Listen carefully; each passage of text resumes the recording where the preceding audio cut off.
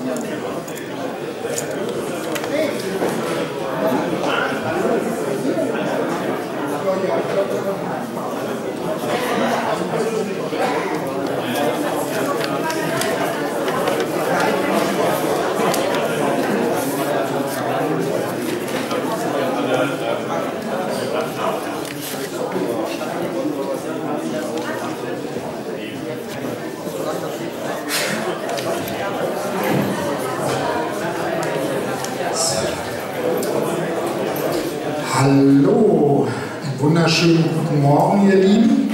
So langsam füllt sich ja der Saal.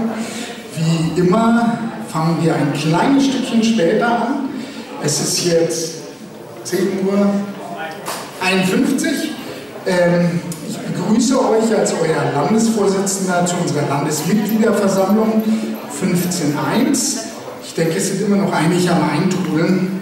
Und ich würde ganz gerne ja, jetzt zu diesem Anfang und ruhigen Teil des Tages dazu nutzen, um äh, an drei Menschen zu denken, die äh, in dieser Partei und für diese Partei unglaublich viel getan haben, aber auch ähm, unglaublich wundervolle und nette Menschen waren, die leider gestorben sind dieses Jahr. Da möchte ich zuerst an den Mario Krüger von der Piratec von unserer IT, der viel, viel Arbeit im Hintergrund gemacht hat, auch ein begeisterter Freifunker erinnern, der gestorben ist und von uns gegangen ist.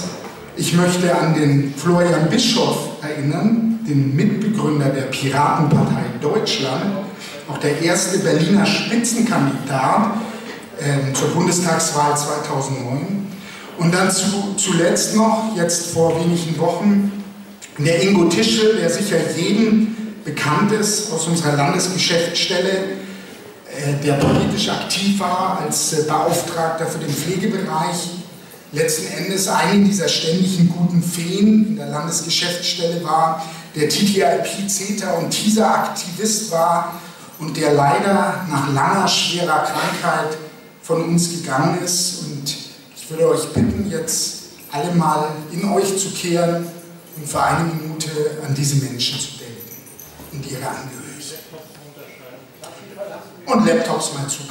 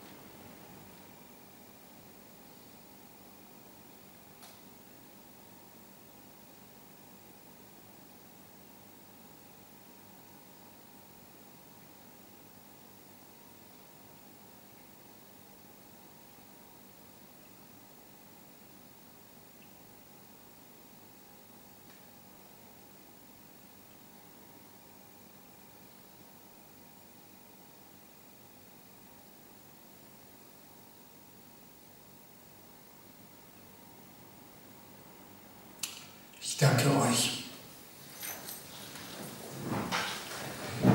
Als nächstes möchte ich, bevor ich zu meiner eigentlichen Eröffnungsrede komme, kurz darauf eingehen, was für ein besonderer Tag heute ist, Tag der deutschen Einheit.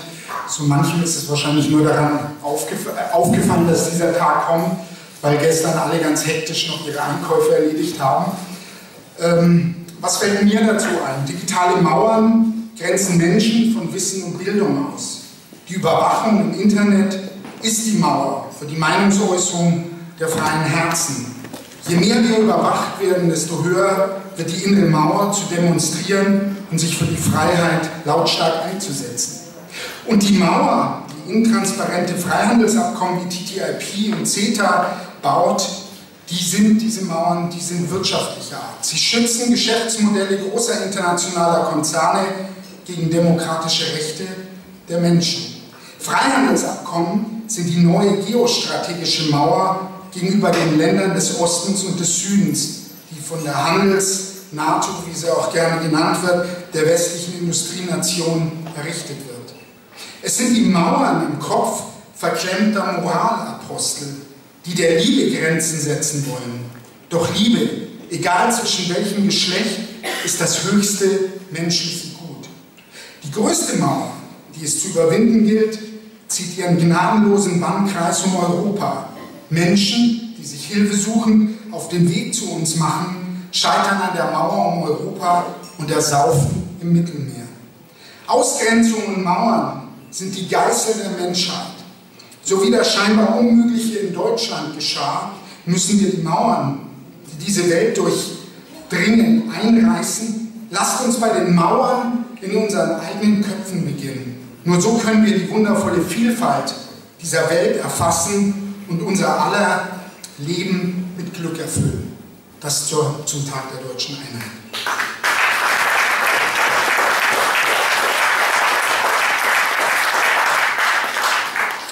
Liebe Piratinnen und Piraten, irgendwie fühle ich mich ein wenig wie Last Man Standing. Das Tempo, in der unser letzter Vorstand trotz großer Treueschwüre zerfallen ist, war atemberaubend. Damit will ich niemandem Unrecht tun oder gar persönliche Entscheidungen von ehemaligen Mitgliedern hinterfragen. Ganz im Gegenteil. Ich danke euch allen ausdrücklich für die gemeinsame Zeit, die auch mich nicht nur um Erfahrung, sondern auch um Wissen bereichert hat. Leben bedeutet für mich lebenslanges Lernen und ihr habt dazu im positiven Sinne beigetragen, mir neue Impulse gegeben. Dennoch, der Zerfall dieses Vorstands ist und bleibt für mich eine schmerzhafte Erfahrung, gerade für jemanden, der Zeit seines Lebens versucht, aus seinem Selbstverständnis heraus Dinge bis zum Ende durchzuziehen. Wunderbarerweise kommt es ganz selten so richtig bitter.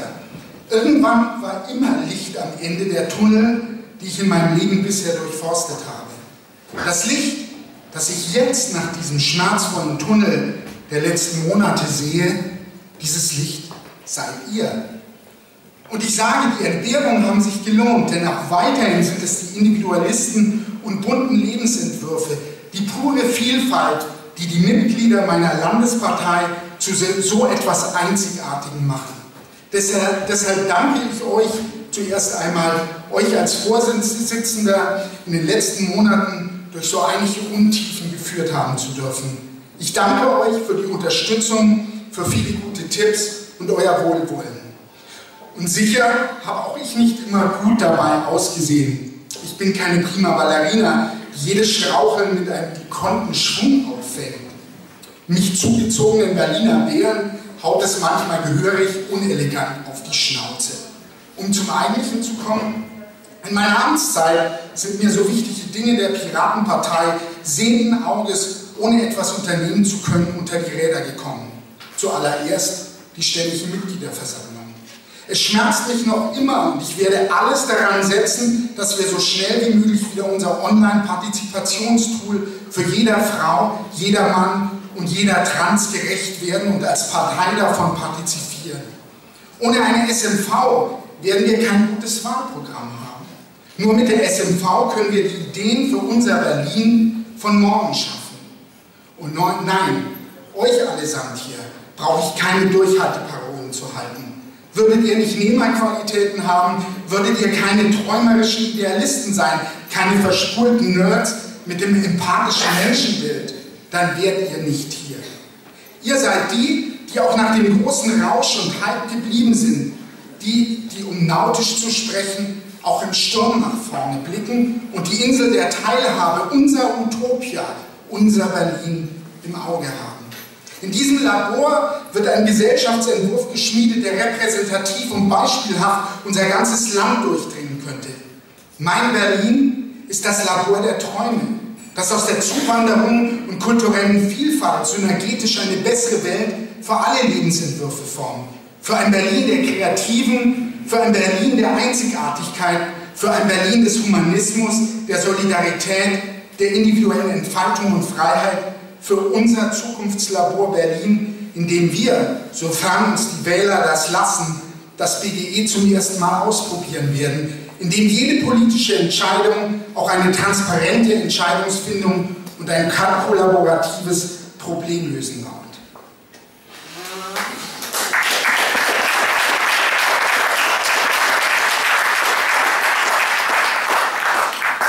Als die Piraten als kleine Nerdgruppe begannen und aus dem freien Netz der Free Software, der Open Source und der Creative Commons Bewegung einen Entwurf für das digitale Morgen schmiedeten, wusste niemand, wie schnell der Wahlerfolg in Berlin eine halb unvorstellbare Ansprüche und Erwartungen an eine junge, noch kaum strukturierte Partei stellen würde. All die Projektionen waren nicht falsch, aber zu viel für einen kurzen Schnappschuss der medialen Aufmerksamkeit, der sich scheinbar auch nur, der sich scheinbar auch nur auf die digitale Bohème bezog, die wir abbildeten. Dabei war das wirklich neu, unsere Slogans. Wir haben die Fragen, ihr habt die Antworten, nicht das Digitale, sondern der Ruf zu kollektiver Zusammenarbeit, zu liquider Demokratie und einem Aufbrechen bisheriger verkrusteter Herrschaftsformen. Was heißt das für mich heute in Berlin als Pirat? Die digitalen Tools sind nur ein Mittel zum Zweck. Das Digitale in unserer Partei bleibt jedoch nur binär, wenn wir es nicht schaffen, Fragen zu den globalen Themen zu stellen, wenn wir nur den Status quo eines frühen Internets zurück ohne die großen gesellschaftlichen Entwürfe anzugehen, wenn wir nicht aus der Automatisierung und Industrialisierung 4.0 das BGE ableiten, wenn wir nicht aus der Grenzenlosigkeit des Netzes Grenzenlosigkeit und Teilhabe für alle ableiten und sagen, niemand ist nirgends illegal. Wenn wir nicht aus Drohnenmorden, Botnetzen und Massenüberwachung einen digitalen Pazifismus ableiten, wenn wir nicht gegen die Freihandelsabkommen des kafkaesken Neoliberalismus kämpfen, wenn wir zuletzt nicht die Antworten für das kreative Prekariat unserer Stadt finden, die weder Licht noch Wohnraum im Schatten der kulturellen Leuchttürme finden. Und für unser Zukunftslabor Berlin gilt erst recht im digitalen Wandel. Global denken und lokal handeln. So lasst uns mit einer gehörigen Portion Demut vor der Vielfalt für neue Bündnisse ringen, alte Wählergruppen begeistert zurückgewinnen und neue Bewegungen integrieren. Lasst uns wieder Hoffnung säen für ein kollaboratives Miteinander im Zukunftslabor Berlin. Dafür bin ich auch gerne weiterhin euer Landesvorsitzender. Danke.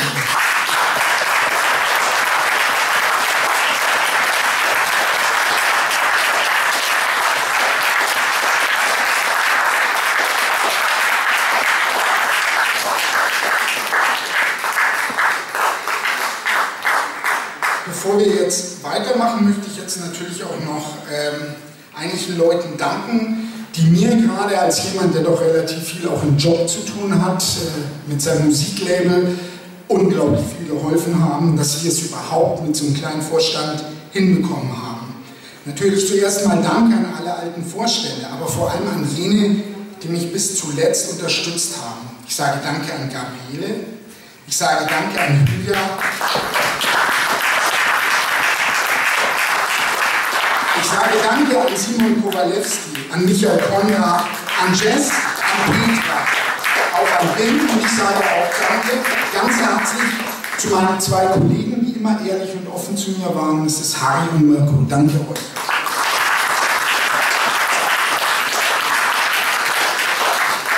So, jetzt kommen wir, glaube ich, ein bisschen zu äh, Formalien. Wir müssen laut äh, Satzung natürlich jetzt Versammlungsämter wählen, als da wären Versammlungsleiter und Stellvertretender sowie ein Wahlleiter und Protokollanten. Soviel ich weiß, haben sich jetzt gestellt bisher im Ring frei als äh, Wahlleiter der Jochen Bokorn. Ähm, dann haben sich als Versammlungsleiter der Wim Reidel und der Dennis Deutschkämmer gemeldet. Und als Protokollant ist immer dieselbe Frage. Hallo, gibt es hier jemanden, der sich als Protokollant meldet? Ohne Protokollanten geht es nicht. Ich kann noch viel erzählen. Ich habe noch einige Schwenke auf Lager, aber wer würde gerne äh, oder wer würde sich äh, opfern, ja, gutes Wort dafür, hier das Protokoll zu führen?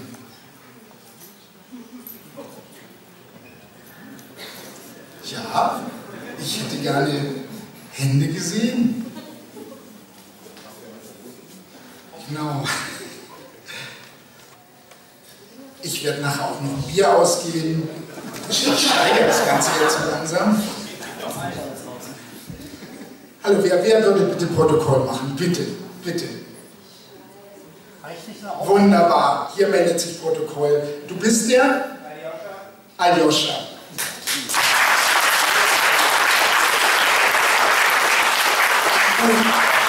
So, die haben ja die Kandidaten für die wichtigen Ämter. Ich weiß nicht, ob es äh, satzungsgemäß erlaubt ist, die en bloc abzustimmen. Ja, ich sehe, das ist erlaubt, deswegen würde ich euch bitten, jetzt darüber abzustimmen. Wer ist dafür, wer ist dagegen?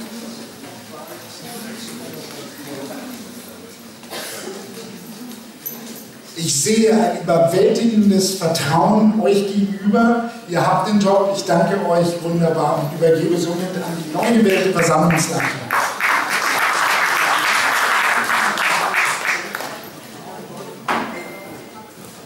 Ja, ähm, vielen Dank von unserer Seite nochmal aus. Ähm, vorgestellt wurden wir auch schon. Vielen Dank, Bruno, für die wirklich sehr, sehr schöne Rede. Vielen Dank dafür. So, dann geht es jetzt mal weiter, oder wir wollen ja hier ein bisschen stringent vorkommen. Ich gucke jetzt mal einfach in die Tagesordnung, was wir hier haben. Genau, wir haben das Abstimmen, beziehungsweise das Diskutieren über die Wahl- und Geschäftsordnung. Erstmal das, äh, die ganzen Formalien. Die GO gilt, äh, wenn wir keine äh, anderen Dinge beschließen. Ähm, ich suche hier mal, wir gucken hier nochmal, wie wir das mit dem Beamerbild hinkriegen. Ansonsten ähm, sollte das alles im Wiki vorhanden sein. Auch.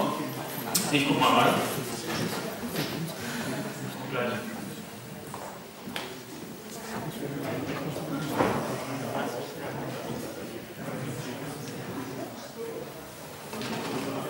So, äh, wir haben die alte und Geschäftsordnung. Gibt es da irgendwelche Gegenvorschläge oder Diskussionsbedarf? Ich sehe, das ist nicht der Fall, dann äh, benutzen wir die einfach weiter. Zur Tagesordnung im Wiki steht noch eine Tagesordnungsversion, wo der Schwerpunkt SMV-Diskussion als erstes drin ist. Nach den Wahlen, äh, die auch in Masse stattfinden werden, ähm, Zeit brauchen, würden wir ganz gerne den Blog Rechenschaftsbericht, Aussprache und Anträge über Zusammensetzung des neuen Vorstandes nach vorne ziehen, vor die SMV-Diskussion und den ähm, ersten Wahlgang auch noch vor der SMV machen. Also die Tagesordnung leicht abgeändert von der, die im Wiki ist, gibt es ähm, Ah, ich höre gerade dass die Tagesordnung im Wiki schon korrigiert ist. Also ähm, kann das der auch vorstellen. Ich habe gelernt, ich nicht hinter meinem Laptop verstecken. Ähm, es gibt den sonstigen Antragthemen ähm, X002, da ist auch nochmal drin, den aktuellen Stand, so wie sie jetzt zur Zeit gerade ist, Betonung auf zur Zeit. Wir sind ja an diesem Wochenende diejenigen, die das schaffen, viele Anträge möglichst innerhalb der, ersten 24, der letzten 24 Stunden zu stellen. Ähm, ja, die Antragskommission findet das immer voll großartig. Die hat ja ihren Spaß. Ähm, folgende Antragsreihenfolgen sind zu der ursprünglichen, also diejenige, die ihr als Mail erhalten hattet, geändert worden. Satzung und Programm wurde getauscht, weil bei der Satzung sehr wenige Punkte nur drin sind. Der Themenschwerpunkt ist uns das, was gerade, äh Quatsch, ähm, ähm, die Reihenfolge mit Rechenschaftsberichte und Aussprache und Anträge zur Zusammensetzung und Ausrichtung ist das, was gerade ähm, Jochen schon erwähnt hat, die sind getauscht. Dann sind Programmanträge, Satzungsänderungsanträge, die nichts mit der SNV zu tun haben und nichts mit den Wahlen nächstes Jahr zu tun haben, sind entsprechend unter Satzungsänderungsanträge und Programmanträge zusammengefasst. Ähm, ich würde im Laufe der Versammlung, wenn neue Anträge kommen, entsprechend sie hinten einfach hinzufügen. Daher mit der jetzigen Form, so wie sie ist, Antrag X002 würde ich zur Abstimmung stellen. Das ist unsere Tagesordnung für das kommende Wochenende zum Stand 11.10 Uhr. Ähm, reine Formate, ja, halber, äh, wollt ihr so verfahren? Also ihr könnt jetzt Ja stimmen, Nein. Gut, äh, ich sehe keine Gegenstimme, dann ah, ich sehe eine Gegenstimme ein bisschen später. Also damit ist die angenommen und wir können mit der Tagesordnung weiterfahren. Der nächste Tagesordnungspunkt ist dann die Rechenschaftsberichte des alten Vorstands.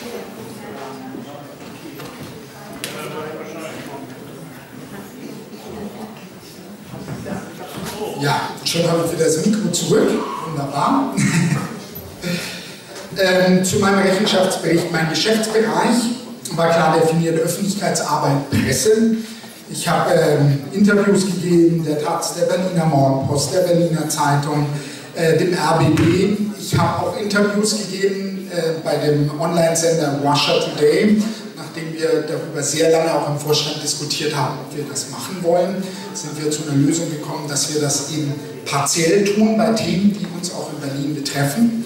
Ich habe es in der letzten Zeit etwas weniger getan, nachdem ich wieder aus der Basis Rückmeldung bekam, ja bitte mehr andere Presse. Dem wäre ich natürlich gerne gerecht gewesen, aber es ist nicht so leicht mit dem mehr andere Presse. Wir können uns das leider heute nicht mehr ganz so einfach aussuchen. Ich habe viele PMs geschrieben, ich habe Blogs geschrieben, ich habe den Versand koordiniert und auch entsprechend äh, das Account dafür betreut.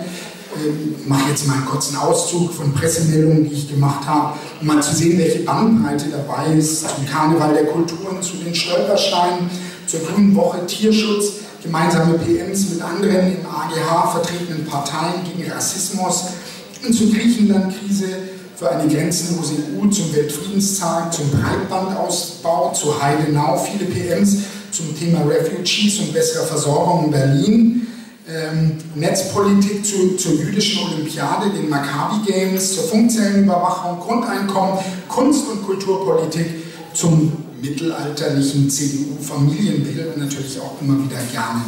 Sowohl Berliner Themen als auch netzpolitische Themen und Progressives, gerade zu den Themen, wo leider aus dem Bund zu wenig zu hören war, haben wir uns nicht nehmen lassen, hatten wir auch darüber gesprochen im Vorstand, dass wir ein Stückchen weit ähm, Berlin erklärt Netzpolitik hin und wieder machen.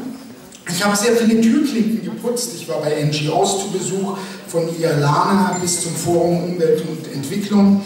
Ich habe zusammen mit Dennis ein Pressefrühstück zur SNV gemacht, persönliche Einladungen, Journalisten abtelefoniert, Terminabsprachen, Themensammlungen für Treffen gemacht mit dem Deutschen Kulturrat Olaf Zimmermann, wo ich dann mit unseren Beauftragtinnen Kulturen sowie dem Simon Kowaleski aus dem Abgeordnetenhaus zu Besuch war. Es war ein ganz wichtiger Besuch, weil ich glaube, dass auch im kommenden Wahlkampf gerade die Kreativen und Kulturschaffenden in Berlin schon ein ganz wichtiger Aspekt ist, den wir für uns gewinnen müssen.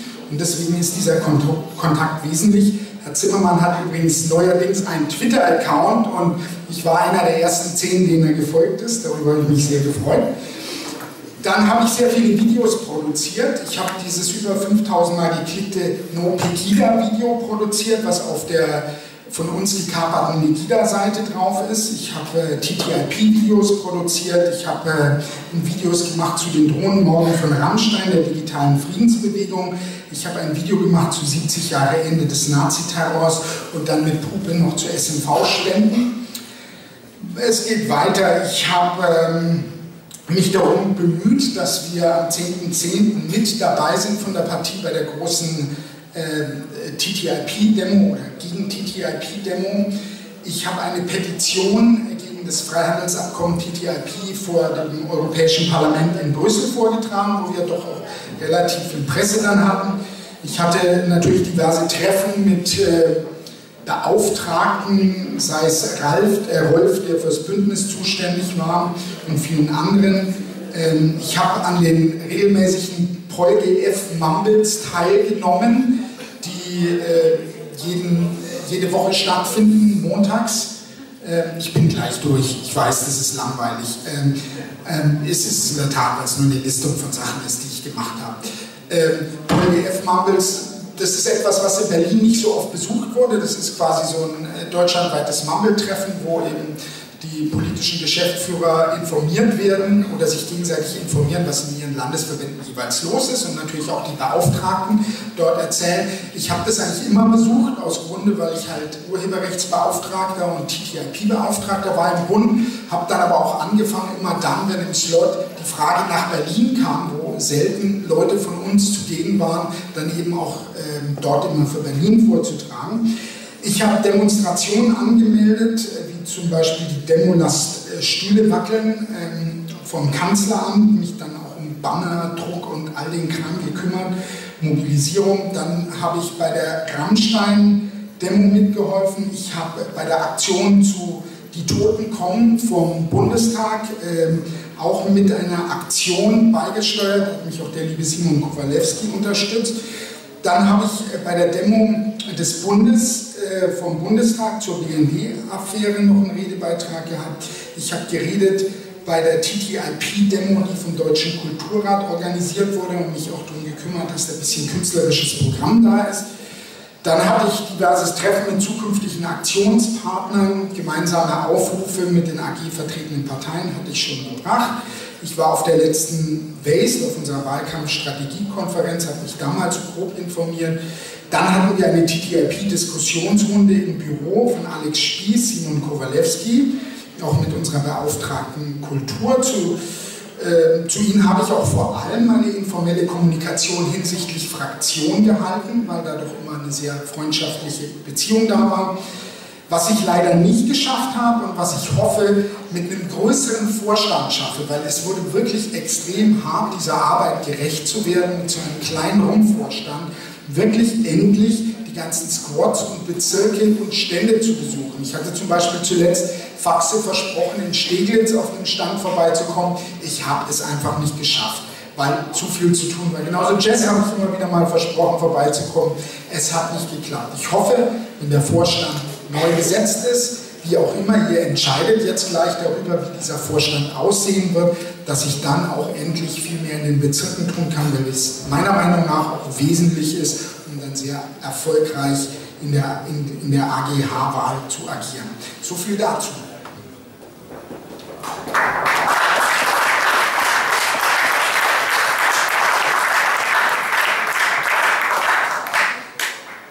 Ja, vielen Dank, Bruno. Ähm, jetzt kommt, ich sehe Mirko schon irgendwie aufs. Achso, gibt es Fragen? Ja, gibt es Fragen zum Rechenschaftsbericht? Ähm, es schrittet keiner aus dem Saal irgendwie zur Decke, also denke ich nicht. Ähm, Mirko steht jetzt hier aber schon irgendwie Gewehr bei Fuß. Ja. Ja, hallo liebe Piraten. Schön, dass ihr so zahlreich gekommen seid. Ähm, es freut mich sehr, denn wir haben sehr, sehr viel zu tun. Nicht nur heute, sondern auch in den nächsten Monaten. Und davon hängt ganz viel ab, wie ihr sicherlich wisst. Ähm, wir leben in einem Zeitalter von Militär, Waffen und Überwachung. Das klingt jetzt vielleicht ein bisschen komisch, weil der soll ja eigentlich einen Rechenschaftsbericht halten. Okay, werde ich jetzt tun. Ich wollte euch nur daran erinnern, warum wir eigentlich diese Piratenpartei betreiben, beziehungsweise warum wir hier zusammengekommen sind. Äh, es gibt ganz viele Dinge zu tun. Die Flüchtlingsproblematik, die uns jetzt richtig extrem beschäftigen wird in nächster Zeit, da ist noch gar nicht absehbar, äh, was wir alles tun müssen, tun können, und wie wir das stemmen wollen. Wir brauchen auf jeden Fall ganz viele Leute, die mitmachen. Und ich fordere jeden auf, der auch nur annähernd darüber nachdenkt, sich irgendwie politisch zu engagieren, kommt zu den Piraten und macht mit. Ich werde dafür sorgen, dass jeder, der, ich sag mal, Langeweile hat oder irgendwie nicht genau weiß, was er tun kann, auf jeden Fall eine Idee bekommt von mir.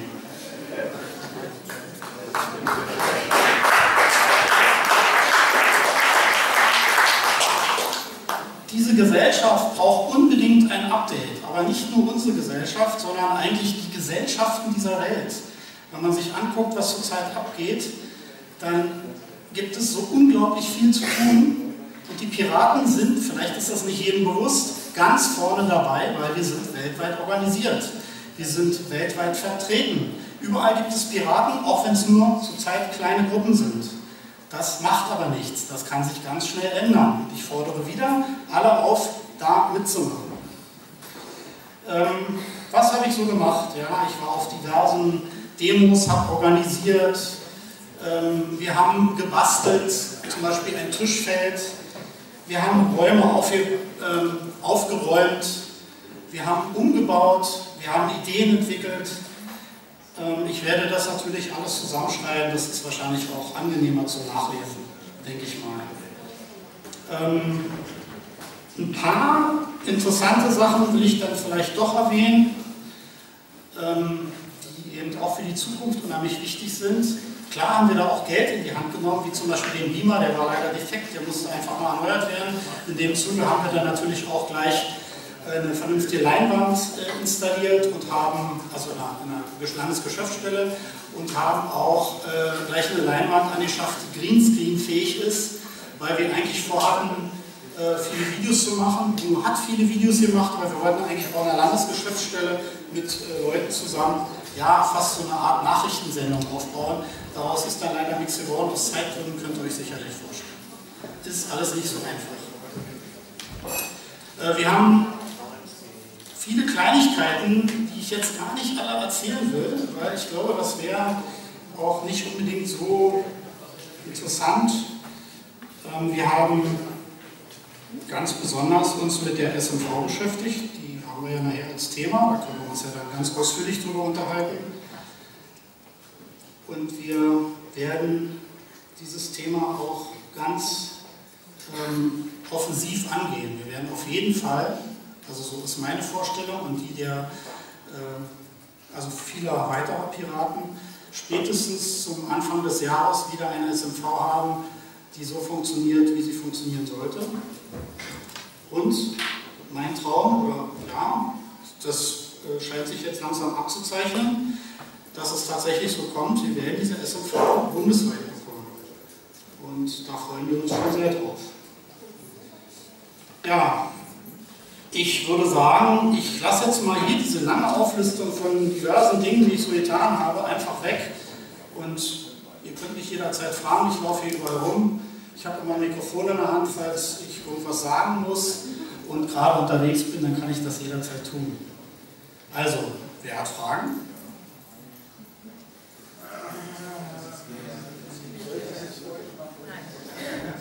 Okay.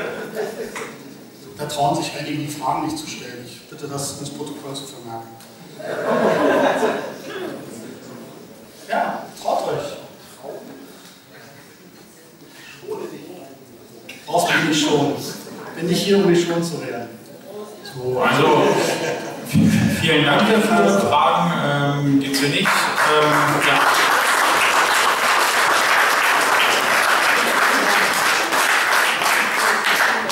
Ich sehe ein Handzeichen von wem? Ach so, doch, äh, habe ich eine Hand nicht gesehen, die geleuchtet hat.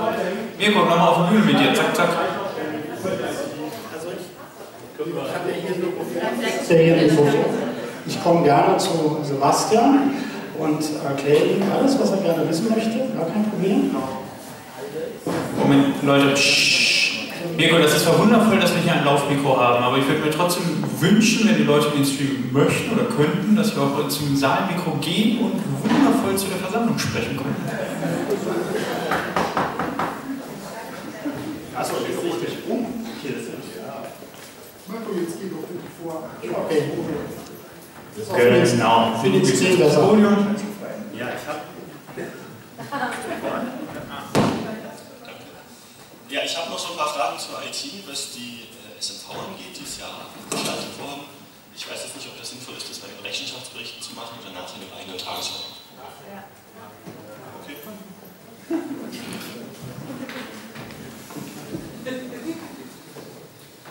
Die Fragen werden später beantwortet. Habe ich jetzt richtig verstanden? Ja.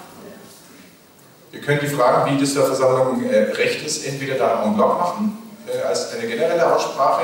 Das könnt, da würde ich vorschlagen, ähm, dass ihr sagt, wie ihr das gerne hättet. Wer jetzt der Meinung ist, wir sollten erstmal alle Rechenschaftsberichte abwarten und dann generell abzustimmen, der möge jetzt mal bitte zustimmen oder ablehnen. Okay, das ist eine ganz deutliche Zustimmung, also machen jetzt die Vorstände erstmal ihre ganzen Rechenschaftsberichte und dann reden wir über alles. Dankeschön. So, und jetzt kommt der nächste, das ist der Harry, der steht da auch schon an der Bühne. Und äh, willkommen. Ja, hallo. Guten Morgen erstmal. Doch zahlreich erschienen. Wunderbar. Ja, mein äh, Rechenschaftsbericht. Äh, ich muss mich erstmal mit dieser Technik wieder auseinandersetzen. Ist das hier angeklebt? Ja, okay. Meine Augen sind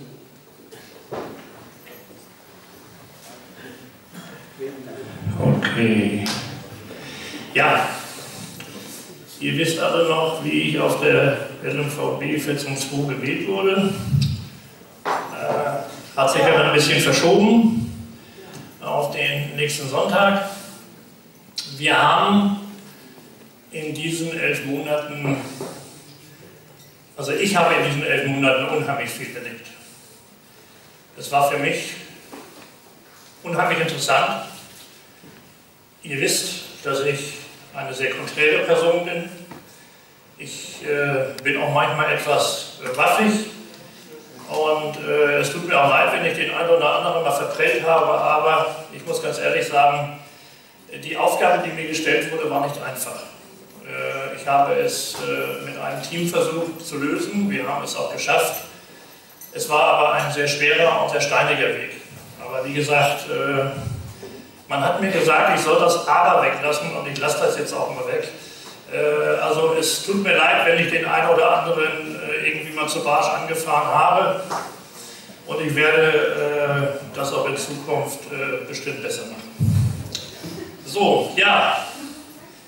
Wir sind gewählt worden, nachgewählt worden. Und das Interessante war, wir hatten am 3.4., ich gehe mal in den Januar rein, eine Klausur, wo wir ein Mission Statement mit unterstützt haben, wo wir im Prinzip als Vorstand uns committed haben, äh, Dinge zu tun. Und äh, das Mission Statement äh, ist ja schon von unserem alten LAFO äh, äh, eingeführt worden und wir haben es eigentlich nur auch für uns dann ergänzt und in, in uns aufgenommen und auch versucht, wirklich nach außen zu tragen. Ich möchte das nochmal hier äh, kundtun, weil ich glaube, das ist ganz wichtig. Der Landesvorstand stellt sicher, dass die Piratenpartei Berlin eine feste politische Größe in Berlin ist und krass performt. Wir schaffen effiziente und schlagkräftige Strukturen für die politische Arbeit der Mitglieder im Landesverband. Daher wollen wir eine positive Anerkennung von Kommunikationskultur vorleben und unterstützen die Mitglieder bei einer Umsetzung derselbigen. Wir, Bruno, Mikko und ich, sind noch hier, denn wir leben dieses Mission Statement als Piraten. So, ich komme jetzt mal zu meinem, zu meinem sogenannten Bericht. Ich wurde am 16.10. gewählt als Schatzmeister des Landesverbandes Berlin. Der Vorstand hat sich konstituiert am, 11., am 28.11. Wir haben kurze Zeit danach eine Deckungslücke in Höhe von 25.000 Euro entdeckt im Haushalt 2014, haben kurze Zeit später festgestellt, dass die Deckungslücke auf 27.000 Euro gestiegen ist und hatten ungefähr dreieinhalb Wochen Zeit, äh, das zu ändern. Die Auswirkungen waren dramatisch. Wären dramatisch gewesen, wenn wir es nicht geschafft hätten. Die Auswirkungen gehen dahin, dass die Parteienfinanzierung und der innerparteiliche Finanzausgleich, den wir im nächsten Jahr zu erwarten hätten, uns um 80.000 Euro gerafft hätte. Das heißt, wir wären, ein, wir wären kein Nehmerland geworden, wir wären ein Geberland geworden. Es ist ganz einfach so, es war etwas, was wir nicht akzeptieren wollten. Ich musste auch ganz besonders den Gordon hervorheben, äh, der auch wirklich äh, sich dort richtig eingebracht hat. Weil es war unheimlich wichtig. Wir haben wirklich Dinge verändert. Wir haben wirklich gesucht in uralt äh, Beschlüssen des LAFOs, wo wir noch irgendwo auch nur einen Euro finden. Wir haben äh, über Jan Zimmermann eine Kampagne aufgelegt, äh, dass wir eine, eine Pledge bekommen. Äh, hat leider nicht so richtig funktioniert. Ich glaube, Gabriele weiß auch noch, was da los war. Es war also alles ein bisschen chaotisch mit dem Einzahlen. Wir haben nachher gar nicht richtig gewusst, was wir hatten, aber wir haben es dann irgendwann halt rausgefunden. Der Punkt ist ganz einfach der, wir haben dieses Loch gestopft. Äh, sind mit einem gesunden Haushalt 2015 gestartet, haben den auch vorgestellt. Das war ungefähr im, äh, am 28.02. Der Punkt war der, es gab sehr viele Diskussionen wegen dem neuen Haushalt, was auch verständlich ist, weil äh, wir müssen einfach lernen, äh, mit diesen Dingen auch verantwortungsvoller umzu umzugehen. Es ist nur im Grunde genommen recht schwierig, etwas zu übernehmen, was im Prinzip so, weg, so, reingefahren, tief reingefahren wurde, dass wir im Prinzip nur noch agieren und nicht reagieren. Wir haben reagiert und nicht agiert. Und dieses Agieren ist etwas, was wir vielleicht seit zwei Monaten einfach effektiver gestalten können, weil wir endlich aus diesen ganzen Dingen raus sind. Äh, wir haben einen Haushalt vorgestellt.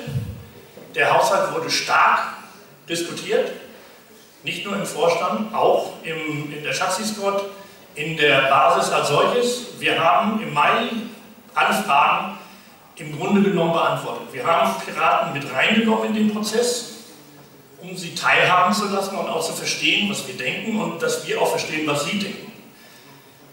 Ich möchte aber ganz einfach sagen, Leute, wir sind eine politische Partei. Wir sind einfach kein Krämerladen.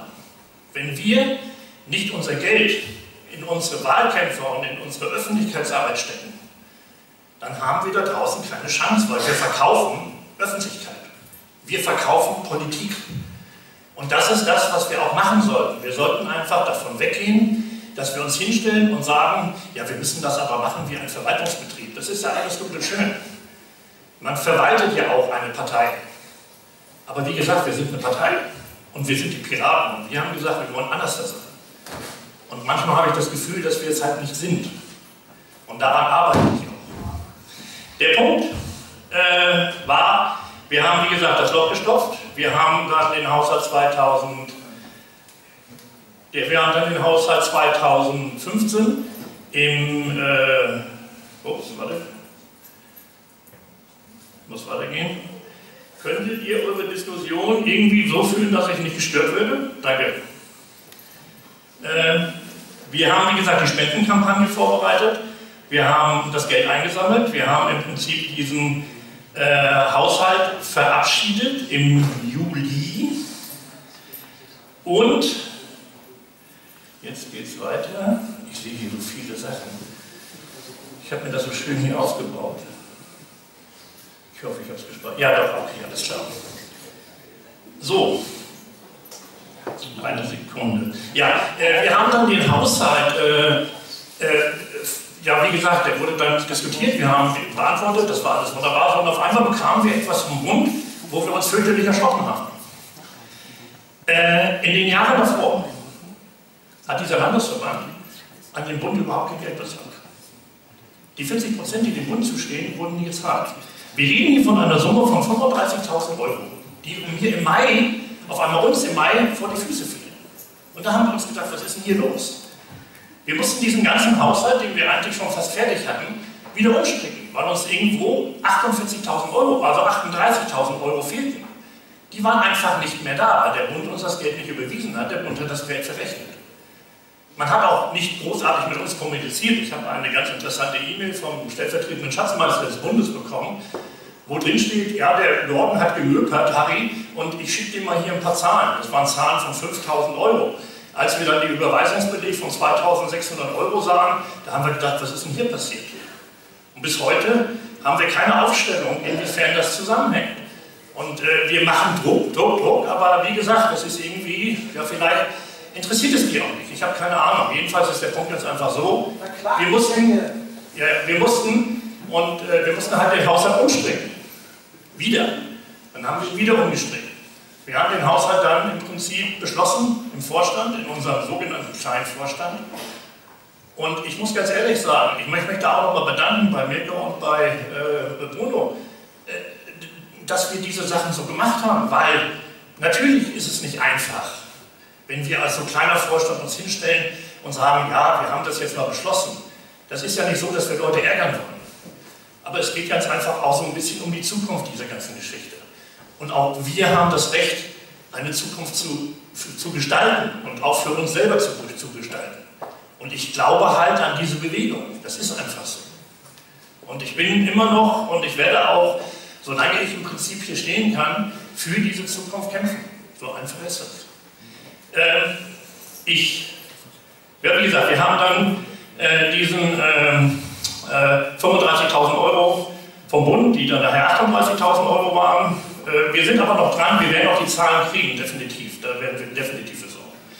Äh, es ist ganz einfach so, die Arbeit war nachher auch unheimlich viel, weil wir haben im Prinzip mit drei Leuten diesen Landesvorstand organisiert. Wir hatten Hilfe von der Chassis wir hatten Hilfe von der Presse wir hatten Hilfe von einigen anderen äh, äh, Piraten, aber im Grunde genommen müssen wir viel mehr im Prinzip uns einbringen, mithelfen, Dinge tun, einfach mitorganisieren.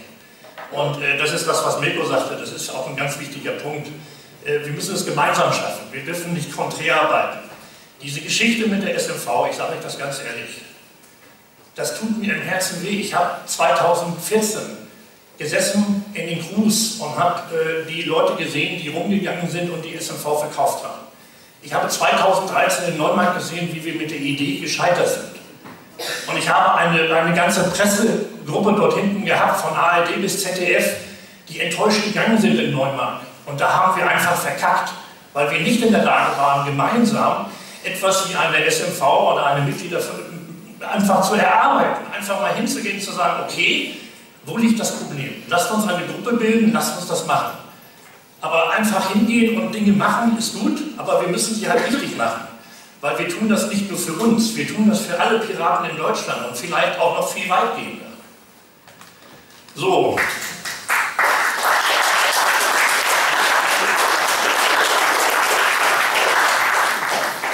Hatte vier Geschäftsbereiche. Also ich habe, Entschuldigung, ich habe vier Geschäftsbereiche. Äh, ich habe den Bereich Personal, ich habe den Bereich LGS, ich habe den Bereich Schatzmeisterei, Finanzen und ich warte, glaube ich, noch Eventplanung, jetzt habe ich auch noch die Gebietsversammlung und also ich habe alles Mögliche. Ich bin aber kein nachgiebiger Mensch. Ich gebe gerne etwas davon ab. Wirklich. Der Punkt ist ganz einfach der, es musste gemacht werden und wir haben es getan. Das ist das Commitment. Das ist das, was wir uns committed haben. Als wir uns aufgestellt haben hier und uns wählen lassen haben von euch. Das höchste Gut für mich ist diese Versammlung. Nichts anderes. Ihr seid diejenigen, die uns machen lassen oder nicht machen lassen. Aber das ist euer Recht. Und ich, deswegen auch diese ganzen Fragen, Rücktritt und alles, das gibt es für mich nicht. Ihr könnt das machen. Ich mache es nicht. Weil ich bin Demokrat und Pirat. Ich stehe hier, solange dieses Segel Wind hat. Und wenn es nur ein bisschen Wind hat, dann nehmen wir das Boot, setzen uns auf dieses scheiß Wasser und rudern, bis es wieder Wind hat. Aber diese Sache kaputt zu machen, ist falsch, weil wir sind hier. Okay, ich sollte wahrscheinlich sehr viel mehr äh, euch an Zahlen liefern, aber ich muss ganz ehrlich sagen, wir haben alles vorbereitet äh, in der P9 liegen. Wir haben die Möglichkeit, euch etwas zu liefern und es ist auch ein, wir haben unsere Kassenprüfer, äh, wir werden uns hinsetzen, wir haben für euch die Dinge vorbereitet. Sowas gab es bisher noch nie. in dieser Form in diesem Landesverband. Wir sind in der Lage, richtige Rechenschaftsberichte vorzulegen. Die aber so vorzulegen, dass die Kassenprüfer das auch im Prinzip in Ruhe verstehen können. Deswegen hatte ich auch diesen Vorschlag gemacht, diese Rechnungsprüfer wieder einzuführen auf einer LMVB, weil ich glaube, wir haben nebenan einen Raum, man könnte sich dort hinsetzen und könnte innerhalb von einer Stunde das genau sehen, was passiert ist und was passiert. Und das ist eigentlich der, der Vorteil bei der ganzen Geschichte. Wir haben uns wirklich bemüht und wir haben das auch umgesetzt. Das war nicht einfach mit uns, das weiß ich, und ich möchte mich auch wirklich dafür entschuldigen, aber es ging irgendwie alles nicht anders. Weil uns fielen ständig Sachen vor die Füße. Zur SMV möchte ich ganz einfach nochmal eins sagen. Ich wurde von unserem alten Vorstand aufgefordert, die Kosten für die SMV in 2014 zu bezahlen. Ich habe das nicht gemacht. Ich habe das am 2. Januar 2015 getan, weil wir von unserer Geschäftsbereich Finanzen haben die Kosten in dem Haushalt drin. Unser voriger Vorstand hatte die Kosten nicht im Haushalt. Das ist der Punkt. Man hätte einen Nachtragshaushalt machen müssen, es wurde nicht getan. Wir haben dafür gesorgt, dass das bereinigt wurde. Und wir sind definitiv nicht die Bösen. Es gibt nämlich gar keine Bösen dabei. Es gibt nämlich nur Menschen, die Dinge nicht verstehen und da müssen wir uns hinsetzen und gemeinsam einen Weg finden, aus diesem Dilemma rauszukommen. So, ich danke euch.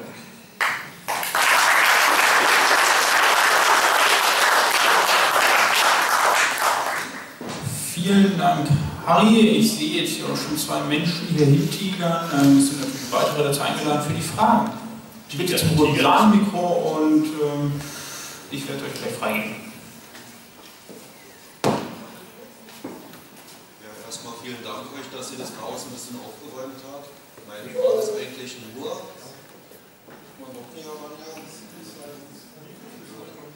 Äh, meine Frage ist eigentlich nur, gibt es eine ungefähre Vorstellung, wie der Landesverband Berlin derzeit aufgestellt ist, finanziell? Gut. Ja, tut mir leid, es ist einfach so. wir sind gut aufgestellt. Wir haben Rücklagen gebildet für den Wahlkampf 2016. Wir haben halt diese Dinge so getan. Und wie gesagt, der, wir sind gut aufgestellt. Und wir werden auch dieses Jahr wieder unsere, äh, unser Geberland schaffen, unser Unternehmerland schaffen. Das heißt, wir bekommen dann auch nächstes Jahr zum Wahlkampf wirklich dieses Geld vom Bund, weil wir haben ja jetzt dieses Jahr dafür geblutet.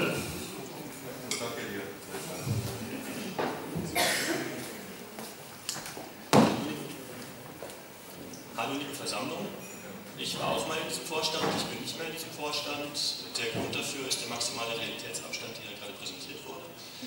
Ähm, ich denke, für die Piraten mit Transparenz, Rechenschaft und so, äh, Rechenschaft und so weiter, sollte es wichtig sein, einen Haushaltsplan früh zu haben, nicht im Juli, dass gesagt wird, jawohl, wir haben einen Haushaltsplan im Juli und das noch als besondere Errungenschaft äh, angepriesen wird, verwundert. Dass gesagt wird, die Leute wären einbezogen worden, verwundert auch. Im Wesentlichen wurden die Fragen abgewimmelt und der Haushalt wurde an einem Mittwochnachmittag beschlossen, wo er an einem Mittwochabend auf einer Landesvorstandssitzung hätte beschlossen werden können. Interessant ist auch, dass gerade eben am Schluss gesagt wurde, die Kosten für die SMV. Die Frage kommt gleich. Gut, ich stelle dazu eine Frage, und zwar, wie kann es sein, lieber Harry, dass du sagst, du hast am 2. Januar das SMV-Geld bezahlt, weil es da im Haushalt stand, wenn du uns gerade eben erzählt hast, der Haushalt ist erst im Juli beschlossen worden. Das ist ja fünf Monate später. Da siehst du das Commitment zur SMVB. Es war im Haushalt 2015 auch schon in diesem Zeitraum drin. Die Einarbeitung in den Haushalt hat schon stattgefunden. Der Punkt ist ganz einfach der, die Vorstellung des Haushaltes hat halt erst im März stattgefunden, aufgrund von vorigen Diskussionen. So, ja, ähm, ich glaube, ich hatte vorhin auch einen Fehler gemacht. Die, die Fragegeschichte sollte tatsächlich noch einen Block am Ende erfolgen. Ähm, du willst ja auch noch was sagen, wie du mich gerade anguckst.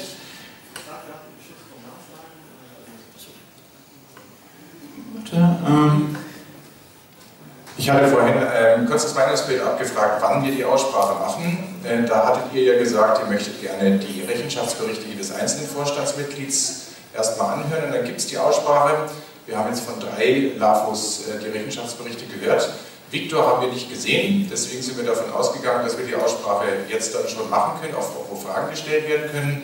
Aber jetzt der guten Ordnung halber, ist der Viktor da, wenn er noch was sagen möchte?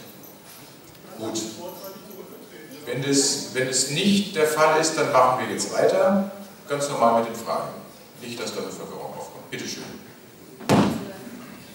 Bist du der Ansicht, dass ein Haushalt beschlossen werden muss oder reicht das, wenn der Schatzmeister das einfach so deklariert und geplant hat? Der muss beschlossen werden. War der Haushalt im Januar beschlossen? Nein. War deshalb deine Aussage von gerade eben, dass du das im Januar gezogen hast, damit es ordentlich gemacht wird, richtig? Oder war die irgendwie nicht richtig? Äh, Die war richtig, es hat einfach damit zu tun, es gibt einen Vorstandsbeschluss, dass diese On-Topica-Rechnung bezahlt wird. Und dem bin ich nachgekommen. Ich habe natürlich das Recht gehabt, hätte das Veto einzulegen. Ich habe es nicht getan, aufgrund dessen, dass wir eine SMVP haben wollen. Und das war auch Beschluss innerhalb dieses Vorstandes. Ich sehe keinen Zusammenhang zwischen der Okay. Arbeit. Noch dazu, es lag in meinem Verantwortungsbereich. Und ich glaube, äh, das habe ich dann doch ganz gut gemacht, weil sonst hätten wir gar keine SMV gehabt. Du hast das Wort. Vielen Dank. Vielleicht zur Information, ich werde als einer der Kassenprüfer gewählt zum Rechenschaftsbericht. Harry, der Rechenschaftsbericht soll Ende Mai an den Bundesvorstand vorgelegt werden. Warum wurde er nicht rechtzeitig vorgelegt? Weil wir das Jahr 2014 komplett nachbuchen mussten. Äh, Ich habe äh, im Dezember 2014 äh, den ehemaligen Schatzmeister mit einem Finanzbudget beauftragt, äh, bis 31.12. zu buchen. Das wurde irgendwie nicht gemacht, es waren Fehlbuchungen und unsere ZIG, unsere Dame, die die Buchhaltung äh, für die Piratenpartei Deutschland Berlin macht, musste das ganze Jahr 2014 nachbuchen und der Rechenschaftsbericht liegt beim Bund und ist auch im Grunde genommen fertig. Jetzt ist, also, wir haben den Rechenschaftsbericht noch nie gesehen. Wir konnten auch nicht nachvollziehen, warum nachgebucht werden musste. Die letzte Information, die wir hatten, war von Michael Karasek. Wer ist hier? Äh, Die Kassenprüfer, Entschuldigung, deshalb habe ich mich vorgestellt. Also, äh, die letzte Information war, dass die Kasse Ende November vollkommen in Ordnung war. Wir konnten nie nachvollziehen, ob wirklich falsch gebucht war. Warum hast du nicht uns stärker eingeweiht? Äh, Der Punkt ist ganz einfach der, ich weiß nicht, welche Kasse du jetzt meinst. Meinst du die Barkasse? Moment, äh, ich möchte noch, ähm, Moment, Moment, Moment. Also, ich weiß, in den Formularien, wir sind ja jetzt weder irgendwie, wir sind ja quasi in der Neuwahl, Nachwahl eines Vorstandes und ich weiß, dass eine, die Berichte der Kassenprüfer ähm, dann ja auch kommt. Nein, wir wissen ja nichts. Wir haben keine Unterlagen. Okay, du möchtest noch was sagen, dann frag, also frag den Harry und danach kann dein Bericht, beziehungsweise haben wir rausgestrichen, beziehungsweise frag den Harry einfach mal. Also bitte alles in einer Frage. Tja, Harry, warum wurde keine Zusammenarbeit vereinbart? Du hast alle Termine abgesagt. Warum hast du die Termine mit uns immer abgesagt? Und zwar, naja, mach selbst Äh, wir haben Termine gefunden, mussten die Termine absagen aufgrund von Veränderungen und Sachlagen, wie zum Beispiel im Mai. Wir wollten das schon sehr viel früher tun. Nur diese 35.000 Euro, die nachher 37.000 Euro waren, die uns der Bund gekürzt hat, das ist auch etwas gewesen, was uns dann sehr überraschte. Der andere Punkt ist ganz einfach der, wir haben jetzt die Möglichkeit gehabt, das zu tun. Wir hatten Thomas Gaul eingeladen äh, äh, als äh, Bundeskassenprüfer, diese Kasse bitte einmal zu prüfen. Wir haben auch, wenn ihr wollt, kein Problem, können wir nachher noch die ganzen Unterlagen hierher holen. Wir haben alles fix und fertig für eine, eine Buchprüfung. Die Kassenprüfung, die, wo du gerade angesprochen hast, im November war die, nicht im Dezember. Wenn du diese Kassenprüfung als das Nonplusultra der Kassenprüfung nimmst, dann ist es okay. Der Punkt ist ganz einfach der, das Kassenbuch haben, glaube ich, einige von euch schon gesehen, was da drin war. Und äh, ich muss euch ganz ehrlich sagen, Leute, ich möchte darüber nicht reden hier. Ich möchte da einfach nicht drüber reden, weil das ist eine Katastrophe. Und das wisst ihr auch. Das ist der Punkt. Wir haben uns darüber unterhalten. Und wenn wir aufarbeiten müssen, dann müssen wir auch vielleicht mal Termine verschieben. Das tut uns leid, das ist halt so gewesen. Aber das war keine böswillige Absicht. Warte, warte, warte, warte. Ähm, das war hier gerade ein bisschen laut. Ähm, so, Kassenprüfer, okay. Ähm, ihr dürft euch hier gerne anstellen, also das ist nicht ersichtlich für mich, richtig ich jetzt gerade noch eine Frage. Wo, wo, wo, wo gibt es noch, also wo, wer führt die Schlange von hinten an jetzt eigentlich? Okay, da hinten. Stellt euch hier vorne irgendwo, oder wolltet ihr? Gut. Dann sagt das nicht.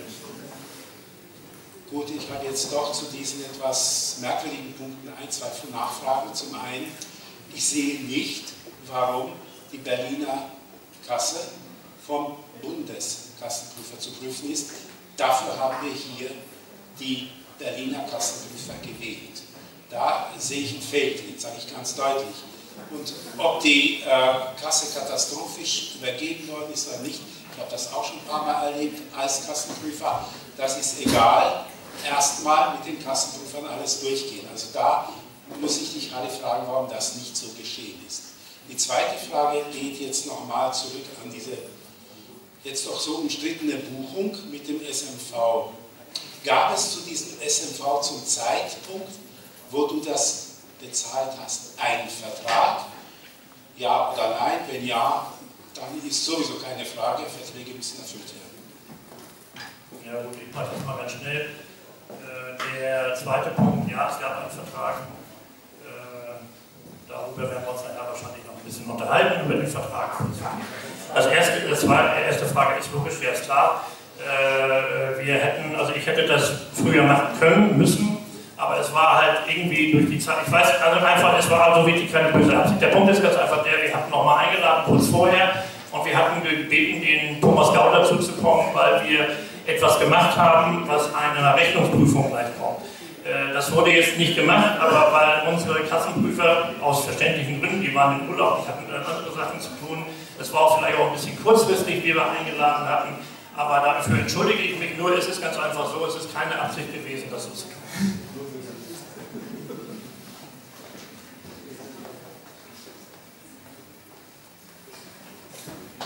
Ich habe drei Fragen, aber ich würde noch jemanden dazwischen lassen. Äh, die erste Frage ist, du sagst, in der P9A ist alles fertig und du könntest das jetzt herholen. Das klingt ja nach einer Ankündigung, habe ich auch schon mehrmals gehört. Warum hast du das nicht einfach mitgebracht, wenn alles fertig ist? Heute wäre eine super Gelegenheit, das zu machen. Ja, äh, ich habe es gestern Abend, als wir um 11 Uhr dann in der P9A waren, nachdem wir hier fertig waren mit Aufbauen und noch die Urnen geholt haben und diverse andere Sachen einfach vergessen aus dem Schrank zu nehmen. Aber ihr, ihr werdet mir sicherlich vergeben. Es ist nicht so, dass es nicht da ist, wir haben es vor Ort. Warte, warte, warte. Ähm, vielleicht als Zeichen des guten Willens, morgen ist ja auch noch ein Tag, ob ihr das dann mitbringen wollt, möchtet vielleicht. Ja. Okay. Excellent. Moment, Moment, Moment. Stehst du noch an? Ich stehe da, sagst du wieder. Ja, würde ich jetzt sagen. Gut. Ja.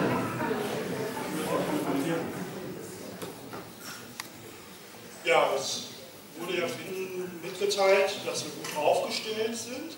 Ich würde dann gerne wissen, wie das sich in Euro ausdrückt und am besten in Euros, die gerade auf dem Konto sind. Und wenn man die Unterlagen holen muss, die kann man auch in ein Taxi holen, ist das Geld dafür, hinterlegt das vorne am Tisch. Also dein Geld brauchen wir nicht, danke Faxe. Das kannst du aber trotzdem spenden, wenn du möchtest. Ich bitten, das hier hinzulegen. Sonst jammerst du nachher wieder, dass du keine Spendenquittung bekommen hast. Äh, also, äh, der Punkt ist ganz einfach der, wir sind hier in Berlin, also es ist kein Problem, die Sachen zu holen und wir werden das auch dann tun. Und dann können wir auch gerne mit den Kassenprüfern äh, das durchziehen, wenn ihr das wollt. Es ist wirklich kein Thema. Ähm, war noch eine Frage, Faxe? Nee, Lobby. So. Doch, doch. Moment, es gab die Frage nach den Zahlen, nach den konkreten. Achso, die Zahlen, ja, die Zahlen. Äh, ich könnte jetzt hier, äh, ich mache das gleich mal so fertig, dass ich dir gleich den Stand gebe. Ich müsste dafür jetzt in das Programm rein und das kann ich nicht mit dem Finger machen, weil ich dafür meine Maus brauche. Okay, jetzt wolltest du noch eine Frage. Ja, äh, vielleicht äh, gibt es noch irgendwelche größeren Verbindlichkeiten des äh, Landesverbandes anderen Leuten gegenüber, die noch nicht beglichen sind. Irgendwas über 1000 Euro ist. Ja. Wie viel ist das so? Hören wir an den Leuten, ja gut, ich sag mal, da kommen jetzt noch Reisekosten dazu vom Wochenende. Also meinst du nur Beträge über 1000 Euro? Frage. Äh, Ich warte immer noch auf die Zahlen von Victor. Wenn ich die dann mal habe, dann weiß ich auch, wir haben genau einen Überblick. Es gibt einen Umsetzungsverantwortlichen für einen Beschluss, mit dem ich mich getroffen habe und der mir bis heute nichts geliefert hat. Also nochmal zur Nachfrage. Du kennst die derzeitige Kassenlage nicht, kannst die aber besorgen. Du hast die Unterlagen nicht, kannst die aber besorgen. Und es fehlen noch Verbindlichkeiten, da kannst du dich aber darum kümmern, dass das besorgt wird. Habe ich jetzt richtig verstanden? Das hast du richtig verstanden. genau. Absolut.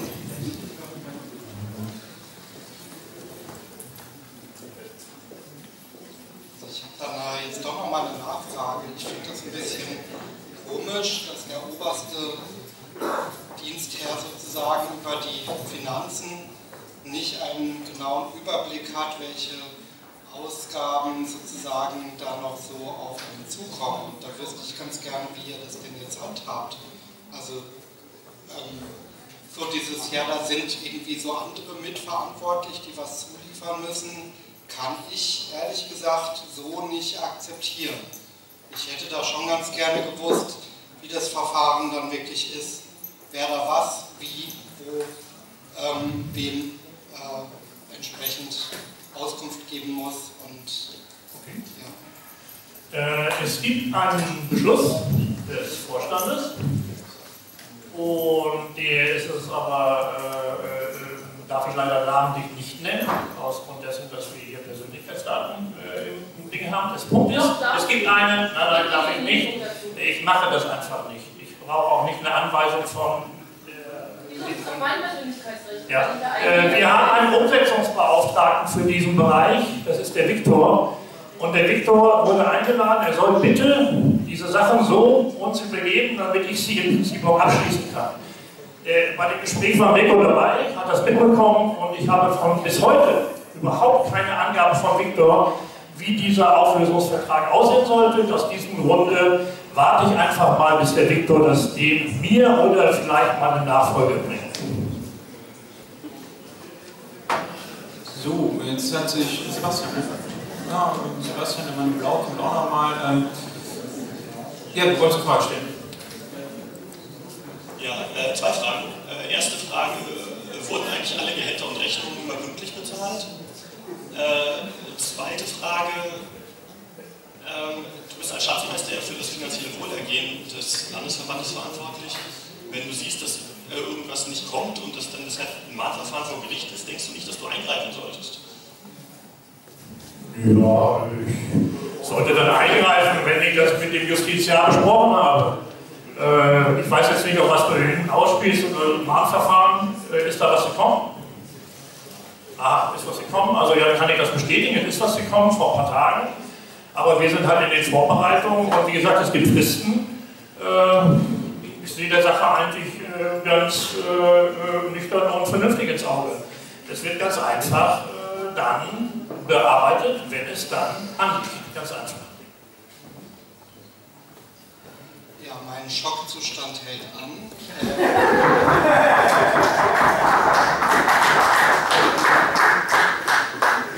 Also wenn der Verantwortliche über die Finanzen keinen wirklichen Überblick darüber hat, ob Mahnverfahren anhängig sind, rechtshängig Das habe ich gerade zugegeben. Ich möchte Also tut mir leid, ich äh, habe da nicht mehr so ein großes Vertrauen, wenn der Oberste keinen wirklichen Überblick über die Finanzen hat und irgendwelche anderen Leute beschuldigt oder ähm, sagt, von denen Die ist Frage. was zu kommen. Also ähm, ich frage mich, ob du überhaupt in der Lage bist, das jetzt hier noch zu überblicken, die Finanzlage, und äh, einen wirklichen Überblick hast. Also ich habe einen wichtigen Überblick. Das Zweite ist, äh, ich bin der Schatzmeister des Landesverbandes und äh, in gleicher Funktion sogar äh, im Bereich Recht äh, noch angesiedelt, aber wir haben einen Justiziar und mit dem werden wir ganz normal diese Geschichte Mahnverfahren besprechen. Das ist ein ganz normaler Vorgang. Ich bin nicht als Schatzmeister dafür da, jetzt zu sehen, ob dieser Mahnvorwurf, vielleicht ist ja der Mahnbescheid auch nicht äh, richtig, da kann ja auch ein Fehler drin sein. Also wie gesagt, äh, ne? Es gibt also mehrere Gründe. Das kam vor ein paar Tagen rein. Ich weiß über diesen Antrag und ich weiß über diesen Marbescheid. Also ist es nicht so, dass ich das verleugnet habe. Es ist nur ganz einfach so, er ist in einem Bearbeitungsprozess und wenn er dann abgeschlossen ist, wird das auch im Prinzip verkündet. Fertig. Ja, ich würde dann äh, ganz gerne, also ich will jetzt hier keine Diskussion abbrechen, aber einen DO-Antrag auf Schließen der Rednerliste, also sprich muss so viel wie möglich einreichen. Moment, Moment, Moment. Die guten Menschen bitte dort hinten äh, an der Schlange einreihen. Also jetzt strömen hier ganz viele aus allen Richtungen dazu. Ich, soweit ich gesehen habe, gibt es hier, da ist so eine komische Säule und irgendwie stellt sich aus irgendwelchen Gründen immer dort alle an. Und äh, genau, eigentlich bitte hier vorne an, an der Banner anstellen oder dahinter einreihen und so weiter. Und der, der die Schlange anführt von hinten, darf sich freuen. Ähm, so, ich, ich, hoffe mal, also ich, ich, ich Moment, warte, bevor wir mit der Frage anfangen, möchte noch jemand, dann haben wir gleich den ganzen Aufruhr und so weiter. Also Bewegung, Bewegung, Bewegung. Faxe, läufst du? Okay. ähm, das sei dir genehm. Ähm, okay, dann geht's los. Achso, ja, erstmal haben wir natürlich eine GO-Eintrag auf Schließung der Rednerliste. So, jetzt alle auf die Liste setzen, ne? zack, zack, zack, bum, bum. Und äh, danach äh, stimmen wir darüber ab. Jetzt stimmen wir darüber ab. Dann machen wir es so. So, ihr seht die Rednerliste wundervoll. Das ist ja hier unglaublich. Rednerliste! Zack, zack, Karten nach oben. Wer ist dafür, dass die Rednerliste beschlossen wird? Nein. Es gab keine So, das sieht doch wundervoll aus. Okay, dann ist die Rednerliste für die Geschichte jetzt beschlossen. Und, ähm, so, und es geht weiter.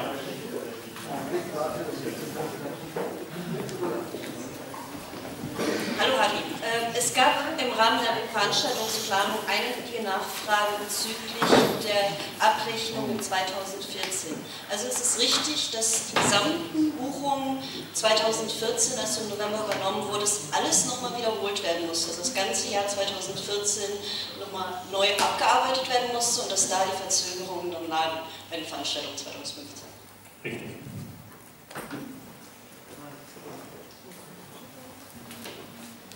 Ja, also ich komme jetzt nochmal zu diesem Mahnverfahren. Da sollte im Rahmen einer Kündigung was bezahlt werden. Das, der, der Betrag ist auch bekannt, aber der Schatzmeister hat das bisher nicht überwiesen, weil Victor irgendwas noch nicht gemacht hat. Richtig? Ja.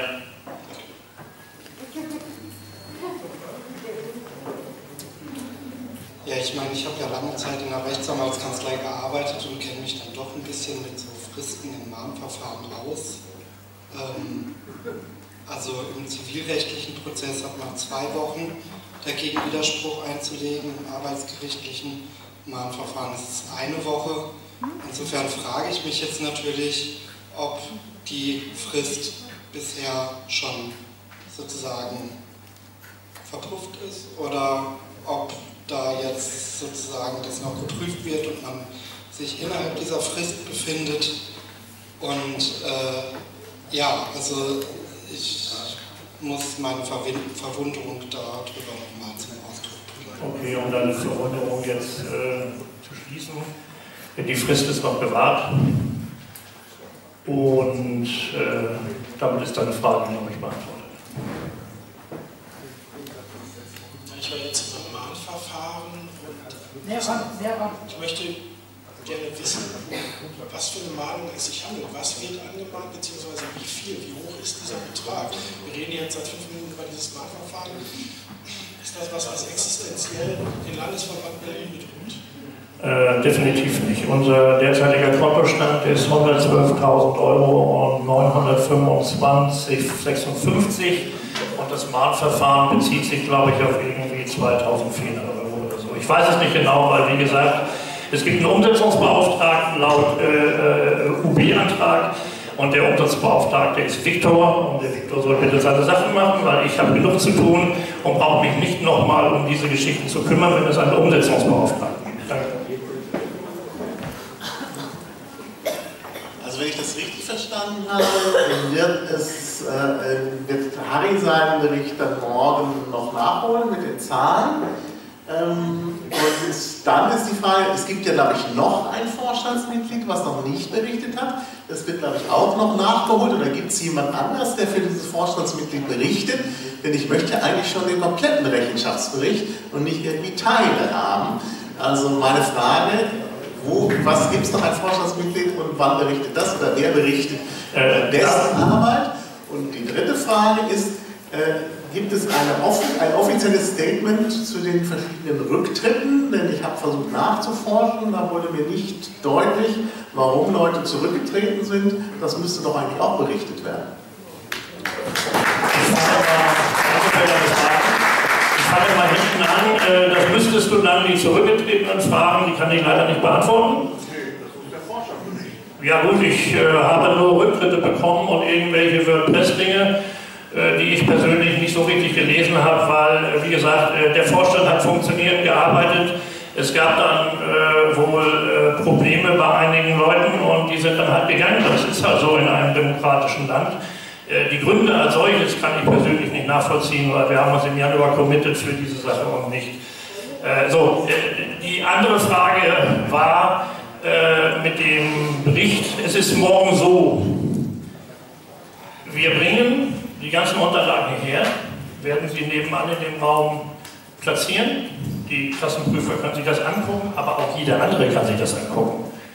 Damit er mal eine Vorstellung bekommt, wie sowas auszusehen hat, weil das gab es so in dem Fall noch nie in Berlin. Und wir machen das morgen oder wir können das auch versuchen, heute Nachmittag noch zu regeln. Wie gesagt, äh, das ist jetzt nicht irgendwie Verschleppung, das ist einfach, weil ich es vergessen habe und das passiert. Die erste Frage muss ich, ich habe ich gar nicht so richtig mehr auf dem Schirm. Das waren drei Fragen, ne?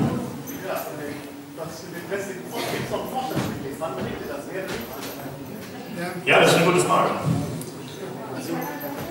Äh, Bruno, möchtest du das berichten? Das ist jetzt auch nicht tatsächlich diese ganzen Neuwahlen und so weiter. Also, soweit ich das jetzt verstehe, mal. Äh, Genau, und äh, ich habe jetzt nicht zu beurteilen, was hier als äh, Rechenschaftsbericht gilt. Also ich bin, ähm, aber das haben jetzt gerade die Vorstandsmitglieder geliefert. Okay, da hast du natürlich recht. Ja, also ich weiß nicht, vielleicht wollen ja die ehemaligen Vorstände hier hochkommen und ihren Bericht bringen. Äh, ich habe da nichts gegen, aber ich weiß nicht. Also ich persönlich mache jetzt nicht die Vorstellung für andere Leute. Also es gibt kein weiteres Vorstandsmitglied. Es gibt noch ein Vorstandsmitglied, aber es ist nicht da.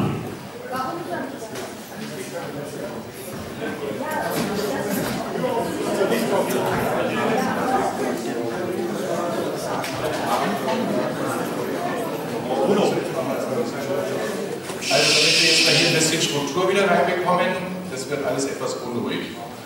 Ähm, damit wir mal schauen, wo wir sind. Wir sind im Moment bei den Rechenschaftsberichten, in denen nicht ausdrücklich drinsteht, dass es darüber eine Aussprache gibt, aber in denen befinden wir uns jetzt gerade schon. Haben wir auch gesagt, es laufen der Vorstand, der hat sich zu rechtfertigen. Ähm, jetzt, äh, Im Übrigen sieht die GEO auch nicht vor, dass ein Vorstandsmitglied automatisch auf jeden einen Band etwas zu sagen hat, sondern die Versammlungsleitung erteilt dann bei Bedarf das Wort, um hier mal diese Struktur zu sehen.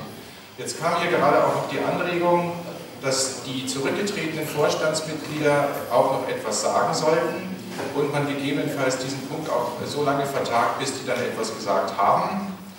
Ähm, das sehen wir etwas kritisch. Der Vorstand hat unter dem Tagesordnungspunkt Rechenschaftsbericht und Rechenschaft zu legen. Wenn ein Vorstandsmitglied, und sei es auch ein zurückgetretenes, nicht da ist, dann ist es halt nicht da. So, wenn die Versammlung es anders sieht, dann können wir das selbstverständlich so machen. Aber dann würde ich sehr gerne mit eurem Einverständnis ähm, von euch ausdrücklich die Ansage bekommen, dass wir diesen Punkt dann nach hinten verschieben. Ansonsten verbleibt es dabei, wer bei diesem Tagesordnungspunkt vom Landesvorstand sei zurückgetreten ist oder nicht da ist und was sagt, sagt was und wer nicht da ist, der sagt nichts. Gut, also die Frage an euch jetzt, ähm, möchtet ihr, dass, äh, dass der Vorstand, soweit er hier anwesend ist, die Rechenschaftsberichte abschließend abliefert und dann im Übrigen der Tagesordnungspunkt auch abgeschlossen ist, wenn es nichts mehr zu sagen gibt und Rednerliste geschlossen wird und so weiter und so fort. Bitte stimmt jetzt mit Ja oder mit Nein an. Gut, das ist also ganz überwiegend Ja. Das bedeutet, Ähm, jedes Vorstandsmitglied, ob zurückgetreten oder nicht, hat die Möglichkeit, jetzt noch, äh, solange dieser Tagesordnungspunkt abgehandelt wird, etwas zu sagen, also seinen Rechenschaftsbericht abzulegen und dann auch noch etwas äh, zu sagen, wenn es Beiträge gibt oder wenn Fragen gestellt werden. Gut, jetzt hatte der Bruno in diesem Rahmen darum gebeten, auch noch was zu sagen. Ich bin ja, ich bin ja schon eingangs äh, bei meiner Eröffnungsrede ein bisschen darauf eingegangen, dass, äh, wie schwierig die Situation war, als ich so spaßeshalber meinte, Last Man Standing. Ähm, wie gesagt, es gibt keinerlei Groll gegenüber Leuten, die zurückgetreten sind, auch ganz simpel aus dem Grunde, da Rücktritte doch immer sehr fair abgelaufen sind. Das heißt, ich wurde immer unmittelbar informiert und dann haben die entsprechenden Vorstandsmitglieder eben auch Blogbeiträge geschrieben, wo man sich natürlich auch informieren kann, aus welchen Gründen sie gegangen sind. Was ein bisschen unschade ist, und ich will hier niemanden schwarzen Peter zuschieben, es ist trotzdem unschön, dass wir ein Vorstandsmitglied haben, das auch jetzt noch Mitglied in diesem Vorstand ist, wo natürlich die Versammlung hier ein Recht hätte, von dem auch einen Tätigkeitsbericht zu hören, der aber weder per Telefon noch per E-Mail, per Twitter, was auch immer erreichbar war. Ich habe ihn mehrfach versucht zu erreichen, auch wegen vielen anderen Sachen, die die Arbeit betroffen hatten, Geschäftsbereiche, um die er sich hätte kümmern sollen, der sich aber einfach nicht gemeldet hat, aber auch leider nicht zurückgetreten ist, was in dem Fall ja sinnvoll gewesen wäre, wenn jemand keinerlei Aktivität mehr zeigt. Das betrifft leider den vierten. Insofern können wir hier, was diesen vierten betrifft, keinen Tätigkeitsbericht vorlegen, weder als Proxy ich, weil ich nicht weiß, was er wirklich getan hat, äh, noch äh, weil er irgendjemanden von uns ein Votum dafür gegeben hatte, schlicht und ergreifend. Er ist einfach aus dieser Welt momentan. Danke euch.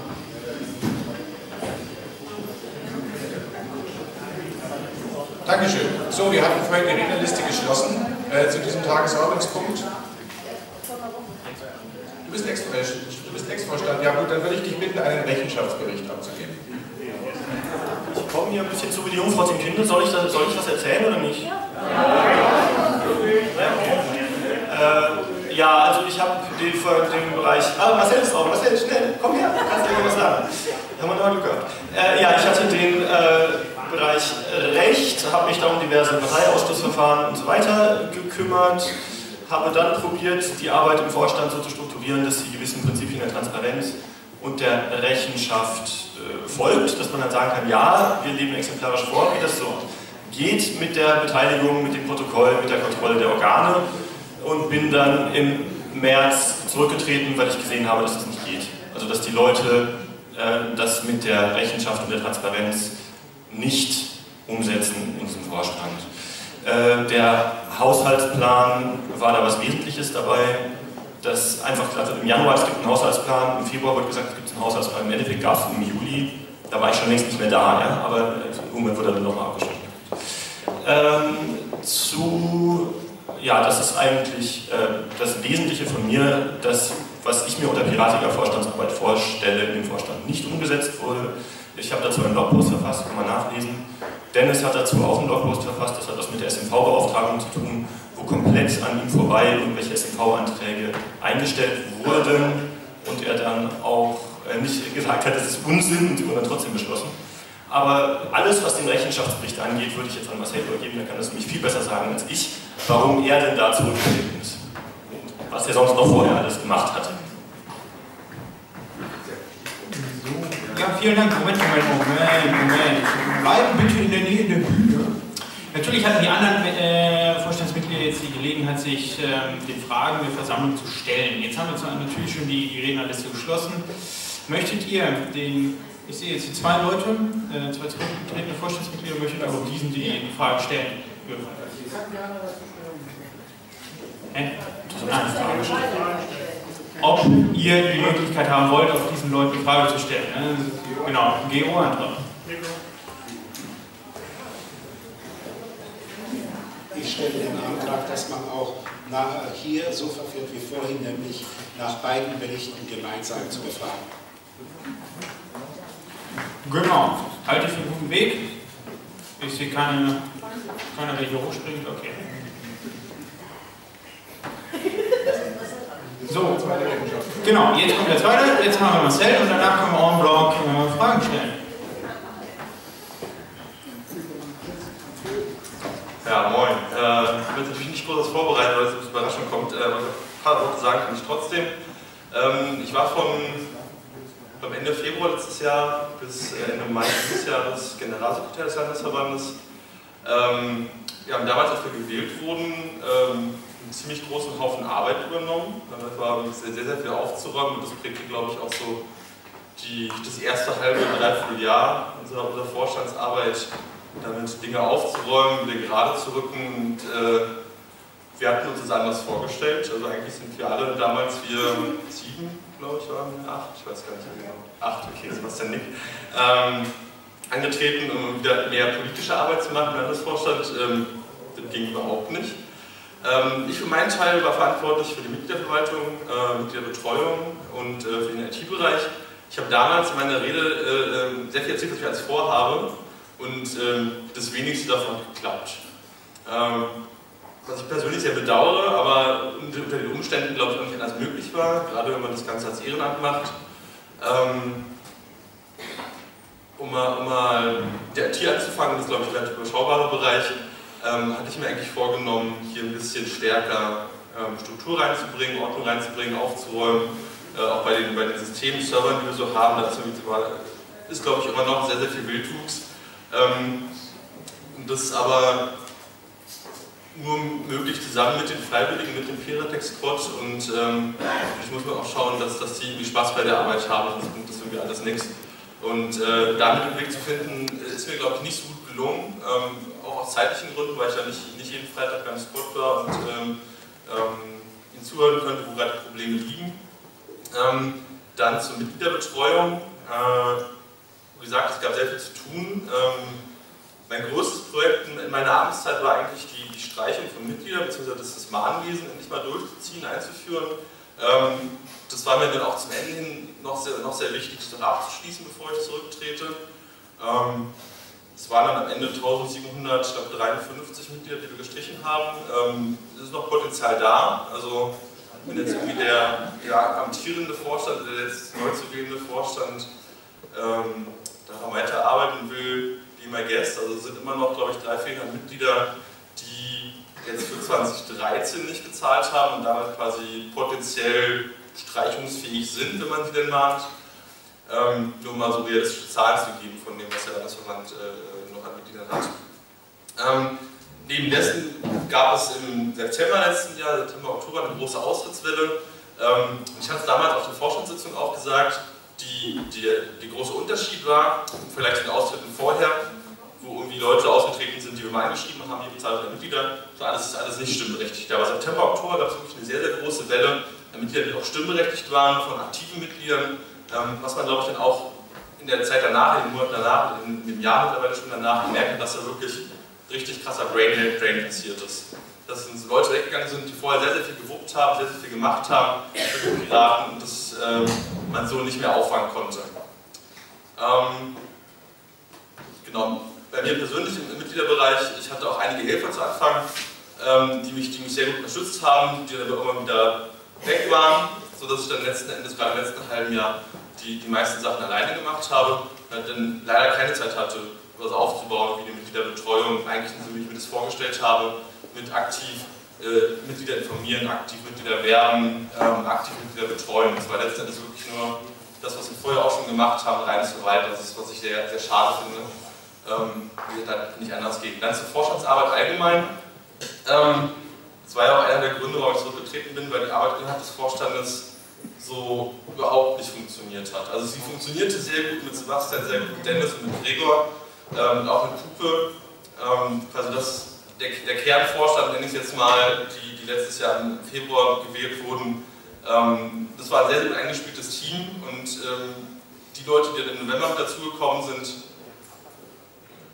konnten da nicht so richtig aufschließen, nenne ich es jetzt mal. Ähm, ähm, ja, klingt jetzt ein bisschen gemein, aber trifft doch ganz gut. Also, ähm, Sebastian sagte schon, also gerade, gerade beim, beim, Thema, beim Thema Haushaltsplan, Rechenschaftsbericht hat man sehr, sehr stark gemerkt, ich habe irgendwann in der Forschungssitzung, ich glaube im April war es gefragt, wem sind denn die Finanzen eigentlich wichtig? Wem ist es denn wichtig, dass wir einen Haushaltsplan haben? Alle anwesenden Vorstände, das waren glaube ich 8 von 10 oder so, haben sich gemeldet, ja, ist uns wichtig. Ähm, nur hat man dann dem irgendwie keine, keine Taten folgen lassen. Also ich habe im März einen Fragenkatalog gestellt an den Schatzmeister mit 18 Fragen. Die sind jetzt unbeantwortet. Ähm, trotz einer lauten Zusagen im April, das nur am Rande. Ähm, und, und das, was jetzt passiert ist mit dem Haushaltsplan, Sebastian sagt es ja schon, dass man das irgendwie so hoppla hopp so in einem, in einem Umlaufbeschluss beschließt vor der Vorstandssitzung, ähm, halte ich für, eine, für, so ein wichtiges Ding wie den Haushaltsplan völlig unangemessen. Ähm, ich habe da im Januar, Februar, im März, im April, im Mai jeder Vorstandssitzung auch dazwischen per E-Mail innerhalb des Vorstandes, weil ich nicht wollte, dass das irgendwie groß und außen eskaliert, darauf hingewiesen, habe gefragt, wie ist der Stand, was muss noch gemacht werden, wann können wir das beschließen. Jedes Mal, jedes Mal habe ich einfach bekommen, ja, wir sind bald soweit, ja, es ist was fertig, ja, wir müssen noch ein bisschen machen, dann können wir aber und so weiter. Nichts ist passiert. Und das war, was ich sehr, sehr prägnant fand in der, in der Arbeit des, des Vorstandes, ähm, gerade vom Schatzmeister. Ähm, große Ankündigungen, was wir alles machen, machen müssen, ähm, passiert ist am Ende nichts. So, das, das hat mich sehr, sehr frustriert und war auch einer der, einer der Gründe, warum ich zurückgetreten bin, was so die, die Vorstandsarbeit betrifft. Was vergessen? Ja, du wolltest ja sagen, was du gemacht hast. Ah, ah, Punkt an der Stelle, ich könnte gerne Fragen stellen. Ja. So, jetzt kommen wir zur Fragerunde en bloc. Also die zwei beiden hier sind, ähm, stehen zur Verfügung, alle Fragen zur Verfügung und da bitte ich, Moment, Moment, Moment, bevor es wieder zur großen Rotierer reinkommt, äh, bitte gemütlich alle hier hinten anstellen, wenn ihr Lust habt. Ja, fangen wir an. Und meine Frage an Marcel. Du hast gerade den Rechenschaftsbericht äh, moniert, beziehungsweise dessen zustande kommt. Oder die Dauer, wie, er, wie lange es gedauert hat, bis er da war. Wenn ich Harry äh, vorhin richtig verstanden habe, ging es erstmal darum, ein, vor dem Zustandekommen dieses äh, jetzigen Vorstands äh, aufgeworfenen Finanzchaos zu sortieren. Das, das geht nicht so schnell. Und ich halte Harry für integer. Und wenn er sagt, wir mussten erstmal äh, alles sortieren, wir mussten erstmal Deckungslöcher schließen, die vorherige Vorstände, an denen du auch beteiligt warst, du bist seit Februar letzten Jahres dabei gewesen, äh, dann, äh, wenn die erstmal sortiert werden müssen, wenn da ein Loch nach dem anderen gestopft werden muss, warum machst du das jetzt Harry und äh, den jetzigen Vorstand zum Vorwurf? Welche Zahlen habt ihr übergeben?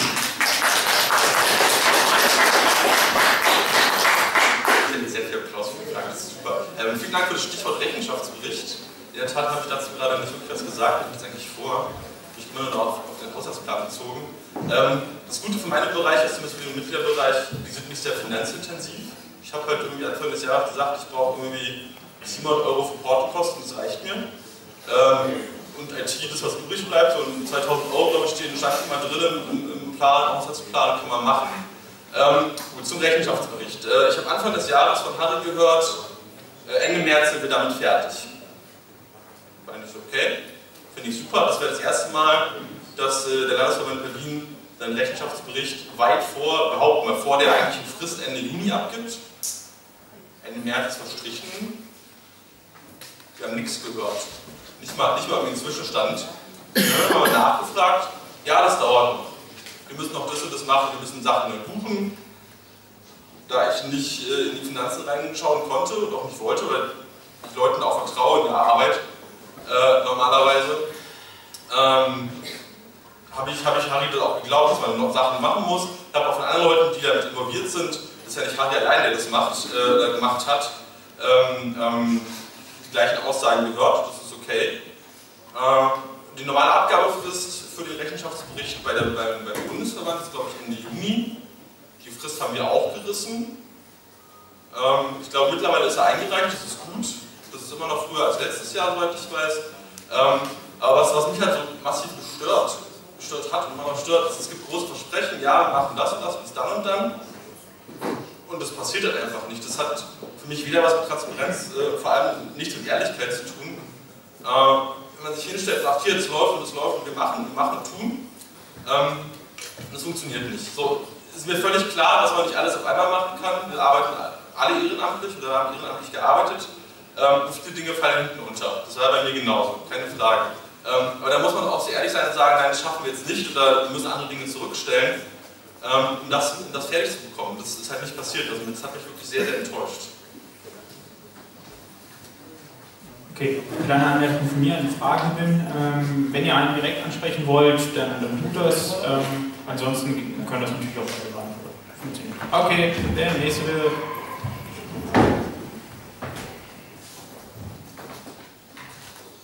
Ja, eine Frage an die zurückgetretenen Vorstandsmitglieder. Warum glänzt ihr jetzt, nachdem ihr zurückgetreten seid, mit hilfreichen Tipps und äh, wie man es hätte machen können? Warum habt ihr das nicht in eurer Amtszeit schon so gemacht, wie es jetzt immer von den noch im Amt befindlichen, die man bis jetzt durchgehalten haben, verlangt?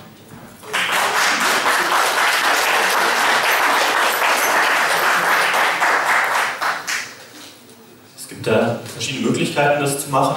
Man kann das intern machen oder man kann das über Twitter oder Mailinglisten öffentlich machen.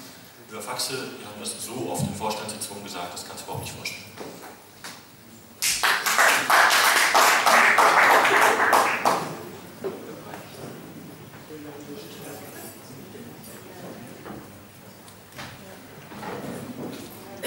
Ja, ähm, es wurde jetzt hier sehr viel Schatzmeister. Frage ich mich, der vergangene Schatzmeister ist doch hier, warum der nichts dazu sagt, der ist doch im Raum. Und äh, der könnte doch dazu dann was sagen. Das ist erstmal meine erste Frage, warum der das nicht tut. Ähm, die zweite Frage ist, ähm, es ging so durch ein, durch ein ja, also Gerüchteküche, sage ich mal, weil man nichts Genaues erfahren hat. Ich kenne mich da nicht so im Internet aus und ähm, hat er mir, hatte gebeten, mir den Link zu schicken, um das mal die Gründe zu sehen, warum so viele Leute zurückgetreten sind aus dem Vorstand. Und ähm, ja, ist aber nicht passiert. Na gut, ähm, dann so die Gerüchteküche sagt, es hat mit dem Abgeordnetenhaus was zu tun, mit irgendwelchen Differenzen mit dem Abgeordnetenhaus. Das ist meine erste Frage. Stimmt das?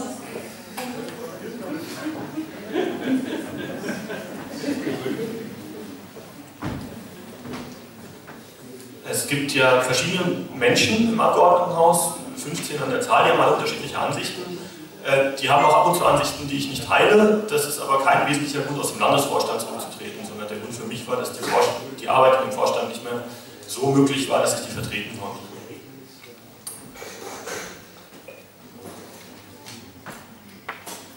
Vielen Dank. Ja, äh, noch eine, noch eine, also was für mich jetzt hier so rüberkam, war, es ist sehr, sehr viel Arbeit im Vorstand zu leisten. Äh, haben ja beide hier beklagt. Und ähm, ja, äh, andererseits wird dann beklagt, dass der kleine restliche Vorstand dann die Arbeit nicht schafft. Also für mich ist das ein Widerspruch an sich. Und ich, ich entnehme ja eigentlich nur, dass es nicht so gelaufen ist, wie diese kleine Gruppe sich das gedacht hat. Und so sehe ich das, dass dann der Rücktritt kam. Gut, bitte Fragen. So, wer ist jetzt der Nächste? Gordon, wie Gordon? Gordon ist im Vorstand gewesen. Moment, Moment, Moment, Moment. So,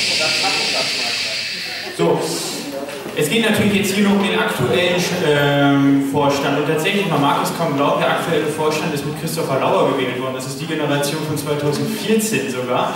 Das ist der Vorstand, ist initial 2014, ich meine, das war im Februar und im November kam eine Nachwahl. So, ähm, deswegen, wenn man so will, das ist der Vorstand, das, die Vorstandszeit von den Leuten von 2014. Von Februar 2014 bis heute. Eben so, na, Lauer, ja, können wir auch noch einladen hier, weiß ich nicht. Ähm, und äh, und ähm, genau, jetzt ähm, gibt es, na, jetzt ist, also wenn die Fragen bitte darauf beziehen. Ne? Also es geht nicht irgendwie hier der Vorstand vor, ähm, als ich irgendwie klein war, hat man gesagt, sondern äh, bitte, das ist jetzt dieser Vorstand, der ist jetzt in seiner Rechenschaftsgeschichte und das ist eben seit Februar 2014 der Vorstand. Mirko, ich glaube, du hast dich als nächstes angefangen zu leuchten.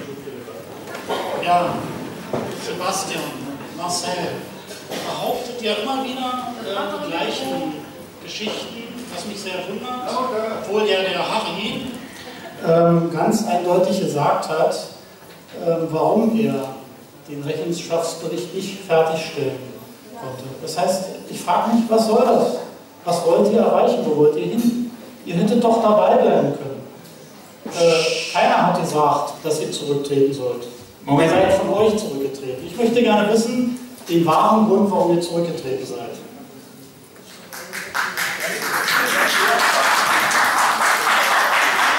Moment, Moment, Moment, bevor ihr antwortet, äh, es gibt einen Geoantrag.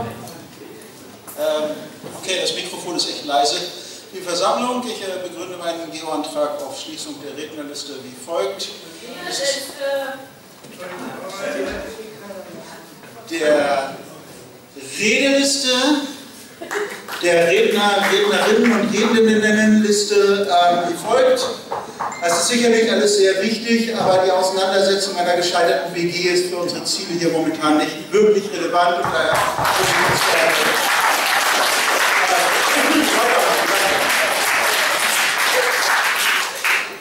Ah, Okay, jetzt haben natürlich Sebastian und Marcel noch dazu Gelegenheit, sich zu äußern, da sollen sie auch fragen. Äh, achso, Moment, Moment, Gegenrede und Nachstimmung. Entschuldigung, Entschuldigung, Entschuldigung. Es gibt eine formelle Gegenrede, dann stimme die Kiste. Es ist ja wundervoll hier, so viele Ja-Karten. Ähm, ja, okay, Rednerliste geschlossen. Ich glaube, der, der Mann in Blau, du bist der Letzte. Ne? Was? Ja, der- das sowieso, aber ich war nur mal. Gut, ihr habt das. Äh, zum Rechenschaftsbericht. Äh, wir wurden, wurden nach dem Rechenschaftsbericht gefragt, explizit. Vorher hat Marcel über den Haushaltsplan geredet. Ich glaube, der wichtigere Punkt von Marcel war der Haushaltsplan gewesen. Äh, der Grund, äh, warum, der echte Grund, warum auf jeden Fall ich zurückgetreten bin, äh, ist, also der Auslöser war, lieber Mirko, wenn du mich fragst, dass du eine IT, eine, eine Mailingliste konfigurieren solltest, den Auftrag im Januar gekriegt hast, das im April nach mehrmaliger Hilfestellung dann umgesetzt hast und es dann eine Katastrophe war. Das war symptomatisch, aber der, der ist, war so ein Haufen und dann kam das noch drauf. Und Alexander, gescheiterte WG, du hast recht. Und es gibt halt verschiedene Arten, eine WG zu führen. Ich hätte gerne die Transparente mit Rechenschaft gehabt. War halt nicht so. Ähm, also ich habe meine Gründe zum Rücktritt schon in der Vorstandssitzung dargelegt, sehr ausführlich. Und das der Tat nicht nur die Arbeit des Landesvorstandes. Ähm, aber wenn man das nochmal auf den Punkt bringen möchte, ähm, warum der, der Landesvorstand ausschlaggebend war für den Rücktritt. Ich habe einen gewissen Anspruch an, an, an meine Arbeit und auch an meine ehrenamtliche Arbeit, die ich mache, auch in, in Gremien. Ähm, das ist in der BV und das war auch im Landesvorstand so. Und äh, wenn, ich, wenn ich diesen Ansprüchen in der, in der Gruppe nicht gerecht werden kann, ähm, dann habe ich ja auch keinen Bock, Zeit und Energie und Geld reinzustecken, weil ähm, dann kann man es auch sein lassen.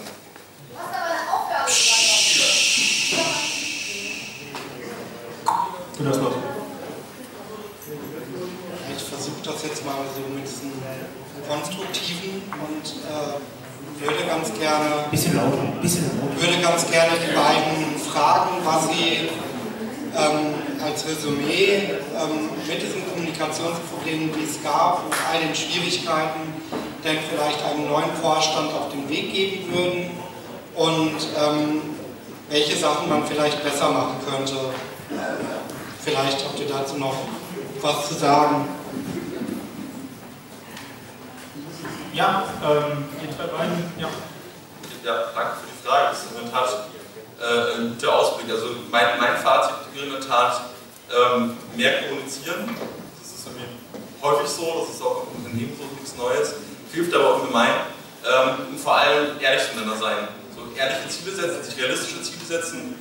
Ähm, Im Kontext der, der Situation der Piraten, der Situation des Landesverbandes, in der Größe des Landesvorstandes, ähm, sind alles Dinge, auf die man vielleicht Rücksicht nehmen sollte, wenn man sich irgendwie Ziele setzt. Ähm, und ich glaube, wir waren da auch ein bisschen sehr ambitioniert. Ähm, aber natürlich muss man, wenn der Vorstand kleiner wird, auch irgendwie sich von Dingen verabschieden, die vielleicht super cool wären, ähm, die aber mit den personellen Ressourcen nicht mehr machbar sind. Also das ist so, glaube ich, die wichtigsten Punkte. Kommunizieren, realistische Ziele setzen und äh, ja, die beiden. Ähm, ich denke, das Wesentliche ist, dass die Basis sich vorher eingehend mit den Kandidaten beschäftigt, schaut, was die gemacht haben, was die machen, was die angekündigt haben und was sie davon umgesetzt haben. Ich denke, dass das mit dem Team, in dem dieser Vorstand war, nicht, äh, dass es einfach nicht möglich war, äh, zu arbeiten. Ähm, ja, da weiß ich auch nicht, wie man da was dran sehen sollte, wenn die Leute halt sagen, sie machen was und machen das dann nicht. Oder wir jetzt gerade hören, dass jemand seit drei Monaten nicht erreichbar ist, der noch umsetzungsverantwortlich für was ist. Das führt dann aber nicht dazu, dass irgendjemand anderes diese Umsetzungsverantwortung kriegt. Das geht halt nicht, wenn die Leute drei Monate nicht da sind. Also guckt gut hin, wen ihr da einwählt. Und wählt vielleicht mal nicht die Leute, die jetzt mal vorne stehen und spontan Kandidaten sind, äh, sondern Leute, die wirklich irgendwie einen Track Record haben. Also,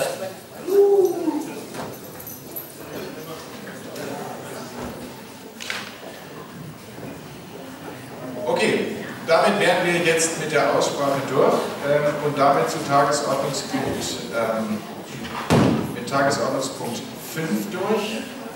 Jetzt haben wir auf der aktuellen Tagesordnung noch Bericht der Kassenprüfer stehen. Sind da welche da? Ja.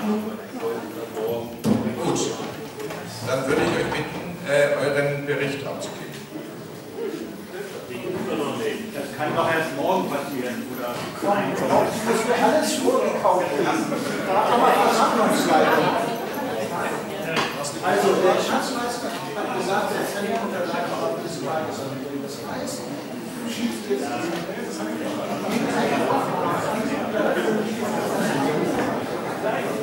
Also.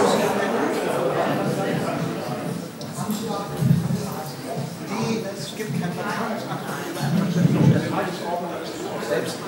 Okay, also, äh, nachdem, nachdem der Schatzmeister seinen Bericht nicht schriftlich vorliegen hat, kam jetzt gerade die Anregung, dass wir äh, auch den Bericht der Kassenprüfer insofern nachschieben und kämen dann demzufolge zum Tagesordnungspunkt 6. Aussprache und Anträge zur Zusammensetzung und Ausrichtung des neuen Landesvorstands. Da ist es jetzt äh, so, darf ich einen Moment um etwas mehr Ruhe bitten. Das vier, das ist geil. So, bevor wir, bevor wir in die Behandlung der zwei konkurrierenden Anträge einsteigen, hätte ich auch noch eine Frage an die Versammlung. Und zwar wurde gestellt der S004, der die Amtsdauer, die maximale Amtsdauer von äh, Landesvorständen von zwei auf ein Jahr beschränkt. Das könnte man, äh, das betrifft zwar nicht die Zusammensetzung des Landesvorstands, aber wohl die Amtsdauer. Daher meine Frage, möchtet ihr den S004 vor äh, den jetzt konkurrierenden Abwahl- bzw. Neuwahlanträgen behandeln oder nicht. Wer es jetzt hier vorher behandeln möchte, bitte mit Ja stimmen. Wer es weiter hinten behandelt haben möchte, mit Nein stimmen. Gut. Das ist ein deutliches Ja. Das heißt, wir ziehen den S004 nach vorne und ich würde den Antragsteller bitten, seinen Antrag kurz vorzustellen.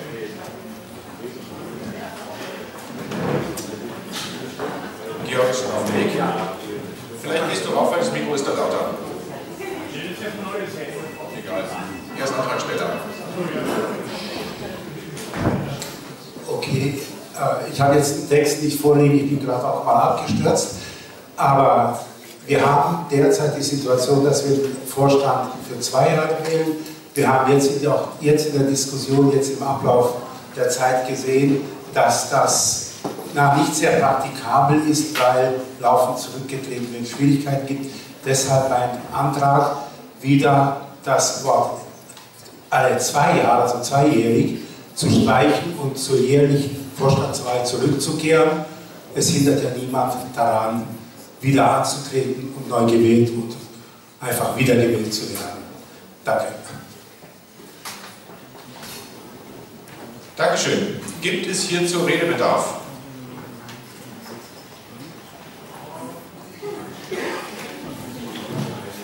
Ähm, also nette Idee, äh, wir ändern die Satzung und dann ändern wir sie wieder zurück her machen.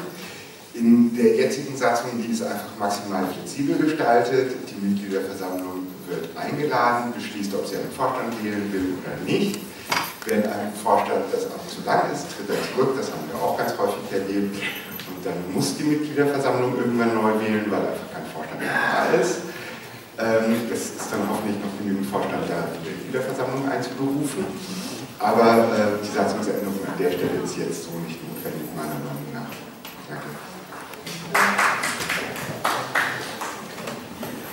Also ich persönlich bin gegen diesen Antrag, weil ich denke, wenn sich Leute erstmal aufeinander eingearbeitet haben, dann fangen die Zahnräder an zu greifen. Wir haben es jetzt erlebt, wir haben äh, haufenweise Rücktritte gehabt und trotzdem haben vier, im Moment derzeit drei Leute, wie ich das sehe, doch irgendwie den Laden gerockt, einfach weil sie drauf eingeschossen waren, weil sie aufeinander eingespielt waren. Und je öfter wir wählen, umso weniger sind die Leute aufeinander eingespielt. Das ist einfach mein Argument, warum ich euch bitte dagegen zu stimmen. Geht bitte einfach nacheinander ans Mikro. Am besten ist es für die VR, wenn sie nichts zu tun hat. Ja, ich bin der Meinung, dass man dafür stimmen sollte für diesen Antrag aus dem einfachen Grund. Seitdem wir die zweijährige Amtszeit haben, hagelt es an Rücktritten. Und wenn wir nur ein Jahr Amtszeit haben, dann können diejenigen, die sich mit Rücktrittsgedanken tragen würden, dann sagen, okay, die zwei, drei Monate Restamtszeit, die schaffe ich noch hinter mir zu bringen. Und zu den Einwand, ja, eingespielte Teams würden nicht wiedergewählt werden, das stimmt auch nicht. Wenn man vergangene Parteitage anderer Gliederungen anschaut, passiert das durchaus. Und die entsprechenden Mitglieder, die sozusagen nochmal kandidieren, werden ja sich auch entsprechend committen. Also ich bitte darum, diesen Antrag anzunehmen, weil die Praxis beweist, seitdem wir die längere Amtszeit haben, haben wir wesentlich mehr Rücktritte und das sieht auch nach außen in unserer politischen Vermarktung sehr schlecht aus.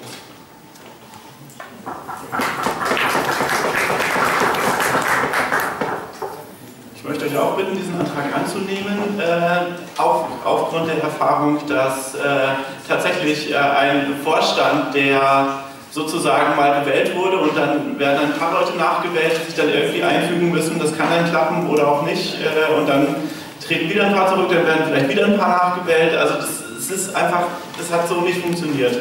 Und ich denke mal, wir sollten jetzt mit einem neuen Vorstand starten äh, äh, und der sollte da auch wirklich die Perspektive haben, das Ganze ein Jahr machen zu müssen, zu dürfen, wie auch immer. Und äh, die Leute, die nach diesem Jahr dann immer noch der Meinung sind, dass es eine gute Idee war, dass sie den Job gemacht haben, die können dann auch gerne wieder antreten.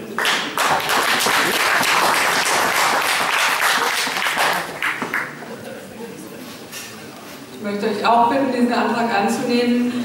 Äh, was wir im nächsten Jahr nicht unbedingt brauchen, sind ständige Rücktrittsnachrichten. Und da ist es mir wirklich lieber, eine Amtszeit endet und jemand kann einfach dann ausscheiden, wenn er möchte oder eben wiedergewählt werden, wie er möchte. Aber Rücktritt sieht immer irgendwie scheiße aus. Danke.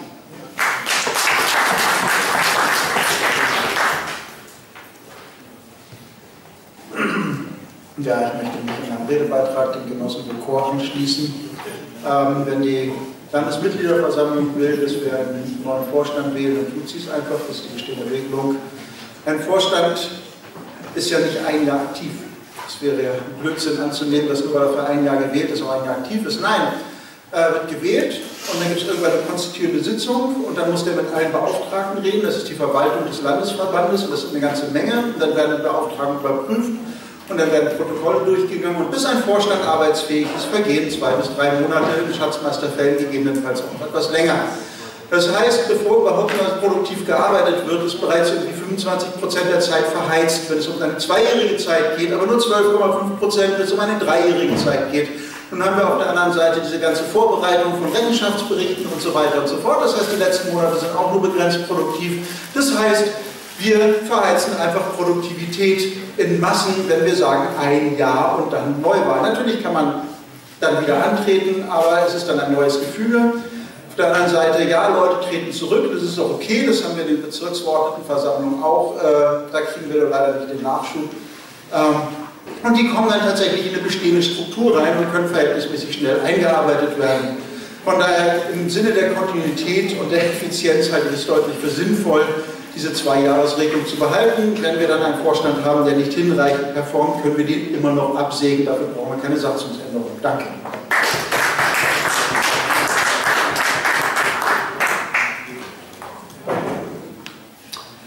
Okay, dem muss ich widersprechen.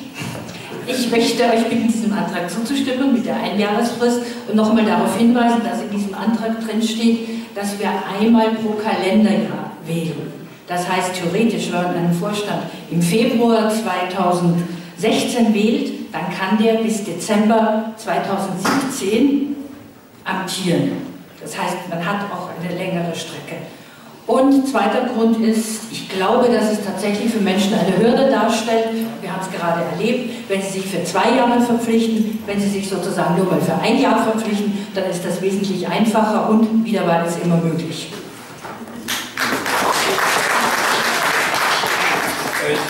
Es liegt mir völlig fern, die Versammlung hier zu beeinflussen, aber ich möchte in technischer Hinsicht jetzt mal auf etwas hinweisen.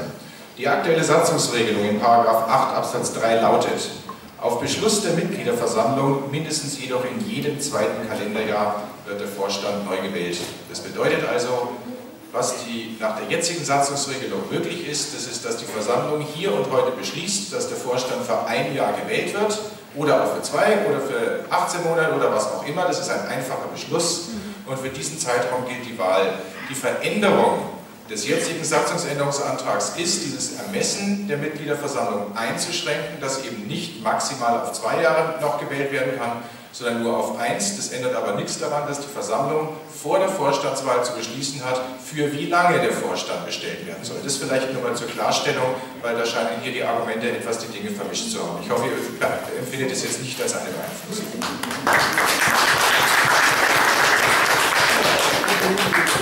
So, wir machen weiter mit den Wortbeiträgen. Bitte schön. Ich glaube nicht, dass dieser Antrag die vorherigen Kommunikationsprobleme, die im Landesvorstand ähm, eingetre eingetreten sind, irgendwie auflösen wird. Dafür gibt es in diesem Antrag keine Lösung und ich glaube, dass wir bei der bisherigen Lösung schön bleiben können. Dankeschön. Ich hätte einen GO-Antrag auf Schließung der Rednerliste, aber es sind sowieso keine mehr da. Damit bist du wahrscheinlich einverstanden mit Okay. Gut, dann noch ein GO-Antrag.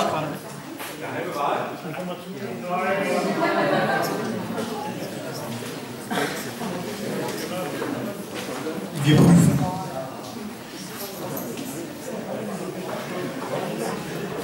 Wenn ganz korrekt gewünscht wird, dann machen wir es auch ganz korrekt. Bitte eine Minute. Okay, äh, mit eurem Einverständnis ziehen wir ein Meinungsbild vor. Äh, Geoantrag auf Meinungsbild. Wer könnte sich zum jetzigen Zeitpunkt vorstellen, diesem Satzungsänderungsantrag zuzustimmen? Der bitte mit Ja stimmen. Wer sich das nicht vorstellen kann, bitte mit Nein stimmen.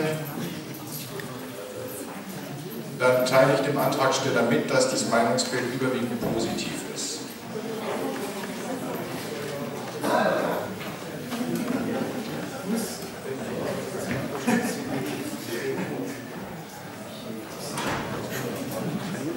Also steht in eurer GO nicht ausdrücklich drin, aber äh, Dennis und ich haben uns im Vorfeld besprochen. Ich denke, es ist für euch okay, wenn der Antragsteller ein abschließendes Statement macht, bevor wir dann zu der Abstimmung kommen. Georg, bitte. Okay, also ich möchte nochmal sagen, es ist nicht mein Antrag, diesen Antrag hat die Q Enterprise mehrheitlich besprochen und beschlossen. Äh, ich finde, es ist wichtig, wenn wir das jetzt dezidiert festhalten, dass wir wieder einjährig, also jedes Jahr neu, den Vorstand wählen, eben aus den hier schon vielfach besprochenen Gründen. Äh, ja, es würde insofern die Freiheit der Versammlung einschränken, da dass die Frage, müssen wir neu wählen, ja oder nein, gar nicht gestellt werden wird, sondern automatisch bei der TU drinsteht, jawohl, wir wählen neu. Äh, es wurde deutlich gesagt, und dem schließe ich mich auch an, dass natürlich ein Vorstand, der zur allgemeinen oder zur mehrheitlichen Zufriedenheit gearbeitet hat, wird schlicht und einfach en bloc oder auch einzeln wiedergewählt. Das ist, glaube ich, kein Problem. Ich muss allerdings einer meiner Führrednerinnen leise widersprechen.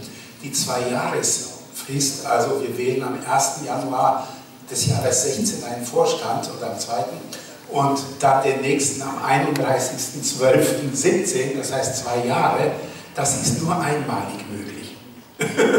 Deshalb, aber ich bitte euch einfach, diesem, diesem Satzungsänderungsantrag zuzustimmen. Es kostet uns nicht viel, bis oder gar nichts. Und wenn sich das dann auch nicht bewährt, dann weiß ich auch nichts.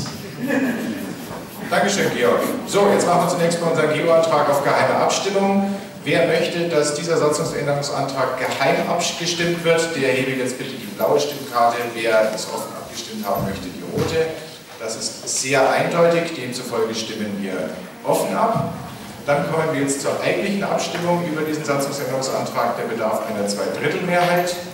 Wer für die Annahme dieses Antrags ist, bitte die blaue Stimmkarte heben. Wer dagegen ist, die rote.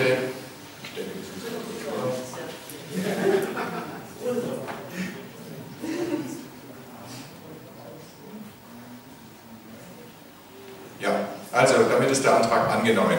Die künftige Amtsdauer des Vorstands überschreitet nicht mehr ein Jahr.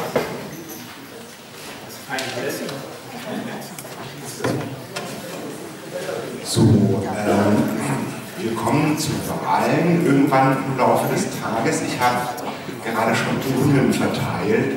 Pro Urne brauche ich pro Urne brauche ich zwei Helferinnen oder Helfer. Ähm, es wäre super, wenn die Plätze neben den Urnen jetzt mal freigeräumt würden, falls ihr nicht helfen wollt. Falls ihr, euch helfen, falls ihr helfen wollt, könnt ihr euch hier eine Urne begeben. Noch ist keine Wahl, noch ist es nicht zwingend notwendig, aber es wäre schön, wenn das äh, so bis zur nächsten Wahl, das sind noch ein, zwei Tagesordnungspunkte, passiert. Danke.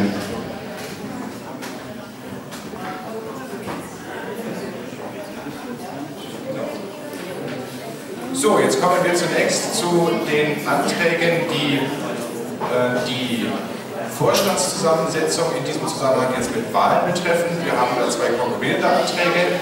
Ich darf nochmals um Ruhe bitten. Ich weiß ja nicht, ob wir früher aufhören und damit auch früher saufen gehen wollt oder länger sitzen und hier alles durchziehen, was wir uns so vorgestellt haben. Eure Entscheidung. Wir können gerne zehn Minuten unterbrechen, wenn ihr Redebedarf habt, aber ansonsten würde ich bitten, dass in diesem Saal etwas mehr Ruhe herrscht. Muss sowas aushalten. Wunderbar. Dankeschön. Alex, nicht jeder so ein Vollprofi wie du.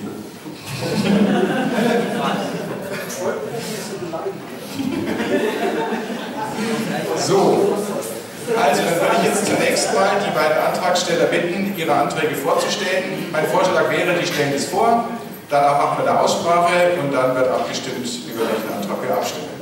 Ich habe einen GO-Antrag hinten gesehen. Hat sich erledigt? Okay. Dann die Antragsteller bitte mit der Vorstellung ihrer Anträge. Schmalhans ist der eine.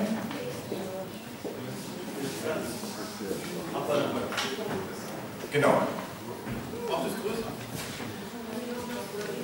Ja, äh, zu dem Abwahlantrag. Wir haben ja gerade eben schon gehört, dass ein Beisitzer unter drei Monaten nicht erreichbar ist. Vielleicht sinnvoll, das neu zu wählen. Äh, wir haben auch gehört, dass es bei Der, der war vor zwei Wochen in der Sitzung. Ich weiß gar nicht, was du da erzählst. Oder Entschuldigung bitte, entschuldige Alex, äh, egal ob es jetzt richtig oder falsch ist, und zwar auch wenn es richtig ist, er stellt jetzt gerade seinen Antrag vor, es steht dir frei, eine Frage zu stellen. Gut, ich war nicht auf der Sitzung, da wurde es halt bei ihm falsch dargestellt. Ich entschuldige mich dafür, das falsch weiter wiedergegeben zu haben. Äh, auf jeden Fall halte ich es trotzdem für sinnvoll, äh, das neu zu wählen. Bei der Schatzmeisterei gab es auch einige äh, Probleme, die man gehört hat. Es gab auch äh, Geheimbeschlüsse, die nicht protokolliert sind. Es würden Leute über Nacht rausgeschmissen äh, aus dem Arbeitsverhältnis. Daher jetzt das Mahnverfahren. Ich halte es für sehr sinnvoll, dieses Vorgehen hier nochmal vielleicht kurz zu diskutieren und dann zu schauen, ob man mit solchen Leuten weitermachen möchte. Dann war die SNVB ist ja abgeschaltet worden, beziehungsweise ist etwas vorgeschaltet worden. Sie geht als Zombie SNVB im Hintergrund weiter und schickt mir immer noch Mails, was jetzt schon wieder eine neue Phase erreicht hat. Das Vorgehen in diesem Zusammenhang äh, war äh, sehr ähm, seltsam. Mir ist nicht ganz klar, welche technischen Sachen sich die Leute dabei gedacht haben, welche juristischen und welche politischen. Ich denke, dass das eigentlich schon total schaden ist, was da fabriziert worden ist. Und deshalb denke ich, dass man das neu wählen wird. Dankeschön. Das war die Vorstellung des ersten Antrags. Der zweite, der hiermit konkurriert, ist der XX006. Sternenmicha ist der Antragsteller. Bitte schön. Ja, hallo, ich bin der Micha und ähm, ich würde vorschlagen, wir machen heute einfach mal einen äh, kleinen Reset und ähm, ich bitte auch oder wünsche mir, dass auch ähm, wir den Vorstand neu wählen, aber auch, dass alle Vorstandsmitglieder, die sich weiterhin berufen fühlen, und ich würde das auch dann unterstützen, ähm, nochmal anzutreten. Wir brauchen jetzt nochmal für ein Jahr durchgängig einen Vorstand, der was gerade im Wahlkampf möglichst kontinuierlich gemeinschaftlich macht. Und ähm, ja, dafür trete ich ein und das wünsche ich mir und das erhoffe ich mir von euch und uns, von mir. Ja, ich danke euch. Dankeschön. Bevor wir jetzt in die Aussprache über die Anträge einsteigen, noch mal kurz die systematische Einordnung. Wir haben entweder jetzt den Antrag auf Neuwahl des gesamten Vorstands. Ähm, nein, das Abwahl des gesamten Vorstands. Die zweite ist Abwahl von äh, Schatzmeister und Beisitzer, was dann zwingend erfordern würde, dass entsprechend nachgewählt wird. Mit anderen Worten, wir haben drei Varianten. Entweder haben wir eine schlichte Nachwahl der derzeit vakanten Vorstandsposten oder wir haben eine Abwahl von Schatzmeister und Beisitzer und entsprechende Nachwahl des Restvorstands. Da dürfte davon der 1V ausgenommen sein, wenn ich das richtig sehe. Oder wir haben eine komplette Neuwahl des Landesvorstands. Nur, dass das eingeordnet ist. Ein, ein GO-Antrag. Du hast was Falsches gesagt. Das mag sein, dann kannst du das gerne in deinem Redebeitrag sagen, sei mir nicht böse, wir haben eine gewisse Struktur. So, der erste Wortbeitrag, bitteschön. So, ich äh, bitte euch, die beiden Anträge im Kontext zu sehen. Wir haben gerade die Satzung geändert. Die schreibt jetzt vor, dass wir jedes Jahr einmal eine Neuwahl des Vorstandes machen. Das Jahr ist bald vorbei. Wir haben nämlich jetzt inzwischen Oktober. Das heißt, wenn wir heute nicht neu wählen, müssen wir das dieses Jahr noch machen. Das wäre blöd. Deswegen Neuwahl. Danke. Ich wollte in die gleiche Kerbe hauen, nämlich die Frage ist, wenn die Amtszeit des Vorstandes auf ein Jahr befristet ist, ob ihr euch nicht gerade euren Vorstand sozusagen unter den Hintern weggezogen habt. Aber das wäre zu klären mit der neuen Satzung. Er wurde im März letzten Jahres gewählt, das sind zwölf Monate.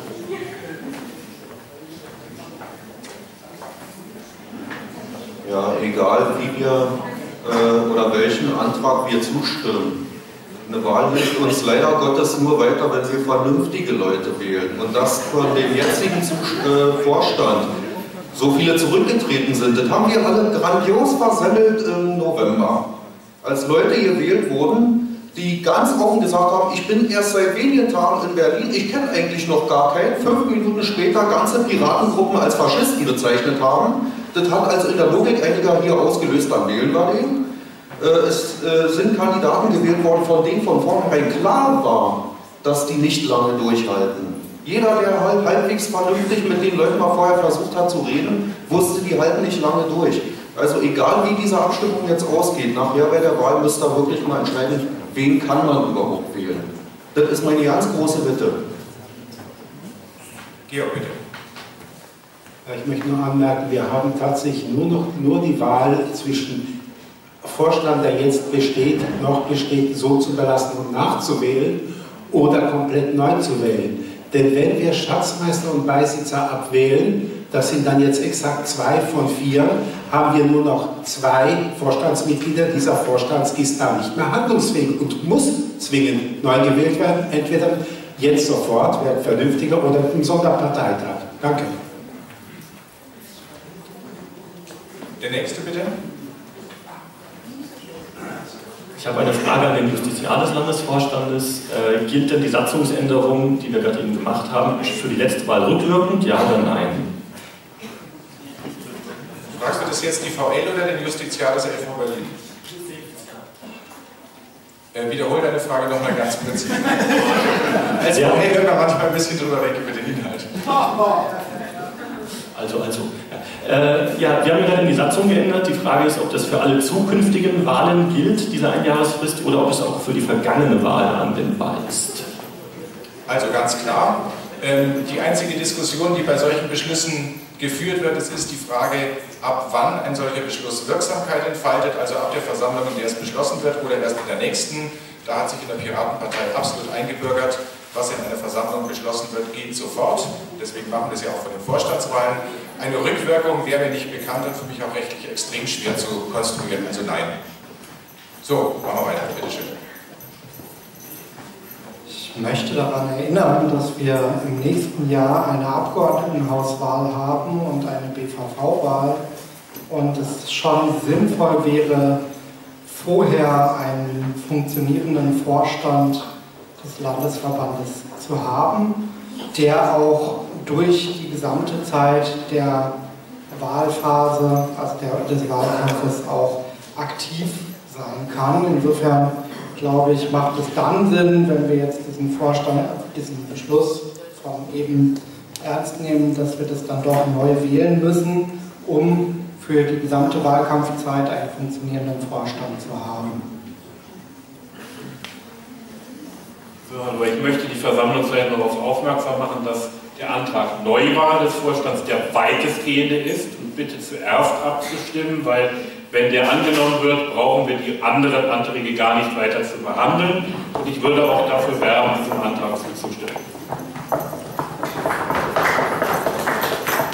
Äh, eine kurze Anmerkung von meiner Seite zum Verständnis. Selbstverständlich ist es der weitestgehende, aber der andere beinhaltet natürlich dann auch ähm, die Abwahl und die Zusammensetzung und genau deswegen stimmt man es ja als konkurrierend ab. Insofern sind wir nicht auseinander, wird das keine Missverständnisse aufkommen. Das, was Andreas Spieß gesagt hat, füge ich noch hinzu, dass es auch eine menschliche Komponente hat, wenn wir nur Teile des Vorstands abwählen, jemand den auch direkt sozusagen ein negatives Kärtchen hat. Wenn wir alle pauschal abwählen, ist dieser Vorwurf nicht so doll da drin. Und die, die wieder, wiederkehren wollen, die können ja antreten und werden ja auch ihre Zustimmung wiederfinden, wenn sie vorher gehabt hatten.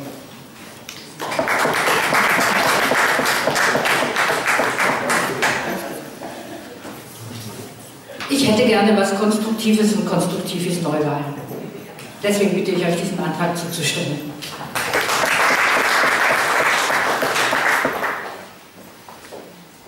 So, die nächste Frage? Ich hätte gerne ein Meinungsbild, wer sich, vor, äh, wer sich vorstellen kann, komplette Neuwahlen durchzuführen. Na gut, dann ziehe ich mal meinen Antrag zurück. Ne?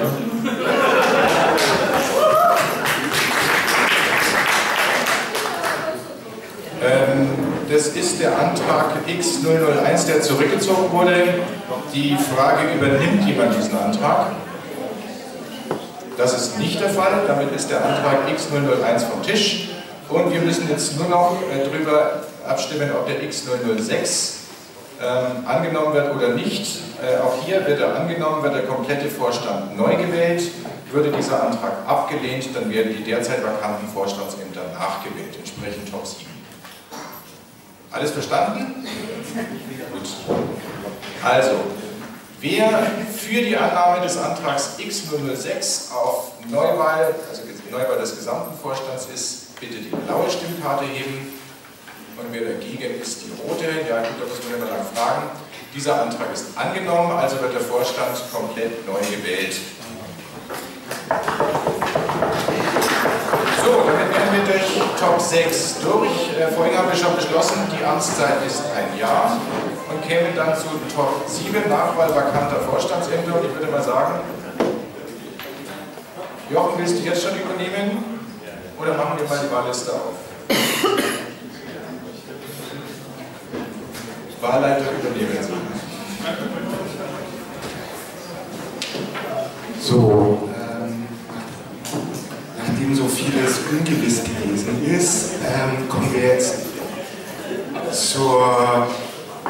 Ähm, ja, und äh, Essen gibt es anscheinend auch. Aber das äh, ist vielleicht für manche Menschen wichtiger als der Vorstand. Wir kommen zur Wahl des Vorstandes. Dazu brauchen wir Kandidatinnen oder Kandidaten. Ähm, diese melden sich bitte schnellstmöglich hier bei mir. Freiwillige vor, wenn niemand gewählt werden will, kann niemand werden muss. Äh, achso, äh, das Amt ist natürlich der Vorstandsvorsitzende. Zunächst einmal. Zu den weiteren Vorstandsämtern werde ich eine Kandidierenliste gleich aufmachen und ähm, Vorsitzenden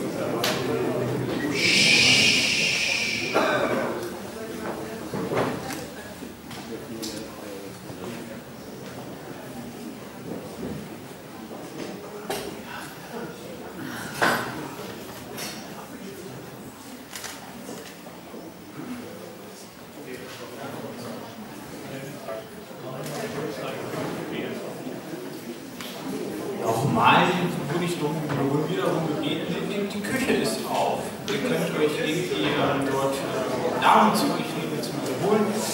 Ähm, dennoch ist natürlich jetzt ähm, der Wahlgang wird gleich stattfinden. Ähm, ihr solltet dem die Priorität beim SD also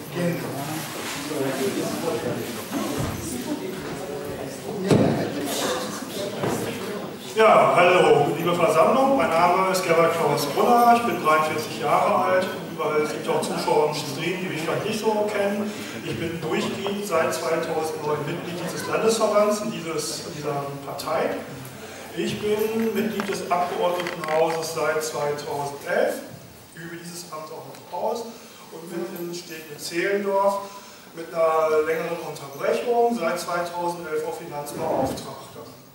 So viel erstmal so grob zur Parteitätigkeit. Ich bin der Meinung, und das ist auch meine Aufgabe und meine Pflicht, dass wir am 18.09. die 5% erreichen und dieses den anderen, die uns jetzt abgeschrieben haben, schön unter die Nase reiben können. Dafür müssen wir alles einsetzen, was wir haben und tun können. Ich habe auch entsprechende Erfahrungen vorzuweisen. Wir machen in Steglitz noch quasi in 14 Tagesabstand Infostände. Das geht noch das Jahr weiter für die, die noch mitmachen wollen.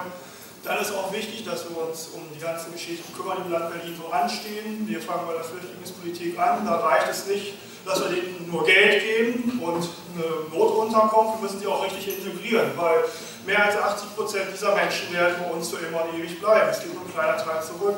Und wenn wir diese Menschen nicht auf Augenhöhe behandeln, werden wir riesige Probleme bekommen. Das andere Problem ist, wir brauchen Wohnungen. Wir brauchen ein paar tausend Wohnungen, wir brauchen bis 2023 eine Million Wohnungen. Das ist technisch realisierbar, man muss den politischen Willen noch dazu haben. Das Geld wird sich doch mal alleine finden.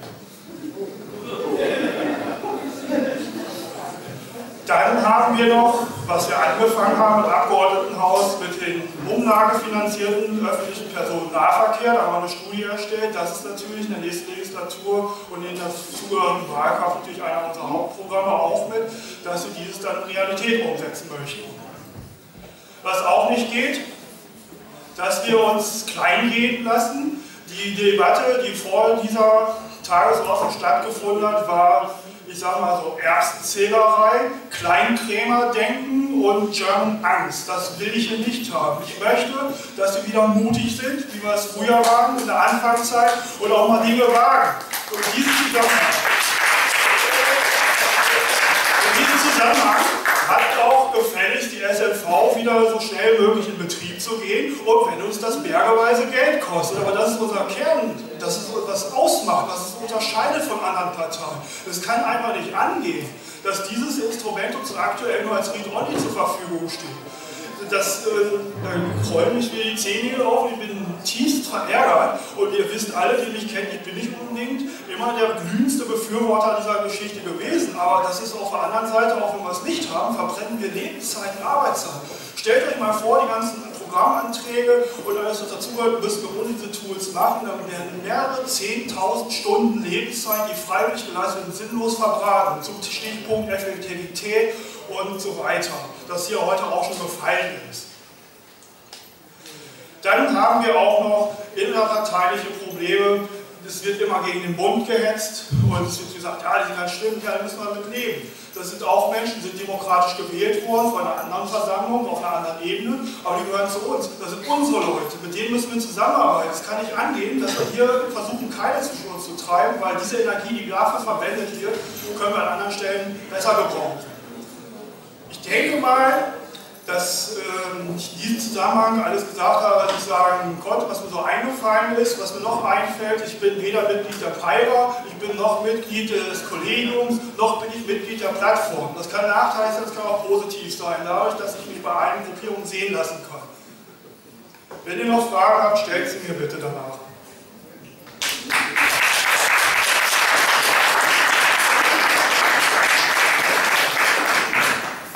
Genau, für Fragen bitte in Nähe der Bühne bleiben, denn Fragen dürfen jetzt gestellt werden. Ja, ja nähert euch. So kommt heran an das Mikrofon der Fragen.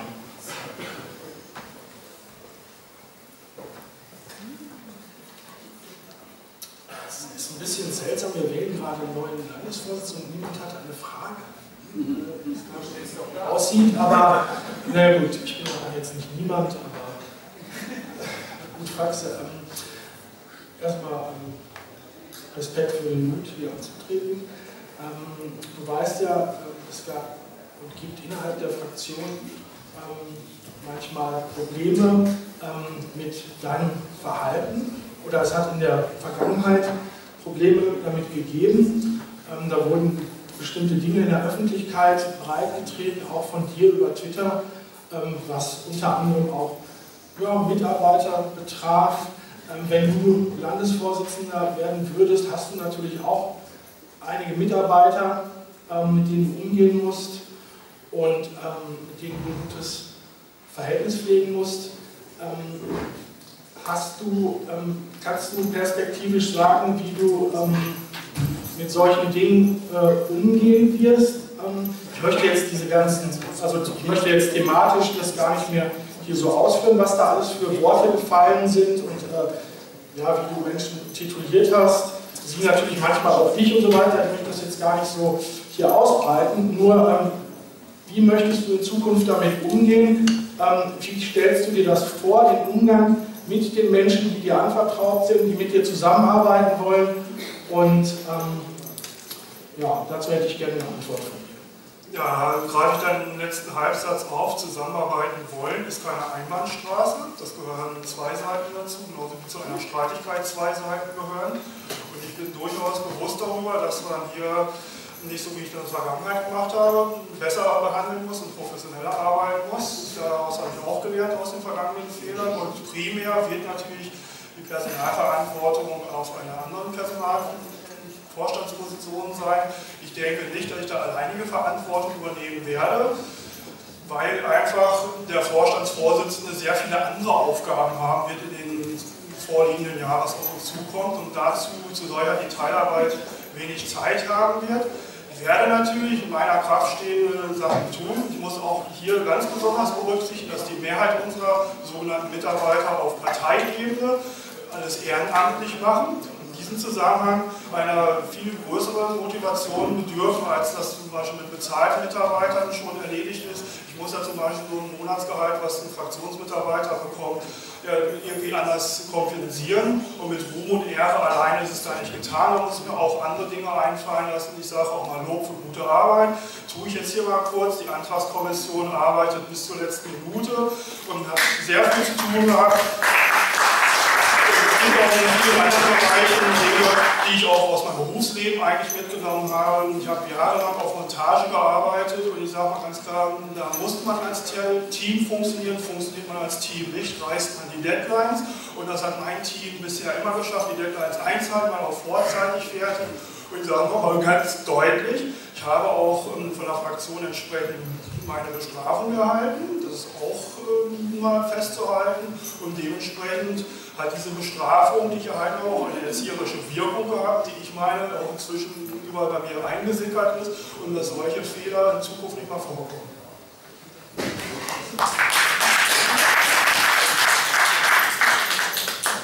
Ja, meine Frage richtet sich an beide Kandidaten. Entschuldigung, wenn wir dann. Es geht einfach darum, ich stelle nochmal die Frage, die ich letztes Jahr äh, Jan Zimmer, Zimmermann, weiß ich nicht mehr, äh, gestellt habe. Diese Partei besteht nun nicht aus dem Einheitsbrei. Es gibt da die Plattformleute, es gibt Solipa-Leute, es gibt Leute, die einfach nur Mitglied dieser Partei sind. Und leider Gottes ist es irgendwie zu Streitigkeiten zwischen den zwei größten Lagern gekommen. Wie versucht ihr, die wieder an einen Tisch zu bringen, damit der Parteifrieden gewahrt ist oder äh, auch zum Teil wieder hergestellt wird?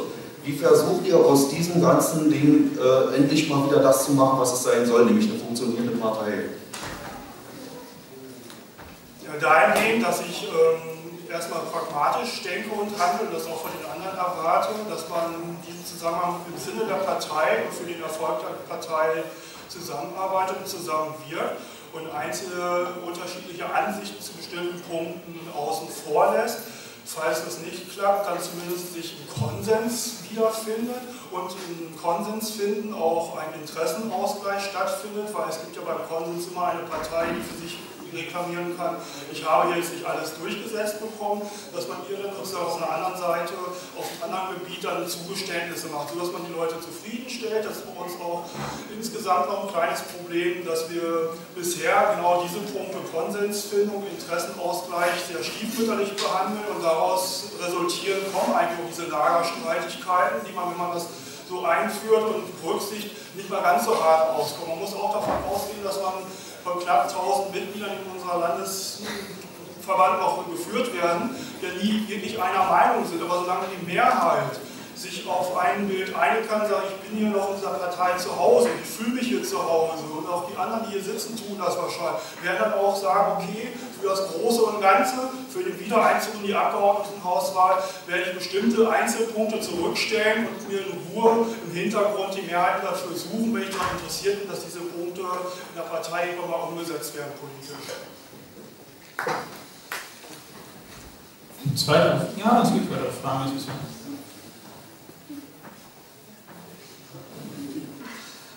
Hallo Georg. Ähm, Faxe, ähm, äh, ich bin begeistert, dass du endlich diese Herausforderung annimmst und äh, dich für die Parteiarbeit äh, engagierst. Ähm, ich habe schon 2000, äh, nein, also erstmal, du, du bist ein wahnsinniges Arbeitstier. Ähm, du hast die P9 im Vorfeld der 2011-Wahl ähm, gewuppt. Äh, du standest im Wahlkampf äh, im Grunde jeden Tag draußen äh, und hast dich nicht äh, beirren lassen. Ähm, schon 2012 äh, oder 2011 habe ich gesagt, die Fraktion, die soll dich doch endlich freistellen, äh, damit du deine, deine Fähigkeiten wirklich ähm, in den Dienst äh, der Organisation, der Partei äh, geben kannst. Ähm, so viel Lobgehudle. Ähm, doch gerade dann äh, äh haut mich ein, einfach vom Sockel, wenn ich jetzt höre, ähm, also welcher Teufel hat dich eigentlich geritten, auf dieses Mainstream-Mantra des Wohnungsneubaus aufzuspringen? Äh, äh, äh, ich meine, da, da, damit, damit kommt jede, jede Partei, damit ist kein Blumentopf zu gewinnen. Ganz im Gegenteil, was, äh, was wir auf der Straße erleben jeden Tag ist, ist dass sich die, die äh, äh Bürger äh, dagegen, dagegen wehren, dass sie übervorteilt werden und dass sie übergangen werden in ihrer Abstimmung. Ähm, äh, die, äh, die Basis, die du nennst von wir brauchen eine Million neue Wohnungen, ist, ist rein immobilienwirtschaftsgetrieben. Ähm, und Wohnungsneubau tut eben nichts gegen steigende Miete und, und tut nichts gegen Verdrängung. Und äh, also da würde ich dich doch dann auch bitten, äh, als Vorstandsmitglied äh, ähm, äh, da deutlich runterzufahren, äh, zu tönen und ähm, das dann im Sinne der Partei und einer ausgewogenen Politik zu reißen. Danke. Also zum letzten Teil, der auch die Frage darstellt ist, ähm, ich sag mal, ich denke in anderen Größenordnungen. Die anderen Parteien gehen von ein paar 10.000 Wohnungen. Ich mache es nochmal deutlich, ich sage eine Million Wohnungen. Nochmal ganz deutlich, eine Zahl 1 mit 6 Nullen in Wohnungen. Und ich sage auch, dass wir in Berlin bisher sehr zweidimensional bauen und das mal in die dritte Dimension anheben müssen. Und ich sage mal, das gibt uns die Sache, dass wir noch weniger Flächenverbrauch haben, was ja auch mit eingeflossen ist. Und natürlich ist Neubau, wenn das Land Berlin das macht, auch gleichzeitig in der Größenordnung ein ganz gewaltiges Fund auf dem Mieter haben. Natürlich ist das nicht das Einzige. Ich muss natürlich auch dafür sorgen, dass insgesamt das Modell, ich miete eine Wohnung, umgesetzt wird und umgeformt wird langfristig in, das gehört mir. Das ist mein Eigentum. Das stabilisiert die Kieze, wenn die Leute da immer wohnen können, wenn es ihnen gehört. Das ist alles, was so in dem Gesamtpaket drin ist. Wäre natürlich nie, das wisst ihr auch bei mir, immer nur mit einzelnen, das war das Schlagwort. Und wenn einer sich das für das Schlagwort interessiert, kommt das drumherum. Ich muss ja, wenn ich irgendwo einen Wahlkampf mache, muss ich das ja in kurzen, einfachen deutschen Sätzen formulieren, was ich will. Und die, die es dann interessiert, dann mit den Informationen. Ich kann ja schlecht auf einem Wahlplakat eine halbe Buchseite abdrucken. Das liest mir keiner. Das, bietet das Bauen. Das Ding ist, ich muss in Berlin neue Wohnungen bauen, das geht kein Weg dran vorbei. Ich muss die bestehenden Wohnungen besser nutzen, ich muss das Nutzungskonzept umformen und dann noch zu den anderen Punkt, Arbeit in der Partei. Ja, ich mache viel, bin aber nicht alleine. Ich kann nur noch sagen, bestimmte Sachen haben nicht stattgefunden, wenn es mich nicht gegeben hätte. Unter anderem Motzstraßenfest, die ASCSD-Trag 2011, 12. Das sind so Kleinigkeiten. Ich meine, viele andere haben mindestens genauso viel gemacht, sind bloß nicht ganz so prominent wie ich. Ich möchte auch nochmal hier im Stillen sagen, die nach mir die CSDs gemacht haben, die die anderen Straßenfeste und Kiezfeste bestreiten haben, haben mindestens genauso viel Arbeit wie ich. Ich habe natürlich als Abgeordneter die Möglichkeit, dass ich zum Beispiel dieses Jahr gegen die Satzung verstoßen werde, und zwar Paragraph 18 Absatz 1, habe ich leider gegen verstoßen werden. Wenn das Jahr zu Ende ist, weil ich habe zu viel Geld an die Partei gespendet.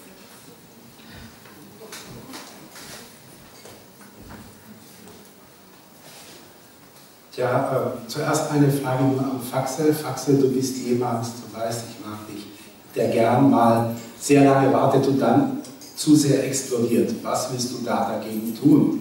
Das wäre nämlich schade, wenn du damit Ressourcen, die du hast und Ressourcen, die andere auch haben, ja, untergehen ließest. Und jetzt die Frage an euch beide. Äh, was wollt ihr dezidiert tun, noch dazu praktisch ab morgen, also ab Neuwahl, um dafür zu sorgen, dass wir mit deutlich mehr als 5 plus X in einem knappen Jahr im AGH und in den verschiedenen Bezirken sind. Ja, die zwei Fragen kann ich im Prinzip zusammenfassen, dass ich äh, sozusagen zielgerichtet explodiere, wenn ich explodiere, sodass es dann auch als politisch verkaufbare Message nach draußen rauskommt, dass ich dann gleichzeitig die anderen Parteien auch angreife und zwar auch polemisch, natürlich positiv polemisch, aber das muss ich auch machen, ich muss wirklich beißen, weil wir sind klein und die Kleinen müssen einen beißen, den Arsch zwicken, damit man bemerkt wird. Das ist das Ding. Das andere, was du meinst, mangelhafte Impulskontrolle, ist in Arbeit.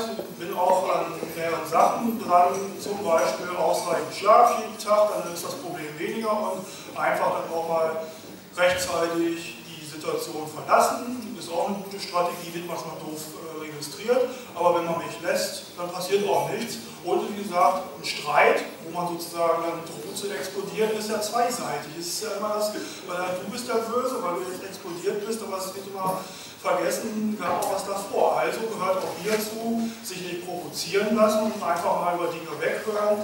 Wer mich länger, länger beobachtet, wird auch sehen, dass da Verbesserungen vorgenommen worden sind, meinerseits auch in der Praxis Verbesserungen erkennbar sind und diesbezüglich, man diesen Weg extrapoliert, auch keine Probleme sind. Lieber 5% erreichen, habe ich Phil schon gesagt. Wir müssen angreifen, müssen beißen, müssen jeden Zwickel, die die anderen Parteien uns bieten, nehmen, draufhauen, bis die jaulen und unten Gnade sind. Das ist das, was wir machen müssen und wirklich ab sofort und jetzt.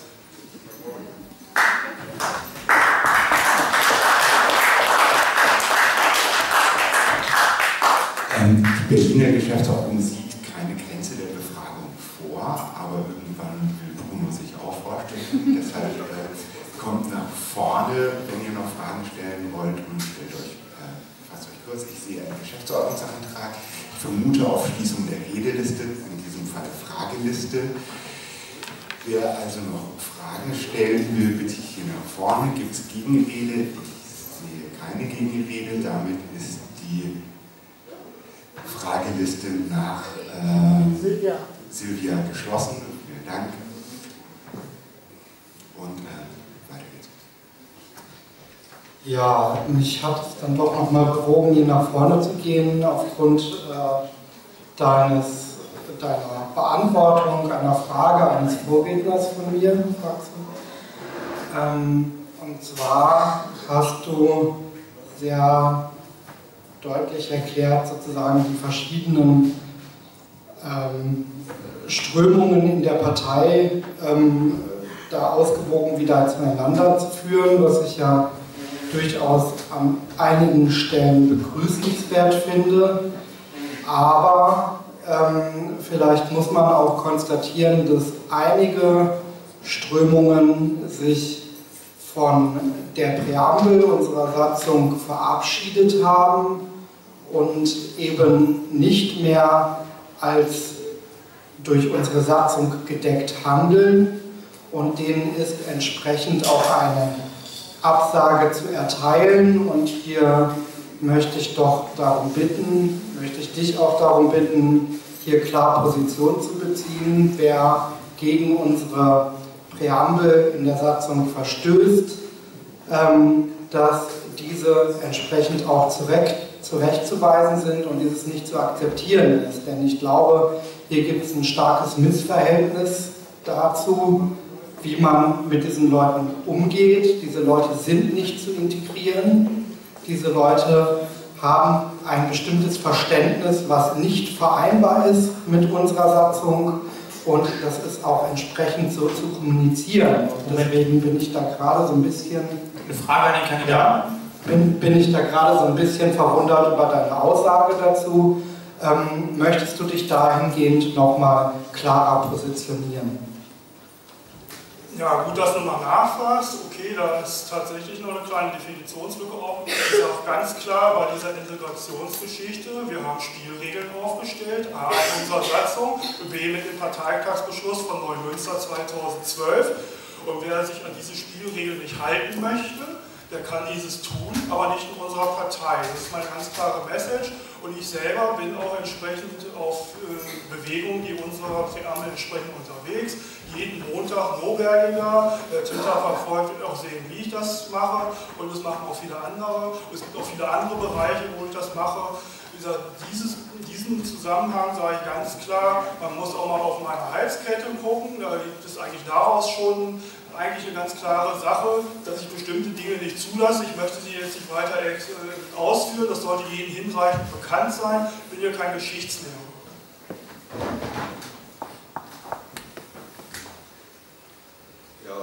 Äh, ganz kleiner Hinweis mal an Jan. Also in unserer Satzung habe ich definitiv nichts gefunden vom Thema Ausgrenzung. Punkt. Äh, was ich dich nur fragen wollte, siehst du irgendwelche Möglichkeiten für dich, weil, wenn ich das richtig sehe, willst du für das nächste AGH auch kandidieren? Du willst einen Wahlkampf äh, äh, als Kandidat machen, du möchtest äh, Vor, Vorsitzender in Berlin sein. Siehst du für dich Möglichkeiten, das äh, überhaupt auf die Reihe zu kriegen, zeitlich? Natürlich kriege ich das hin, das habe ich mir ja vorher überlegt. Ich habe ja auch die Kandidatur, äh, ist ja relativ früh bekannt gewesen. Also ich habe mich jetzt erst in den letzten fünf Minuten dafür entschieden, habe mir da schon einen Kopf drüber gemacht. Ich habe auch noch ein Urlaubssemester über, was ich für das nächste Jahr dann auf jeden Fall gebrauchen werde. Da habe ich sozusagen den Zeitfaktor dann ausgeschaltet und habe dann genügend Zeit übrig. Die Fraktion hat mich auch entsprechend freigestellt, sodass ich da auch sehr viel Zeit habe. Ja, das ist so, wie man es sagt, das ist falsch. Unter dem habe ich genügend Zeit. Und was auch sehr wichtig ist, ich habe auch genügend Ressourcen, die, sagen wir mal, andere Kandidaten nicht so zur Verfügung haben. Und mit diesen Ressourcen bin ich auch bereit, im Sinne der Partei zu arbeiten und zu wirken. Das ist nicht nur Geld, das ist auch meine persönliche Arbeit, das sind meine Ideen und wie ich in dieser Partei aufgewachsen bin. Ich bin ja nicht erst seit gestern Mitglied, ich weiß ja, was die Partei grob will. Ich habe noch im Hinterkopf, was in dem Feedback drin stand. Ich habe im Hinterkopf, was in der SMV drin ist ja nicht so, dass das alles verschwunden ist. Das ist ja bei mir noch im Kopf drin. Und wird immer abgerufen, wenn es nötig ist und wird zum Abgleich genutzt. Natürlich spreche ich mich nicht davon frei, wenn es konkrete Situation ist, wo ich persönlich Stellung beziehen muss, natürlich eine persönlich gefärbte Wiedergabe von mir gebe. Das ist doch ganz normal. Das versucht doch jeder. Jeder hat seine Interpretationsspielraum, den möchte ich auch gerne beibehalten, weil das macht mich auch aus, weil wenn ich dann sozusagen zu so einem Roboter verkomme, der das Programm nur wiedergibt und nichts eigenes fügt, das ist dann auch nicht das, was er wollte. Ihr braucht auch Authentizität und ihr braucht auch Realismus und das biete ich euch hiermit an. Letzte Frage. Ja, Foxe, ähm, du weißt, ich schätze dich. Ja, ähm, ich bin nun vielleicht in dem Thema Wohnungsbau. Als Sozialpirat habe ich mich ziemlich drum gekümmert. Ähm, und ja, mir gefällt das nicht so, was du da sagst mit sozialen Wohnungsbau. Das ist gescheitert. Du hast eben gerade selber von Liquid Feedback Indies gesprochen. da haben wir ja auch schon mal äh, etliches dazu festgestellt. Das habe ich mir damals angeguckt vom vor etlicher Zeit, ähm, wo in der SMV diese Sache drin war, habe ich auch darauf hingewiesen. Ähm, das sind Konzepte aus wirklich aus dem letzten Jahrhundert sozusagen mit dem sozialen Wohnungsbau. Das wird immer teurer und äh, ich finde, da sind neue Konzepte gefragt. Auch der derzeitige Senat äh, setzt, wie ich mit Freude festgestellt habe, mehr auf Rückkauf von, alt, von alten Wohnungsbestand, den er mal verkauft hat, weil das wird immer billiger als Neubau. Neubau ist nicht das Problem der Lösung von Sozialbau, Wohnungsbau. Das ist eigentlich wirklich eine äh, Sache für die äh, Wohnungswirtschaft und für die, die schon sehr viele Häuser haben. Also ja, ich frage dich, inwieweit bist du wirklich bereit? Ich meine, das kann ein Einzelner ja auch kaum leisten, sich in solche Themen, spezielle Themen, jetzt zum Beispiel Wohnungsbau, ähm, reinzuknien und, und dir eben da auch Fachwissen ranzuholen. Natürlich hole ich mir immer, wenn es um was Konkretes geht, und ich denke, da braucht man Experten, nur Experten dazu. Ich möchte nochmal darauf hinweisen, dass auch der soziale Wohnungsbau, ich möchte dieses Wort natürlich auch nicht so benutzen, einfach Wohnungsbau vom Land Berlin. Und es gibt auch Neuerungen, wenn man zum Beispiel nach Wien schaut, da haben die Wohnungen neu gebaut mit einem vernünftigen Standard, wo man Kaltmieten um die 5 Euro kalkulieren kann. Das, was die Berliner in den 70er Jahren gemacht haben, dieses Modell lehne ich ganz klar ab. Das ist zu teuer für beide Seiten, für das Land Berlin als auch für die Mieter. Das ist auch richtig. Ich habe auch vorhin schon gesagt, dass das ja nur ein Bestandteil ist. Selbst wenn ich die ganzen Wohnungen zurückkaufe, die das Land Berlin mal besessen hat, das sind ungefähr 160.000 Wohnungen, grob Daumen geschätzt. Das reicht nicht aus. Wir haben dieses Jahr 80.000 Flüchtlinge, die zu uns kommen. Davon bleiben mehr als 80 Prozent da. Das heißt, nach zwei Jahren sind diese Wohnungen, die wir dann zurückgekauft haben, voll mit Menschen. So, was machen wir dann? Wir kommen um Neubau nicht herum. Wir kommen auch nicht darum, das Modell, ich miete eine Wohnung von wegkommen. Weil das Mieten der Wohnung ist aus der Nachkriegszeit resultiert, wo man ganz schnell Wohnraum brauchte, weil alles in Schutt und Trümmern lag. Da hat man sich darauf geeinigt, die, das Geld haben, bauen die Wohnung, die die Wohnung brauchen, zahlen Geld. Und das sind alles nur Punkte, das ist ein ganz großes Konzept. Ich lasse auch gerne Fantasie spielen. Ich habe, hätte auch gerne, wenn die SMV nicht nur wie Bonnie gewesen wäre, diese Punkte auch mal reingestellt, um einfach eure Meinung zu meinen Ideen äh, abzufragen und zu wissen, wie steht die Partei dazu, weil eben hier ein starker Handel vonnöten ist. Auch die Modelle, wie ich das realisiere, äh, sich wandeln und auch insgesamt die politische Landschaft sich wandelt und die Menschen hierher kommen. Das ist auch eine große Meinung. Das ist alles so, was ein riesiger Komplex ist. Und es wäre fatal, wenn wir als politische Partei zu diesem wichtigen Punkt in der politischen Landschaft nicht was Eigenes, was Herausragendes zu beitragen können. Wenn man meine Idee ich habe es auch auf Facebook mal skizziert, man zumindest mal kurz anschaut, wäre sie potenziell eine wirkliche Lösung für dieses Problem auf lange Sicht.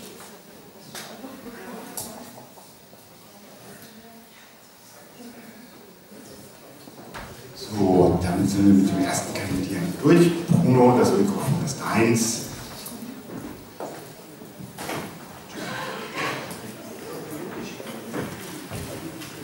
Ja, ihr Lieben, zuerst mal herzlichen Dank an Faxe. Ich freue mich sehr, dass, es, äh, dass äh, jemand noch kandidiert hat neben mir. Ich bin ja jetzt irgendwie zu der Kandidatur, ich würde jetzt nicht sagen, äh, einfach so zu einem Team gekommen. Ich äh, konnte es mir ungefähr vorstellen. Ich habe aber bereits vorher natürlich auch eine ausführliche Rede gehalten, ähm, in der ich mein Profil erläutert habe, was mir wichtig ist. Äh, will jetzt auch nicht zu viel Zeit strapazieren, werde deswegen vor allem wesentlich nochmal eins skizzieren. Für mich, für mich schließt sich momentan eigentlich ein Kreis und darüber bin ich glücklich. Das hat auch viel damit zu tun, dass ich Dinge immer abschließen möchte und nicht zurücktrete, sondern kämpfe bis zum Ende. Der Kreis, der sich für mich schließt, ist, ich bin, ich bin Pirat geworden und ich habe das schon mal gesagt bei der letzten Vorstandswahl wegen Berlin. Ihr wart es in Berlin, die mich aus meiner eigenen politischen Lethargie geholt haben. Ihr wart es, die in Berlin mit dieser Wahl ins Abgeordnetenhaus, mit den fantastischen Kandidaten, mit dem Programm, mit dem Versprechen auf Partizipation, mit dem neuen Menschenbild, mit all diesen Aspekten bei mir etwas geweckt hat, der schon relativ saturiert in seinem Geschäft saß, seit 20 Jahren eine Plattenfirma hat, permanent auf Tournee ist, eigentlich ein echt schönes Leben führt, mich plötzlich doch politisch wieder zu engagieren. Ihr wart diejenigen, die mich sogar dazu gebracht haben, aus meinem Schloss im Frankenwald nach Berlin zu ziehen. Das habe ich alles getan, weil ich gemerkt habe, dass hier diese Bewegung Piraten letztendlich die Quelle ist von all dem. Wir haben uns dann irgendwann angefangen, in Richtung Bund alle zu organisieren und zu denken, ja, hier wird gerade das Programm gemacht, hier entsteht die Zukunft der Piraten. Wir haben alle kapiert, Mensch, die Piratenbewegung ist eine internationale Bewegung. Auf meiner letzten Brasilien-Tournee war ich hoch faszinierend, als ich die brasilianischen Piraten kennengelernt habe, zu sehen, dass sie doch eine ganz ähnliche Vorstellung von Menschenbild, von Partizipation, Transparenz, all diesen kernigen Themen haben. Nichtsdestotrotz, der Ursprung all dieser Programmatik in Deutschland hat in Berlin stattgefunden. Hier wurde in diesem, und deswegen spreche ich so gern von dem Begriff des Zukunftslabors Berlin. Wir entwickeln hier in Berlin die Art und Weise, wie Menschen in Zukunft miteinander leben, wie sie gemeinsam schöpfen, wie sie ihr emanzipatives Menschenbild leben. Und genau daran möchte ich weiterarbeiten. Und das ist etwas, was ich in Berlin erfahren habe. Und wenn ich davon spreche, dass sich jetzt ein Kreis schließt, meine ich damit, ich möchte euch unbedingt erfolgreich und nicht nur mit 5%, erfolgreich in den nächsten Wahlkampf führen, denn die Piraten sind so wichtig. Und in Berlin stirbt oder überlebt die Piratenbewegung in Deutschland. Und was ich noch dazu sagen möchte, ist, wenn wir uns die Konstellation anschauen, jetzt kommen wir eigentlich in diesen realpolitischen Bereich, es, es entwickelt sich ja alles auf so eine Art rot-grün-rote Koalition hin. Da werden die Piraten so dringend gebraucht als stärkste oppositionelle Kraft. Und da denke ich, haben wir genügend Thematiken. Sei es unser Menschenbild, das natürlich definiert, dass kein Mensch nirgends illegal ist und eine Flüchtlingspolitik immer als eine Bereicherung unserer Gesellschaft empfindet und lebt. Aber ganz genauso den Bereich BGE endlich im Kiez auszuprobieren. Und dann natürlich, Berlin ist die Stadt der kulturell Schaffenden, der Kreativen. Aber nicht so, wie es gerne dargestellt wird von dem Kultursenator der Kreativindustrie. Die Kreativindustrie ist international saturiert. Die Kreativindustrie schafft sogar in Freihandelsabkommen wie TTIP die Dinge reinzuschreiben, die sie für sich benötigen. Was wir mit Kreativen machen, ist das Prekariat, ist der einzelne Kulturschaffende, jeder, der kulturell etwas in Berlin dazufügt. Und für diese Menschen, für diesen Quell all der Kreativität in Berlin müssen wir brennen und können wir brennen. Und ich verspreche euch, wie gesagt, ich halte hier auch keine große Kandidaturansprache, weil es darum für mich auch gar nicht geht, denn ich werde so oder so für euch brennen. Ich bin glücklich, dass es noch einen weiteren Kandidaten gibt. Ich stehe auf alle Fälle bereit und auf eins könnt ihr euch hundertprozentig verlassen, so wie bisher. I will be the last man standing. Danke euch.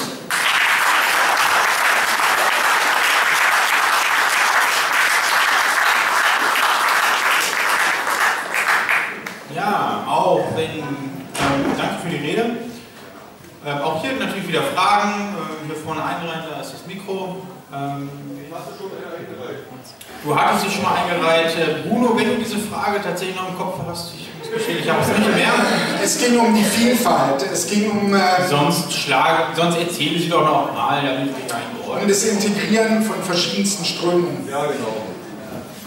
Natürlich, Punkt 1 ist, wir haben eine Satzung, die ein klares Menschenbild definiert.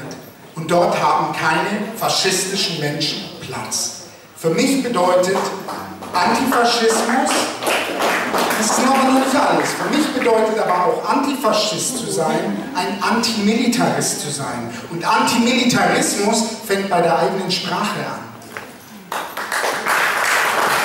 Darüber hinaus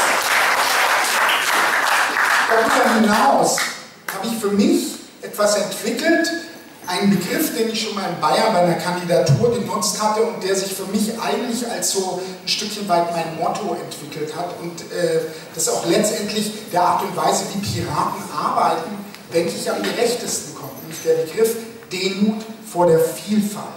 Was ich damit meine ist, dadurch, dass wir flache Hierarchien haben, bedeutet es für den Einzelnen mit einer Mindermeinung, mit einer kleinen Menge an Meinungsträgern in seiner Gruppe, dass er plötzlich ein Riesenpodium hat. Dass er sich also bewusst sein muss, sehr demütig und vorsichtig zu nutzen, dass er plötzlich dieses Sprachrohr hat und nicht anfängt zu schreien. Auf der anderen Seite bedeutet es für die Mehrheiten in einer Gruppe, dass sie lernen muss, auch den Minderheiten zuzuhören, anstelle sie totzuschreien. Es ist sehr menschlich, dass Menschen immer schnell reagieren auf Gruppendruck. In dem Moment, wo wir viele sind, einer Meinung sind, dann fällt es leicht, auf Leute mit einer Mindermeinung ziemlich herabwürdigend hinabzublicken. Sowas darf nicht passieren. Für mich bedeutet Pirat zu sein, die Vielfalt der Meinung im Rahmen unserer Satzung wirklich nicht nur zu tolerieren, sondern sogar zu pflegen als unsere Stärke, weil wir uns darin unterscheiden. Wir sind diejenigen, die Begriffe wie Themenkoalition geprägt haben. Wir sind diejenigen mit konstruktiven, guten Ideen. Das bedeutet aber auch, dass wir den Nährboden dafür geben, dass Ideen und Vielfalt überall und jederzeit gedeiht. Und das ist mein Motto.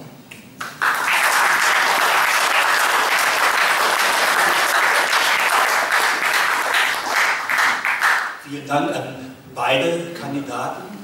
Wir sind in einer sehr komfortablen Situation. Zwei Kandidaten zu die aus meiner Sicht sehr unterschiedlich sind. Der Bruno hat in seinen fulminanten Reden aufgezeigt, was wir tun müssen, um wieder Bedeutung zu erlangen. Ähm, ich habe zwei Fragen deshalb an dich. Wir haben ja eine große Schwierigkeit erleben müssen, dass zwischen Partei und AGH sehr schnell die Sollbruchstellung anfing, was nicht förderlich war für die Partei. Bruno, die erste Frage, wie stellst du dir vor, wenn du nicht kandidieren solltest, das weiß ich ja noch nicht, was du in deiner Zeit tun möchtest, damit von Anfang an das sozusagen in den neuen AGH, ich gehe davon aus, wir kommen rein, besser wird.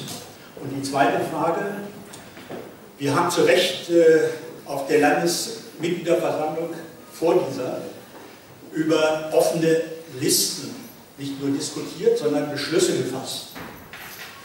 Vor dem Hintergrund, obwohl wir im Vergleich zu anderen Bundesländern sehr gut dastehen, ist es ja nicht ganz klar, ob wir den letzten Prozentpunkt noch schaffen.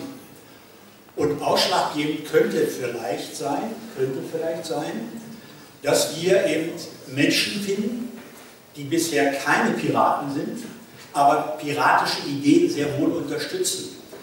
Können wir uns vorstellen, dass aus diesem wundervollen Berlin diese Menschen vielleicht schon gefunden sind oder noch zu finden sind in dem kurzen Zeitraum, den wir noch haben.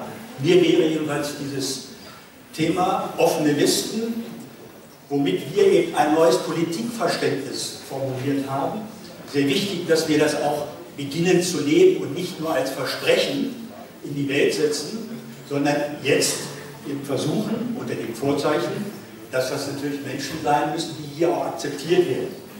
Also wir brauchen keine, keine Etikettenwerbung, sondern es müssen Menschen sein, die das, was wir formuliert haben mit unserem neuen Politikansatz, nämlich über die Parlamente hinaus politisch aktiv zu sein, weil wir hier wissen, obwohl wir im Abgeordnetenhaus waren, haben wir diese BEA-Scheiße nicht verhindern können.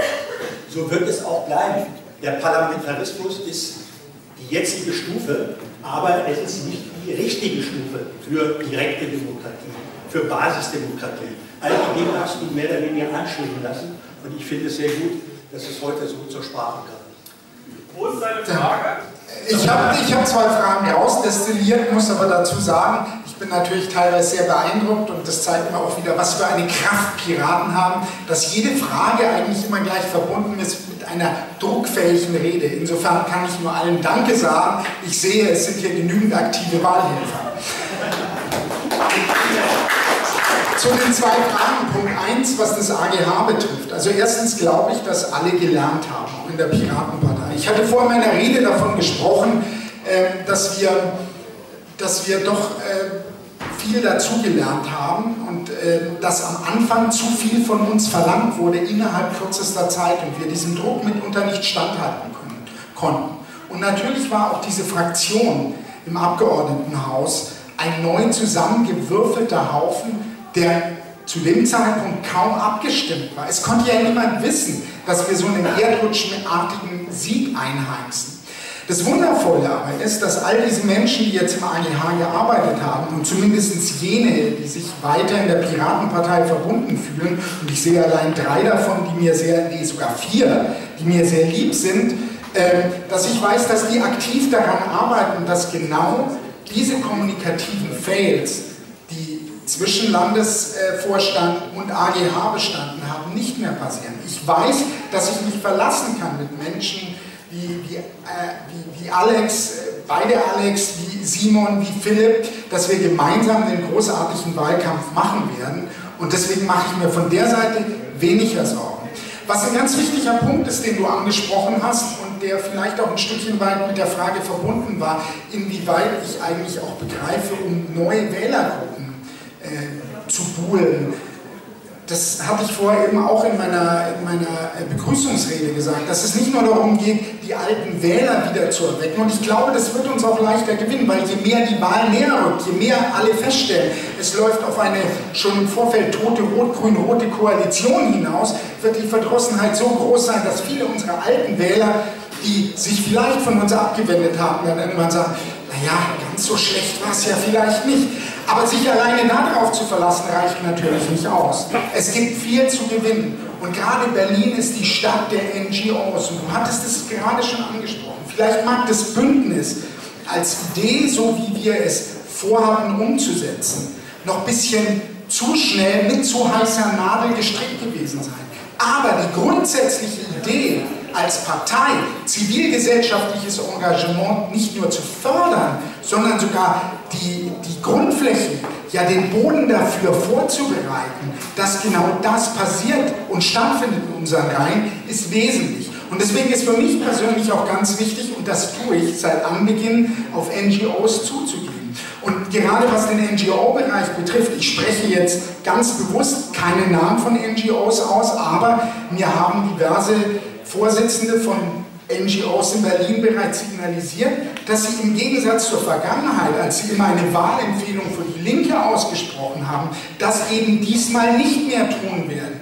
Und genau deswegen werde ich natürlich erst recht sehr aktiv an diese NGOs herantreten, tue das auch bereits, um dort neue Wählergruppen zu gewinnen, aber auch gesamtzivilgesellschaftlich. Berlin hat einen so großen Pool von jungen Menschen, die hierher gezogen sind, die plötzlich sehen, was für Freiheiten und Möglichkeiten sie in diesem Berlin haben und genau die dann auch leben wollen und diesen Ausdruck bei uns in der Partei wiederfinden. Und genau das will ich tun. Danke.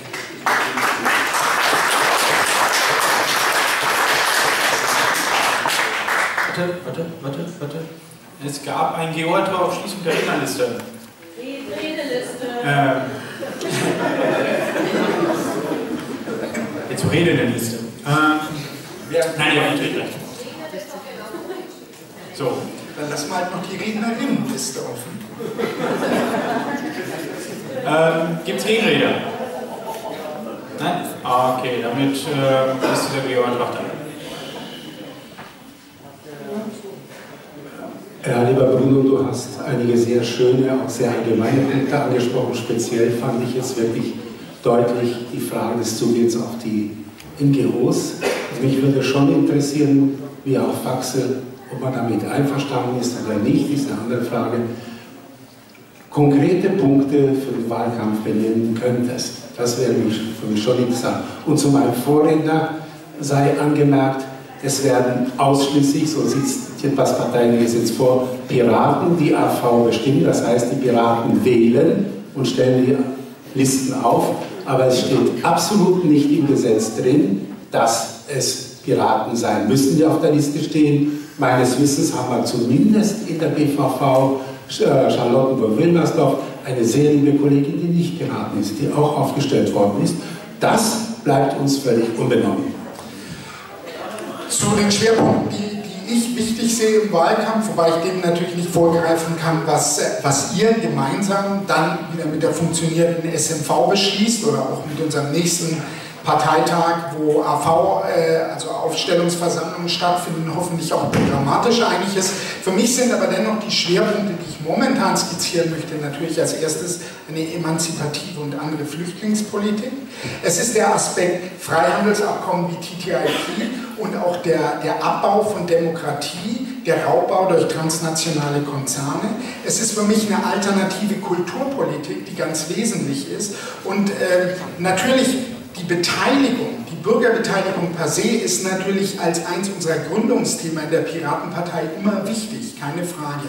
Wesentlich aber für mich in diesem Zukunftslabor Berlin ist auch die Begrifflichkeit immer wieder zu prägen und gerade im Netzzeitalter zu verstehen, dass global Denken und lokal Handeln dann auch wirklich zu globalen Veränderungen führt.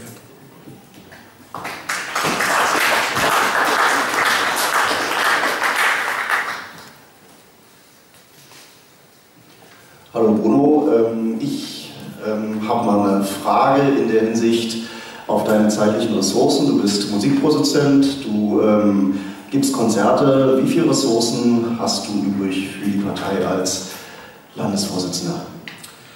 Ich hatte jetzt in diesem Sommer sehr, sehr viele Festivals gespielt, auch ganz bewusst wohlweislich, wissen, dass ein neuer Wahlkampf kommt und deswegen auch finanziell schon ein bisschen was, wie ich es immer gemacht habe, auf die Seite geschafft, damit ich dann die harte Wahlkampfzeit durchstehen kann. Ähm, ich werde jetzt noch sehr intensiv bis Dezember, für diejenigen, die, ich hoffe, das kriegt jetzt keiner von, unserer, ähm, von unseren Fans meiner Musikgruppe mit, ich werde schauen, dass wir es wirklich schaffen, bis Dezember ein neues Album fertig zu kriegen. Da werde ich noch ein bisschen mehr dran arbeiten, aber dann äh, aber bitte nicht weitergehen. Weil sonst kommt mir die Online-Bestellung vor und dann setzt einen unter Druck irgendwie. Aber anyhow, ich habe genau diese Dinge bedacht, so wie in der Vergangenheit. Ähm, ich hatte eine harte Durststrecke, das muss ich ganz ehrlich zugeben, denn ich habe lange Bundestagswahlkampf gemacht. Danach, das war ja irgendwie doch ein ziemliches vor die Wand fahren, habe ich dann trotzdem versucht, über diese Wand hinüber zu fliegen und direkt mal Europawahlkampf weiterzumachen, weil, weil, weil ich es mir gar nicht vorstellen konnte, zu stoppen. Was natürlich dazu geführt hatte, auch im Zuge meines Umzugs nach Berlin, dass es zwischenzeitlich meiner Firma nicht ganz so gut ging.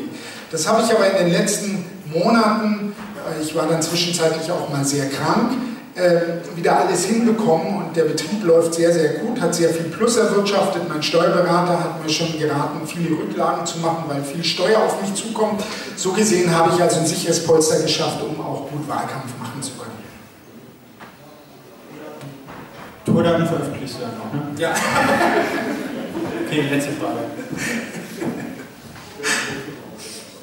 Uno, du bist ein Mensch, der äh, vor allem Menschen auch begeistern kann und das brauchen wir. Ähm, ich würde ganz gern trotzdem noch auf ein paar Sachen eingehen und zwar ähm, habe ich äh, immer bei den letzten Wahlkämpfen so ein bisschen vermisst, dass wir es leider nicht so ganz geschafft haben, eigentlich das, was wir schon geschafft haben, in den BVV und in, im Abgeordnetenhaus an die Öffentlichkeit zu bringen und äh, diese Ergebnisse auch äh, darzustellen unseres Handelns.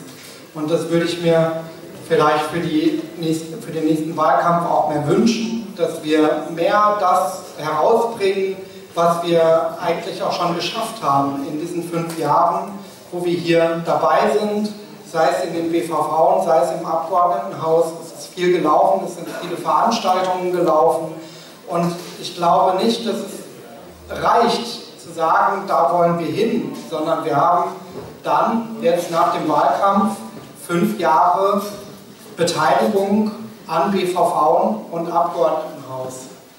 Und es reicht halt nicht zu sagen, da wollen wir hin, sondern wir müssen auch uns rechtfertigen, was haben wir in diesen fünf Jahren geleistet. Und ich glaube, das ist einiges und ich glaube, das kommt in der Öffentlichkeit immer noch viel zu kurz da müssen wir, glaube ich, dran arbeiten und das wäre meine Bitte an dich, dieses auch ähm, für den Wahlkampf mit zu berücksichtigen und ähm, hier, dass es hier ein klares Konzept gibt, wie wir es schaffen, das, was wir bisher geleistet haben, auch an die Öffentlichkeit zu bringen. Du hast vollkommen recht, wir müssen liefern und wir haben geliefert. Aber ich gebe dir da ein gutes Beispiel, um auch zu zeigen, inwieweit wir dazugelernt haben und letztendlich jetzt sogar Anträge vorbereiten, mit denen wir wirklich gegenüber politischen Mitbewerbern extrem gut punkten können. Wenigen Leuten ist ja aufgefallen, dass eigentlich die wirklich coolen Tierschutzanträge, die in Berlin gestellt wurden, nicht von den Grünen kamen, sondern witzigerweise von der Piratenfraktion. Allen voran Simon Kowalewski und Philipp Magalski, die da ganz tolle Arbeit gemacht haben. Ja, ist auch ein ist wirklich cleveres, ja. Und äh, es ist natürlich jetzt ein bisschen unfair, schon vorab für den Antrag zu werben. Aber das richtig Clevere ist, den Grünen so richtig einzuheizen im eigenen Thementerrain. Und da gibt es einen Antrag, der zum Beispiel ganz klar sagt, wir müssen in der, in der Tierhaltung und in der ökologischen Produktion Berlin aus Brandenburg rausholen und eine eigene Politik fahren, was eben, was eben äh, die, die Produktion von Lebensmitteln und den ökologischen Landwirtschaftsbau betrifft. Das ist ein Aspekt, wo wir wirklich punkten können. Denn in Berlin gibt es ein Riesenbedürfnis für alternative biologische Erzeugung. Nur gibt es kaum Anträge, die genau in die Richtung gehen, endlich Berlin hier aus diesem Massentierhaltungsland Brandenburg zu entkoppeln. Das sind genau die Anträge, womit wir in diesen Themenfeldern dann wirklich massiv punkten können. Dankeschön.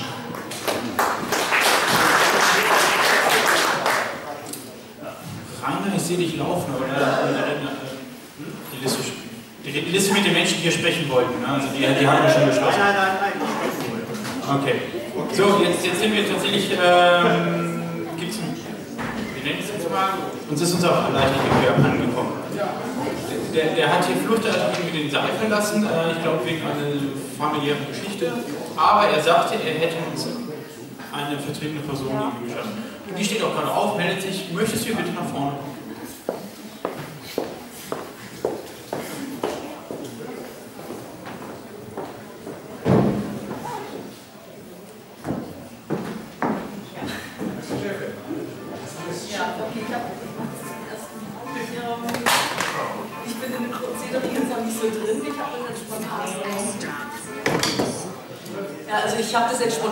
Übernommen. Ich mache das zum ersten Mal. Ich bin in dem Prozedere noch nicht so drinnen. Ja, okay.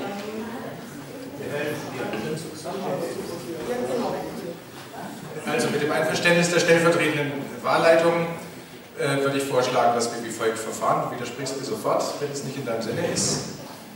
Es wurden vorhin schon einige Wahlhelfer benannt. Äh, wir haben jetzt im Moment zwei Kandidaten.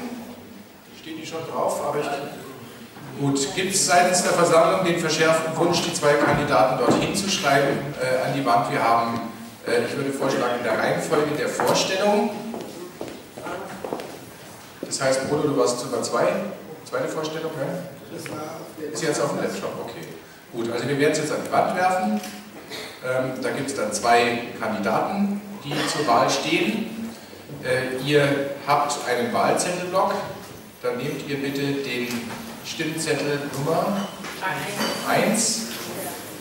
Nachdem zwei Kandidaten zur Wahl stehen, könnt ihr jeden der beiden Kandidaten wählen. Also kreuzt ihr entweder 1 oder 2 oder beide oder keinen Ergänzungen ähm, auf dem Stimmzettel führen zur Ungültigkeit desselben.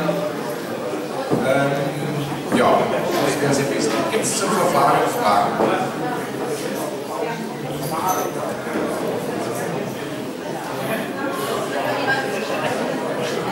Und zwei Anmerkungen bitte noch, wenn ihr auf dem Stimmzettel ankreuzt, bitte jetzt noch nicht ankreuzen, weil es ja noch nicht auf der Wand steht. Ähm, da bitten wir darum, dass ihr den Stimmzettel so faltet, dass man oben noch, einmal falten, dass man oben noch sieht, Stimmzettel. Für den Fall, dass ihr falsch angekreuzt habt, also beispielsweise ihr wolltet Kandidat 1 wählen, habt aber aus Versehen das Kreuzchen bei dem Kandidaten 2 gemacht, dann streicht ihr bitte deutlich sichtbar das Feld 2 durch, also flächig dunkel machen und dann das Kreuz an der zweiten Stelle machen. Solltet ihr jetzt zum Ergebnis kommen, ich wollte zusätzlich jetzt auch noch Kandidat 2 wählen, dann wieder ein Kreuzchen daneben machen. Es muss eindeutig aus dem Stimmzettel hervorgehen, was der Wille des jeweils Stimm der stimmberechtigten Person ist. Ähm, des, Weiteren, des Weiteren nehmt ihr bitte dann bei der Wahl eure blaue, eure blaue Stimmkarte mit. Da wird nämlich dann an der Wahlurne an, abgekreuzt, dass ihr da wart und werdet anhand eures Akkreditierungsbands überprüft, ob ihr auch tatsächlich stimmberechtigt seid. Das fand natürlich am Amsterdam oder an anderen Körperteilen die Stärke.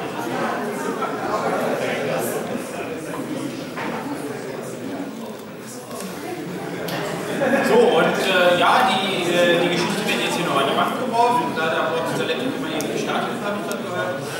Ähm, ja, also es wird so gewählt, wie sich die Kandidaten gerade in der Reihenfolge vorgestellt haben. Sag's noch mal an. Wir schmeißen die Kandidaten in der richtigen Reihenfolge an die Wand, sonst gibt es hier noch Missverständnisse. Äh, genau, als erstes sollte äh, Gerwald Klaus Brunner sein, also mit Faxe. Und als zweites sollte Bruno Gerd Hamm sein. Und ähm, ja, das sind eure Stimmen. Achso, der Laptop muss auch noch hochfahren. Ja. Wir mal den Mann an, der fährt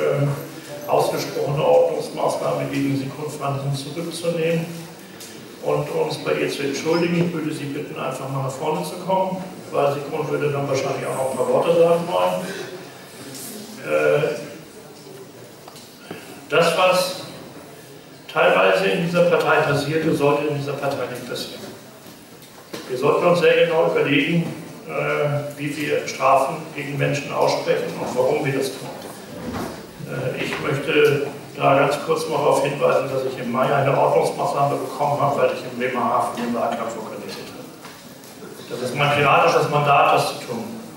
Und so hat Sigrun auch ihre Sachen getan. Und das äh, Bundesschiedsgericht hat im Prinzip auch festgestellt, dass die Ordnungsmaßnahme nicht rechtens war. Und deswegen entschuldigen wir uns heute als Landesvorstand bei Sekunden für das, was ihr dort widerfahren ist und hoffen, dass wir in der Zukunft dieses nicht mehr machen müssen. Danke.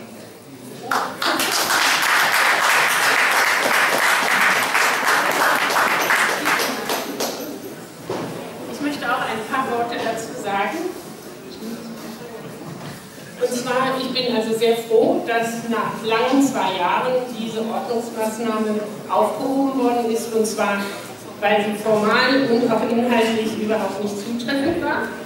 Ich habe so andauernd gegen diese, äh, diesen Aus, Ausspruch der Ordnungsmaßnahme gekämpft oder mich gewehrt, weil mir wurde eine Anhörung dazu nicht gewährt und das vor dem Hintergrund, dass der Urheber dieses Antrags auf eine Ordnungsmaßnahme gegen mich, Herr Ugarte Chacon, ein Jahr lang Ausführungen und Anschuldigungen auf seiner Webseite stehen hatte und niemand dagegen eingeschritten ist. Das andere ist, ich will damit aufzeigen, dass eine Ordnungsmaßnahme in meinem Fall mittels Denunziation äh, meiner Person, äh, äh, damit wurde ich diskreditiert, um bestimmte politische Inhalte durchzusetzen. Und zwar Herr Ugarte Chacon wollte verhindern, dass durch die Organklage gegen die Wasserprivatisierungsverträge, äh, dass diese vor das Verfassungsgericht von Berlin kam. Ich habe alle Anschuldigungen und Behauptungen, die er ein Jahr auf seiner Seite stehen hatte, auf einer eigenen Webseite mit Nachweisen widerlegt und sie können auf meiner Webseite sigrun-franzen.de nachgelesen werden und wie gesagt, es ist alles widerlegt mit Nachweisen. Ich möchte mich ganz herzlich bedanken bei den, glaube ich, äh, mehr bei den Bundesjustiziaren, dass sie also diese Ordnungsmaßnahmen zurückgerufen haben. Und ich hoffe, dass so etwas nicht mit anderen Leuten auch passiert. Danke sehr. Wenn ich hier nochmal kurz einhaken darf, ich nehme den Dank jetzt auch mal auf mich bezogen als Justiziar des Bundesvorstands, ähm, möchte allerdings auch ausdrücklich betonen, äh, wir waren da in sehr intensiven Gesprächen mit dem Landesvorstand Berlin, der unsere Meinung in der Sache sehr geteilt hat. Ähm, unabhängig davon, dass dieses Verfahren kompletter Murks von vorn bis hinten war, muss man einfach sagen, diese Selbstbeschäftigung, das erlaube ich mir jetzt einfach als ein Statement, diese Selbstbeschäftigung muss endlich aufhören. Wir müssen eine gemeinsame Diskussion haben. Wir müssen, wir müssen uns klar sein, woher wir als Piraten gemeinsam in diese Partei gefunden haben und dass wir uns nicht nach innen bekämpfen, sondern nach außen die Gesellschaft verändern. Und das ist ein ganz ausdrücklicher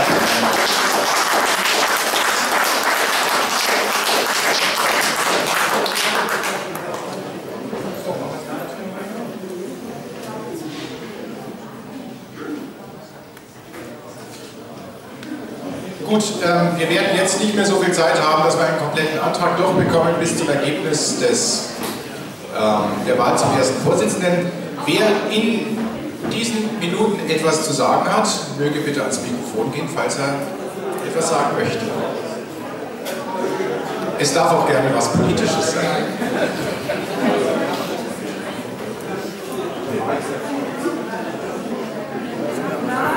Ja.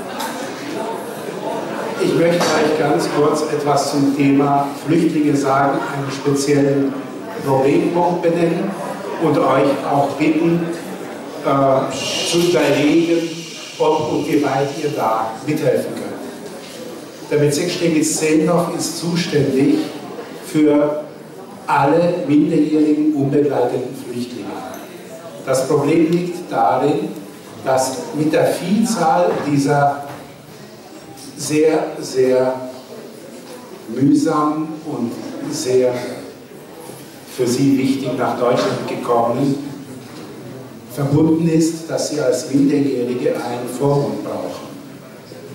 Amtsvormundschaft ist eine Lösung, allerdings keine sehr gute, insbesondere soweit, da Amtsvormünder höchstens eigentlich nur 50 Bündel betreuen dürfen. Sie machen derzeit, so viel ich weiß, sowieso schon mehr. Wir aber zunehmend viele, viele Jugendliche haben, die jetzt kommen und die einen Vormund brauchen. Und deshalb ist meine Bitte an euch, überlegt euch bitte, ob ihr bereit seid, für einen einzelnen Flüchtling, minderjährig, unbegleitet, eine Vormundschaft zu übernehmen. Das würde schon ein gewisses Engagement bedeuten. Es würde bedeuten, dass ihr mindestens, dass die gesetzliche Vorschrift einmal im Monat mit diesen sind überwiegend ja männliche Jugendliche so um 16 einmal im Monat mit ihnen sprechen müsst, dass ihr sie zu Ämtern, zu Behörden und sonstigen wichtigen Terminen begleiten müsst. Es ist schlicht und einfach eine Möglichkeit, tatsächlich aktiv etwas zu tun für die Flüchtlinge und auch vielleicht was zu erreichen bei ihrer Integration. Und darum bitte ich euch. Danke.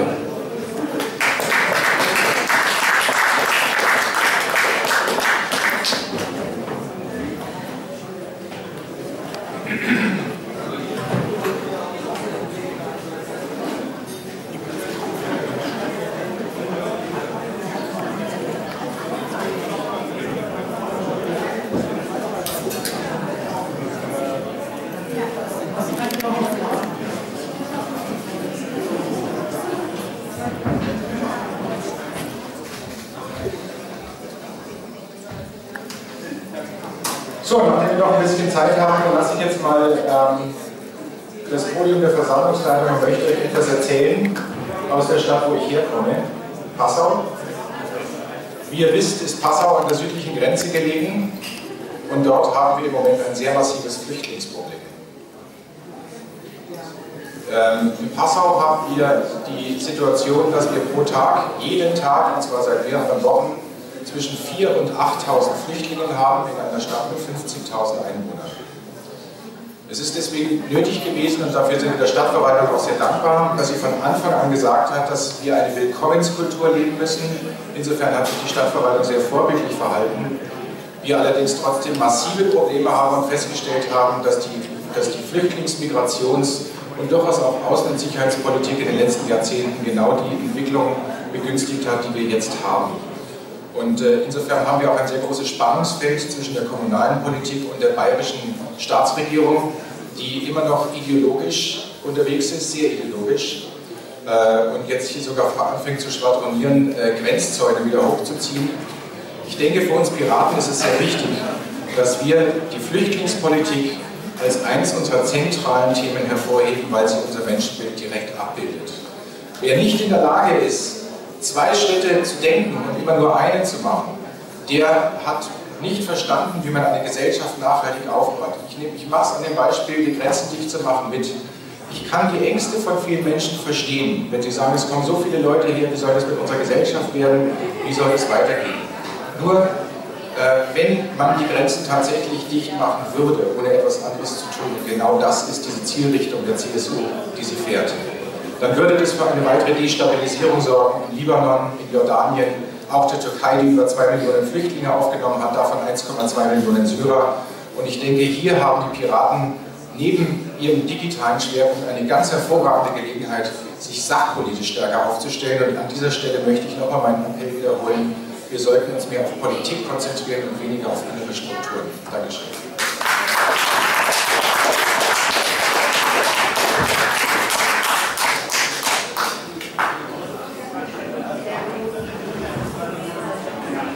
Magst du noch was sagen? Ja.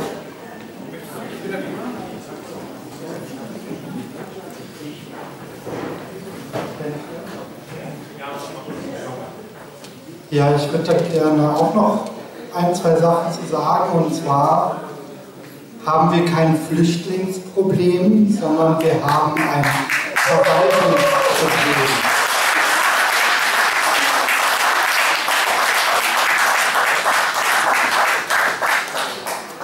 Und ich glaube, die Politik, die hier gefahren wird, die wir immer wieder erleben von der CSU, von der CDU, SPD,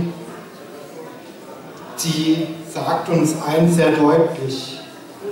Sie sagt uns, dass diese Parteien keine wirkliche Versorgung und adäquate Lösung für Flüchtlinge bieten will.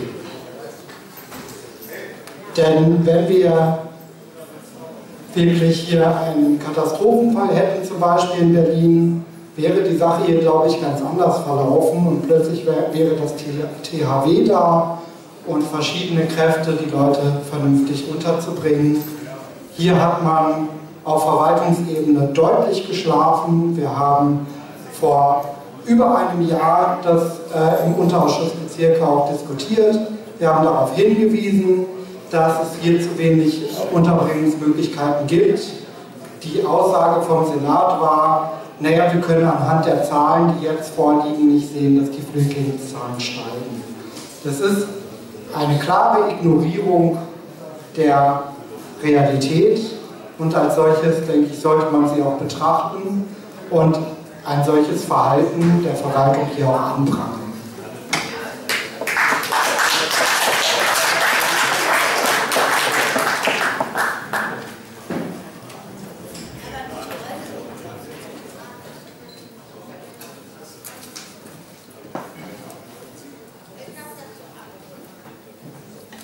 So, wir haben ein Vom Wahlgang zum ersten Vorsitzenden.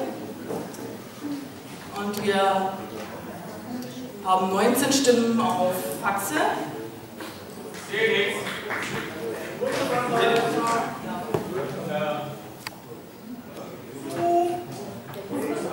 Also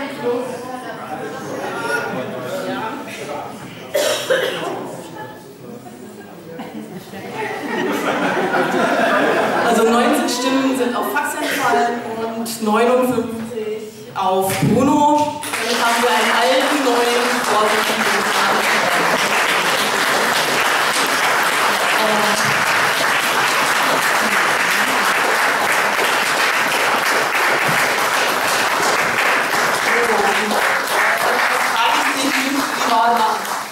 Ich nehme die Wahl an und ich freue mich tierisch, mit euch in den Wahlkampf zu ziehen. Danke.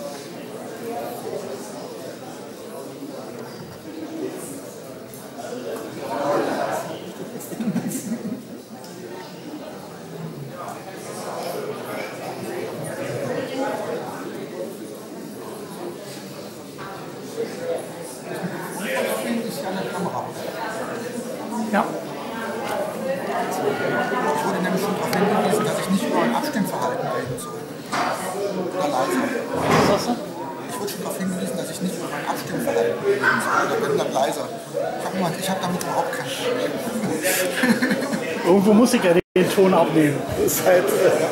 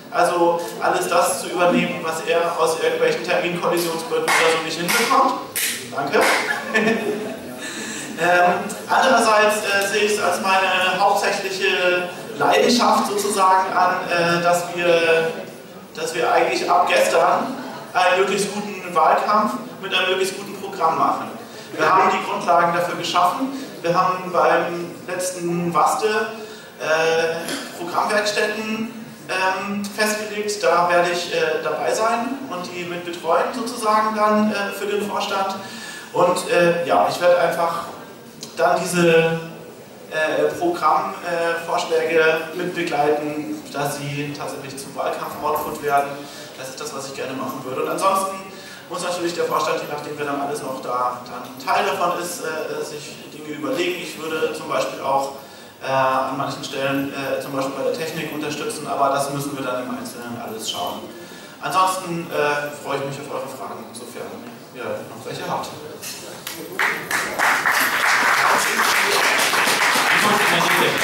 Am besten auch, wenn ihr jetzt Fragen gestellt So, damit ich mich nicht so tief begrüße. Ich habe nur eine kurze Frage an dich, Simon. Äh, wenn du nicht als Stellvertreter gewählt würdest, würdest du auch als Beisitzer antreten? Das ist eine gute Frage. ähm, das äh, würde ich dann äh, entscheiden, sobald die Liste für die BeisitzerInnen offen ist. Äh, aber ich sehe jetzt grundsätzlich momentan nichts, äh, was dagegen sprechen würde.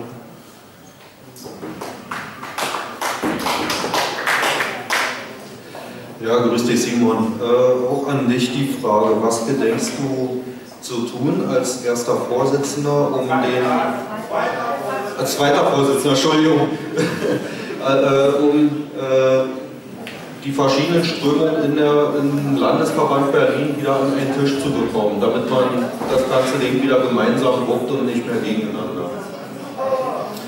Ähm, ich denke, wir sind da jetzt gerade so ein bisschen äh, am Ende eines Konsolidierungsprozesses. Ich denke mal, und das zeigt eigentlich auch dieser Parteitag, dass äh, es eigentlich in Berlin gar nicht mehr wirklich äh, sinnvoll ist, von verschiedenen Strömungen zu sprechen. Ich denke mal, wir alle haben äh, jetzt gerade den Wunsch, in allererster Linie äh, uns auf 2016 vorzubereiten und da konstruktiv mitzuarbeiten.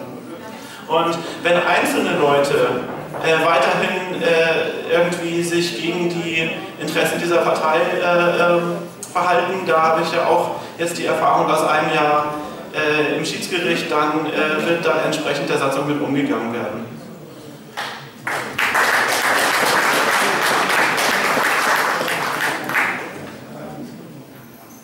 So, weitere Fragen sehe ich jetzt hier nicht an der Schlange stehen. Doch, doch, ihr seid jetzt immer. Moment, wer geht denn los?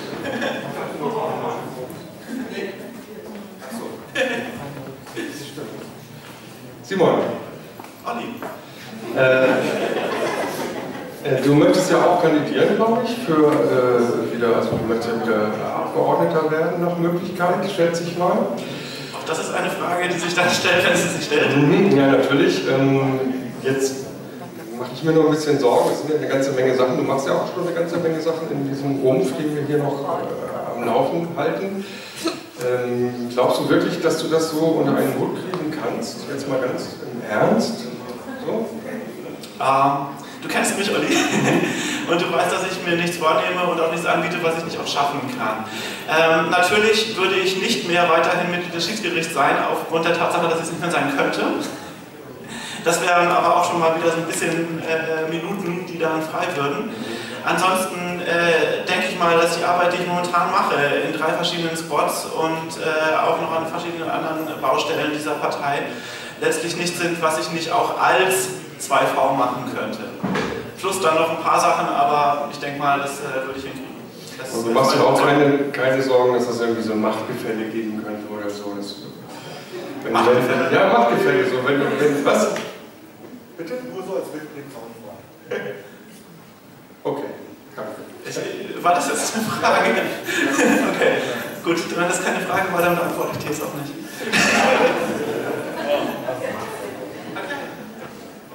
Demnächst, ne? Oder hast du auch noch eine Frage? Ähm, Olli, äh, was würdest du tun, um mich zu motivieren, für den Berlin-Wahlkampf anzutreten? Also zumindest äh, zum Helfen. Um dich zu motivieren? Ja. Als äh, Brandenburger? Als Brandenburger für den äh, Berlin-Wahlkampf ähm, mal wieder ja, meine Kraft reinzustecken. Äh, ich würde sagen, äh, wenn du noch hinter den Ideen stehst, die ursprünglich mal zu der Gründung einer Piratenpartei geführt haben, dann ist die Berlin-Wahl einfach unser Prüfstein. Berlin war das erste Mal, dass wir in einen Landtag eingezogen sind. Berlin kann das zweite Mal werden. Äh, die ähm, Umfragen aktuell sind kritisch, aber nicht chancenlos. Und wenn uns das gelingt, dann hätten wir tatsächlich den Leuten, die äh, seit 2012 behaupten, das wäre irgendwie nur so ein einmaliger Hype gewesen, der sich niemals wiederholen wird, dann hätten wir denen tatsächlich gezeigt, dass sie Unrecht haben. Und ich denke mal, das wäre einfach das, was diese Partei momentan braucht. Ähm, Party on. Bitte? Lass uns einfach Spaß haben. Ich freue mich auf den Wahlkampf. Ja, das kommt natürlich noch dazu.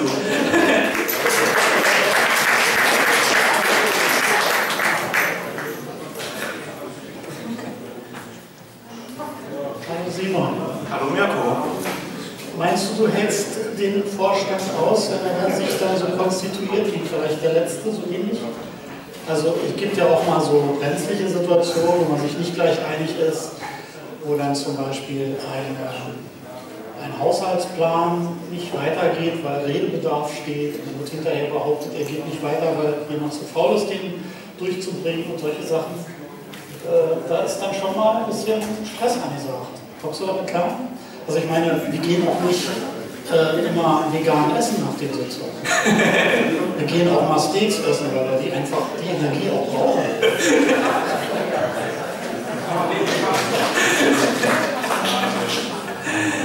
Okay, ähm, das mit, äh, also ich werde weiterhin Veganer sein.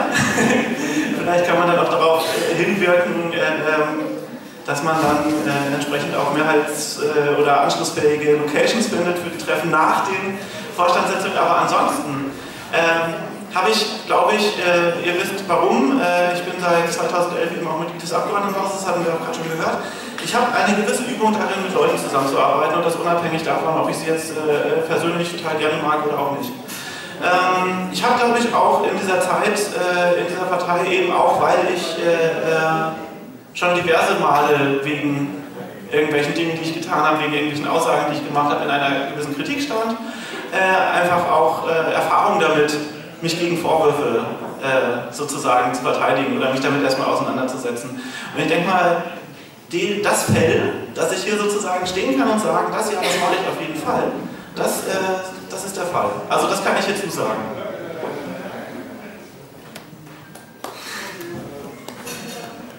Okay, jetzt hat sich auch, glaube ich, gültig erledigt, die Frage für, dich. Ähm, Dankeschön. Okay, damit kommt der Kandidat. Gordon, stelle dich vor. Ja, hi. Ähm, ich bin Gordon. Die meisten von euch ähm, kennen mich schon. Ich war schon anderthalb Jahre lang äh, im Landesvorstand Berlin, damals als Landesschatzmeister. Ähm, insofern ähm, habe ich auch schon ein paar Erfahrungen, was äh, Vorstandsarbeit angeht. Ähm, ich stehe ähm, heute hier, weil ich zum einen sage, eine Wahl hat nur der, der auch eine Wahl hat. Insofern ähm, brauchen wir entsprechende Kandidaten. Ähm, zum anderen ist mir äh, in den letzten, gerade im letzten Jahr, anderthalb Jahren aufgefallen, dass wir in Berlin ähm, durchaus dieses Wir verloren haben. Ähm, wir waren mal eine äh, eingeschworene, äh, ein eingeschworener Landesverband, äh, der sich regelmäßig in verschiedenen äh, Grüppchen getroffen hat, der zusammengearbeitet hat, der Spaß hatte. Und äh, mit dem Wegbruch von vielen Crews, dem Wegbruch von Kinski ähm, und von anderen Lokalitäten ähm, hat sich das so ein bisschen auseinanderdividiert. Und ähm, ich finde, wir haben äh, da unbedingt wieder Nachholbedarf. Wir müssen dort wieder eine, ein Wir werden, denn wir haben 2016 eine Wahl, wir wollen wieder in dieses ähm, Abgeordnetenhaus einziehen. Ähm, dafür stehe ich, dafür brenne ich. Ich, dafür, ich möchte gerne diesen Landesverband wieder ähm, ins Abgeordnetenhaus reinbringen.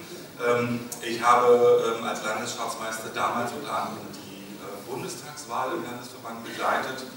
Ähm, und ich denke, zusammen als wir können wir das schaffen, als einzelne Grüppchen nicht. Und genau deswegen möchte ich gerne da an diesem Punkt arbeiten und äh, schauen, dass wir da wieder enger zusammenrücken, zusammenarbeiten, um gemeinsam dieses Ziel zu erreichen.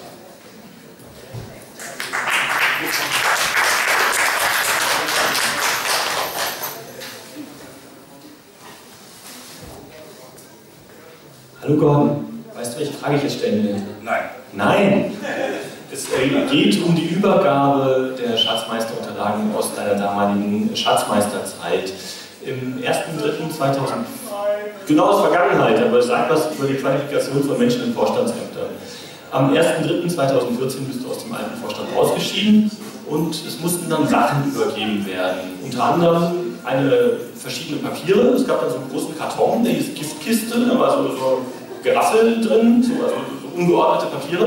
Und da hieß, das ist gefährlich. Äh, es stellte sich dann raus, wie gefährlich das war, als wir äh, vom Magengericht, heute immer gern genommen, äh, Nachricht bekamen, äh, dass jetzt demnächst gegen die Piratenpartei vollstreckt wird. Wir hatten dann Glück, dass da ein Formfehler drin war. Es waren dann 2800 Euro. Äh, schlussendlich konnte da, haben wir ungefähr sechs Wochen, acht Wochen gebraucht, bis wir von dir diesen Unterlagen hatten, um substanziert dagegen vorgehen zu können. Warum hat das so lange gedauert? Ähm, also, äh, um, es, um es zu konkretisieren, äh, es geht dort um einen Fall äh, der Abrechnung von Vattenfall über den Strom äh, der WKZ ähm, die dort ähm, eine horrende Summe für einen Verbrauch gefordert haben, ähm, den wir niemals äh, verbraucht haben können. Was einfach daran liegt, dass vor uns sozusagen eine entsprechende Verkaufseinrichtung drin war mit Kühltruhen und so weiter, die einfach diesen Aufschlag gemacht haben.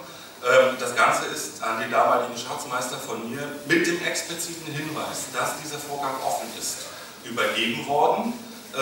Er sagte mir, er kümmert sich darum. Ähm, das ist eine Zeit lang nicht passiert. Ähm, und als es dann irgendwann sozusagen zu diesem Eskalationslevel kam, ähm, kamen dann einzelne Vorstandsämter, äh, also Vorstandsmitglieder zu mir und sagten, was ist denn da los gewesen, was ist denn da passiert? Und dann haben wir uns hingesetzt und haben die entsprechenden Unterlagen nochmal rausgesucht. Aber sie waren alle schon da. Und sie waren auch alle im DMS. Also man hätte darauf zugreifen können. Moment, Moment, Moment. Gibt es, du bist auch am, willst eine Frage stellen? Stell dich bitte hinten an.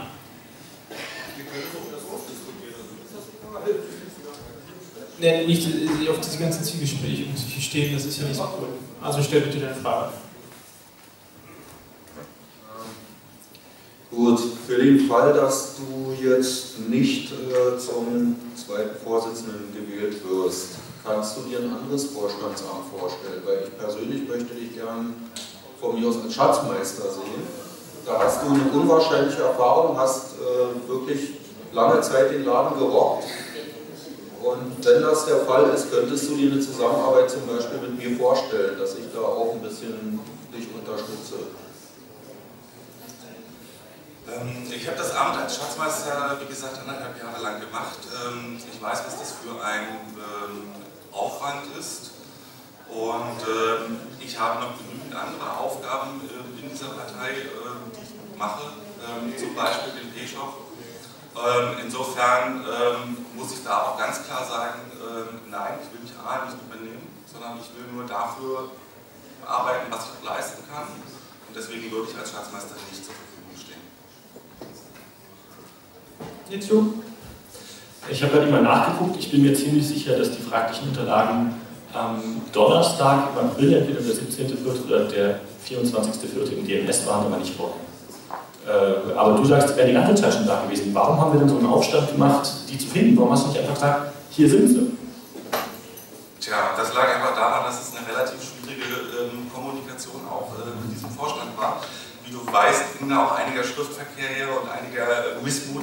Ähm, insofern, ähm, ja, wie gesagt, ich bin aber auch der Meinung, dass wir jetzt hier irgendwie WG-Anonymitäten nicht unbedingt ausdiskutieren müssen. Ich wäre auf deiner Seite geworden. Ja, ja.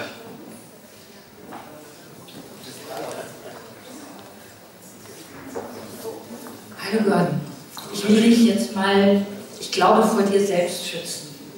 Du machst den P-Shop, du machst den gut. Ich erlebe dich aber wirklich an zu 99 Prozent an der Belastungsgrenze. Ich finde, du tust dir damit wirklich nichts Gutes. Bitte überleg dir das nochmal sehr, sehr genau. Du bist ganz wertvoll für diesen Landesverband tatsächlich, mit all deinem Wissen aus der Schatzmeisterei und so weiter.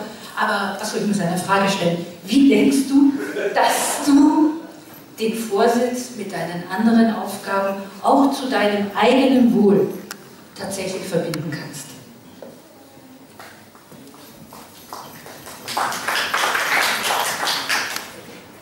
Ähm, genau das ist ähm, die, Frage, die ich mir auch gestellt habe und ich habe mir das auch mit Sicherheit nicht leicht gemacht.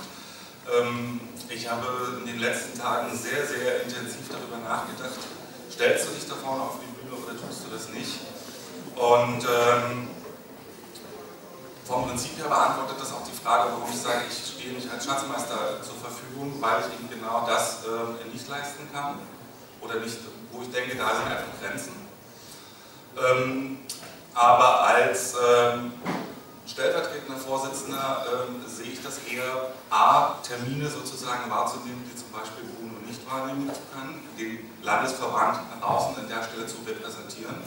Auf der anderen Seite aber eben tatsächlich nach innen zu wirken und zu schauen, dass wir wieder ähm, enger zusammenrücken, dass wir äh, wieder mehr miteinander reden, anstatt übereinander zu reden. Ähm, und ich denke, das ist eine Aufgabe, ähm, die ich äh, jetzt schon tue und die ich so in der Form auch ähm, noch besser leisten kann.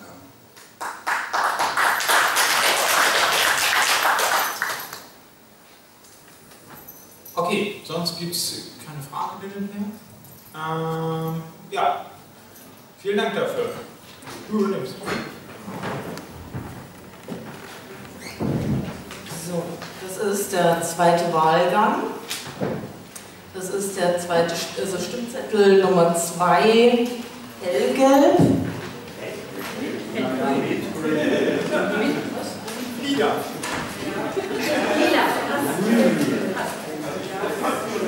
Ja, irgend so eine sehr helle Farbe. Pastellfarben, ja. ähm, die Stimmen, wie, an, wie man will, zu sehen. Ähm, Stimme 1 für Praxe, Stimme 2 für Simon Kowalewski und Stimme 3 wäre dann für Gordon. Dann bitte ich die Wahlhelfer an die Urne.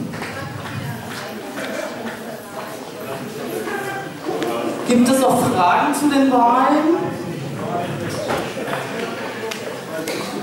Das ist anscheinend nicht der Fall.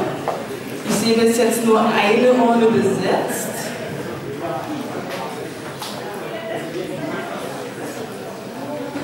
Ähm, es können ein bis drei Kreuze gemacht werden.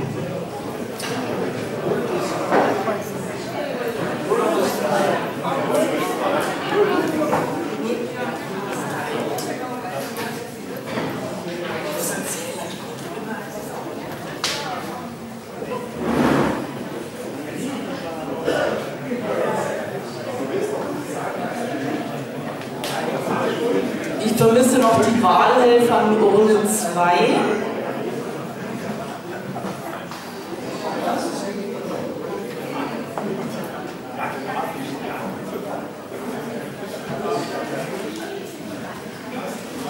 Ja, nee, das müssen wir vollständig, ne? Bei dir fehlt noch jemand? Ah, okay. Ihr braucht einen Okay. Ähm.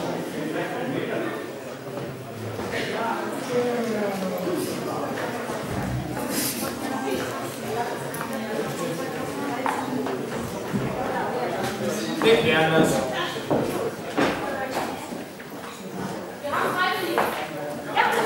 Es gibt Freiwillige, das ist doch wundervoll hier. Läuft wie ein Spiel. Ähm, ja, jeder hin, erklären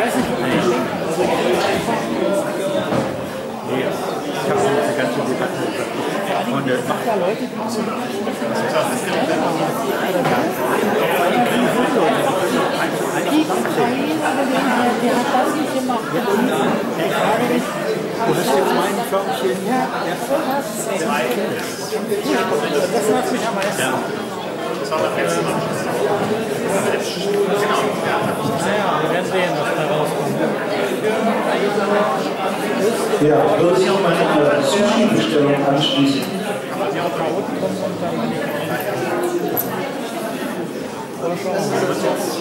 ich glaube, der Inhalt im Moment, glaube ich, den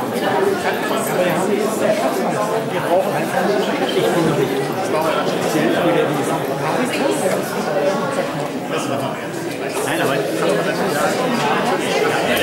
aber du weißt das ist. Wenn jemand weggeworfen wird und sieht nicht mehr, was er gemacht hat, dann bleibt was hängen. Und das ist schade.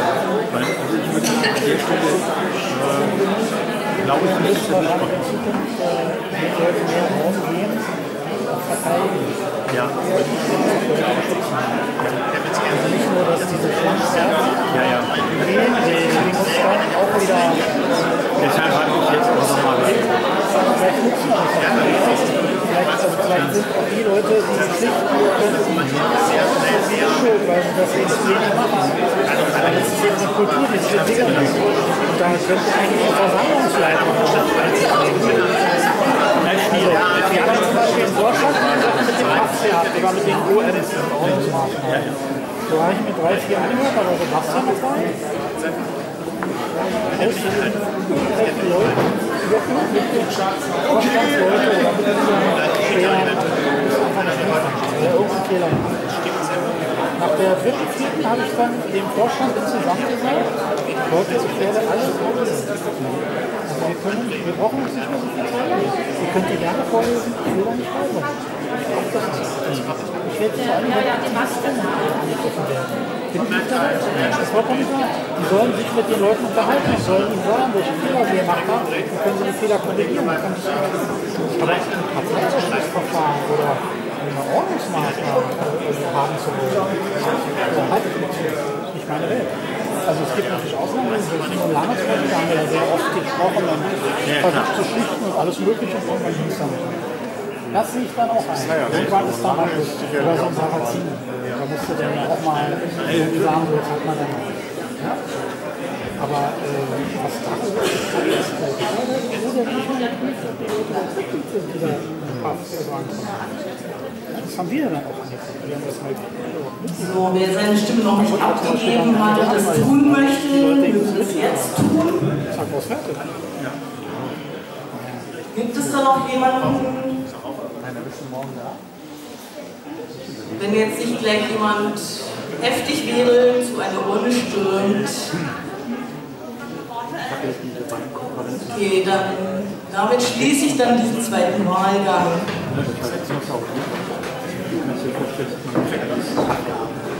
So, und ich bitte auch nochmal um die Aufmerksamkeit. So, wir haben jetzt eine Ausführungspause.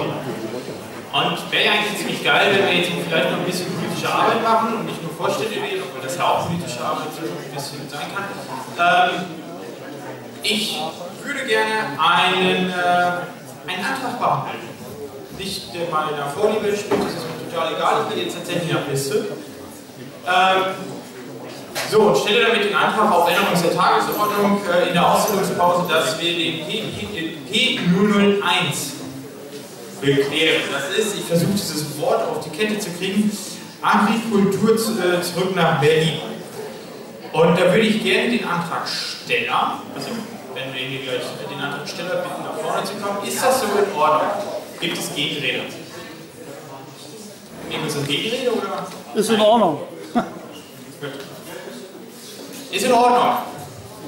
Ja, kommt ein bisschen mehr Response hier, das sind Großleute. Mach doch einfach eine Abstimmung.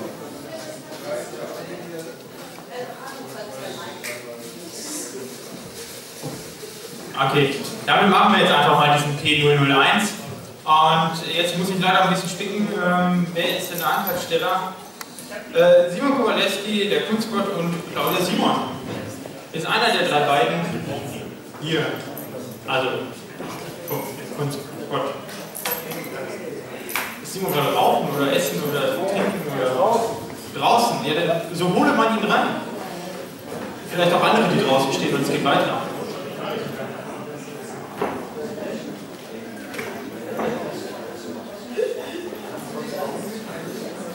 Du solltest vielleicht vorher klären, ob derjenige da ist.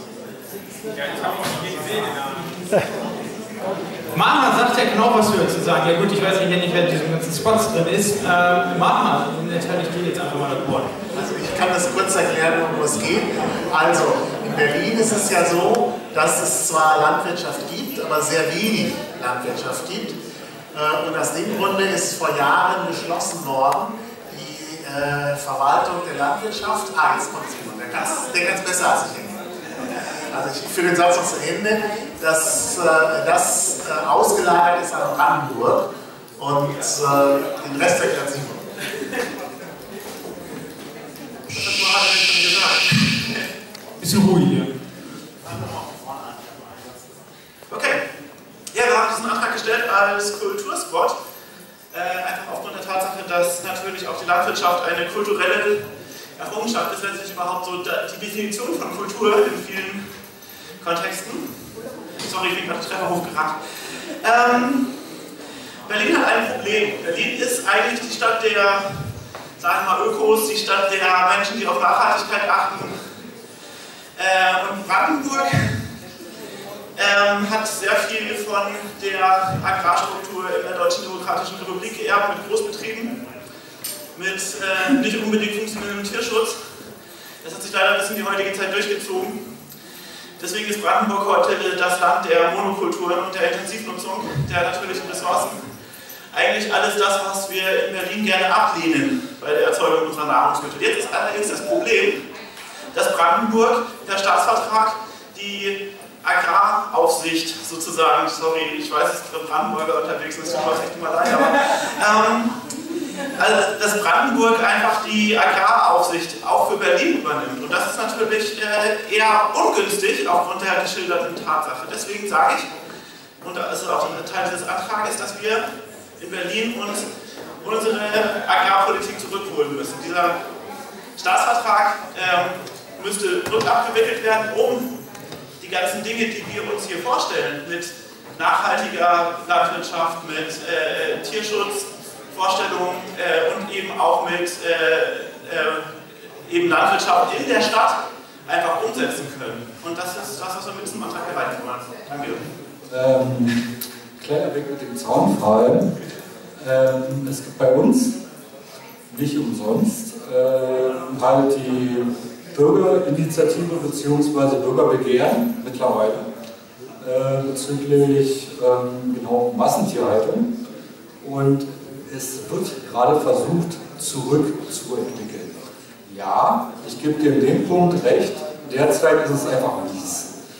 Aber mittlerweile hat irgendwie die Bürgerinitiative bezüglich Massentierhaltung irgendwie 30.000 Unterschriften und ja, wir sammeln weiter. Und ähm, es gibt zumindest gute Möglichkeiten zu sagen, äh, Brandenburg ist auf ihrem Weg, äh, das irgendwie zurückzuentwickeln. Wir haben Vogelsänger, der Idiot, Entschuldigung, ähm, ist halt ein Massentierhalter und es wird halt ein bisschen dauern, aber zumindest wir hoffen, dass wir irgendwie noch in diesem Jahr das Ganze irgendwie zurückbringen können. Derzeit, aus dem jetzigen Punkt, stimme ich dir zu. Äh, wir sammeln natürlich die ganze Zeit Unterstützerunterschriften bzw. Ähm, Möglichkeiten, das Bürgerbegehren durchzubringen. Es gibt natürlich dann noch äh, die Volksinitiative, eine höher und es dauert. Und äh, von daher aus der jetzigen Sicht, klar, stimme ich dir zu, aus der zukünftigen Sicht ähm, bin ich zumindest positiv optimistisch, dass wir das Ganze zurückdrehen können. Es ist das Ganze natürlich genauso wie ähm, dritte Startbahn BER. Es ist noch Zukunftsmusik und wir sind dabei. Aber wir sammeln und ja, es dauert, aber es ist halt Brandenburg, weil du hast den Amtseintrag, du musst die Leute irgendwie in die Ämter bringen. Aber ich hoffe, dass wir das noch im Ende dieses Jahres in die richtige Richtung treten können. Und ähm, von daher aus der jetzigen Sicht, klar, stimme ich dir zu, sind wir einfach nur scheiße. Aus der zukünftigen Sicht ähm, würde ich sagen, positiv optimistisch, wir kriegen das hin. Einfach aus der Sicht der Piraten äh, Brandenburg, wir machen das. Mich auch über jede Bürgerinitiative und über jeden äh, der in Brandenburg nicht genehmigt wird. Auch das kommt ja in letzter Zeit ab und zu mal vor. Aber ähm, dass es diese Bürgerinitiativen gibt und dass tatsächlich um jeden neuen äh, Betrieb, der da sogar hochgradig subventioniert irgendwie angesiedelt werden muss, so einen Kampf gibt, zeigt mir halt, dass die brandenburgische Landwirtschaftspolitik einfach momentan, ich hoffe natürlich, dass sich das ändert, ne? aber momentan halt einfach nicht das ist, was wir als Berliner wirklich äh, sozusagen unterstützen können. Und nicht unterstützen im Sinne von, ja, ihr macht mal euer, das ist okay, sondern unterstützen im Sinne von, ja, wir machen mal euer und unseres gleich mit. Weil das gibt mir einen Schritt zu weit, dass die brandenburgische äh, äh, Agrarpolitik um 180 Grad noch drehen sollte. Ich wäre echt froh, das noch erleben zu dürfen. Äh, das würde aber nichts daran ändern, dass tatsächlich Berlin als Stadt noch ganz andere Anforderungen hat. Wir haben nicht die riesen Flächen, die es in Brandenburg gibt.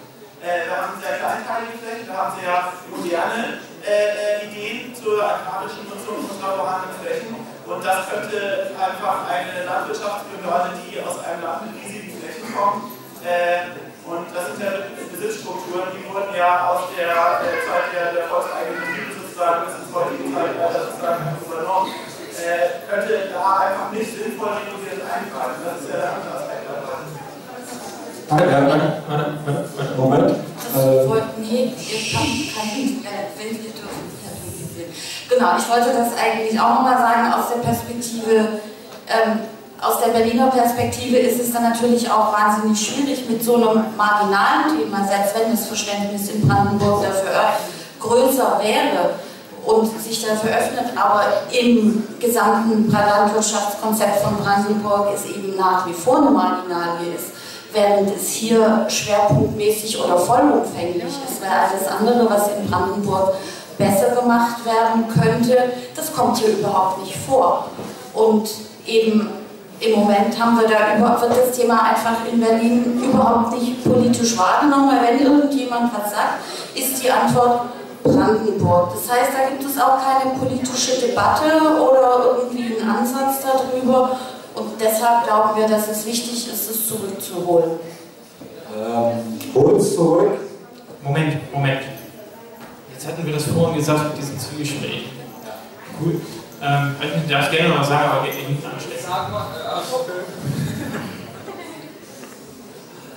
ähm, ja, ich wollte ähm, das äh, Gespräch eigentlich so wieder ein bisschen zurückführen und äh, erstens anmerken, dass, äh, dass ich glaube, die, das Beispiel der Massentierhaltung zeigt durchaus, ähm, warum es Sinn machen würde, als Berliner äh, bei Brandenburg zu bleiben und als Berliner bei den Brandenburgern Druck auszuüben, dass äh, äh, hier deutlich mehr getan wird, um der Massentierhaltung entgegenzuwirken. Ähm, als zweites wollte ich ähm, sagen, dass ähm, ich ja äh, 2011 oder Ende 2010 äh, habe ich äh, mit, mit dem Faxe äh, rumgefeixt und an einem äh, landwirtschaftlichen Programm gebrainstormt oder was. Ähm, und ähm, ähm, ich dich ja auch daran erinnert hatte, als du das über die Liste geschickt hattest, dass du, äh, oder Claudia warst, dass, äh, dass ihr an einem landwirtschaftlichen Programm arbeitet. Ähm, und da habe ich ja schon äh, so ein paar Stichwörter gegeben. Ähm, äh, wie, was eigentlich gemacht werden müsste oder wie eine Landwirtschaftspolitik in Berlin aussehen würde. Und ich bin äh, durchaus froh,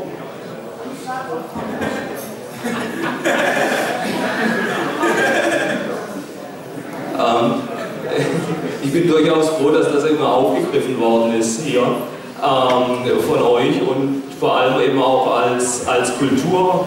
Äh, Squad, dass ihr das als Kultursquad euch dieses Thema annehmen wollt. Ähm, Kunst und Kultur, jawohl. Ähm, denn ich denke sehr wohl, dass, äh, dass Berlin ein eigenständiges, äh, eine Landschaftskultur äh, pflegen sollte. Ähm, und äh, dass ich durchaus zuversichtlich bin, dass ihr da auf dem richtigen Weg seid. Danke. Zu dem ersten Teil vielleicht nochmal. Momentan haben wir in Berlin keine Landwirtschaftspolitik. Wir haben keine, keinen Geschäftsbereich im Senat für Landwirtschaft. Wir haben Parteien in Berlin, die antreten in ihren Programmen und kein Wort über Landwirtschaft sagen. Was auch logisch ist, weil die Berliner Wählerinnen und Wähler durch ihre Wahlentscheidung für eine der Parteien, die in Berlin kandidieren, keinen Einfluss auf die Landwirtschaft letztlich erringen können. Und genau das ist eben das Problem, äh, dem wir uns hier widmen wollen. Genau, und ähm, der Antrag ist jetzt ja noch kein Programm, es ist nur mal die grundsätzliche Position, die ins Wahlprogramm soll, die aber wohl die Voraussetzung ist, dass in den nächsten Monaten noch etwas detailreicher Programm dazu ausgearbeitet werden kann. Und deshalb sollten wir uns heute darüber verständigen, ob wir dieses Thema tatsächlich ein bisschen mehr in die Tiefe bearbeiten. Bevor jetzt die nächste Frage herankommt, ähm, ja, versucht eure Fragen relativ gezielt und in eine Essenz zu stellen. Ich stelle meine Fragen eigentlich immer gezielt und mit Essenz. Aber ähm, ich darf euch jetzt nicht angucken, wegen dem Stream, weil ich muss hier in den Stream gucken. Aber ähm, wie auch immer, ähm, Ihr habt ja selber vorhin schon richtig angemerkt, dass äh, Landwirtschaft in Berlin eher so ein marginales Problem ist, weil es einfach nicht sehr viel Flächen dafür gibt. Und aus diesem Grunde ist, glaube ich, auch ähm, werden da hoheitliche Rechte an das Land Brandenburg äh, abgegeben, die einfach in Landwirtschaft sehr viel mehr äh, zu sagen haben. Deswegen die Frage, lohnt es sich wirklich äh, wegen anderer Ansichten, ähm, von euch jetzt äh, doppelte Strukturen aufzubauen in einem Land, wo äh, Landwirtschaft nur eine geringe Rolle spielt. Und zweitens, nehmt ihr euch nicht selber die Wechselwirkungsmöglichkeiten mit dem Land Brandenburg, denn schließlich durch die Abgabe dieser hoheitlichen Rechte an das Land Brandenburg hat Berlin natürlich auch ein gewisses Mitspracherecht es gibt dort eine äh, Möglichkeit, sich äh, zu verabreden mit Brandenburg und dort äh, Einfluss zu nehmen und dabei vielleicht auf einen viel größeren Markt, nämlich auf den Brandenburger Markt, Einfluss zu nehmen. Äh, das Problem der Massentierhaltung haben wir in Berlin in dem Sinne eigentlich ähm, meiner Kenntnis nach sowieso nicht. Also es hilft tatsächlich nichts, äh, ein theoretisches Mitspracherecht zu haben, wenn es niemanden gibt, der sich darum kümmert. Und das ist momentan die Situation letztlich in der Berliner Verwaltung. Ähm, und es ist einfach so, dass äh, die Zeiten, wo Landwirtschaft immer nur da durchgeführt worden ist, wo riesige Flächen zur Verfügung standen, wo man dann einfach riesige Monokulturen hektarweise irgendwie immer der gleiche Raps oder so anbauen kann, das, das ist einfach eine gescheiterte Ideologie. Landwirtschaft ist inzwischen viel kleinteiliger und, und muss es auch noch kleinteiliger werden, wenn wir das Ziel erfüllen wollen, dass sich die Menschen hier in dieser Stadt einfach auch äh, äh, mehr oder weniger autonom äh, äh, ernähren können, wenn sie das wollen. Das sind einfach alles Herausforderungen, denen wir gegenüberstehen und die mit einer Landwirtschaftsbehörde in Brandenburg, zumindest aktuell und eventuell auch in der Zukunft, äh, einfach nicht machbar sind. Ich glaube, das ist auch eine Facette des Labors dem Bruno gesprochen hat. Ist, ähm, da gibt es eine Menge Sachen, die auch im weitesten Sinne in das Startup und so weiter Dinge neu denken, Produktion, ähm, Arbeitsweisen, Zusammenleben und so weiter neu denken und ich finde schon, oder es wäre mir ganz recht, wenn wir uns da tatsächlich auch in dem Bereich ein bisschen reinsetzen und progressiv nach vorne denken. Ähm, ja, ähm, ich gebe euch als Brandenburger insoweit recht. Ähm, ihr könnt bis zum gewissen Punkt äh, unsere Landwirtschaft nicht beeinflussen. Ja. Ähm, Problem sehe ich einfach nur, einfach nur bei euren Wasserbetrieben. Eure Wasserbetriebe äh, planen wegen Sulfat und ja, zu Recht. Ein Grundproblem ist einfach nur darin, wir haben halt unsere Braunkohle und es gibt, Ausnahme der SPD, sehr viele Kräfte, die genau in dem Punkt sagen, äh, sorry, Braunkohle bzw. Äh, die ganze Sulfatbelastung aus der Lausitz, es geht uns am Arsch bzw. es nervt uns. Fleming, äh, wo ich herkomme, es ist das ganze Gegenteil. Wir sind eigentlich eine äh, Region, die energieautonom ist. Wir haben derzeit mittlerweile 95 Prozent unserer Energie stellen wir selber her. Wir würden gerne mehr Energie exportieren, also gerade in Richtung Berlin. Darauf streben wir die ganze Zeit an. Und wir dürfen nicht, beziehungsweise wir können nicht, weil uns dann die ganze Zeit das EEG im Nacken wäre, ähm, bezüglich, ja, ihr produziert zu viel und ähm, wohin? Hallo, wir exportieren beziehungsweise wir produzieren für Berlin. Und genau die Problematik steht uns die ganze Zeit auf den Knochen. Ähm, wenn wir natürlich Lausitz bzw. Fleming weiterdenken, würden wir natürlich als Energie, derzeit Energieressort, eure Energie produzieren. Geht natürlich nicht bezogen auf EG. Und genau die Problematik steht uns die ganze Zeit in den Beinen. Ja, der also wenn wir bezogen auf Wasserressort gehen, ähm, ziehen wir die ganze Zeit Wasser bei euch Über Delta-Kanal und Co. Und genau Moment, Moment, Moment. Also ich, ich unterbreche ich sage Ihnen aber gezielt. Ja, gezielt ist einfach nur die Problematik, ähm, wie verbinden wir die ganzen Ressorts? Äh, bezogen auf ja, andere Komponente, äh, bezogen auf Nahverkehr äh, würden wir gerne den ähm, bezogen auf Berlin den Ring bezüglich Wannsee und Tetto schließen. Also Stahnsdorf, die Problematik hätten wir gerne gefixt. Und ähm, es gibt so viele Punkte, wo wir regional kooperieren könnten, aber es werden uns durch zig Barrieren einfach mal die Füße gerollt. Und genau da ist der, der Punkt, wo wir sagen, äh, sorry Leute, äh, wir sind Randregion von Berlin, beziehungsweise Randregion von Brandenburg. Scheiße, lasst uns endlich mal ein Bundesland machen, wo wir einfach mal die ganzen Punkte fixen können, die wir jetzt einfach mal nicht machen können, weil wir nicht ein Bundesland sind. Es gibt so viele Punkte. Lasst uns einfach mal kooperieren und dann gucken wir einfach mal raus, wo es nicht stimmt, wo es stimmt und dann machen wir einfach den Scheiß. Ja. Es ist so. Okay. Ich, ich äh, fasse das mal ganz kurz so zusammen. Ich bin absolut der Meinung, dass eine stärkere Zusammenarbeit zwischen Berlin und Brandenburg gerade äh, im Hinblick darauf, dass die Länderfusion unumgänglich ist, äh, weiter intensiviert werden muss. Das äh, sind Punkte, die du erwähnt hast. Äh, ich meine, Berlin platzt aus allen Nähten. So, die Stadt müsste weiter wachsen, kann sie nicht, weil da ist eine Landesgrenze. Äh, Brandenburg hat weiterhin riesige Probleme mit der Stadtflucht irgendwie. Die Dörfer dünnen aus, außer jetzt vielleicht in Fleming. Das ist ja toll, dass, dass ihr da zumindest noch einen Nettozuzug habt.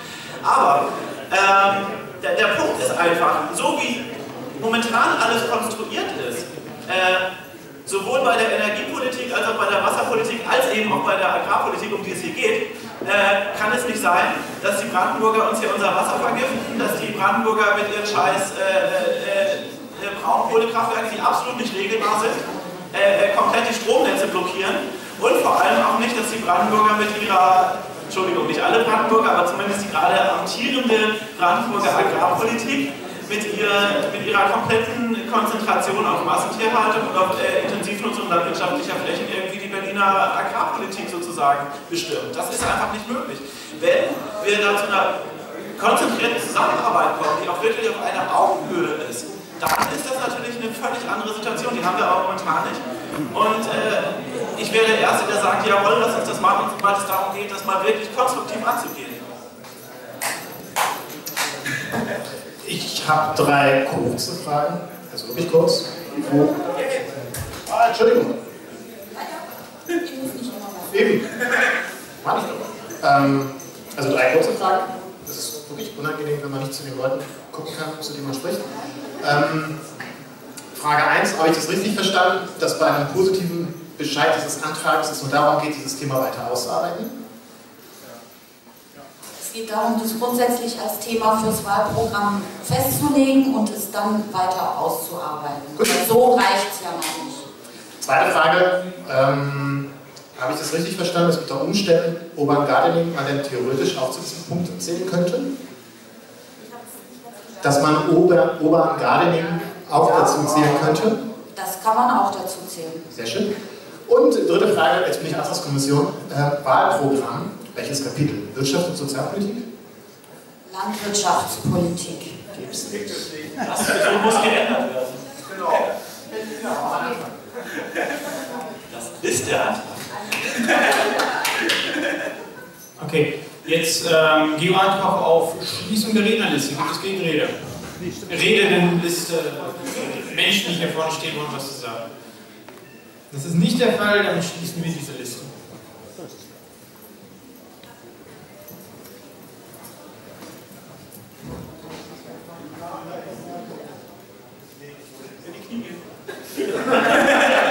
Das wäre ja Sport, also Sport mache ich nicht.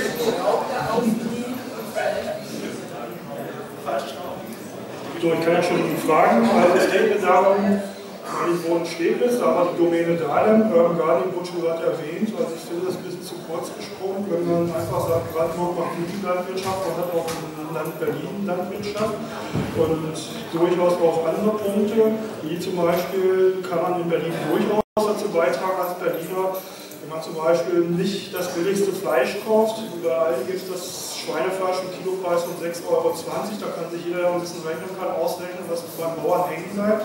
Und solche Sachen sollte man dann durchaus schon in Landeshoheit lassen, da man es hier auch entsprechend kommunizieren kann, dass das nicht stattfindet. Wäre durchaus der Frage, habt ihr das in irgendeiner Form berücksichtigt, dass sozusagen das Verbraucherverhalten auch dazu gehört und dass wir in diesem Zusammenhang auch was sagen müssen und sollten, dass man das so wie es bisher gelaufen ist, das Verbraucherverhalten billig ist die erste Priorität, alles andere steht zurück. Sollte, habt ihr das da nicht drin? Weil der Antrag selber, den ich durchgehe, da steht das so nicht drin. Habt ihr da etwas vor in der Zukunft?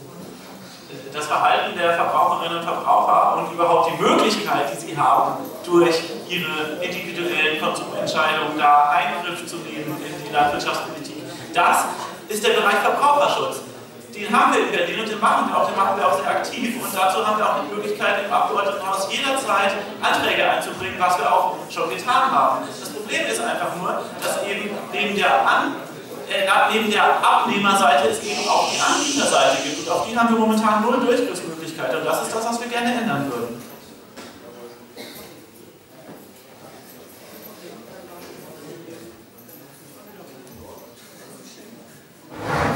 Ich finde diesen Antrag sehr gut. Ähm, zum einen, in, wenn ich mir angucke, in Brandenburg gibt es äh, alle paar Jahre eine andere Regierung, im Moment sogar rot-rot.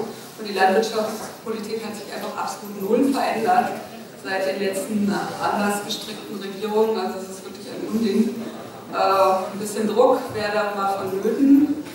Und das andere ist, dass ich das wirklich eine super Idee finde, in Berlin im Wahlkampf so ein bisschen die Grünen zu bashen und äh, mit einem wirklich umweltpolitischen Thema anzutreten. Also äh, auf jeden Fall zustimmen. Jetzt hast du unsere Strategie verraten.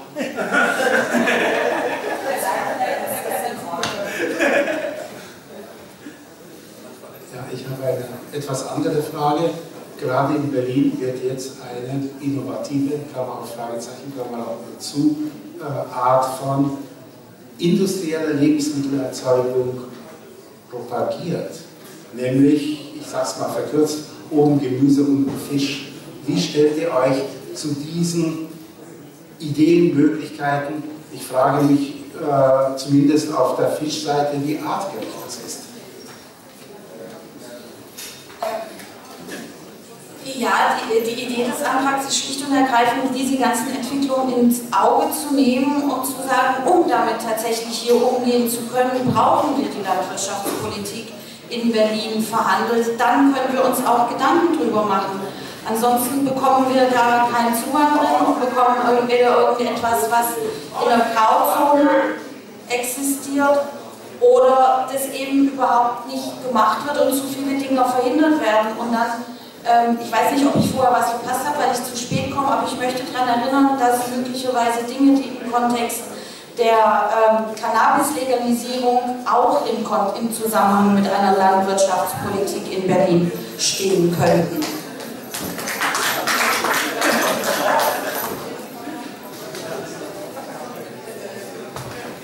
Okay, ähm, alle, was sehen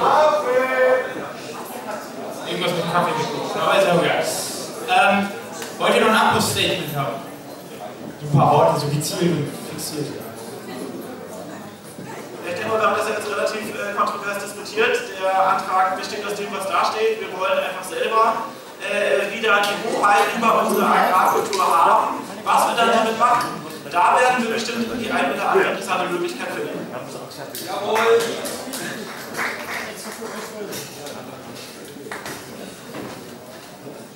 Okay, damit kommen wir zur Abstimmung.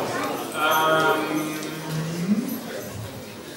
gut. Ja, hoch die Karten.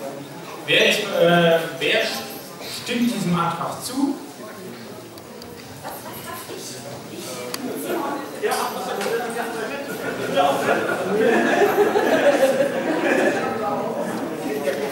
Jetzt sehe ich jetzt hier nicht tatsächlich noch nicht alle Karten, aber ich denke, dass ähm, das ist überwiegend oder sehr positiv ausfällt. Und damit ist der Antrag P001 angenommen.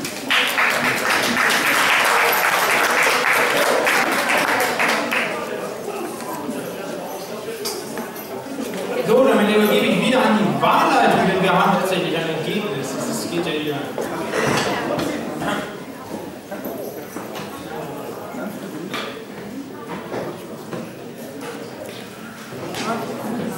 So, das Ergebnis sieht wie folgt aus.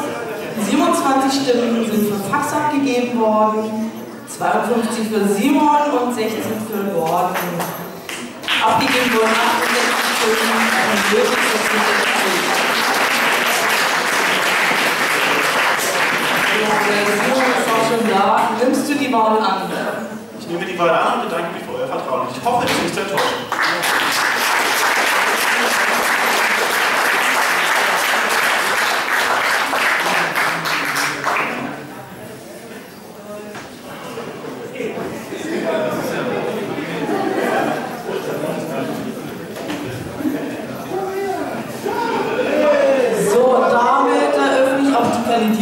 Kandidierendenliste für das Amt des Schatzmeisters.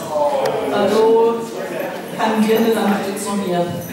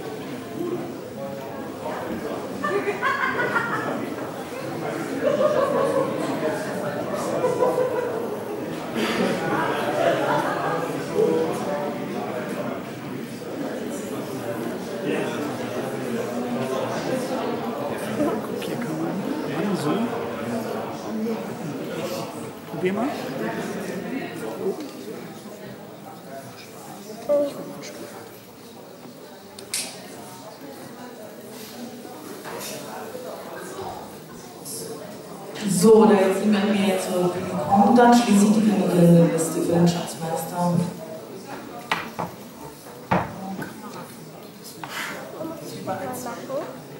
Ja.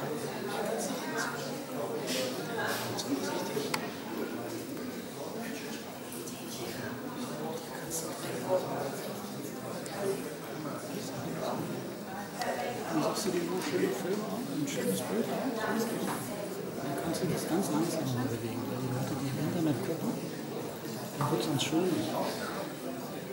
Das Bild, was du jetzt hier filmst, die Bilder wird live übertragen.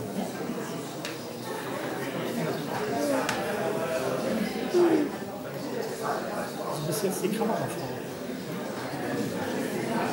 Aber film mal, film mal immer die Leute. Ja, Papa bei der Tagesschau. Was? Wen willst du filmen? So.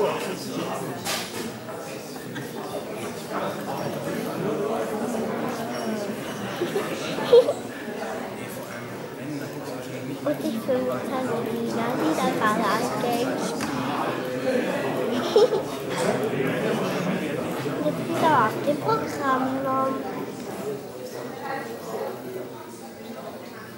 Kannst du auch raus, wenn du in die andere Richtung guckst.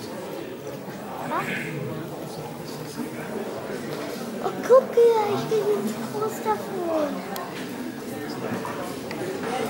So ein großes Poster. So, wir haben zwei Schatzmeister. Einmal Hans-Jörgen Weinberger und Jetzt kommen wir dann wieder zum anderen Programm von Alina, Papa. Alina. Alina. Ja, dann bitte die Kandidaten zur Bühne und sich dann beschäftigt.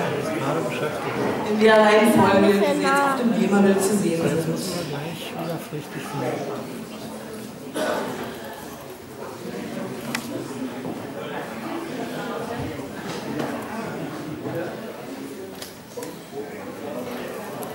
Jetzt wieder zum Programm. Das Leute und Genau, guck das Ganze sehen. Das ansehen, jetzt gleich sprechen. Ja. Ja, schön, ein bisschen Ruhe. Ich habe keine Lust gegen die Wand zu gehen. Okay. Ja, also mein Name ist Hans-Farin Weikenlager, mein Rufname ist Achim, so kenne ich hier die meisten. Ähm, bin seit 2011 Pirat, bin ja, regelmäßig im Squad Finanzen, Haushalt, Steuern, bin seit anderthalb Jahren Kassenprüfer, habe deswegen Einblick, was heißt es, Schatzmeister zu sein. Ist eine große Herausforderung, ja, dessen bin ich mir sicher. Das, was ich also bis jetzt alles gesehen habe, und ich möchte mich dieser Herausforderung stellen. Ich bin Unternehmens- und Immobilienberater, komme aus dem Bereich Finanzen und ja, biete an, zu versuchen, hier eine Finanzstruktur aufzubauen, dass wir Piraten mal sehen, was ist wirklich Fakt, also was haben wir wirklich für Zahlen, soll es Vergleiche, Budgetplanung aufbauen. Das ist das, was ich mir vorgenommen habe und das, was ich anrichte. Genau. Ich habe schon gebucht, ich habe finanziert, also alles in dieser Richtung. Rein von der Parteienfinanzierung weiß ich noch nicht so viel, weil da hat mich bis jetzt auch da hat nicht so viel interessiert. Nur in dem Sinne, dass ich sehr viel zugehört habe. Ich bin im Schatzi-Squad regelmäßig dabei, seitdem ich Kassenprüfer bin. Ja, und dementsprechend biete ich an, hier Schatzmeister dieser Partei zu werden, um ja, eine Finanzstruktur aufzubauen für uns. Ja, das ist eigentlich das, was ich mir so hier vorgestellt habe. Jetzt könnt ihr mir gerne Fragen stellen.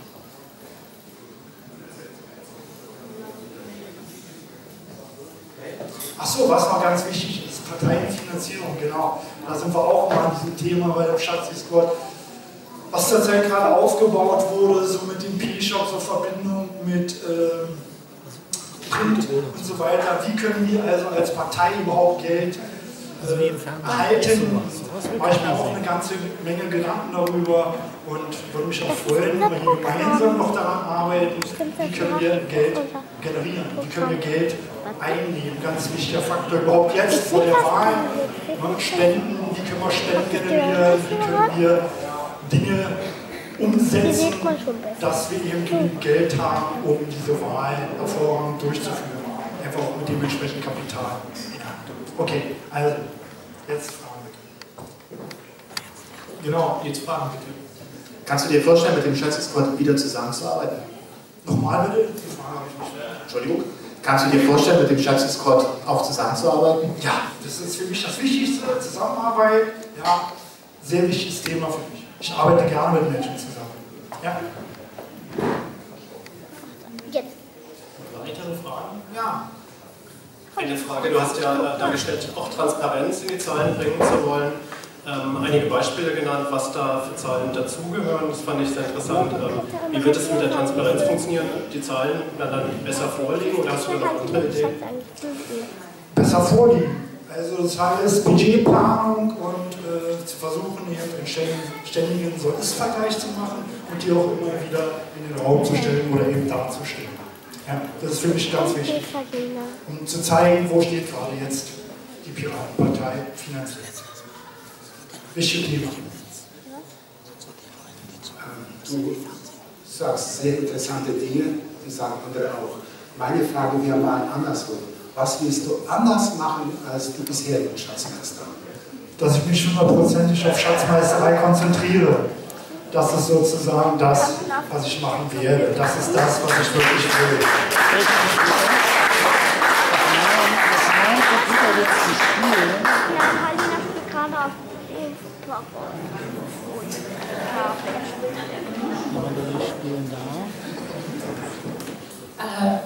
Ich kenne dich ja, Achim, schon eine ganze Weile im Spot FAS, unser Rendezvous jeden Montag.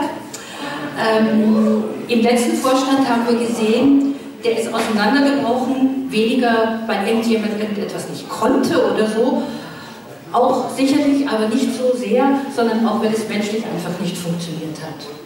Kannst du dir vorstellen, mit dem, also okay, jetzt ist erst Vorsitzender und Stellvertreter gewählt, mit denen tatsächlich auch konstruktiv zusammenzuarbeiten und vielleicht auch mal, wenn was nicht so ist, den Schritt zurück zu machen und zu sagen, ja, okay, geht trotzdem. Schritt zurück, kein Schritt zurück. Schritt. Also erstmal, ich freue mich sehr, dass Bruno erster Vorsitzender und Simon zweiter Vorsitzender ist hier dieser Partei, freut mich wirklich sehr. Und mit Simon haben wir auch schon vorher geredet und wir können uns gut vorstellen, gemeinsam ja, hier in dieser Partei den Vorstand darzustellen und also einfach daran zu arbeiten, gemeinsam hier in diese Wahlsituation hineinzulaufen. Ich bin auch ein bisschen aktiv mit der Wahlsituation. Ich bin so mit Strukturen gerne, also nicht als Fixum, sondern ja, Strukturen bilden. Ich habe so einen Wahlstrategie, Zeitplan erarbeitet, den ich gerne zur Verfügung steht, der hier auch zur Verfügung steht. Im Waste ist da drin, ich glaube im Waste 3 Pen, kann sich jeder anschauen, wird gerade auch noch überarbeitet, so als Orientierung. Das ist immer für mich wichtig. Nicht als Fixum, sondern dass wir eben als Partei, sagen wir mal, eine gewisse Orientierung haben. Wo stehen wir jetzt? Ja? Das heißt natürlich gute Zusammenarbeit. Genau, das ist auch so der Punkt, was ein bisschen der Manko ich brauche die Belegung, etwas machen zu können. Ja? Und äh, da ist so ein bisschen Manko, das brauche ich von euch. Also ich brauche von euch das, damit ich damit arbeiten kann. Ja? Und da habe ich schon gemerkt, da gibt es noch sehr viel dran zu arbeiten. Wie können wir da vielleicht eine Struktur gemeinsam einrichten, um dass es einfach besser funktioniert. Gut. Ich glaube, äh, wenn du dich dann kannst du dich da Genau, immer hinten einstellen. Genau. Ich meine, du kannst auch gar nicht jetzt. Okay.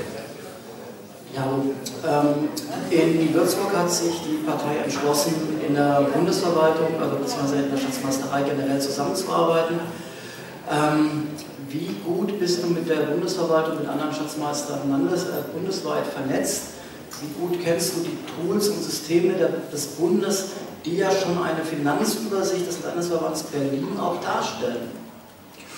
Sagen wir mal so, ich habe einen Einblick, mir wurde ganz viel erzählt, das soll funktionieren, das soll funktionieren. Ich habe mit Eco-DMS mal zusammengearbeitet. Ich habe sehr oft nachgefragt, ich bin Kassenprüfer, das heißt, also ich habe immer wieder nachgefragt, wie wird gebucht, dann wurde mir das erzählt, zum Beispiel, dass im Bund gebucht wird, jetzt wird sozusagen äh, geoutsourced worden, also meiner, äh, ja, meines Wissens nach, jetzt macht ihm jemand Zick, heißt glaube ich, das Unternehmen, oder weiß ich, der Mensch oder so. Danke, mir. Ja, gut.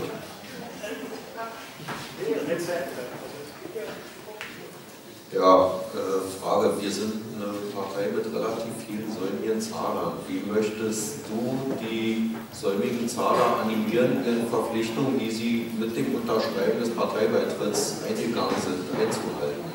Sprich, wie willst du die Leute animieren, ihre Parteibeiträge auch zu zahlen? Wie willst du dazu, dafür sorgen, dass sie vielleicht auch was darüber hinaus zahlen? Weil ich betrachte das auch als eine Aufgabe des Schatzmeisters, da Ideen zu entwickeln. Ja, also erstens, ich stehe komplett hinter dieser Partei. Ich finde die total wichtig, überhaupt in der Zeit, was also alles so auf uns zukommt. Und so wie auch Bruno schon erzählt hat und so weiter, wir sind einfach wichtig für diese Gesellschaft. Und das möchte ich auch noch mal allen Mitgliedern, die eben säumig sind, würde ich versuchen, das noch mal irgendwie darzustellen. Und äh, dass, wenn sie nicht zahlen, wir, ja, wie eben einfach keinen guten Wahlkampf machen können. Und somit versuche ich zu motivieren, eben vielleicht sogar die Menschen persönlich anzuschreiben. Persönliche Gespräche sind für mich immer das Wichtigste, also vielleicht kann man sie auch mal einladen irgendwo hin. Wir freuen uns zum Beispiel, wir überlegen die ganze Zeit, wie können wir die Menschen wieder motivieren, in den einzelnen Squads zu machen, wieder die Squads zu eröffnen. Ganz viele Squads sind wirklich deaktiviert, was ich total schade finde. Wir haben wirklich hervorragende Themen hier in dieser Partei mich traurig, dass so viele Dinge einfach, auch die Crews, immer weniger werden. Und ja, dementsprechend, ich möchte damit, also ich möchte versuchen, die säumigen um nochmal auf deine Frage zurückzukommen, dadurch zu motivieren, zu sagen, Mensch, schau dir an, du bist in dieser Partei, also bitte zahlen oder eben sogar ja, spenden. Mehr, wir brauchen einfach Geld. Das ist sozusagen, ich denke mir schon, ich bin ganz gut in der Lage, Menschen zu motivieren. Ja, doch, bin ich von überzeugt. Vielen Dank. Äh, ich sehe keine weiteren Fragen neben hier. Also kommt jetzt äh, Hami, du darfst gerne diese Bühne betreten und dich vorstellen.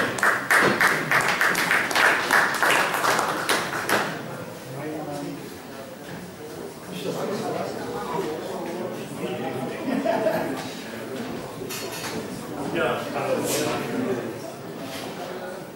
ja ich äh,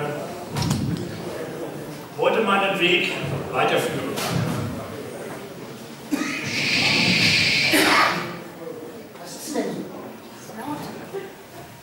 Wir haben, äh, seit ich äh, Schatzmeister in Berlin wurde, äh, sehr viele Dinge innerhalb der Schatzmeisterei in Bewegung gesetzt. Wir sind maßgeblich daran beteiligt, dass sich dieser Schatzmeisterclub im Grund gegründet hat, weil wir gemerkt haben, dass wir ohne eine Veränderung in dieser Partei im Grunde genommen pleite gingen. Und wir brauchen, wir brauchen einfach eine neue Denkensweise. Und das hat damit zu tun, dass wir natürlich in Berlin eine Geschäftsbereich Finanzen haben. Das ist auch absolut richtig, aber das haben andere Landesverbände auch. Und wir sehen, also ich habe gesehen, dass andere Landesverbände im Grunde genommen anfangen zu sterben. Das heißt, dass sie keine Finanzierung mehr haben. Sie können ihre Dinge nicht mehr leben. Und deswegen habe ich mich in Stuttgart auf den Verwaltungstreffen dafür eingesetzt, dass wir diesen äh, Schatzmeisterclub gründen. In Würzburg wurde das auch abgeschlossen. Die Verhandlungen im Mai, Juni die wir in Berlin führten mit den ganzen Landesschatzmeistern, brachten eigentlich den Punkt, der ganz wichtig ist, dass wir unsere Einnahmen aus den Einnahmen, die wir als wirtschaftliche Geschäftsbetriebe in dem Landesverband Berlin produzieren, unsere Einnahmen sind. Das heißt, auch die Parteienfinanzierung bleibt bei uns. Das trifft uns zwar erst in zwei Jahren, aber das ist effektiv wichtig, dass die Arbeit, die hier gebracht wird, dann auch hier im Prinzip reinfließt und nicht irgendwo in einen Topf, über den wir im Grunde genommen früher nie bestimmen konnten. Jetzt können wir darüber bestimmen. Wir haben mit der, ich spreche immer als Geschäftsbereich Finanzen, weil ich in einem Team arbeite.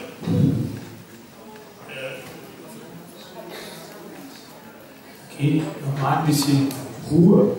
Also das ist das mit dem Schweigen und so. Äh,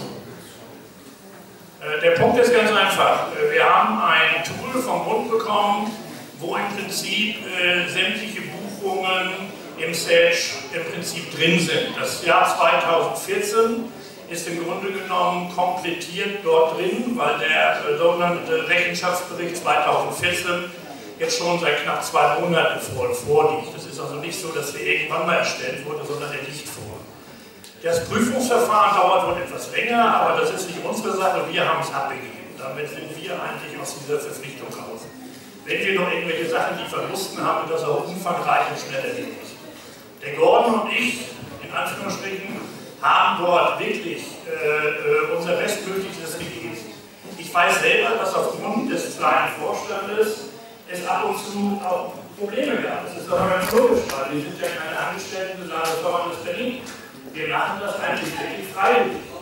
Und äh, mein, Zeitaufwand bezüglich äh, meiner Arbeit innerhalb des Landesverbandes Berlin betrifft im Schnitt 10 Stunden pro Tag. Das ist, ich mache es auch zu Hause, aber ich mache es auch gerne, weil ich glaube, dass meine politische Ausrichtung auch ganz wichtig ist, um mich selber auch zu verwirklichen und das wieder zu finden, was wir hier alle suchen, nämlich irgendwo äh, dieses politische Ziel umzusetzen.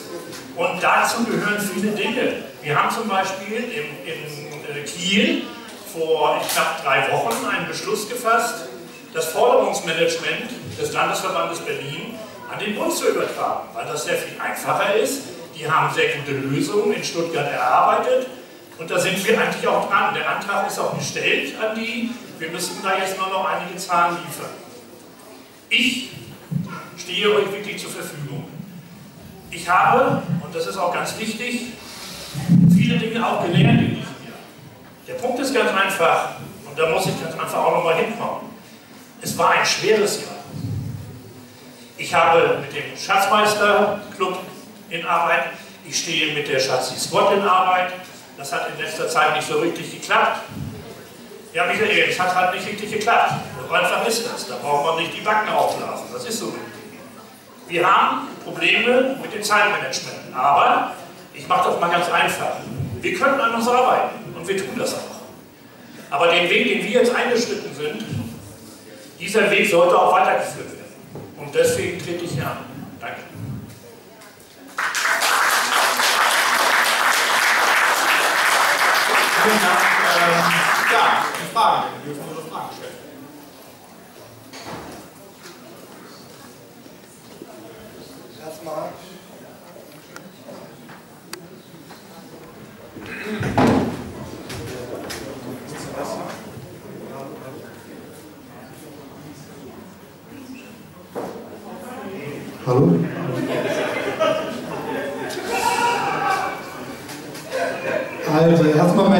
Harry für seine vorherige Tätigkeit als Schatzmeister danken und ähm, denke, dieser Job ist auch wirklich nicht einfach.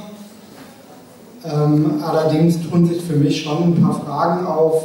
Ähm, Harry, du hast ja sicherlich auch gemerkt bei der Vordebatte, die wir hier schon geführt haben, dass hier einige Sachen zur Sprache kamen und einige Komplikationen auch äh, in der Vergangenheit aufgetreten sind und äh, nimm es mir nicht übel, aber das führt mich dann schon dazu, dass ich ähm, da ein paar Fragen habe, wie du denn damit sozusagen jetzt als zukünftiger äh, Schatzmeister, der du ja hier werden möchtest, für das, das Amt kandidierst du ja hier, ich, ähm, diese Problematiken auch umschiffst. Und äh, da würde mich vor allen Dingen interessieren, da es ja äh, vor allen Dingen auch Kommunikationsprobleme waren. Ähm, für mich ist es immer ein ungutes Zeichen, wenn sich jemand dahinstellt und äh, sagt, ja, der und der hat die Zahlen nicht geliefert und deswegen konnte ich ja nicht, also mit solchen Schuldzuweisungen arbeitet, weil ich bin der Meinung, dass man das als Schatzmeister selber im Griff haben muss und da ein Auge drauf haben muss. Deswegen würde ich dich fragen wollen, wie du solche Komplikationen in Zukunft äh, entgegnen wirst, ähm, wie du die Kommunikation und Beantwortung von Fragen, die an den Schatzmeister gestellt werden, äh, entsprechend äh, beantworten wirst.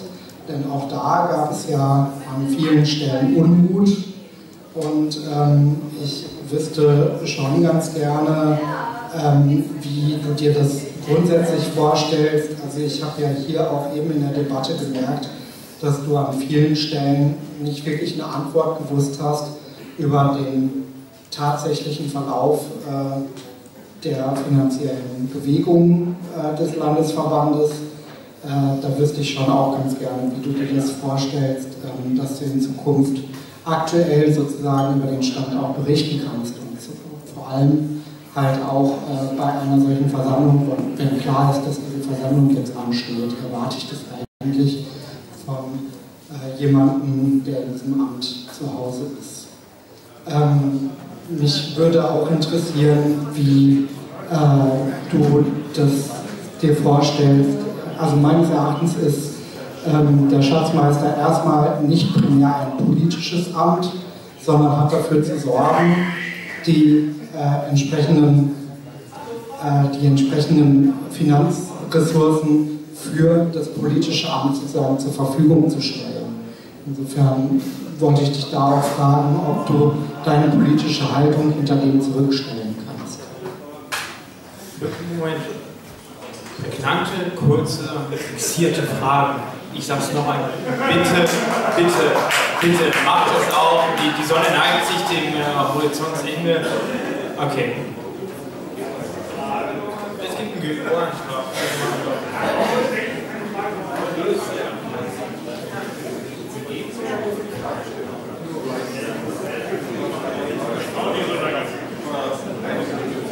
Es gibt, es gibt ein GEO-Antrag auf Begrenzung der Redezeit für die Fragenden äh, von drei Minuten. Eine Minute. Okay, eine Minute für Fragesteller und, zwei Minuten, eine Minute für Antworten. Ähm, gibt es Rede?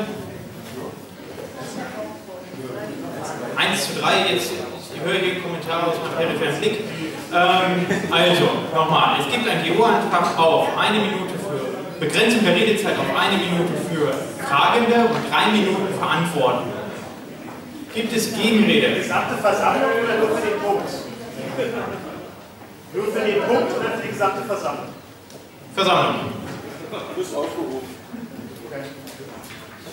Okay, keine Gegenrede? Formell, okay, dann stimmen wir darüber ab. Wie sieht's aus? Hebt das Kärtchen, wer kann dem zustimmen, wer kann dem nicht zustimmen?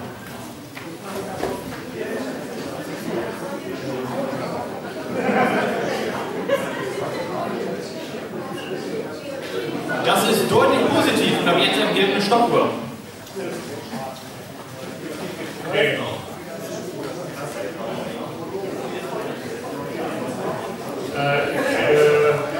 möchte diese etwas längere Frage gerne einfach beantworten. Es gab zwischen dem Vorstand keine Kommunikationsprobleme. Das möchte ich mal ganz klar sagen. Das Zweite ist, wir haben, glaube ich, zwei oder drei Schatzungsprozesse auffallen lassen müssen, aufgrund der Überarbeitung, die in diesem Vorstand vorlag. Wir haben aber, wie gesagt, keine Kommunikationsprobleme. Das Zweite ist, wer will mir streitig machen, meine politische Meinung zu sagen? Keiner kann das. Der Punkt ist ganz einfach der, ich bin kein politischer Schatzmeister. Ich bin ein arbeitender Schatzmeister. Nicht mehr und nicht weniger.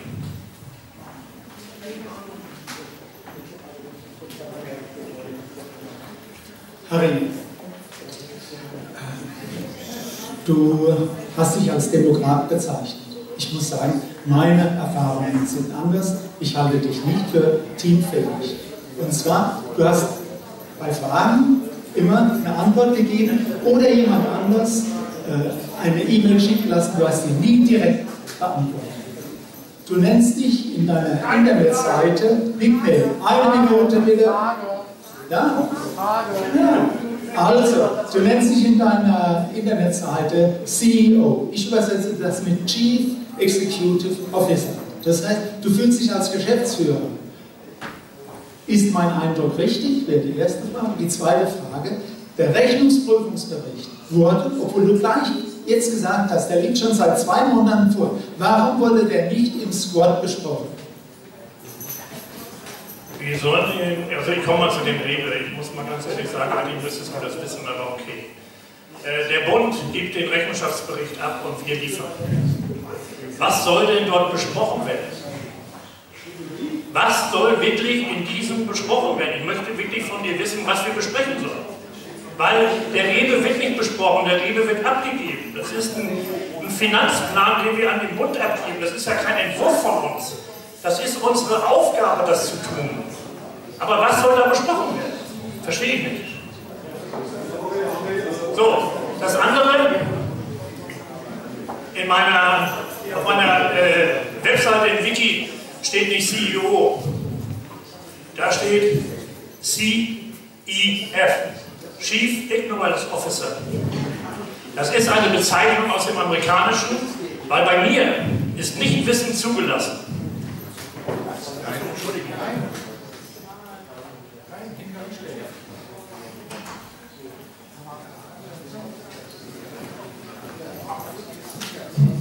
Ja, lieber Harry, ähm, wir haben ja sehr vertrauensvoll zusammengearbeitet und ich muss sagen, die ganze Arbeitszeit, ich konnte mich eigentlich äh, immer auf dich verlassen, was viel wert ist. Ich habe auch viel anderes erlebt in meiner Parteienzeit. Was für mich aber eine wesentliche Frage ist, du hast sehr oft äh, gefehlt oder hattest tausende von Dingen zu tun. Jetzt würdest du wieder gewählt werden als Schatzmeister. Was würdest du anders machen diesbezüglich? Ja, es ist einfach auch eine Frage des Zeitmanagements. Wir haben einen Wahlkampf zu führen und ich würde im Prinzip meine ganzen Aufgaben, ich habe jetzt auch im Frühjahr äh, in äh, Sachsen-Anhalt im Prinzip die Wahlkampfkoordination abgesagt. Äh, es ist ganz einfach so, diese Verpflichtung, die ich eingegangen bin, bin ich eingegangen, wo ich noch nicht Schatzmeister in Berlin war. Und ich halte mich grundsätzlich an, der Wort, an mein Wort. Und das andere ist, ich bin durchaus teamfähig, weil sonst würden diese Leute nicht mit mir ihre Wahlkämpfe beschreiben. Aber für mich hat Vorrang dieser Wahlkampf hier in Berlin. Und das heißt, es braucht auch dann einen Schatzmeister. Und den werde ich, wenn es möglich ist, stellen. Das ist überhaupt kein Thema. Der Punkt ist ganz einfach der, ich würde Dinge innerhalb der Bundespresse zum Beispiel zurückschrauben. Ich würde viele andere Dinge zurückschrauben, um die unter, dieses, um diese, diesen Scheffel zu stellen. Weil ich glaube, dieses, diese AGH-Wahl ist für uns die entscheidende Wahl, nicht nur in Berlin, auch für die Piraten im Bund. Und wie gesagt, ich bin bereit, das zu tun. Moment, Moment, es gab ein EU-Antrag auf Schließung der Liste der Menschen, die in Frage stellen. Wer hat die gestellt? Ja. Ähm, es gibt Gegenrede, okay, Kärtchen hoch, wer kann ihm zustimmen? Kärtchen äh, auf Nein, wer kann ihm nicht zustimmen?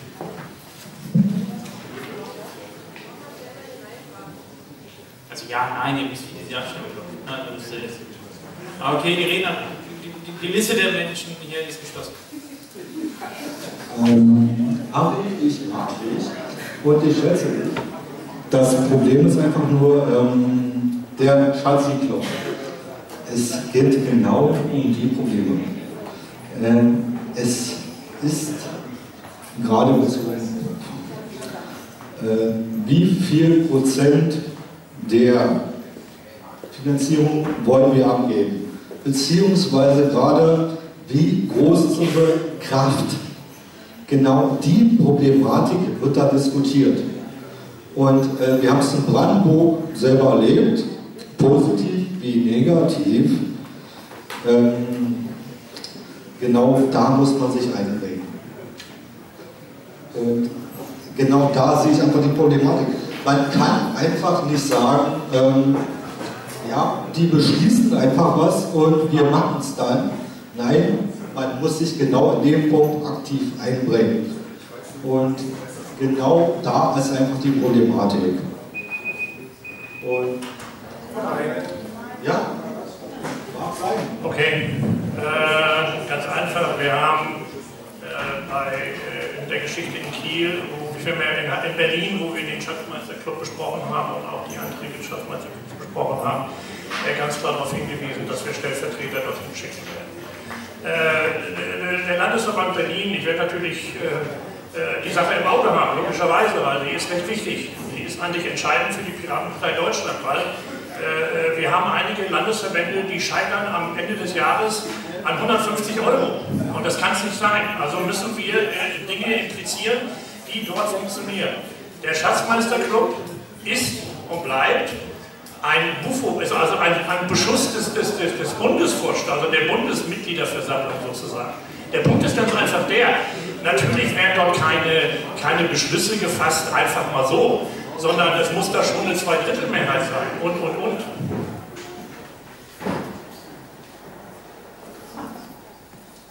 Ja, zwei kurze Fragen. Äh, die eine ist vielleicht nur eine Verständnisproblematik meinerseits. Ähm, vorhin hieß es, dass ähm, zweimal für 2014 nachgebucht werden musste von euch, äh, aber andererseits doch in, äh, als jetzt auf Deutschland-Ebene gebucht werden soll. Das habe ich noch nicht ganz verstanden, wie das läuft. Vielleicht das mal kurz beantworten bitte. Und das Zweite, vorhin haben ja doch sehr viele schon Kommunikationsprobleme ähm, von den Vorstands- und ehemaligen Vorstandsmitgliedern thematisiert. Ähm, wenn Mails nicht beantwortet werden, woran liegt es denn, wenn Mails nicht beantwortet werden? Ist es Überlastung oder muss man da was Schlimmeres befürchten? Ja gut, äh, ich möchte jetzt eigentlich über meine ehemaligen Kollegen gar nicht reden, weil äh, das ist, äh, versteht mich nicht falsch. Äh, der Punkt ist ganz einfach der, wir beantworten natürlich alle E-Mails. Und es ist nicht so, dass ich jetzt nur als Einzigster oder Gordon als Einzigster irgendwelche E-Mails beantworte. Es sind alle im Vorstand beantworten E-Mails. Wir halten unser OTS sauber, wir arbeiten wirklich strukturiert in den Bereichen. Der Punkt ist ganz einfach der, bei der ersten Frage war das mit, kannst du die nochmal wiederholen? Ich habe sie jetzt total vergessen. Ich habe nicht ganz Achso, das Buchen, Entschuldigung. Ja, okay, das Buchen, ja, das Buchen. Das Buchen ist im Grunde genommen genau der Punkt.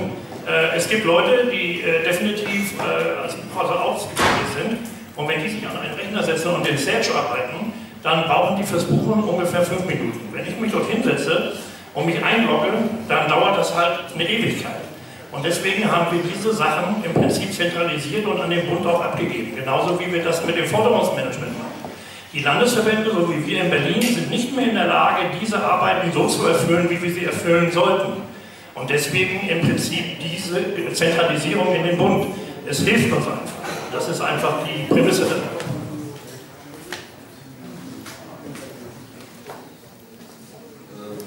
also erstmal tut es mir auch richtig leid, dass es hier immer noch Leute gibt, die dir die Schlampereien vorheriger Vorstände in die Schuhe schieben wollen.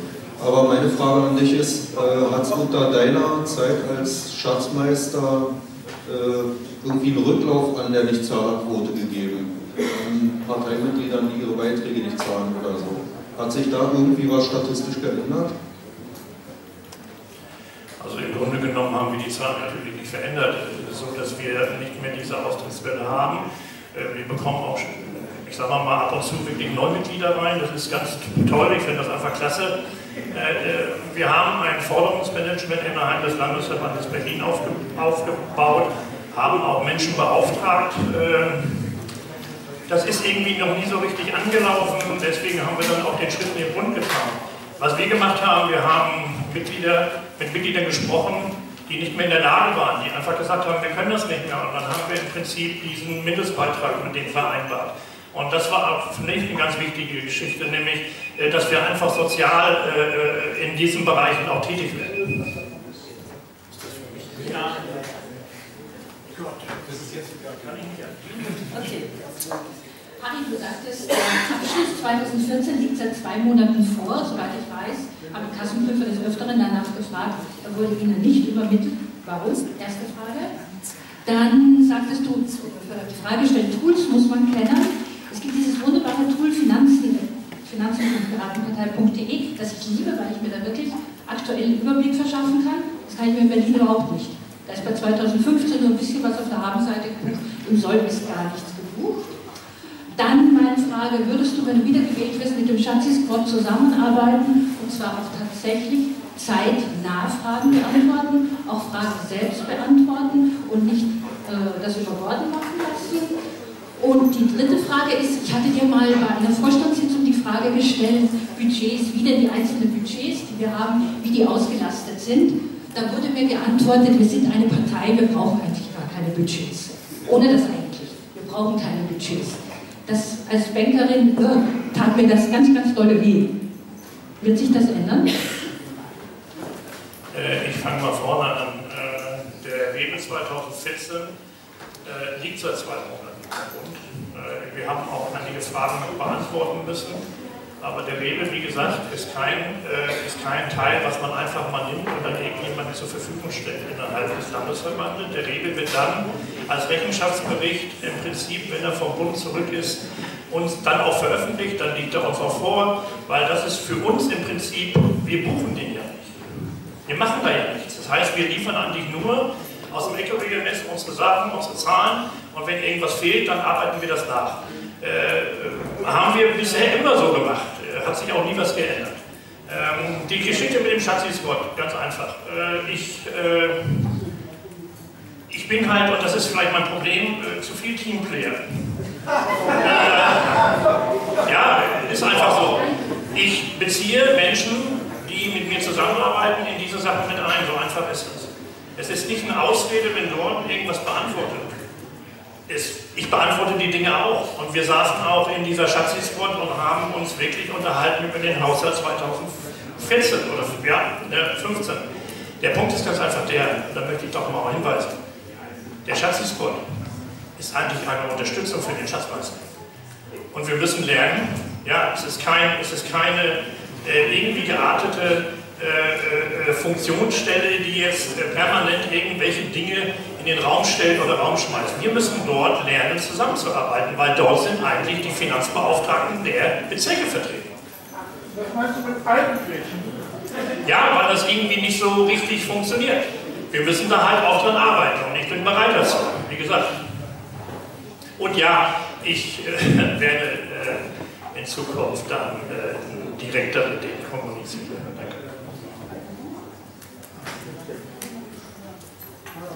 Ari, deine Frage, was soll beim Rechnungsprüfungsbericht geprüft werden, besprochen werden?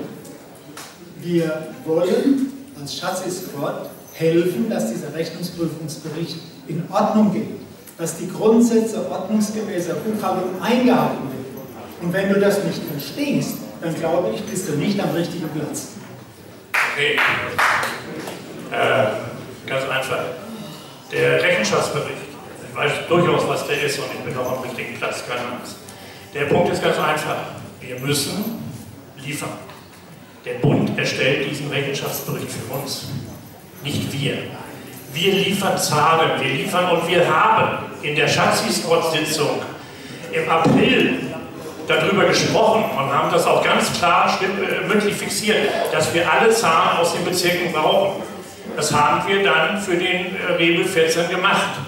Und wir haben jetzt alles im Prinzip, es ist auch seit zwei Monaten alles zusammen, mehr oder weniger. Es haben noch mal irgendwo ein paar Kontoauszüge gefehlt, das ist Standard. Letztes Jahr im Dezember musste ich noch einen ehemaligen Schatzmeister anweisen, nicht mit einem Rechnungsprüfer zu sprechen, im Bund, weil uns der 120 Euro die Stunde kostete und er diskutieren wollte wegen irgendwelchen Kontoauszügen. Ich habe gesagt, schick ihm die einfach und Feierabend. So, und das ist eigentlich der Punkt. Lasst uns einfach zusammen, gemeinsam das Ding wuppen, weil wir haben hier eine Aufgabe. So einfach ist es.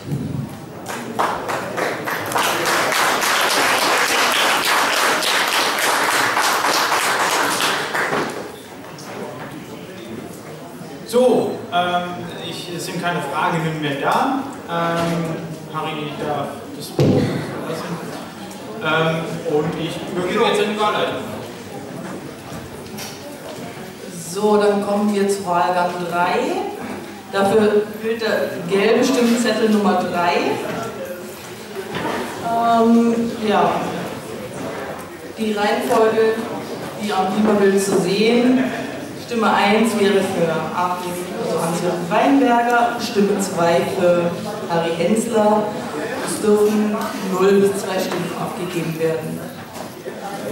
Dann bitte ich die Wahlhelfer an die Urnen.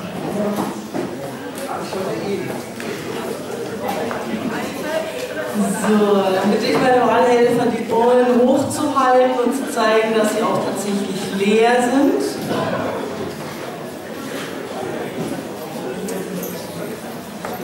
So, dann Urnen dürfen wieder runtergenommen werden und verschlossen werden.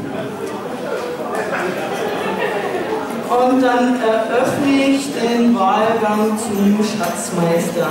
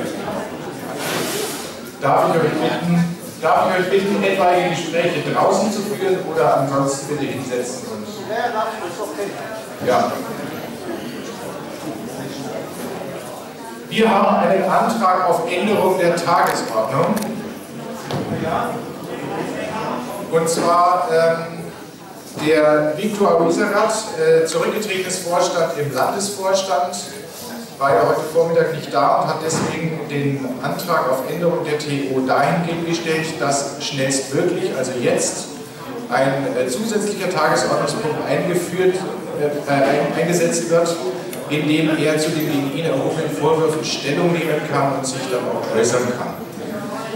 Dieser Antrag auf Änderung der TO ist zulässig. Insofern frage ich die Versammlung jetzt, wollt ihr, dass dieser, zunächst mal, gibt es eine Gegenrede? Formal? Gut, dann kommen wir zur Abstimmung. Wer dafür ist, dass wir diesen Tagesordnungspunkt jetzt hier einfügen, der hebe bitte die blaue Stimmkarte, wer dagegen ist, die rote.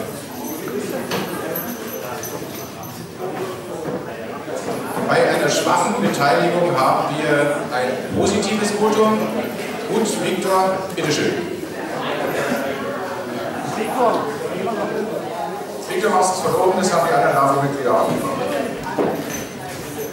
So, ja, erstmal wollte ich euch äh, wollte mich entschuldigen, dass ich zu spät dran bin und dass ich meinen Tätigkeitsbericht nicht abgeliefert Wenn ihr mögt, kann ich das schnell machen.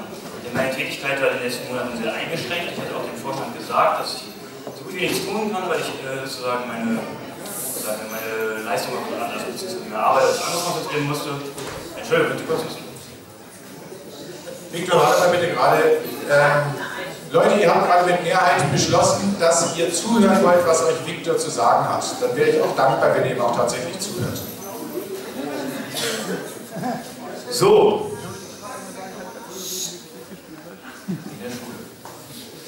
Also, ich wollte erstmal hier Stellung beziehen, ihr könnt mich alles fragen, denn ich bin da, um gefragt zu werden. Ja. Das heißt, wenn irgendwelche Unklarheiten waren oder irgendwie Vorwürfe erhoben wurden, das wurde mir gesagt, dann bitte fragt uns nach, denn ich kann dazu Stellung beziehen und werde das auch gerne für euch tun.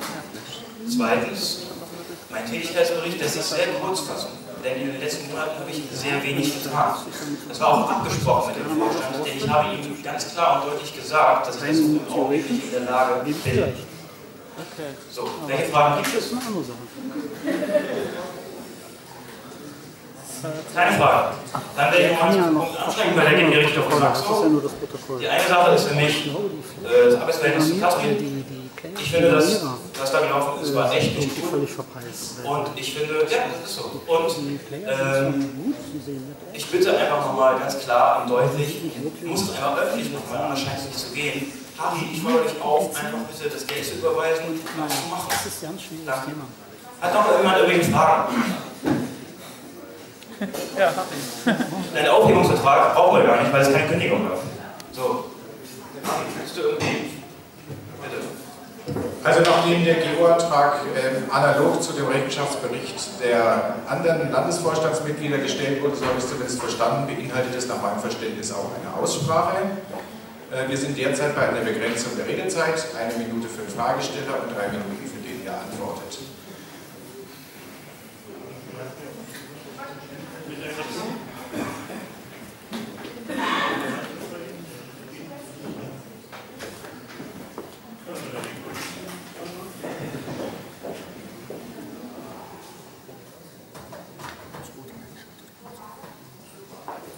Keine technische Unterbrechung. Muss ja auch mal sein. So, äh, wir hatten, glaube ich, vor der letzten Vorstandssitzung ein kleines Treffen in der LGS, da warst du da. Ich hatte dich gebeten, äh, als Umsetzungsbeauftragter äh, da noch irgendwas zu liefern, weil das stand, steht auch irgendwo in der E-Mail drin, die dort geschrieben wurde. Und äh, darauf warte ich einfach. Wir brauchen nicht übertragen, das hatte ich dir auch gesagt. Du hast mir einfach nur, du hast das, ja, wir hatten uns unterhalten. Hast du es ja zweiten gezogen hast? Nee, nee, wir brauchen nicht so Aufnehmungsprogramm. Ich so, nee, entweder haben wir den schon oder wir brauchen den. Du meinst du, doch, doch, doch, doch, du verzögerst die Dinge immer und dann bin ich auf einmal schuld daran. Nein, wir brauchen diesen Vertrag nicht, weil wir nicht gekündigt haben. Der Punkt ist der, ich habe die, äh, Also ich sage mal, hier waren andere Vorstandskollegen, die sich beschwert haben, dass ein Vierteljahr nicht mehr Dinge getan hast, da gehörte ich nicht zu. Der Punkt ist der, ich habe gesagt, dass wir uns getroffen haben. Ich habe auch das Gesprächsverlauf weitergegeben.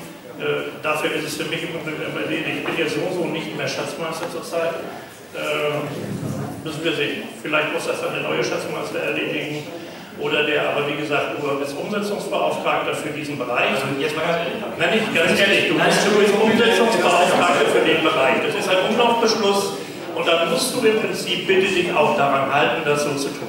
Danke. Also ich finde das unglaublich. Ja. Du weißt ganz genau, dass die Menschen bevor ich treffen, wo ich dich auffordere, die Überweisung zu tätigen und das Zeugnis rauszugeben. Das hat monatelang gebraucht.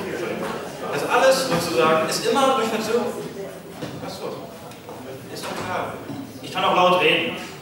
Ja? Der entscheidende Punkt ist, natürlich hast du recht, ich bin äh, äh, Umsetzungsbeauftragter, aber ich habe keinen Zugang zum Konto, oder? Kann ich eine Überweisung tätigen? Nein.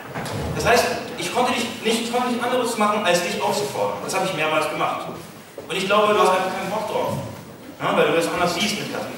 So, und dafür sehe ich das, finde ich, ich finde es trotzdem einfach unglaublich dreist, weil es geht hier um, um Existenz, ja, um, um Geld, äh, um, um Leben und nicht einfach nur, ja, äh, das passt mir nicht. Und das ist ganz einfach so.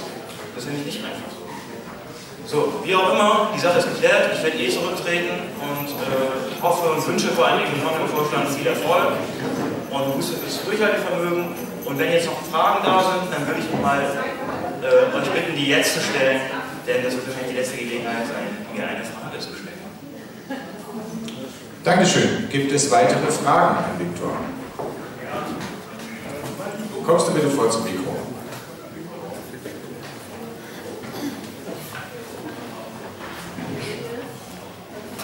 Ja, hallo Leute, ich bin der äh, äh, Folgende, hast du dir, du erzählst jetzt hier so, hast du so die Ausdrucke von diesen Mails? Ja, ja. Du müsstest so eine Mail haben. Ich meine nicht, dass ich das äh, von den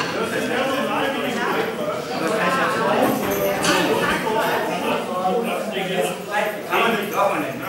Darf man nicht, aber ich sag dir, gibt es. Kann ich dir gerne persönlich zeigen. Ja, und ich finde es einfach, das geht so nicht. Ja, das ist einfach so. Ja, wenn du den vorlegen kannst oder so, ja, den Quellen, dann. Kann ich dir das einfach selbst auf dem Handy Gut, okay. So, gibt es noch weitere Fragen an Viktor? Hallo Viktor, das sind ja Sachen, die Personal beinhalten. Bist du der Meinung, dass das wirklich in die Öffentlichkeit gehört? Also ich höre heute in der Versammlung was anderes über den Nein, ich bin der Meinung, dass nicht in der Öffentlichkeit, ich bin der Meinung, dass es nicht in die Öffentlichkeit gehört. Ich habe nur das Gefühl, dass man sozusagen den Unterschied zwischen öffentlich und nicht öffentlich hier dafür nutzt, sich reinzuwaschen. Ja? Reinzuwaschen von eigenen Fehlern. Ich bin persönlich jemand, und das kann ich wirklich behaupten, ich mache Fehler. Ich brauche nicht, ich versuche mich eigentlich reinzuwaschen, weil ich weiß, was ich falsch mache. Ich habe das Gefühl, dass Leute das hier nicht können. Und dass sie dann sozusagen auch mich, meiner Person, dafür nutzen, um sich besser dastehen zu lassen. Das kann ich leider nicht zulassen. Und das werde ich auch nicht zulassen. So, vielen Dank für diesen Beitrag. Bevor wir jetzt hier weitermachen, eine Klarstellung. Wir haben analog äh, zu heute Vormittag einen Rechenschaftsbericht des Vorstandes. Ich habe als Versammlungsleitung heute deinen Namen im Rahmen eines Vorwurfs nicht gehört. Ich kann auch nicht substanziell ähm, entnehmen, dass du selbst Rechenschaft abgelegt hast, sondern hast hauptsächlich Vorwürfe gegen andere Personen gefahren. Ähm, deswegen werde ich derartige Ausführungen jetzt nicht mehr zulassen sondern es geht hier um einen Rechenschaftsbericht und Fragen zu deiner Arbeit. Wenn natürlich dann in Ausführungen die Zusammenarbeit mit anderen Erwähnung findet, ist es vollkommen klar, aber das hat hier nicht seine Schwerpunktfindung. Ist das klar? Gut.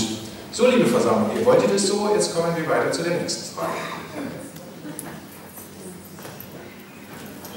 Kann es sein, dass wir uns hier mit Dingen aufhalten, die vielleicht, wenn man es ja, weiter überblickt, vielleicht nur Dinge sind, äh, die wir eigentlich überwunden haben müssen, sage ich jetzt mal.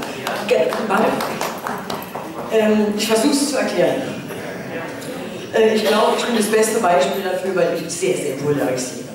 Ich weiß das auch. Und irgendwann muss man damit durchkommen und irgendwann muss man einfach darüber schauen. weil es bleibt dir keine andere Wahl. Weil in dem Moment, wo du es irgendwie ernst nimmst und darauf reagierst, dann hat das Ping-Pong-Spiel angefangen. Und ich, ich bin der Meinung, dass wir diese Kackscheiße einfach mal überwinden müssen. Und mit irgendwelchen Briefen oder in irgendwelchen E-Mails, die wir dann austauschen, um Gottes Willen. Das ist Vergangenheit, schmeiß es weg und gut ist. Lass uns Piraten, Piraten wirklich die Piraten sein, weil wir, ey, wir sind eigentlich die einzige Lösung. Das wissen die alle. Wer ist denn so modern wie ihr? Wer ist denn eigentlich auf diesem Trip, das eigentlich ja die Inhalte von und sonst Okay. Ich äh, frage nochmal, wollen wir wirklich so weitermachen oder wollen wir progressiv und intellektuell die ganze Sache mal anpacken und diese ganze Shitstorms was sein lassen? Danke. Ja.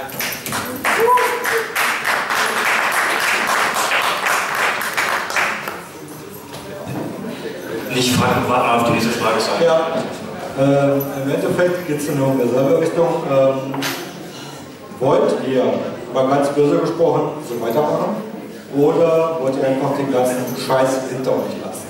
Ja, okay, ich bin mal die ganze Zeit böse, konservativ, lade die ganze Scheiße einfach von meinem Rücken ab. Ich bin es gewöhnt, als Brandenburger. Ich bin es äh, die ganze Zeit gewöhnt, als Bundesbeauftragter. Macht es einfach. Und ich bin die ganze Zeit genauso da, ob auf Landesebene, ob auf Bundesebene oder Co. Macht es einfach. Ich bin einfach da. Und Gut, nachdem diese zwei eher motivationalen, also eher Motivation geprägten Reden gefallen sind, ja, natürlich. Ja, wir sollten aufhören mit so einem Scheiß. Und ja, das ist der Fall. Aber wenn jemand, ich will ganz ehrlich sein, wenn sozusagen aus anderen Gründen jemand nicht bei der MV ist und dann über dann sozusagen erfährt, dass man seinen Namen sozusagen für, für sich benutzt, bla, und das irgendwie so nutzt, dann bin ich ja nicht derjenige, der damit aufhören muss, sondern ich muss leider sagen, ich bin derjenige, der darauf nur reagiert. Und für mich ist gar kein Problem, weil ich, ich ehrlich gesagt gar keine so richtigen Ambitionen und muss mich halt auch gar nicht hier profilieren oder so, sondern ich wollte nur nicht zulassen, dass man sozusagen mich einfach meinen Namen missbraucht, weil ich war ehrlich, ich habe immer gesagt, ich konnte, äh, mein Tätigkeitsbericht konnte nicht letzten Monate überhaupt nichts tun. Das habe ich ganz klar artikuliert, ich habe es Bruno gesagt, ich gesagt, ihr wisst das. So, von daher, ich weiß nicht, ja. Es war mir einfach nur wichtig, dass ich mich einfach kurz dazu Stellung beziehen kann und dass wenn ihr Fragen habt, ich sie beantworte. Und äh, Tätigkeitsbericht hin und her, den Anfang, also am Anfang haben wir noch relativ viel gemacht, als die ganzen Jungs da noch waren und äh, Dennis und Marcel und Gregor und dann hat sich das immer weiter sozusagen abgeschwächt. Ich glaube, Mirko und Harry sind sehr aktiv, machen da ihr Ding. Ja, da habe ich keinen da habe ich äh, keinen Bezug zu, weil ich nicht auch selten mit mir kommuniziere, was sie machen und deswegen wissen wir es auch nicht so genau. Deswegen kann ich sagen, Tätigkeitsbericht ist sehr, sehr schmal. Bitte? Entschuldige bitte, jetzt muss ich dich echt abtreten nach 20 Sekunden. Im Übrigen hast du ähm, wieder bist etwas in eine persönliche Schiene gegangen. Die Versammlung wird mich korrigieren, wenn ich das falsch sehe, aber jetzt lang es mal langsam. Ähm, bevor wir weitermachen, wir haben einen GO-Antrag auf Schließung der Rednerliste. Von wem? Von Mirko. Gibt es eine Gegenrede? Formal. Formal, gut, stimmen wir darüber ab. Wer für Schließung der Rednerliste ist, bitte die blaue Stimmkarte heben. Ich bitte um Entschuldigung, ich bitte um Entschuldigung, es war keine Absicht. Redeliste oder Liste der Sprechenden? Gut, damit ist die Liste der sprechenden, redenden Rednerliste geschlossen. Wir haben jetzt noch zwei hier am Mikro stehen. Bevor wir weitermachen, muss ich einen zweiten GO-Antrag auf Änderung der Tagesordnung Und zwar hat der Dennis Sabin, der heute ebenfalls nicht da war, äh, den Antrag auf Änderung der GO dahingehend gestellt, dass unmittelbar im Anschluss an diesen Tagesordnungspunkt ebenfalls eine Aussprache stattfindet über seine Tätigkeit und was daneben gelaufen ist. Gut. Ähm, gibt es hierzu eine Gegenrede? Gut. Dann stellen wir darüber ab, wer Tagesordnungspunkt eingefügt haben möchte, bitte bitte die blaue Stimmkarte, wer dagegen ist, bitte die rote. Das ist bei mittlerweile die Beteiligung positiv, also hätten wir danach auch noch den nächsten So, jetzt Viktor, du hattest dann irgendwie gesagt, du hattest dem Laufe Bescheid gesagt und dass du eben nicht da bist oder keine Zeit hast. Ähm, ich würde gerne wissen, warum du meinst, warum das im Kamm-Laufe-Protokoll vorkommt und ich das zum Beispiel auf nirgendwo niemals aus Versehen über Flurfunk oder ähnliches gehört habe. Vielleicht geht das einfach auf vielen so. Ich weiß nicht, wo der Kommunikationsfehler da war. Ich will auch keinen Vorwurf ausbauen. Nur einfach mal dazu hören, warum du denkst, irgendwie ist das nirgendwo angekommen, irgendwie auch an der Basis oder nicht. Das ist ja schade, denn ich habe ganz explizit mit Bruno, Harry, habe ich habe ihnen gesagt, dass ich kaum was tun werde, die haben kein Problem, mach so viel du kannst, bla bla bla. Dass es vielleicht bei euch nicht ankommt, tut mir leid. Ja. Ich bin jetzt wirklich nicht so hingegangen und gesagt, ja, ich noch was anderes, ich kann gerade nicht. Das stimmt. Aber auf jeden Fall ich das kommuniziert. Und deswegen finde ich es auch nicht gerade irgendwie sinnvoll oder auch fair, zu tun, ob es nicht der Fall ja? Und dass es nicht im Protokoll feststeht, gute Frage. Ich nehme an, dass es wahrscheinlich im nicht öffentlichen Teil gefallen ist. Das nehme ich jetzt einfach mal an. Ne? Oder dass es im Protokoll keine Erwähnung findet.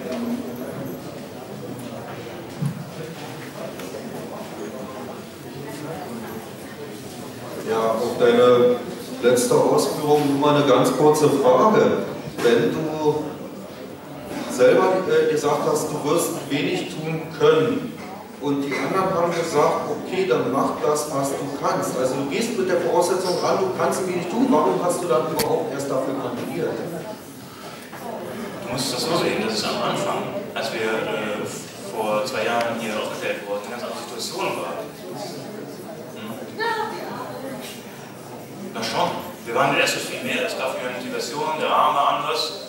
Und äh, ich war in einer anderen Lebenssituation. Ja, ich muss einfach zu beenden, ich muss einfach. Sonst komme ich in eine schwierige, in eine schwierige Lebenssituation. Und deswegen habe ich mich entschieden, entweder, äh, entweder das zu tun, ja, um mich wirklich am Arsch verletzen und das durchzuziehen. Äh, oder wie immer irgendwie ganz viele äh, nette Projekte zu haben, die aber natürlich auch bestimmte Dinge dann nicht mehr möglich machen. Und deswegen habe ich, und ich hatte noch ähm, zusätzlich äh, andere Probleme, aber das ist jetzt was anderes. Und das habe ich halt dem Vorstand kommuniziert. Naja, und das war halt die Situation. Ja. Ich war immer da, habe wenig mit mir kommuniziert, wenig mit mir versucht, den Kontakt aufzunehmen und dann ist es halt so verlaufen. Dann ist es halt so verlaufen. Gut, Dankeschön. Es tut mir sehr leid. Dankeschön. So, wir haben die Rednerliste geschlossen. Nachdem es um eine Aussprache und Rechenschaftsbericht geht, hast du noch abschließend kurz was zu sagen? Ich möchte hier niemandem das Wort abschneiden.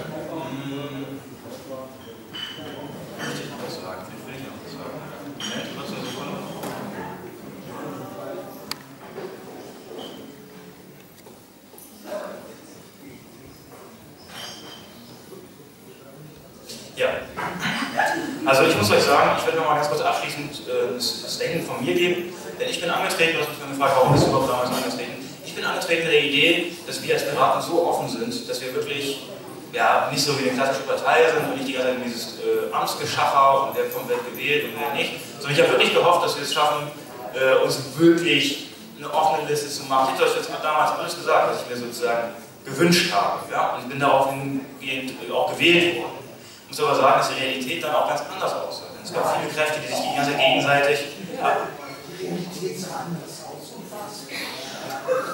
Ja, Ja, du findest es vielleicht lustig so, aber guck mal, wenn du viele Hoffnung damit hast, dass die Menschen hier einfach weltoffen genug sind, um bestimmte, sagen wir, politisch sinnvolle Pläne durchzusetzen, und dann erfährst, dass sie aber zu kleinreich sind, so wie du zum Beispiel, dann ähm, ist es einfach so der Punkt, dass du dann denkst, scheiße, so, das funktioniert einfach nicht, weil die ganzen Kleingeister, die die ganze Zeit dagegen haben, Angst um irgendwas, kämpfen um irgendwas, was gar nicht da ist, ja, alle halten an Macht fest, die gar nicht vorhanden ist. So, und das finde ich natürlich traurig, und das hat mich krass demotiviert.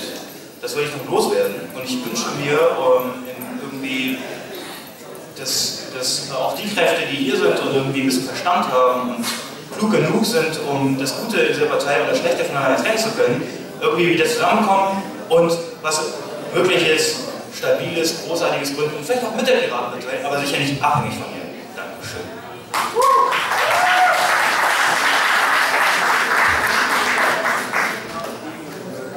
Dankeschön. Dann kommen wir zum nächsten eingefügten Tagesordnungspunkt. Der Dennis wollte etwas sagen. Kommst du bitte vor?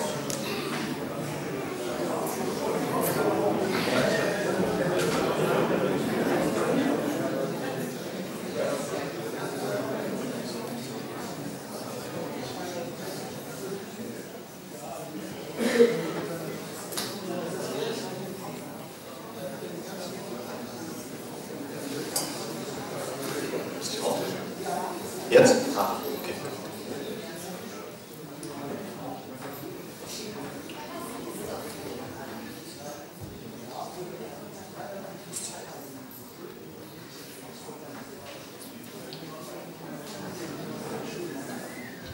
Also Dennis macht es eigentlich genau richtig.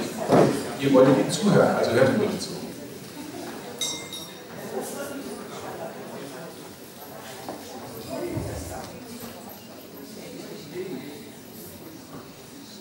Kann sein, dass Dinge wichtiger sind als ich. Ich will die ja nicht abstreiten.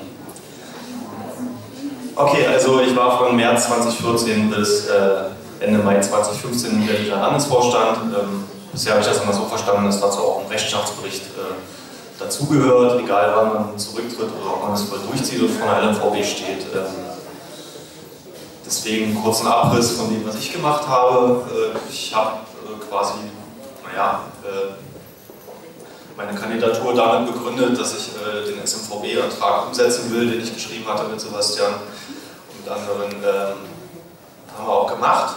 Hatten wir zu Weihnachten 2014. Ihr hattet dann einen Parteitag in der Hosentasche. War äh, relativ langer, steiniger Weg bis dahin. Will ich auch gar nicht abstreiten mit Höhen und Tiefen. Und ich würde mich auch nicht hinstellen und äh, sagen, dass das Ding perfekt so war, wie wir es beschlossen haben, geschweige denn, dass es perfekt umgesetzt wurde. Aber es war äh, kompatibel und es war benutzbar und es war gut. Ähm, abgesehen davon habe ich im Landesvorstand diese und jene kleinen Randtätigkeiten gemacht, die nun mal mit dazugehören. Ähm, und bin dann, wie gesagt, im Mai zurückgetreten. Ähm, die Gründe dafür könnte man auf meinem Blog nachlesen, wenn man denn möchte. Ich bin jetzt nicht hier oben, um das alles nochmal äh, ausführlich darzustellen. Habe danach ähm, versucht, noch ein bisschen Unterstützung zu geben, indem ich äh, quasi die Beauftragung äh, für die Betreuung der SMVB übernommen habe, was ich aber dann innerhalb von relativ kurzer Zeit wieder erledigt hatte, weil da bestimmte Dinge vorgefallen sind, die mich einfach dann extrem demotiviert haben, das weiterhin zu tun. Und letztendlich ist das wahrscheinlich auch einer der Gründe, die wahrscheinlich auch mit reingewirkt haben, das mag ich halt auch nicht abstreiten, dass die SMVB jetzt gerade nicht da ist. Ähm, was ein relativ ungünstiger Zustand ist und ich auch nicht damit gerechnet habe, dass das so schnell passiert. Ähm, insgesamt tut mir das äh, nicht nur mir leid, sondern auch für alle anderen, dass wir in der Situation hängen. Ähm, das hat Gründe, die man vielleicht in dem Tagesordnungspunkt äh, dann nochmal besprechen könnte, weil das gibt es ja auch bei der LMVB noch. Deswegen würde ich euch bitten, jetzt nicht so die ganz große Keule aufzumachen, sondern vielleicht Dinge, die innerhalb meiner Amtszeit gelaufen sind, also nochmal Mai 2014 bis äh, März 2014 bis Mai 2015 äh, zu fragen und alles darüber hinaus wird sich noch weiter im Laufe der Versammlung klären. Ja, ansonsten vielen Dank für äh, das damals entgegengebrachte Vertrauen. Äh, ich hoffe, ich habe euch nicht, äh, also ich hoffe, ich habe äh, dementsprechend den Willen äh, der Mitgliederversammlung Folge geleistet. Ich bin persönlich der Meinung, das habe ich getan. Das ist nicht mein Telefon. Achso. Ja, drei Minuten Redezeit. Ja, okay. Ja, es war nicht sein Telefon, aber trotzdem sein Ohr.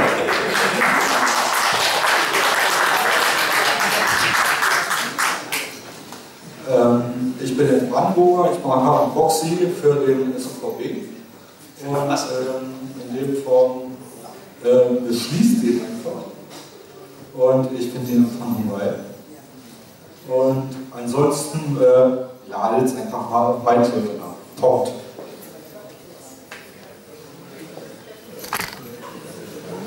Ich habe gerade keine Schuld abzuladen. Das ist immer gut. So, gibt es denn noch weitere Fragen oder Anregungen? Wir sind daher hier eher in der Plauderei im Moment. Scheint nicht der Fall zu sein. Möchtest du abschließend noch was sagen? Ja, ähm, wer auch immer ähm, im nächsten Landesvorstand äh, zusammentreten wird, ähm, vielleicht ähm, ein guter Ratschlag ist auf jeden Fall, ähm, Dinge zuallererst interner zu klären und nicht immer sofort mit Transparenz, wir müssen ja alles öffentlich machen, ansonsten reißen uns alle den Kopf ab. Nein, klärt eure Dinge erstmal intern.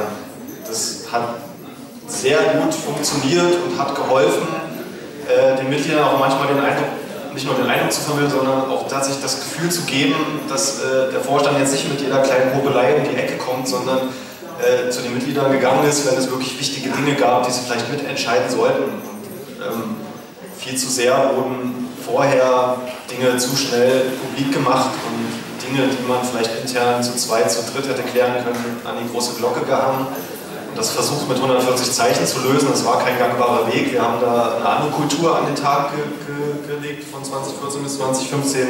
Hat super funktioniert. Meine Empfehlung ist, macht das mal genauso. Das entspannt die Arbeit im Gremium wesentlich. Danke. Dankeschön. So, äh, nachdem die Wahlleitung äh, irgendwo da rumschwirrt, Frage habe Lust, wie vorhin mal wieder das ein bisschen mit der Politik zu machen und den P002 zu behandeln. Den Einser hatten wir ja schon. Keine Gegenrede, dann würde ich sagen, machen wir das. Der P002 ist ein Wahlprogrammantrag. Ähm, Antragsgruppe Stadtentwicklung, kein Verkauf von landeseigenen Liegenschaften. Antragsteller sind Simon Kowalewski, Claudia Simon und das Kunstsquad. Wenn die Antragsteller bitte vorkommen und Ihren Antrag mal kurz vorstellen. Jawohl, liegt mal her.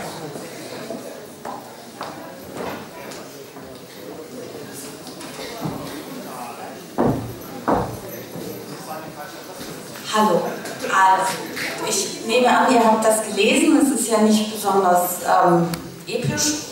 Ähm, die Idee zu dem Antrag kam, als vor einer Weile Simon ähm, nachdem nämlich genau die Jugendclubs in der Potze und der Drugstore ähm, da eben bekannt wurde, dass aufgrund von Mietfu da die Schließung oder grobe Umstrukturierung droht.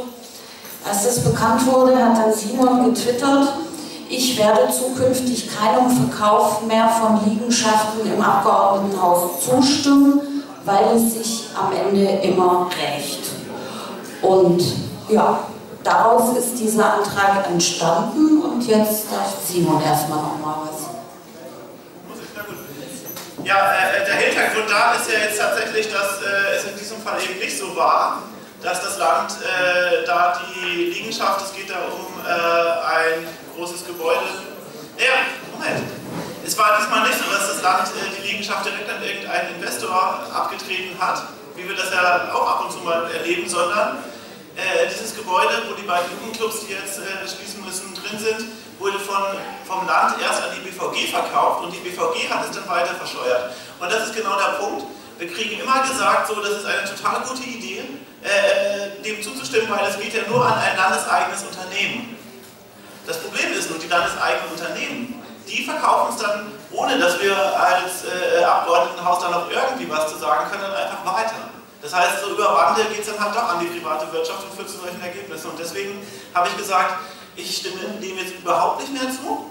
Und dieser Antrag, den wir dann entwickelt haben, der ermöglicht es dann, wenn es gar nicht anders geht, also wenn es dringend notwendig ist, dass irgendeine Liegenschaft verkauft werden muss, ermöglicht er das sogar, aber eben dann unter der Maßgabe, dass das Geld, was da eingenommen wird für diesen Verkauf, eben nicht in irgendwie dem großen Haushaltstopf verschwindet und nie wieder gesehen wird, sondern dass der dann dass dieses Geld dann sofort wieder eingesetzt werden muss, um im gleichen Wert eben dann andere Liegenschaften anzukaufen, sodass äh, der Stadt nichts verloren geht dabei. Genau, dem Antrag ähm, beigefügt. In der Begründung haben wir einige Links, damit ihr die nicht jetzt alle lesen müsst in kurzen Worten, was da tatsächlich ist. Es ist da benannt eben die ähm, beiden Jugendclubs in der äh, Potsdamer Straße bzw. Palaststraße, die dort auch dringend gebraucht werden, die werden vermisst werden wenn die weg sind und die werden nicht so einfach ersetzt werden können. Ähm, das betrifft zum Beispiel auch das Flüchtlingsheim in der Spätstraße in Neukölln, das irgendwann früher auch mal dem Liegenschaftsfonds gehört hat, das dann ähm, zwischendurch sogar hätte wieder zurückgekauft werden können, sogar für weniger als es verkauft wurde. Herr Nussbaum hat nicht zugestimmt und jetzt wird da Ende dieses Jahres eine für 8 Millionen Euro erbaute temporäre Flüchtlingsunterkunft einfach mal wieder abgerissen, weil das Grundstück zurückgegeben muss. Ähm, was hatte ich noch? Der Teufelsberg ist auch so ein Ding, dass mal irgendein Investor mit vollmundigen Versprechungen ging und seitdem eben einfach weiter zerfällt und zerfällt. Und es ist durchaus eine ähm, interessantes kulturgeschichtliches Denkmal oder überhaupt geschichtliches Denkmal. Da sieht man auch, dass es sich am Schluss immer irgendwie rächt. Und was hatte ich als viertes Beispiel? Hatte ich das Stadtbad Wedding. Genau, das funktioniert natürlich auch nicht. Ähm, da sieht man auch klar, dass da Investorenkräfte in der Lage sind und es da also wirklich auch zu keinem vernünftigen Ergebnis kommt. Ähm, das Ding mit der BVG, das hat sich auch so abgespielt am Holzmarkt mit ähm, Dingen, die da waren. Ich weiß, kann es jetzt nicht mehr im Namen benennen, aber da war es einfach auch so, dass dann die sagen, nee, nee, das gehört der BVG, da können wir jetzt nichts machen. Wir haben leider keine Möglichkeiten, die landeseigenen Gesellschaften da irgendwie den reinzubringen. So. Und deshalb wir gerne diesen Antrag ins Wahlprogramm für nächstes Jahr aufnehmen. Ich denke, es gibt verschiedene Kapitel, in denen sowas dann seinen Niederschlag finden kann, dass verschiedene Themen da sich immer wieder drauf auch beziehen können aus Sicht der Kunst- und Kulturpolitik. Direkt würden wir das sehr gut finden, das als Position validieren zu können. Und es ist auch eine Position, die durchaus ein gewisses Aufsehen erregt. Und wenn man da irgendwelche Leute fragt, was halten sie denn davon? Ich habe neulich den Stefan Ebers von der CDU danach gefragt, dann springen die erstmal ganz schön im Kreis und müssen irgendwie ähm, ja, dann irgendwas erzählen, womit sie sich möglicherweise nochmal mehr entlarven, als sie eigentlich wollen. Dankeschön. Danke für die Vorstellung. Wir kommen jetzt zur Aussprache über den Antrag. Praxi, bitteschön. Ja, der Antrag ist im Ansatz gut, ist aber auf der anderen Seite immer noch ähm, mehr oder weniger Status quo beibehalten. Mir fehlt da der Abschnitt, dass man auch so zum Beispiel als Land Berlin, wenn Grundstücke im Land Berlin den Besitzer wechseln, sich ein Vorkaufsrecht einbaut, dass man auch äh, Grundstücke, die mal dem Land Berlin gehört haben, jetzt in Privathand sind, auch diese versucht zurückzukaufen, wo wir heute auch schon in der Debatte angeführt. Das fehlt mir den Antrag. Ich kann ihm zwar mit Zähleklärchen zustimmen, aber es wäre schön, wenn das etwas drinstehen würde. Und was ich auch noch sagen wollte, ich habe seit Anbeginn der Legislatur gegen jeglichen Verkauf von Liegenschaften gestimmt und habe auch von meiner eigenen Fraktion mehrmals in anderen bis morgen So, das nur mal zu dem Teil.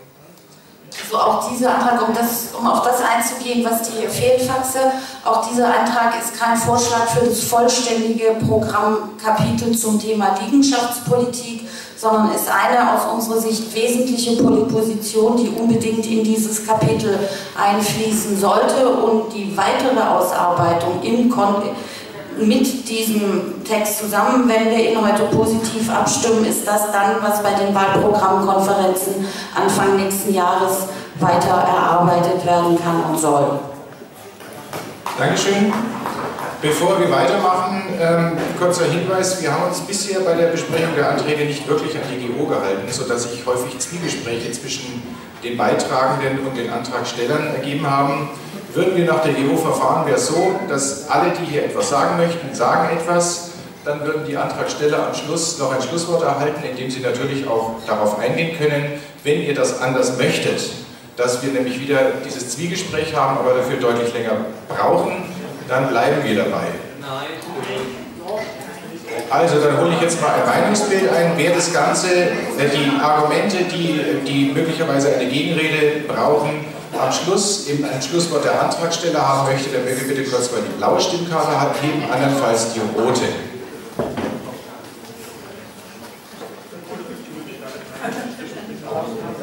Okay, dieses Bild. Gut, also das Bild ist uneinheitlich, dann bleiben wir dabei, dass die GO nicht durchgezogen wird, wie es eigentlich drin steht, und wir uns weiterhin nicht dran halten. Weil die Versammlungsleitung, die Versammlungsleitung, die mag zwar bestimmen, aber sie versucht nach Möglichkeit, den Wunsch der Versammlung Folge zu leisten, solange es halt halbwegs geordnet Bahn läuft. So. Insofern liegt es auch an den jeweils Beitragenden, an der Sache orientiert zu diskutieren. Bitte schön. Ja, also ich finde den Antrag so richtig geil. Ich finde ihn wirklich gut, deswegen bitte ich euch, den nochmal zu überarbeiten. Weil, nein, der, der Antrag ist saugeil, der Antrag ist wirklich geil.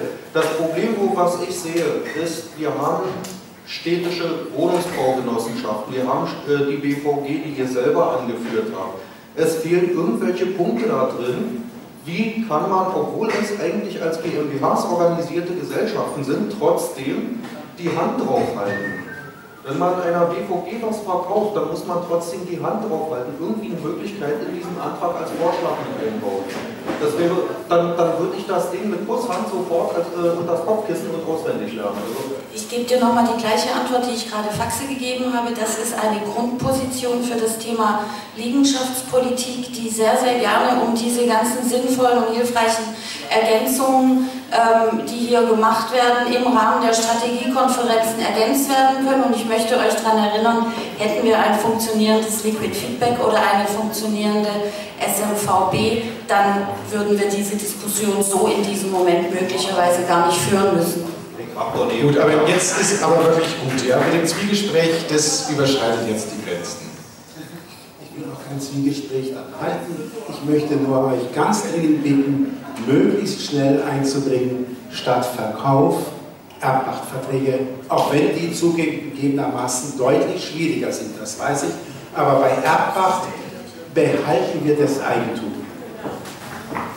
Ja, ähm, wäre tatsächlich nach diesem Antrag eigentlich eine wesentlich attraktivere Option als der Verkauf. Weil wir haben ja gesehen, wenn es verkauft wird, muss sofort was Neues gekauft werden. Da ist ein Erbpachtvertrag plötzlich total äh, eine tolle Idee.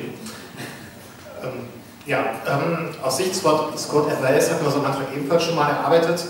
Da war das Thema Erbbaupacht sogar schon drin. Ähm, schade, dass wir keinen Liquid haben, wo wir nachlesen können, sodass wir ihn eins zu eins halt übernehmen können. Ähm, ich finde den Antrag super, es ist ein Ansatz genau für das Richtige. Stadtprivatisierung muss irgendwann aufhören, haben wir lange genug gemacht.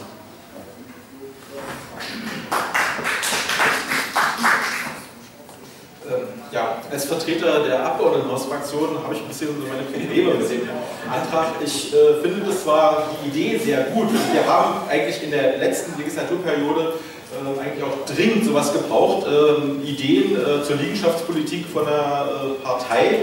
Ähm, allerdings springt der Antrag meiner Meinung nach ein bisschen zu kurz und ist nicht differenziert genug und deswegen habe ich meine Probleme damit. Ich würde empfehlen eigentlich, dass man das äh, zur Grundlage macht und noch ein bisschen weiter ausarbeitet, aber in der Form äh, würde ich ihn nicht annehmen.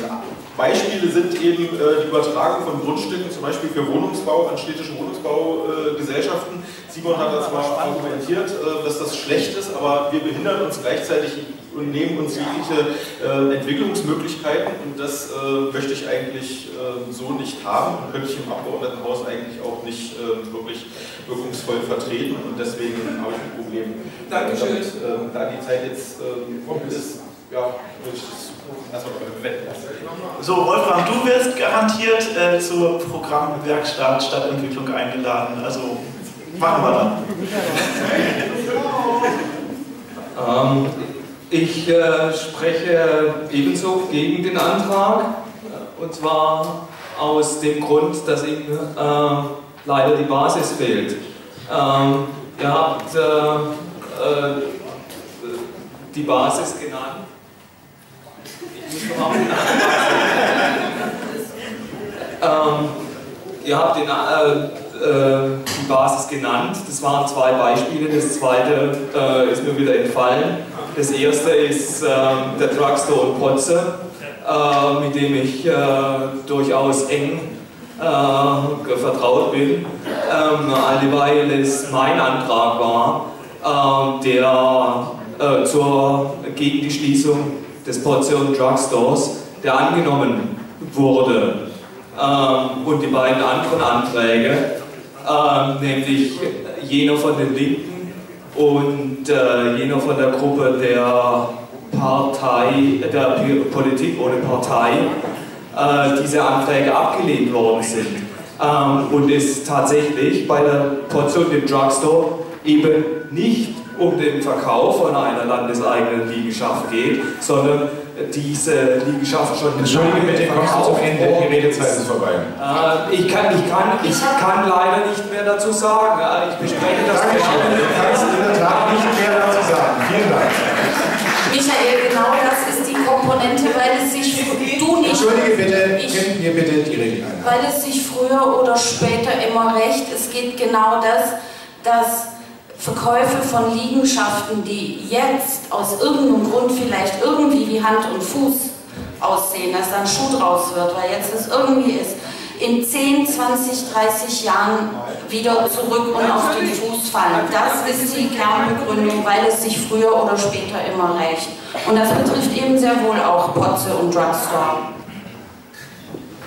Dankeschön, machen wir weiter. Wir haben einen Geoantrag auf Schließung der Rede, in der 2 sogar. Ähm, zwecks Transparenz, Gabriele und Mirko wird ja mal gerne gefragt. Gegenrede vermutlich ja, formal. Wenn jetzt keiner Ja sagt, dann ähm, ist es durch. Okay, also wer ist für Schließung der Rednerliste? Die blauen Stimmkarten. Wer dagegen ist, die roten. Gut, die Rednerliste ist geschlossen. Wer noch was sagen möchte, der möge sich jetzt zügigst zum Mikro begeben. Ist nicht der Fall. Gut, dann haben wir hier das Ende, machen dann weiter. Wie gesagt, wir haben eine Minute für die Fragesteller, drei Minuten für die Antwort. Es wäre sehr schön, wenn sich dann in diesem Rahmen ein Gespräch entwickelt und dies die, die Versammlungsleitung nicht eingreifen muss, dann würde die Sache sehr schön flüssig werden. Bitte machen weiter. Ja, ich finde den Antrag eigentlich sehr gut, aber was mir ein bisschen zu kurz kommt, ist die Autonomie der Bezirke. Ähm, inwiefern die Bezirke hier auch ein Mitspracherecht erhalten bei der weiteren Nutzung von Immobilien oder auch bei dem Verkauf von Immobilien. Denn äh, die Bezirke müssen sozusagen auch bei der fachlichen Nutzung, ähm, weil sie auch den Bedarf teilweise sehen in ihren Bezirken, klar auch mit sozusagen daran beteiligt werden, wann ein, eine Immobilie verkauft wird oder äh, welcher Nutzung zugeführt wird. Und das kommt mir immer noch äh, zu kurz und da müssten wir, glaube ich, nochmal mit dran arbeiten als Ergänzung zu diesem Antrag. Ja, sehe ich genauso. Der Punkt ist natürlich, wenn Immobilien nicht verkauft werden, dann braucht man auch die Bezirke nicht am Verkauf beteiligen. Ähm, andererseits ist es natürlich klar, dass die Bezirke auch in die Lage versetzt werden müssen, nicht ständig ihre Immobilien irgendwie dem Land zu übereignen, äh, weil der Kostendruck für die Unterhaltung zu hoch ist. Also das ist noch eine andere Baustelle, müssen wir auch nochmal drüber sprechen. Ja, ich möchte für diesen Antrag sprechen. Ähm, stimme der Kritik zu, dass man den noch weiter ausdifferenzieren sollte, aber ich finde, die Richtung stimmt und in einem Wahlprogramm ist es gut, die Richtung vorzugeben. Äh, deswegen würde ich dem zustimmen, wenn ich noch. Ähm, finde einen Halbsatz darin ganz toll, ähm, nämlich, dass es, ähm, der Verkauf von Liegenschaften ein Verlust für die Allgemeinheit ist.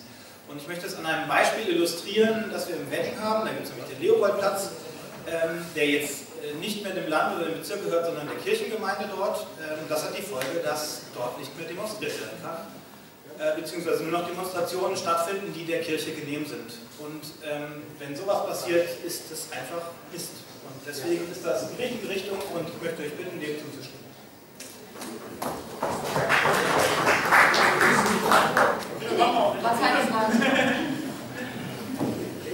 So, ein redaktioneller Hinweis. Antrag ist prinzipiell eine schöne Sache. Ich würde darauf hinweisen, oder würde einfügen, in den Satz, den ersten Satz, wir lehnen Verkäufe, das kommt hier einfügen, mittelbar oder unmittelbar landeseigener Liegenschaften grundsätzlich ab. Dann haben wir diese Sachen wie dergleichen mit erfasst. Ähm, ja, es ging uns tatsächlich gerade um die unmittelbar landeseigenen äh, Liegenschaften wie das mit dem, äh, wie das mit dem Einfluss auf die landeseigenen äh, äh, Betriebe ist. Das ist nochmal ein ganz anderes Ding. Also ich denke mal, das würde auch zu kurz greifen, das einfach nur noch mit reinzuschreiben, sondern da machen wir vielleicht auch noch mal, wie wir es vorhin schon gesagt haben, einen eigenen Text zu. Ja.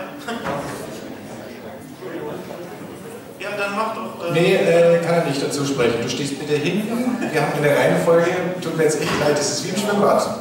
Es darf zuerst rutschen, wer zuerst kam. ja, ähm, also ich bin da mit dem Thema auch so ein bisschen befasst. Ich sitze in dem Hauptausschuss, einer der Ausschüsse, die da auch direkt ähm, sich mit der Thematik äh, befassen. Ähm, ich kann dazu eigentlich sagen, dass ich das grundsätzlich vom Ansatz her auch richtig finde. Also äh, Liegenschaften sollten eigentlich so gut wie gar nicht verkauft werden, wirklich nur in Ausnahmesituationen. Das ist aber tatsächlich eh schon eigentlich äh, auf landespolitischer Ebene mittlerweile so.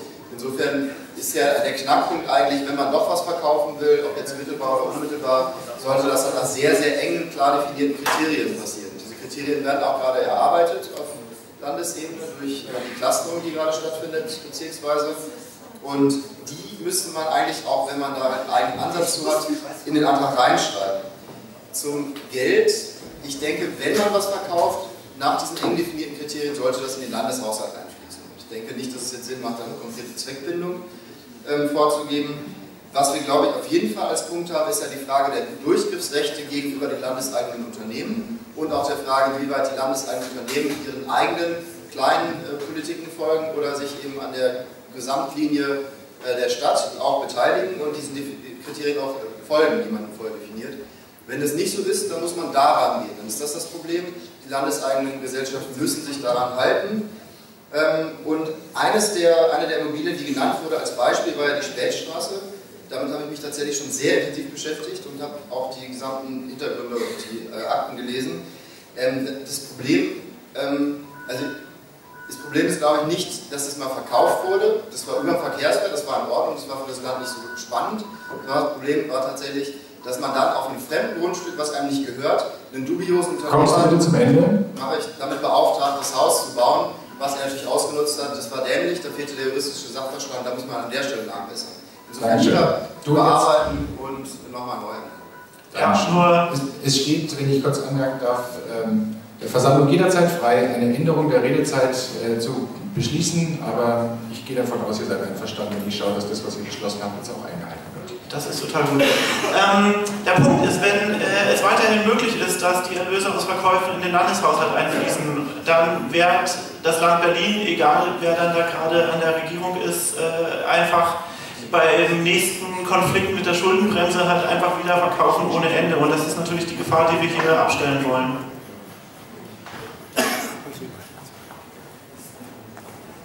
So, das ist der kreative Umgang mit der Redezeitbegrenzung. Ich habe mich mal ein zweites Mal angestellt. Ähm, der Ansatz, wie gesagt, ist äh, ganz gut. Allerdings, äh, wie schon beim ersten Mal ausgeführt, ist der ähm, Antrag so, wie er ist, äh, springt einfach zu kurz und greift nicht so richtig.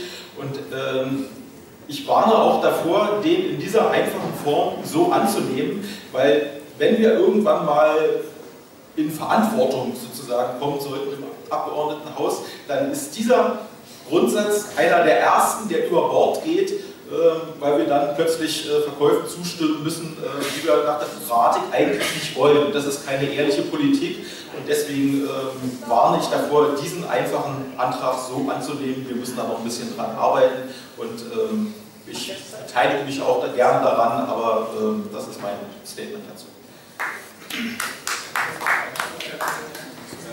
Ich folge einfach mal als Potsdam Mittelmarkt äh, Das Problem ist einfach nur, wir haben derzeit die Problematik, dass unser Kreis mittlerweile äh, Traglufthallen akzeptiert für Flüchtlingserstunterkünfte.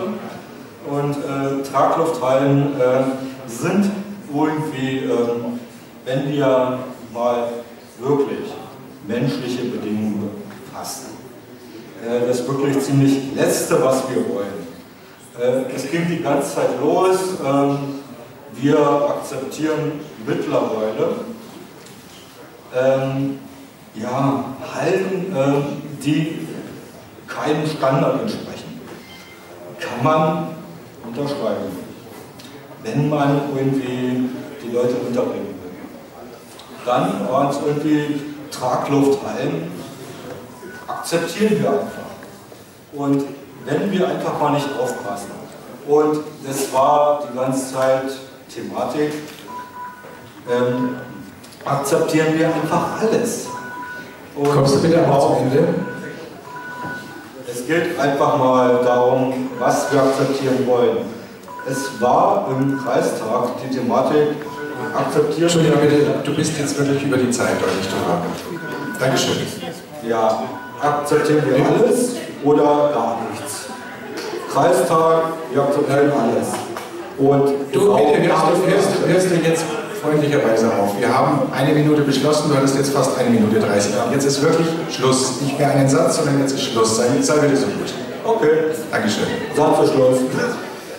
So, ihr habt ein Schlusswort. Ja, also wir freuen uns, dass das insgesamt so positiv und ähm, nachvollziehbar von euch aufgeworfen ist. Wir freuen uns noch mehr darüber, dass so viele ähm, interessante und vielversprechende Aspekte aufge, ähm, aufgekommen sind, wie man das noch sinnvoll weiterentwickeln und kon, ähm, komplettieren kann. Und wir freuen uns drauf, wenn ihr alle das tatsächlich bei der Strategiekonferenz ähm, gerade zum Thema Stadtentwicklung, Michael kann vielleicht kurz durchrufen, wann die ist, dann auch tatsächlich macht oder eure Ideen da wirklich irgendwie in den Prozess reingibt, dass das berücksichtigt werden kann. Vielen Dank. 30. Januar. Also wer es nicht gehört hat, oder im Stream 30. Januar wird es um dieses Thema gehen. Ähm, da können wir das dann noch unheimlich ausarbeiten, aber momentan geht es erstmal darum, wirklich diesen einen Fußabdruck sozusagen schon mal im Programm stehen zu haben. Dankeschön an die Antragsteller für die Vorstellung und an euch für die schöne politische Diskussion. Wir kommen dann zur Abstimmung über diesen Antrag. Wer diesem Antrag zustimmen kann, bitte die blaue Stimmkarte heben. Wer dagegen ist, bitte die rote Stimmkarte. Ja, dieser Antrag ist sehr, sehr deutlich angenommen. Gut, bevor wir weitermachen, haben wir ein Ergebnis, was die Schatzmeisterwahlen anbetrifft. Wahlleitung übernehmen Sie.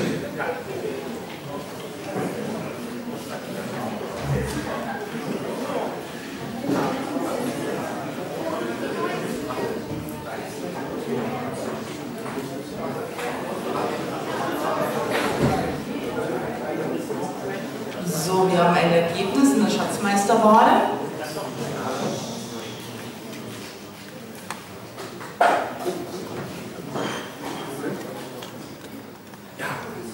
Und zwar 40, also von abge insgesamt abgegebenen 71 Stimmen waren 68 gültig. 40 davon sind auf Achim äh, gefallen und 32 auf HG. Ein knappes Ergebnis, aber damit ist Achim unser neuer Schatzmeister. Wenn der Wahl annimmt.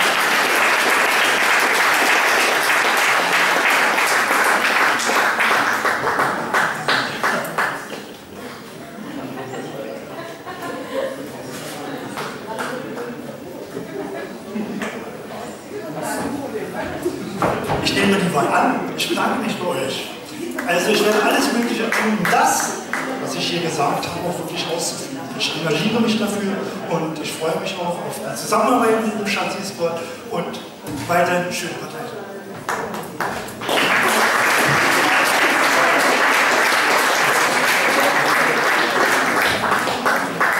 Gut, dann machen wir weiter mit den Wahlen zum Generalsekretär und damit übergeben wir gleich wieder zur, ja jetzt ist meine Redezeit abgelaufen, deswegen Abgabe an die Wahlleiter.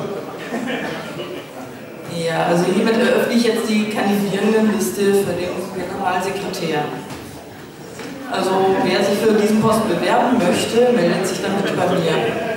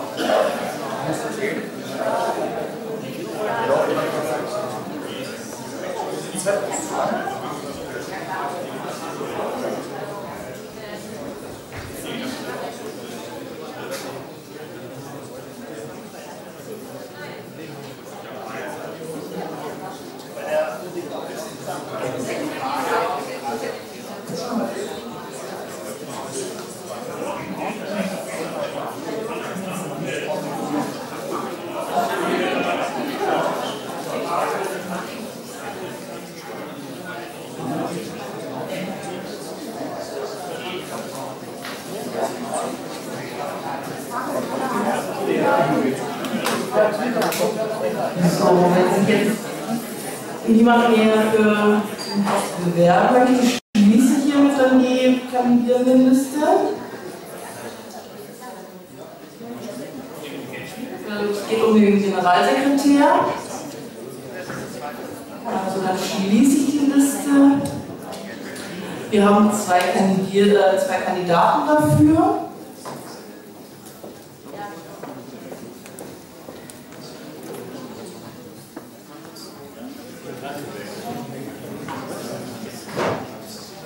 Und zwar Faxe und Petra Stoll. Ja, dann würde ich die beiden bitten, sich in der Reihenfolge dann auch nochmal vorzustellen, bitte.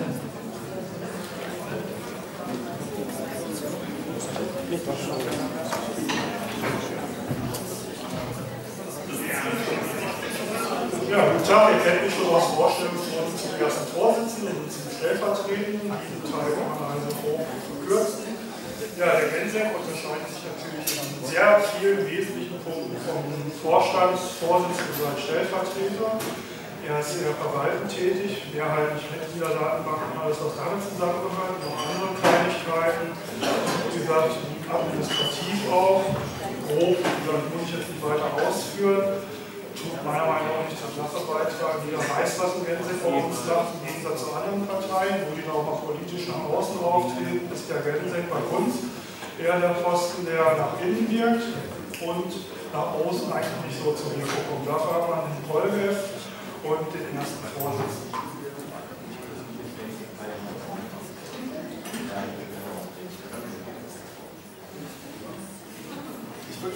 Gibt es Fragen? Also faktisch nicht jetzt, weil hier schon. Ich muss jetzt nochmal. Ähm, aber gibt es weitere Fragen? Also jetzt in Hinsicht.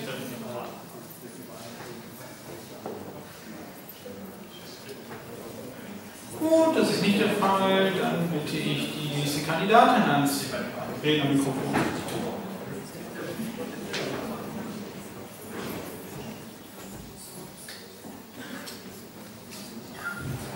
So, ich stelle mich mal kurz selbst vor. Die meisten Leute in diesem Saal kennen mich, aber ich denke auch nicht unbedingt so genau. Ich bin geboren und aufgewachsen in Hamburg, habe eine Ausbildung als Wald- und Naturtechnikerin und eine Ausbildung als Webmaster. Die technischen Dinge dürften damit auch kein Problem sein. Arbeite im Moment in Vollzeit bei der ECOMI LTD im technischen Support und komme ursprünglich aus der Jugend-Umwelt-Bewegung in Hamburg das ist eine freie Jugendumweltbewegung, die auf einem anarchistischen Prinzip, also auf dem Konsensprinzip in der Entscheidung basierte. Heute gibt es die in dieser Form leider nicht mehr. So, ich war ein Jahr lang Wahlkampfbeauftragte in Tempelhof Schöneberg, im Anschluss daran auch ein Jahr Gebietsbeauftragte in Tempelhof Schöneberg. Habe da eigentlich auch einen sehr großen Einsatz geleistet, war in allen Wahlkämpfen dabei in der letzten Zeit. Ganz wichtig ist natürlich, wir brauchen einen Gensek, deswegen stehe ich hier auf. Wir brauchen jemanden, der akkreditiert, natürlich auf den Aufstellungsversammlungen, aber auch auf den GVs, die in der nächsten Zeit kommen werden.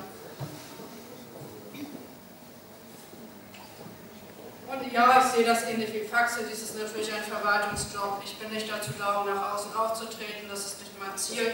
Ich will ganz klar dabei bleiben, irgendwie, dass das meine Rolle ist. Ich sehe das eben auch sehr wie Achim als Schatzmeister. Ich bin Gensek und mache nicht irgendwelchen Blödsinn zwischendurch. Aber es ist eben ganz wichtig, dabei zu bleiben und das durchzuziehen, wofür wir gewählt worden sind. Und ich wünsche mir eigentlich ganz stark, ähnlich dem Schatzesquad, dass es vielleicht in Zusammenarbeit auch mit dem Schatzesquad ein Gensek-Team geben soll, weil es kann immer mal was passieren, wenn ich irgendwie krank sein sollte oder irgendwas dazwischen kommt, dass dieses Team eigentlich auch diese Sachen selbst machen kann und sich da wirklich auch für verantwortlich fühlt, damit ich vielleicht noch der Mittelpunkt bin, aber es nicht so ist, dass es nur, nur noch ohne mich geht. Das ist so, dass es die grundsätzliche Sache ist, die Mitgliederverwaltung, aber ich habe als Vision eigentlich auch, dass es noch mehr werden soll, wie zum Beispiel eine Mitgliederwerbenkampagne. Und für mich ist es eine Selbstverständlichkeit. Die SMV war ein Herzteil dieses Landesverbandes und es muss sie wiedergeben, so schnell wie möglich. Und ja, ich bin auch ein Team der Leute, die jetzt an sich gewählt sind. Das sind Bruno Kram und Simon Kowalewski und auch Achim und Michael, der sich noch als politischer Geschäftsführer bewerben wird. ich denke, wir sind ein gutes Team und können das wirklich gut zusammenrocken. Das halte ich alles.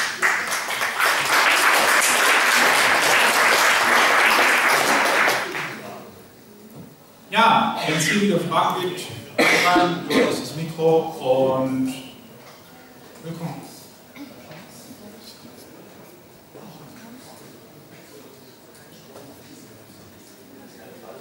Ja gut, äh, wird dunkel, ne? also äh, draußen und dann müssen wir hier auch zügig vorangehen. Gibt keine Fragen, dann geht das auch eigentlich schon fast so weit. Ich übergebe hier weiter. So, ähm, dann würde ich äh, sagen, gehen wir zur Wahl. Ich bitte die Wahlhelfer an die Urnen. Ähm, haben wir für Urne zwei, zwei Wahlhelfer?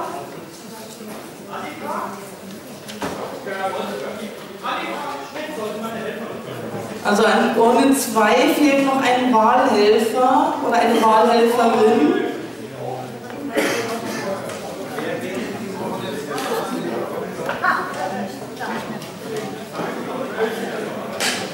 Hat sich da jetzt jemand angefunden? Sehr schön. Dann bitte ich die Wahlhelfer, die Urnen zu zeigen, dass die leer sind.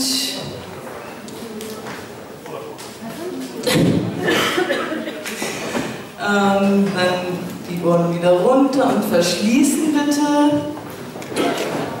Und dann eröffne ich den vierten Wahlgang. Stimmzettel 4 zum Generalsekretär. Hiermit ist der Wahlgang eröffnet.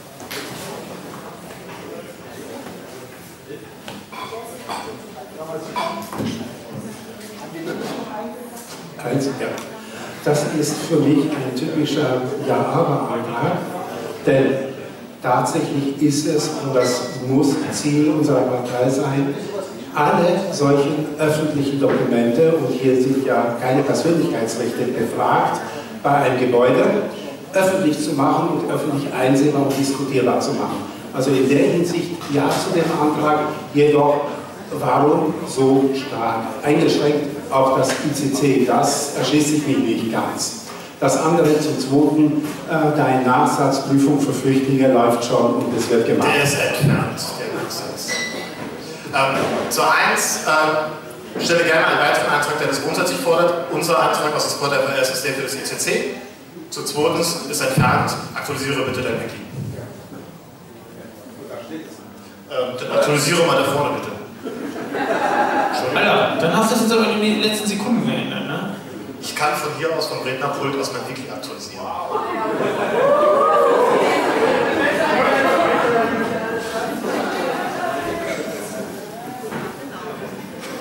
Okay. Also er schreibt ja Anträge, während er vorne steht. Ähm, möchte noch jemand äh, Fragen stellen? Ja? Wirklich? Denn hier ist gleich soweit. Möchte jemand während... Nein, Alex ist, ist quasi schon auf Sprung. Er hat warte, gleich das Bein. Fragen bitte ans Mikro. Entschuldige, äh, kann einer meiner Kollegen sonst noch mal gucken? Ich, ich glaube, den haben wir schon eingebracht, äh, den Antrag. Also wir könnten ihn dann noch ein zweites Mal hinbringen, aber ich bin mir nicht ganz sicher. Ich recherchiere, da könnt ihr mal gucken. Ich, ich glaube, den haben wir schon. Also eingebracht, den Antrag vor ein, zwei Jahren.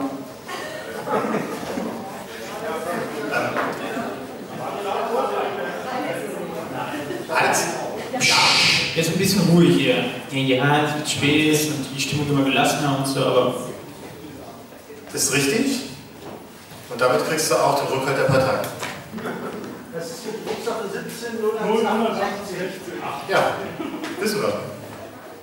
Und damit hast du auch den Rückhalt der Partei. Ist doch schön.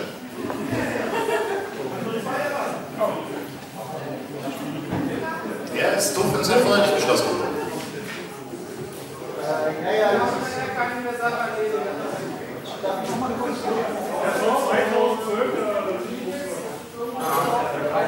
Ich habe hier den Antrag der Piratenfraktion, Drucksache 170168, Geheimniskrämerin um, äh, Krämerei um CC beenden, alle Gutachten offenlegen. Reicht dem Antragsteller das oder müssen wir da noch einen? Ähm, nach Erfahrung mit unter anderem der Runde, wo die Katrin Lomscher dabei, dabei war und ähm, die Architektin vom ICC, ähm, war die Idee, lieber diesen Antrag jetzt aktuell nochmal zumindest in unser Programm mit reinzunehmen, um entsprechend das auch klar als Partei nach außen verkaufen zu können. Das ist dieses mit Außenwirkung und Öffentlichkeitsarbeit, weil wir es bisher so explizit im Programm nicht hatten. Nur explizit hatten es bisher die Fraktion beschlossen und damit es halt für unsere Öffentlichkeitsarbeit ein bisschen einfacher ist, wollten wir es deshalb unbedingt als Programm auch nochmal beschließen.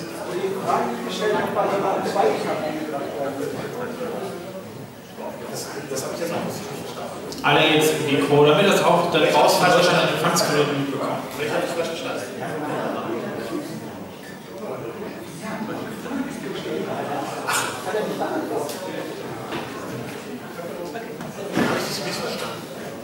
Entschuldige, wir sollen hier Fragen stellen. Das ist aber die abschließende Frage, ob das ein zweites Mal eingebracht werden soll. Die ist beantwortet. Ach so.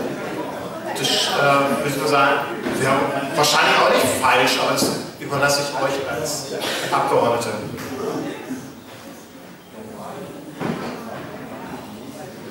Okay. Gibt es weitere Fragen? Notfalls hat es in der Sache schon gemacht, so super. Okay, es ist nicht der Fall. Damit kommen wir zur Abstimmung dieses Antrages. Ähm, ja, die Kärtchen nach oben, ähm, seid ihr dafür, seid ihr dagegen. Ja, ein paar mehr Kärtchen gehen noch.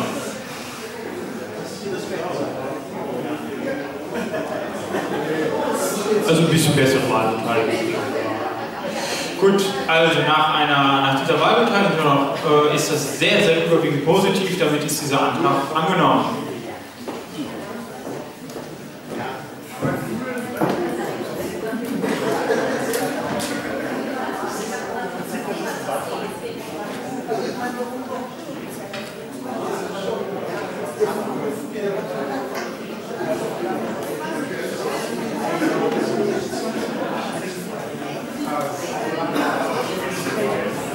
So, das Eintragen der, der ganzen Geschichten hier, der ganzen Ergebnisse braucht noch ein bisschen Zeit. Damit machen wir den nächsten ähm, Programmpunkt.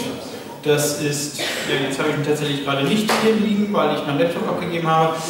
Das ist P004. Ähm, das müsste auch, Michael. Michael, egal. Gabriele, du hast diesen Antrag gestellt. Möchtest du diesen vorstellen? F10 macht's. Denn so. Mir ist das ja kuriose.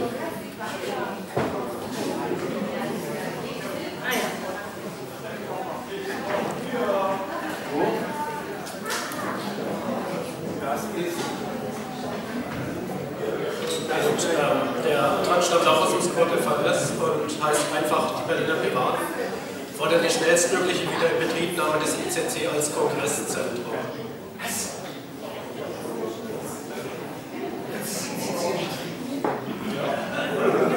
Das ist der Antrag.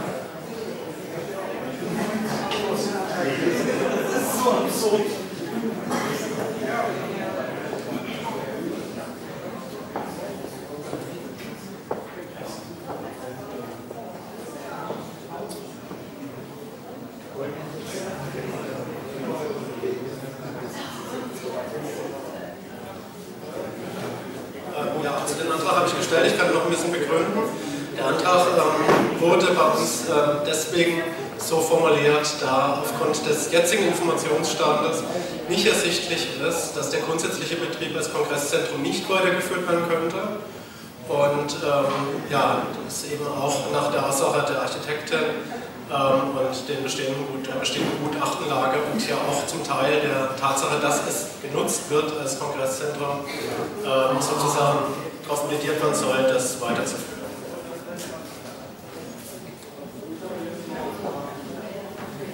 Du bist fertig? Du bist fertig mit der Vorstellung des Antrags? Okay, damit dürfen natürlich jetzt ähm, alle nach vorne tigern, die Fragen stellen wollen und du fängst an. Ja, eigentlich keine Fragestellung, sondern ein Statement dazu. Ich kann nur davor warnen, diesen Antrag anzunehmen.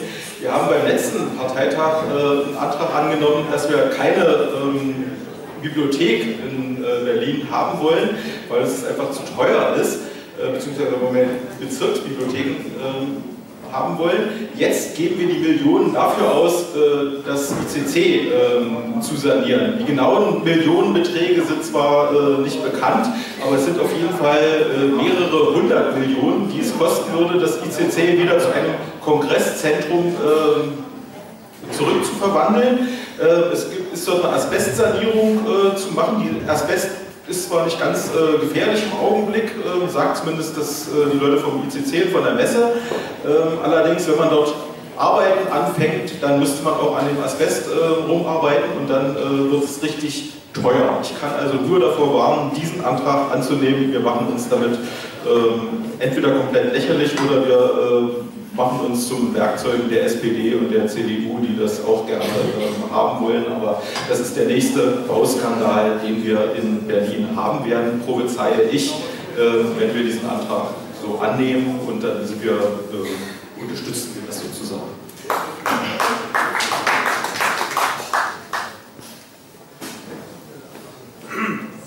Ja, ich möchte mich da meinem Vorredner anschließen.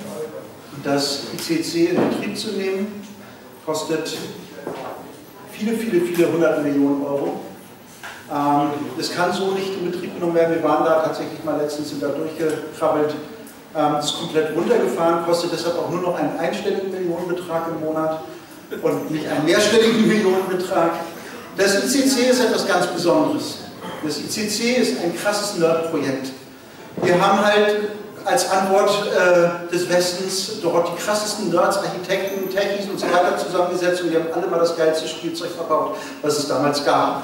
Das führt dazu, dass dieses ganze Gebäude komplett voll mit Spielzeug ist und ziemlich wenig Platz für Kongresse bleibt. Ein normale Kongresszentrum hat einen Nutzungsflächenanteil von ungefähr 90 Prozent.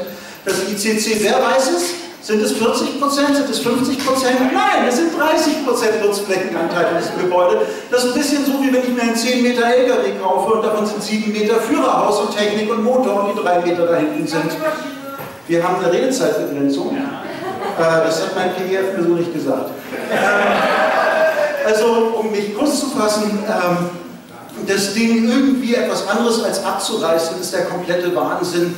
Äh, momentan kostet, glaube ich, jedes Jahr Betrieb so viel mehr als zehn Jahre Stillstand und es äh, bleibt jetzt stehen und irgendwann wird sich eine Regierung finden, die es abreißt, aber die kommt Betrieb nach. Das ist der komplette Wahnsinn und äh, völlig undenkbar und das will auch keiner. Wie gesagt, du hast einen Laster, der ist super schicker Oldtimer, gut restauriert, drei Meter Ladefläche, sieben Meter Kabine, da kannst du noch so viel machen, das Ding wird jedes Jahr Minus machen und Platz fressen und tot sein. Sorry, danke.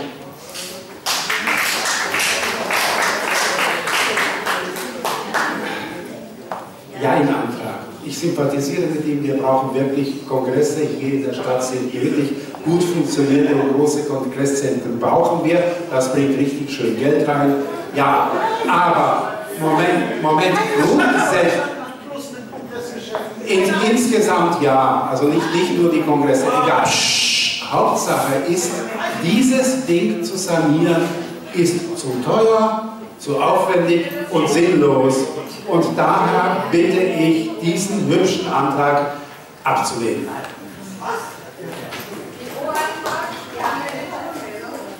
Äh, Es gibt einen GO-Antrag auf Schließwirkung der Redeliste, soweit ich gesehen habe. Äh, gibt es Gegenrede? Das ist nicht der Fall und damit haben wir die Schließung der Redeliste in der Faxe als beschlossen. So, meine Frage in die Runde, wer kennt den City Cube? Man könnte für die Kosten, Dankeschön, ja, kennt jemand den City Cube? So. Man könnte für die Kosten, die ich nur alleine aufwenden muss, das ECC wieder Warte mal, Ruhe hier. Ja, du hast das Wort, das passt schon. Nicht nur alleine. Einfach nochmal den Satz. Man könnte mit den Kosten, die man alleine dafür aufwenden müsste, ICC wieder als Kongresszentrum funktionsfähig zu machen, fünf, also 1, 2, 3, 4, 5, fünf City Cubes bauen. So, dieses in den, wo soll es aufgenommen werden, ins Wahlprogramm aufzunehmen, das wäre nicht nur ein Eigentor, das wäre äh, politischer Selbstmord, können wir nicht machen, bitte ablehnen.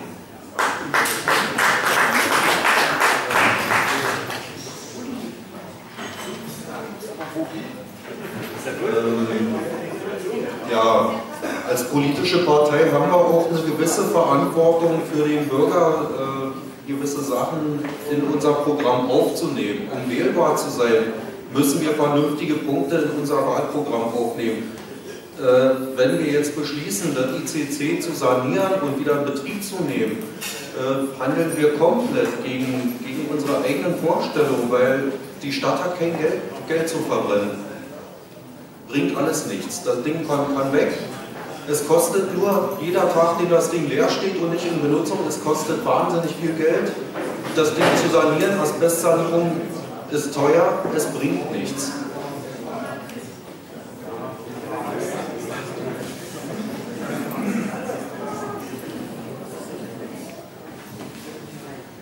Ja, ich bin sogar der Meinung, äh, der Antrag muss natürlich abgelehnt werden, aber eigentlich kann man die Hütte abreißen, man hat den Palast der Republik auch abgerissen, dann kann man als Gegenstück auch den Palast der Republik des Westens abreißen. Das ist einfach billiger und dann was Neues hinzubauen, als immer das alte Ding jetzt versucht für fast 2 Milliarden die Gesamtkosten wieder vorne zu Also das sind so die üblichen Berliner Kosten, Flughafen, Hofrechner, Staatsbau, Hochweg. Da sind wir mit 2 Milliarden noch gut dabei.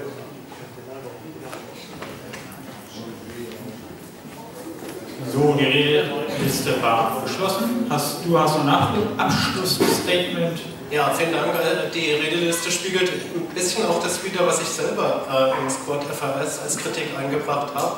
Ich weiß auch gar nicht, warum ich hier stehe. Ich würde den Antrag jetzt zurückziehen, es sei denn, die Kolleginnen und Kollegen äh, wollen ihn übernehmen. Vielen Dank.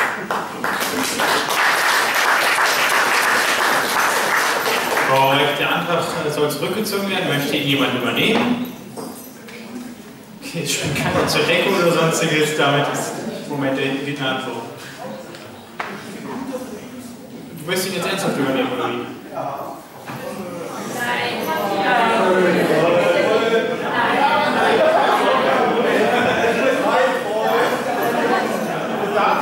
Er wollte nicht ernsthaft übernehmen, okay. Ja, also in Anbetracht der Zeit wir noch sehr viel Spaß. Und ähm, gut, damit ist der Antrag zurückgezogen und ich gebe jetzt weiter an unsere Wahlleitung.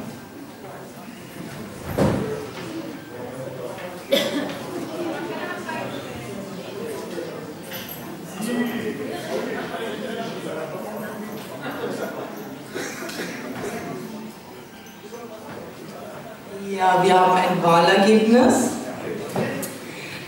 Von 53 abgegebenen Stimmen waren 53 gültig. Ich bin stolz auf euch, keine ungültigen. Davon 23 Stimmen für Faxe und 41 für Petra.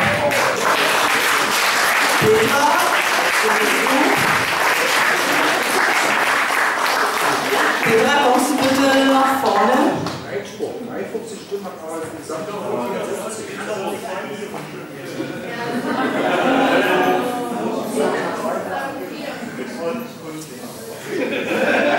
So, Petra, ähm, nimmst du die Wahl an? Ja, ich nehme die Wahl an.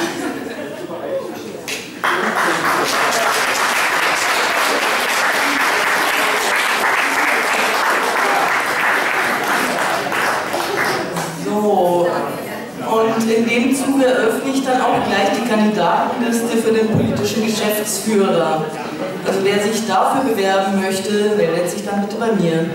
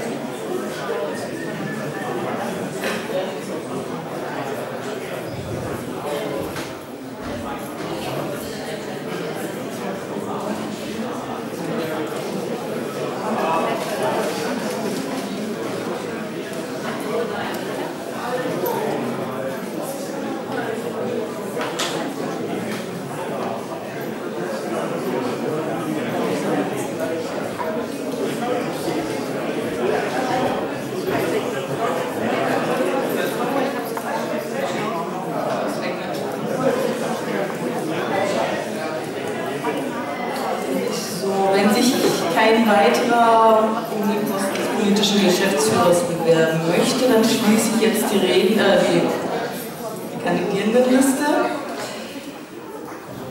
So, wir haben zwei Kandidaten.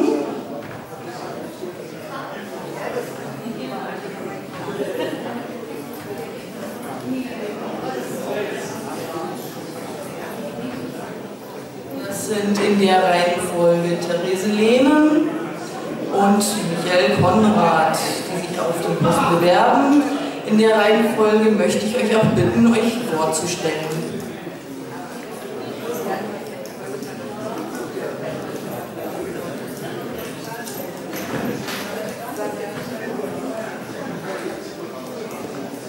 Hallo Piraten, ich bin's, die Harmonie. Ihr kennt mich wahrscheinlich alle. Ein bisschen Ruhe. Faxi, Faxi, du stehst, da stehen auch ein paar Leute irgendwie in der Tür. Rausgehen zum Unterhalten ist okay oder reinkommen, dann könnt ihr rausgucken. Aber ein bisschen Ruhe hier.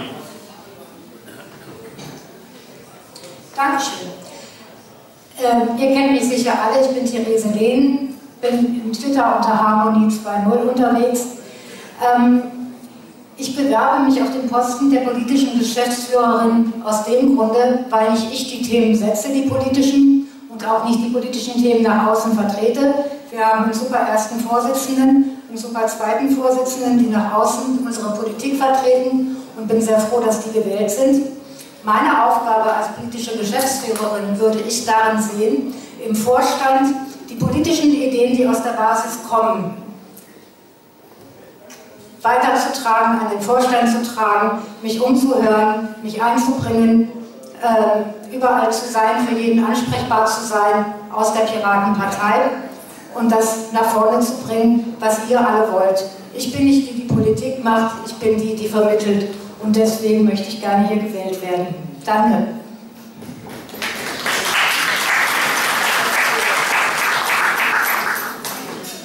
Danke für die Rede. Gibt es Fragen an die Kandidatin?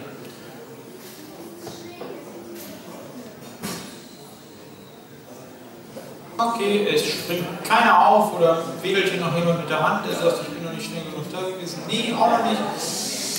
Moment, doch. Du wirst die Frage stellen. Ja gut, dann zack, zack.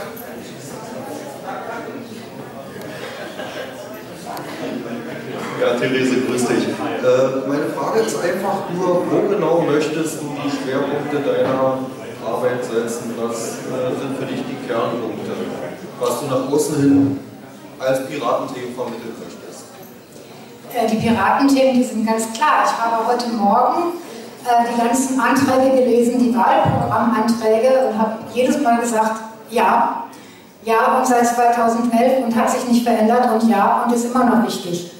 Ähm, ich denke, wir, die noch da sind, möchten gerne unsere Piratenthemen voranbringen und ich möchte euch dabei unterstützen. Ich möchte jetzt nicht sagen, ähm, okay, ich selber bin vielleicht eine Frau, die mehr auf Inklusion und auf soziale Teilhabe setzt, aber das ist nicht das Thema der Gesamtpartei. Ich möchte für den Landesverband politische Geschäftsführerin sein.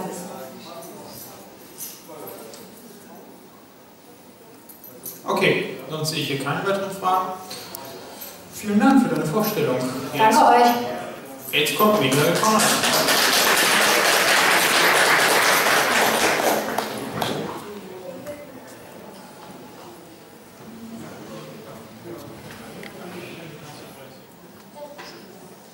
Hallo erstmal.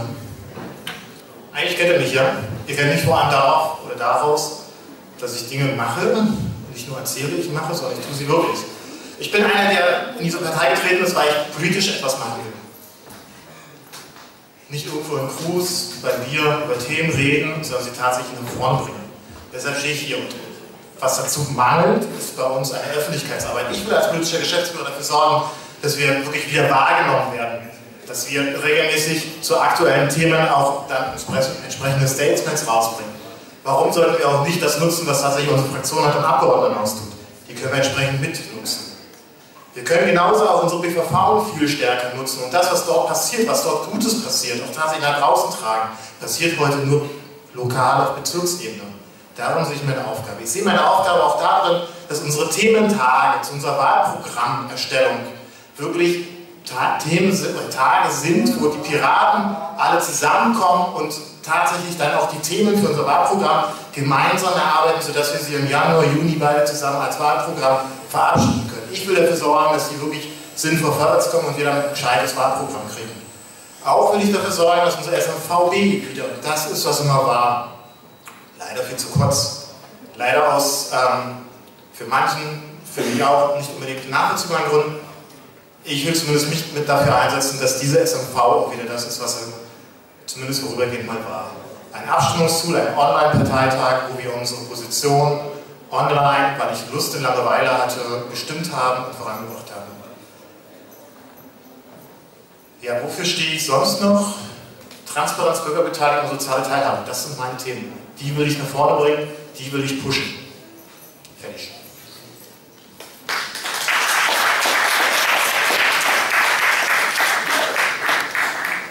Auch hier wieder Fragen natürlich erlaubt. Und bitte hier ans Mikro.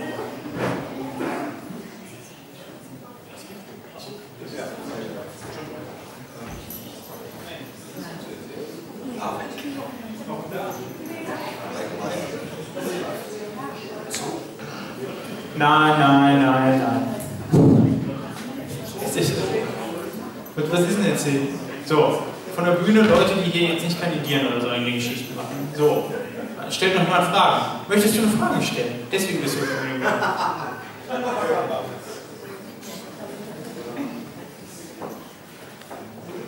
Ich bin noch ganz äh, kurz äh, progressiv. Äh, warum sollte es sich?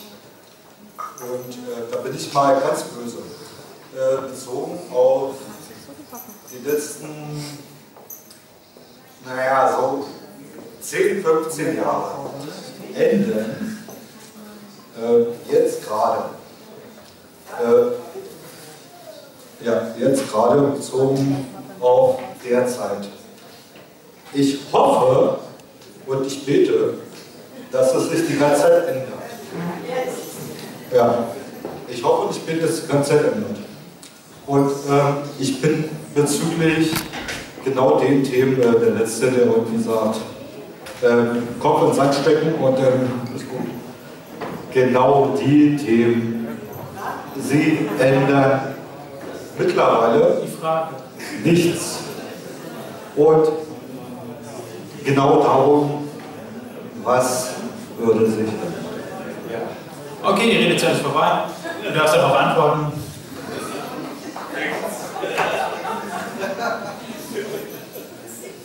Man muss es versuchen. Der nächste bitte.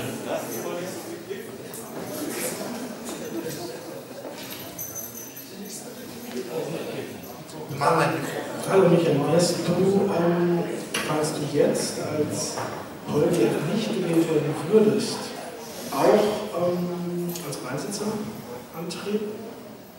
Klare Frage, eine klare Antwort. Nein. Ich habe bestimmte Themen, die habe ich hier vorgebracht. Ich bin der Meinung, das ist die Aufgabe eines Polgers. Und deshalb will ich nur auch als Polger ähm, kandidieren.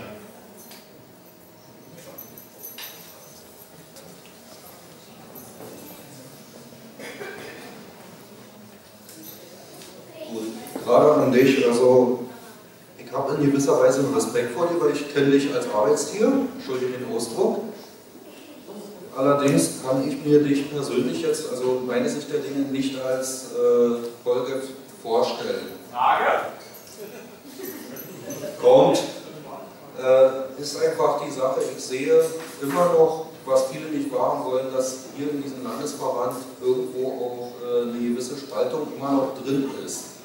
Und meine Frage auch an dich, was willst du dagegen tun? Du hast dann, Gottverdammt nochmal ein verdammt wichtiges Amt, was willst du dagegen das die Frage? Die Frage ist, was willst du tun, um diesen Haufen wieder zusammenzukriegen? Ich sehe nicht das, was du vorher beschrieben hast. Punkt. Willst du wissen?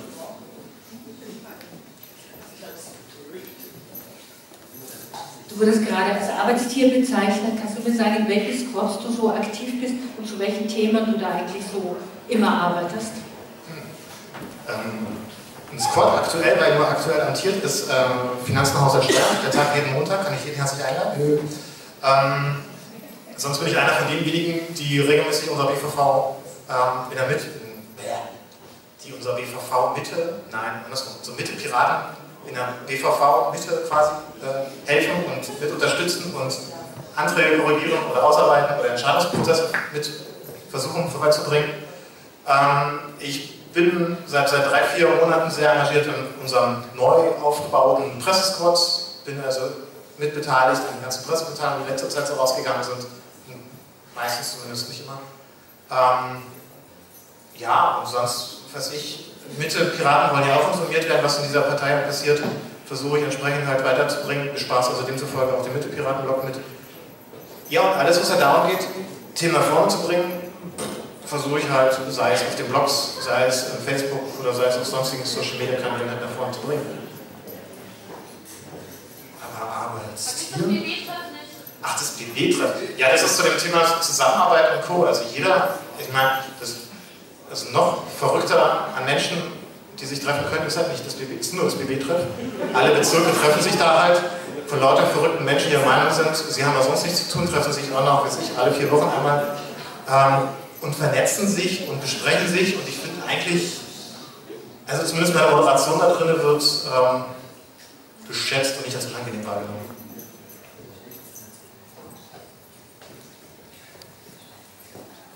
Ja, als eine von den Verrückten, die auch mal zu diesem BW-Treff gehen, weil ich die äh, Gebietsbeauftragte aus Charlottenburg-Wilmersdorf bin, würde mich interessieren, wirst du das denn dann auch weiterhin mit der Kraft fortführen, die du da reingesteckt hast, weil also für diejenigen, die es nicht so mitbekommen haben, gerade nach der Bundestagswahl, also der BB-Treff ist tatsächlich eine von den wenigen strukturellen Stützen, die die Partei hat, wenn es überhaupt sowas gibt in dieser Partei. Und das ist nicht klein zu schätzen, wenn sich da immerhin ein paar Leute aufmachen und versuchen, äh, was zusammenzuhalten. Um die Bezirke zu vernetzen und sich politisch auszutauschen, das ist das beste Medium zurzeit, was wir haben. Natürlich werde ich es weiterhin mit featuren.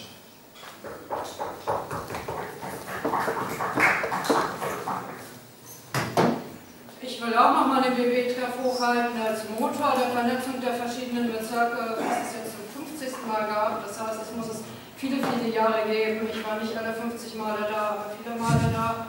Und Michael, das hat sich, glaube ich, außer einziges Mal moderiert. Und da steckt eine Menge Arbeit drin. Und ich will ihn sonst eigentlich auch noch fragen, was machst du eigentlich sonst noch? Weil ich meine auch, du bist in der Gebietsbeauftragter und leistest da auch eine Menge.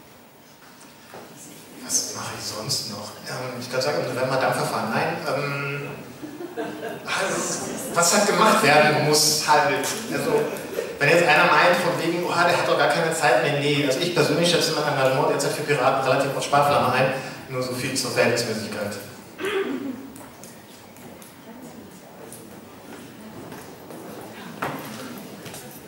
Ich setze jetzt mal so an, ich schätze dich sehr, lieber Michael, weil du machst wertvolle Arbeit. Und zwar solch eine Arbeit, die ich niemals könnte. Da bin ich unfähig. Und ich ziehe den Hut davor, solche Dinge so zu machen. Meine Frage wäre, was stellst du dir überhaupt unter dem Amt politischer Geschäftsführer vor? Gehen wir da in die alten äh, Denkmuster die vorherigen oder was würdest du anders machen oder was willst du damit erreichen wirklich? Was transportierst du sonst noch? Ohne meine einleitenden Worte zu wiederholen, ähm, mir schwebt es als Aufgabe des politischen Geschäftsführers vor, Öffentlichkeitsarbeit zu pushen, unsere Themen entsprechend, die wir haben, zu pushen. Das Wie, ne, das Wie heißt Öffentlichkeitsarbeit schaffen, können wir halt dadurch, dass wir Pressemitteilungen rausgehen, dass wir Veranstaltungen tun, dass wir vor Ort einfach sind. Naja. Ja, also ich weiß, also Veranstaltungen, Veranstaltungen, Podiumsdiskussionen und auch. Also es ist ein breites Spektrum. Wenn Menschen da sind und die Dinge nach vorne in die Welt transportieren wollen, die unsere sind, soll ich der Letzte sein, der das nicht entsprechend im Landesvorstand mit featuret. Ganz im Gegenteil. Ich wäre dann der Erste, der das halt natürlich tut, wenn es unsere Themen entspricht. Ja, noch seriös nicht zu. Meine Frage zieht Warte, warte, warte. Es gibt ein. Entschuldigung. Es wurde gesagt, ich sehe mittlerweile krummelig aus. Das ist aber rein äußerlich. Nein, es gibt ein. Ähm, ähm, es gibt einen GO-Antrag auf Schließung der Redeliste. Gibt es, gibt es Gegenrede? Okay, damit ist die Redeliste geschlossen. Du darfst noch mal erzählen. Aufzugreifen. Also meine Frage äh, deutet eher mehr dahingehend, äh, wie diese Präsentation dann aussieht. Weil ich denke, dass ein wenig Öffentlichkeitsarbeit in einer positiven Form, in einer sympathischen Form, uns ganz gut tun würde. Wir haben eine ziemlich schlechte Außenwirkung anscheinend, obwohl ich es nicht so wahrnehme, weil ich sehe, die wertvoll die. Und ich möchte gerne, ich würde mich freuen auf etwas Neues, Erfrischendes, etwas anderes. Was vielleicht eben die Fläche und was wir jetzt gerade brauchen. Weil jeder Einzelne ist so gut. Und das wäre so schade. Das stimmt, aber ähm, das könnte ich sagen, ich bin ausgebildeter Informatiker und deshalb, weil ich halt ähm, das nicht mit der Kreativität habe, sondern mit der Stringenz und mit der ähm, Linearität in der Abarbeitung von Dingen. Aber wenn coole Ideen kommen, dann werden die doch entsprechend umgesetzt. Also ich meine, ich bin doch nicht derjenige, der im Landesvorstand, der dafür zuständig ist, irgendwelche geilen, geile Ideen auszubremsen. Hallo, ganz im Gegenteil, ich bin mit dafür da, im Landesvorstand, dass geile Dinge passieren und dieser Landesverband halt rockt. Also Nee, Leute, wenn ihr die Liste wieder aufnehmen wollt, müsst ihr einen Geo-Antrag stellen.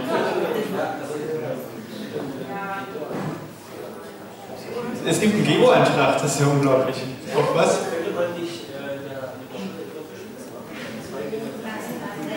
Nein, nein, nein, das ist nicht im Geo-Antrag, das geht sonst nicht. Also es gab die Frage, ob wir eine Doppelspitze machen können. Gut, äh, äh, damit übergebe ich an die Wahlleitung. Du hast das Wort. Ja, also wir kommen jetzt dann zu Wahlgang Nummer 5. Das ist Stimmzettel Nummer 5, hellblau. Es gibt die Möglichkeit, 0 bis 2 Stimmen abzugeben, also 0 bis 2 Kreuze zu machen. Dann bitte ich die Wahlhelfer an die Urnen. die Urnen hochzuheben und zu zeigen, dass sie leer sind. Das sieht gut aus, dann setzt sie wieder ab und verschließt sie. Und dann eröffne ich hiermit Wahlgang Nummer 5.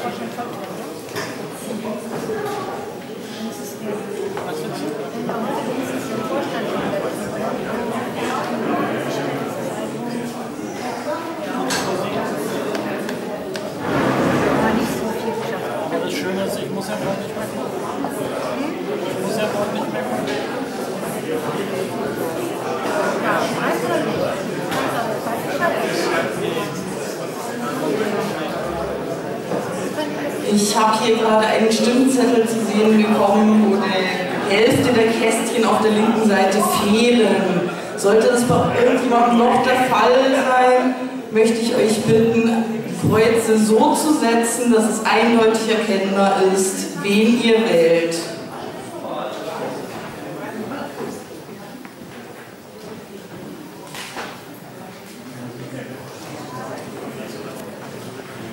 Und die Wahlhelfer rufe ich dazu auf, eben diese Stimmzettel dann auch dementsprechend zu werden als gültig.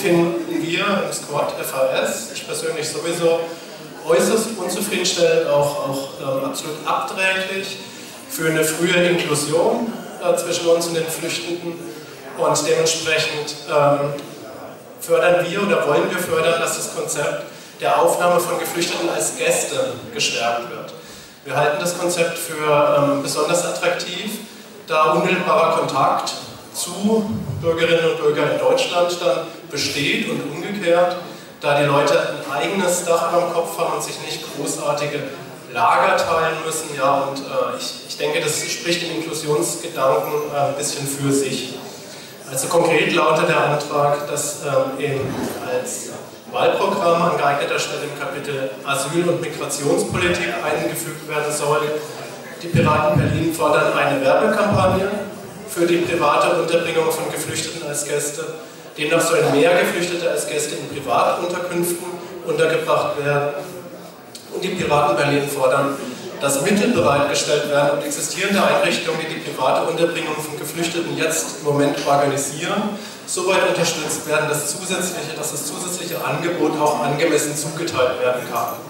Es ist ja im Moment bereits halt so, dass sich viele Privatleute als ähm, ja, Gastgeber für Geflüchtete zur Verfügung stellen, aber eben sehr viel Angebot ungenutzt bleibt. Es gibt Koordinationsstellen, ähm, die sich damit auseinandersetzen, äh, das zu verteilen und die äh, berichten in der Presse oft darüber, dass sie das Angebot dann gar nicht verteilen können. Deswegen sollen da auf jeden Fall Finanzierungen in diese Richtung ausgegeben werden, um äh, diese Verteilung zu bekommen.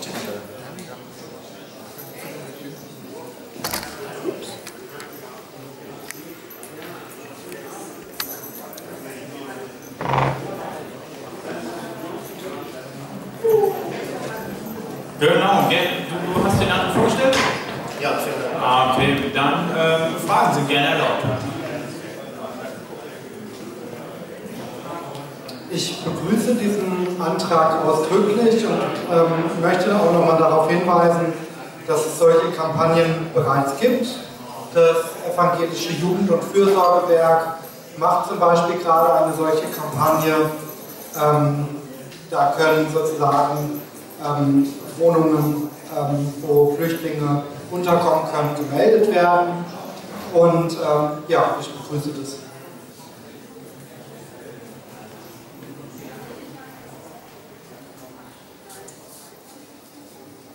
Soweit mir bekannt ist, ähm, ist das heute schon möglich, dass Privatpersonen äh, Flüchtlinge oder wen auch immer aufnehmen können.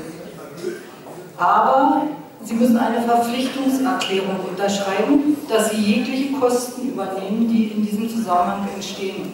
Und dann wird auch die finanzielle äh, Möglichkeiten äh, geprüft. Also bei Hartz-IV-Empfängern oder sonstigen sozial schwachen Leuten oder finanziell schwachen Leuten geht das nicht.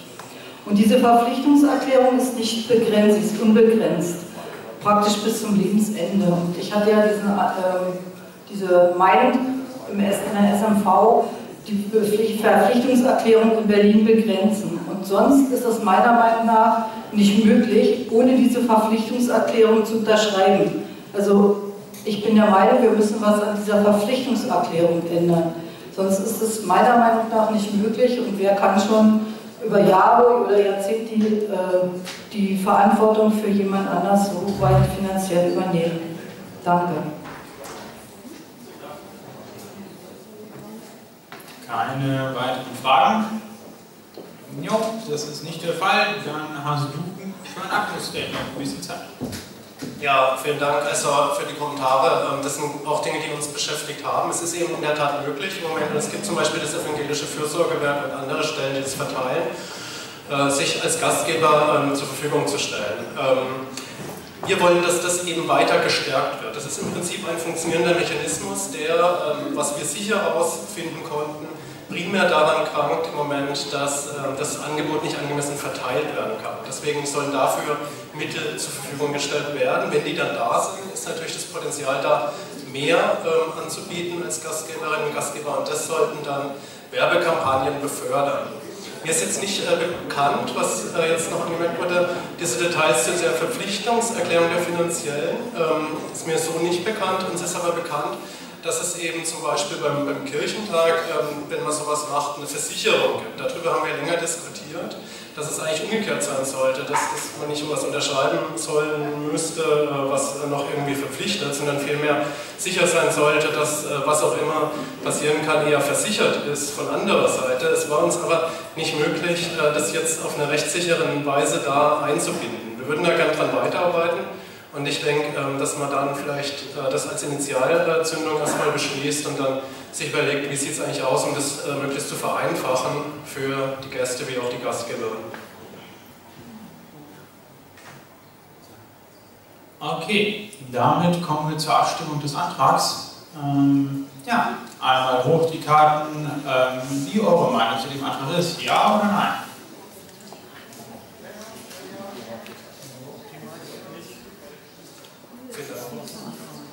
Okay, der ist angenommen.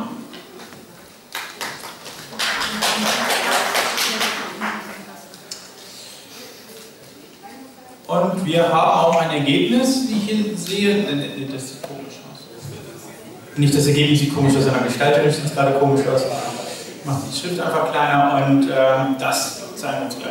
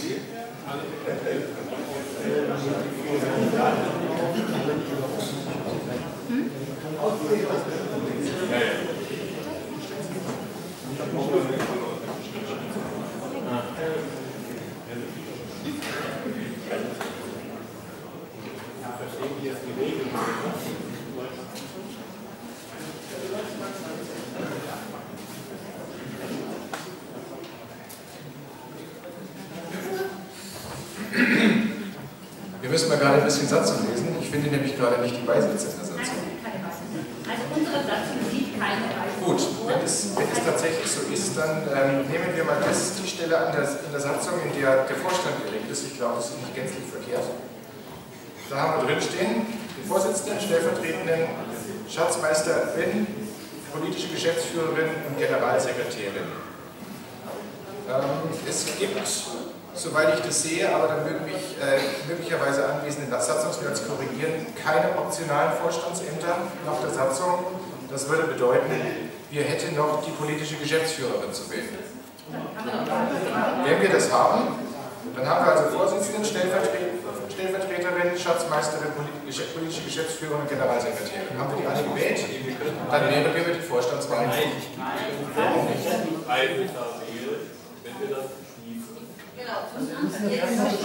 Wenn, wir, wenn der Vorstand um Beisitzer zu erweitern wäre, sind die ja gleichermaßen stimmberechtigt wie die anderen Vorstandsmitglieder auch. Ergo müsste in der Satzung stehen, dass Beisitzer gewählt werden können. Wenn es in der Satzung nicht steht, dann kann man sie auch nicht wählen. Die Versammlung kann beschließen, was sie will, äh, und zwar insbesondere eine Satzungsänderung, in der dann drin steht, dass im Vorstand Beisitzer sind.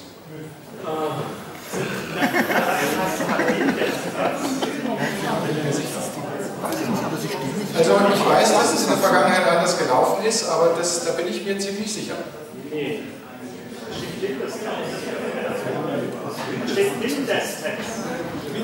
Ja, es steht mindestens drin, aber es steht nicht drin Beisitzer. Wenn ich jetzt sage zwei politische Geschäftsführer oder zwei Schatzmeister oder ähnliches, das ist in Ordnung.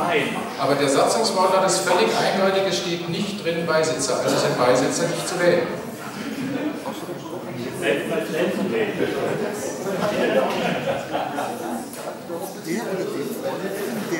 Also bisher hat die Versammlung auf die vergangenen Mitgliederversammlung beschlossen, Beisitzer zu wählen. Die Zahl derer, die Beisitzer werden, hängt davon ab, wie viele über 50 Prozent der abgegebenen Stimmen insgesamt bekommen sind.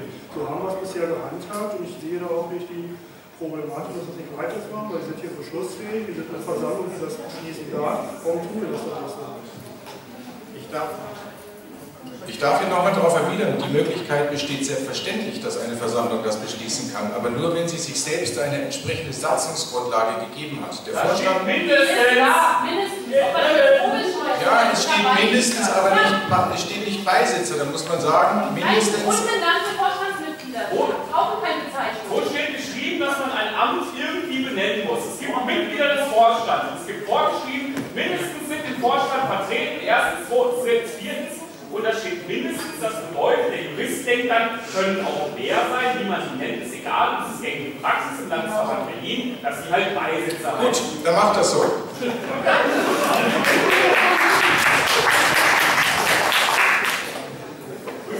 Gut, das war das mal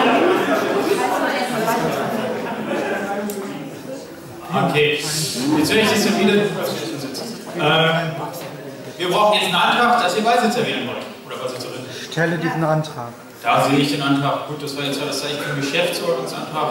Ähm, es sollen Beisitzer gewählt werden. Dieser Antrag steht jetzt im Raum. Wollt ihr diesen Antrag annehmen? Ja oder nein?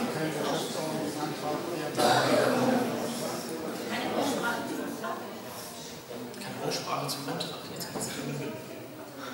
Jetzt drin. Also ich weiß nicht, ich würde das jetzt einfach mal alles abkürzen und sagen, ja, ihr wollt Beisitzer werden, oder? Gut. Theoretisch haben wir diese ganze Bude hier bis 20 Uhr.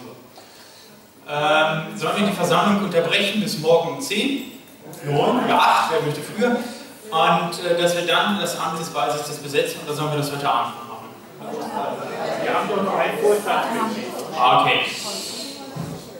Kommt auch noch kurz die Karte hoch. Ich habe das hier gerade ein bisschen gesprochen wahrgenommen. Äh, ja, weitermachen für den Beisitzer oder jetzt Ende? Okay. Geht weiter. Also den Beisitzer machen wir jetzt noch. Dann machst du jetzt noch die wundervolle Liste des Beisitzers.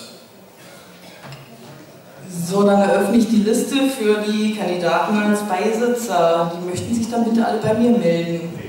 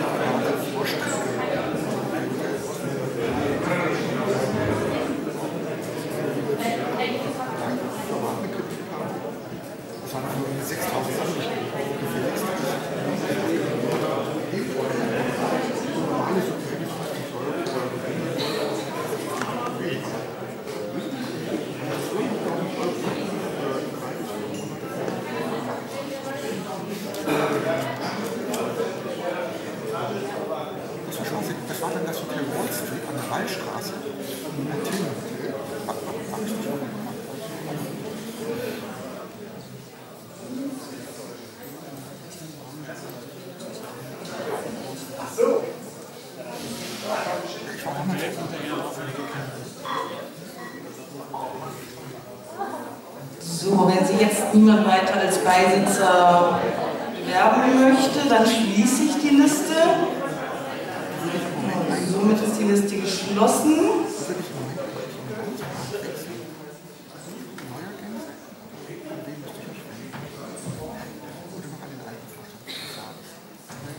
Wir haben ganze sieben Kandidaten für die Position des Beisitzers. Der Beisitzer.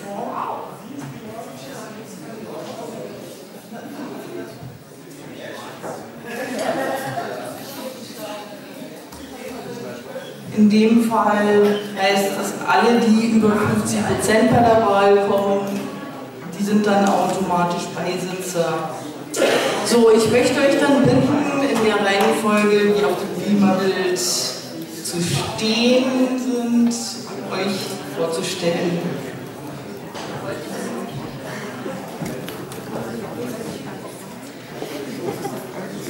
Ja, mein Name ist Jessica Miriam Zinn, auch wenn ich meistens nur Jazz abgekürzt werde, so wie heute auch schon ein paar Mal passiert.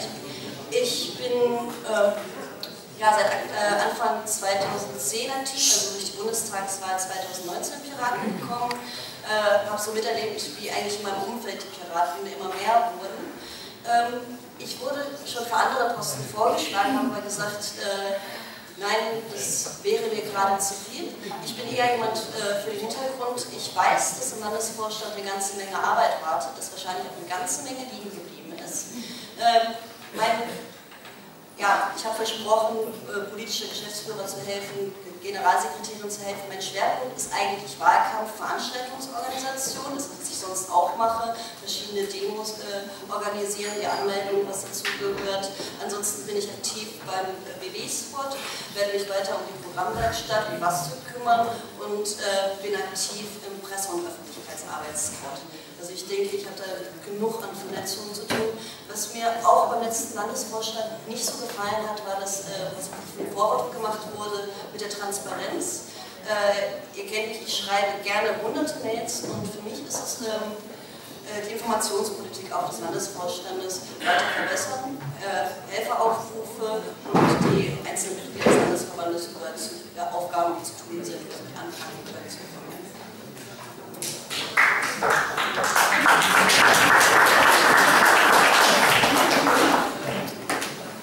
Wir machen das jetzt mal mit der Fragerunde ein bisschen anders. Ähm, es stellen sich jetzt alle Kandidaten vor. Entschuldigung, das habe ich nicht so gesagt, aber ich halte es für sinnvoll, gerade auf dem Zettel. Es stellen sich alle Kandidaten vor und danach kann en bloc befragt werden, weil es sind mehrere Kandidaten, es sind viele Kandidaten, es lohnt sich einfach eher so. Ja, mein Name ist Franz Josef Schmidt. Ich bin äh, in der Piratenpartei seit der Abgeordnetenhauswahl 2011 und äh, war seitdem vor allem tätig in den Bereichen ähm, Haushaltspolitik Berlins. Ähm, das war vor allem aber auch in der Anfangsphase meines Wirkens 11-12 im Sport Finanzen, Haushalt, Steuern und ähm, als Bürgerdeputierter äh, für Inklusion, Gesundheit und Inklusion in Friedrichshain-Kreuzberg in der Bezirksversammlung. Und ähm, in dem Zusammenhang ist es so, dass äh, ich jetzt also in letzter Zeit zwar nicht mehr sehr aktiv war, aber gerade aufgrund der politischen Bewegung, die jetzt einmal innerhalb der Partei äh, etwas Schwierigkeiten gebracht haben, sag ich mal, ähm, zwischen uns, unserem Vorstand und so weiter, aber auch der politischen Dynamik wirklich in Berlin durch äh, Flüchtlinge, die zu erwarten sind, ähm, durch die Rolle, die meiner Meinung nach die Hochschulen äh, spielen werden, da sage ich gleich noch einen Satz zu, ähm, und auch Schulen spielen werden müssen dass ich da wieder zurückgefunden habe ähm, zu einem Willen, wirklich politisch aktiv zu sein, das also gerne machen würde. Mir ist gesagt worden, dass ähm, das Beste auch durch meine moderierende Art ein Auftreten dann wäre als Unterstützung im Vorstand. Deswegen kandidiere ich hier als Beisitzer für den Vorstand. Es würde mich freuen, dadurch auch ein bisschen, sage ich mal, den Transfer zu schaffen zwischen der, Aktivität in, in, im Squad und der Kommunikation mit dem Vorstand, auch wenn natürlich im Prinzip, sage ich mal, die Diskussion im Vorstand und das äh, verwaltende Aspekt damit im Vordergrund stehen.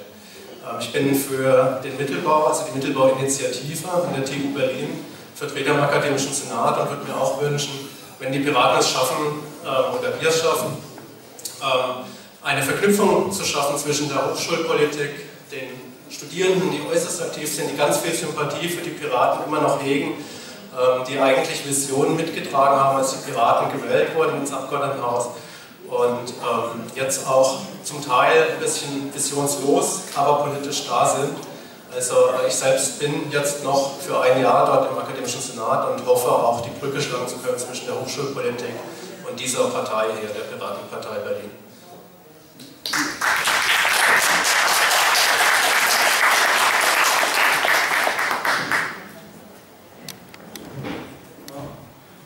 Hallo, mein Name ist André Lefeber. Ich kann leider nicht auf so viel Vorerfahrung äh, zurückgreifen. Ich bin seit 2012 Mitglied der Piraten hier in Berlin, komme aus Stegen-Zehlendorf und äh, bin dort zurzeit Gebietsbeauftragter zusammen mit drei anderen Gebietsbeauftragten und bin zurzeit auch Richter am Landesschiedsgericht. Ähm, seit mehreren ja, Sitzungen bin ich auch äh, im äh, Bezirksbeauftragten, äh, Bezirksbeauftragten-Treffen immer dabei. Ähm, ich bin eher so ein Mensch, der gerne im Hintergrund ein bisschen vor sich hin frickelt und ähm, mehr so die Sachen macht, die so verwaltungsmäßig anstehen.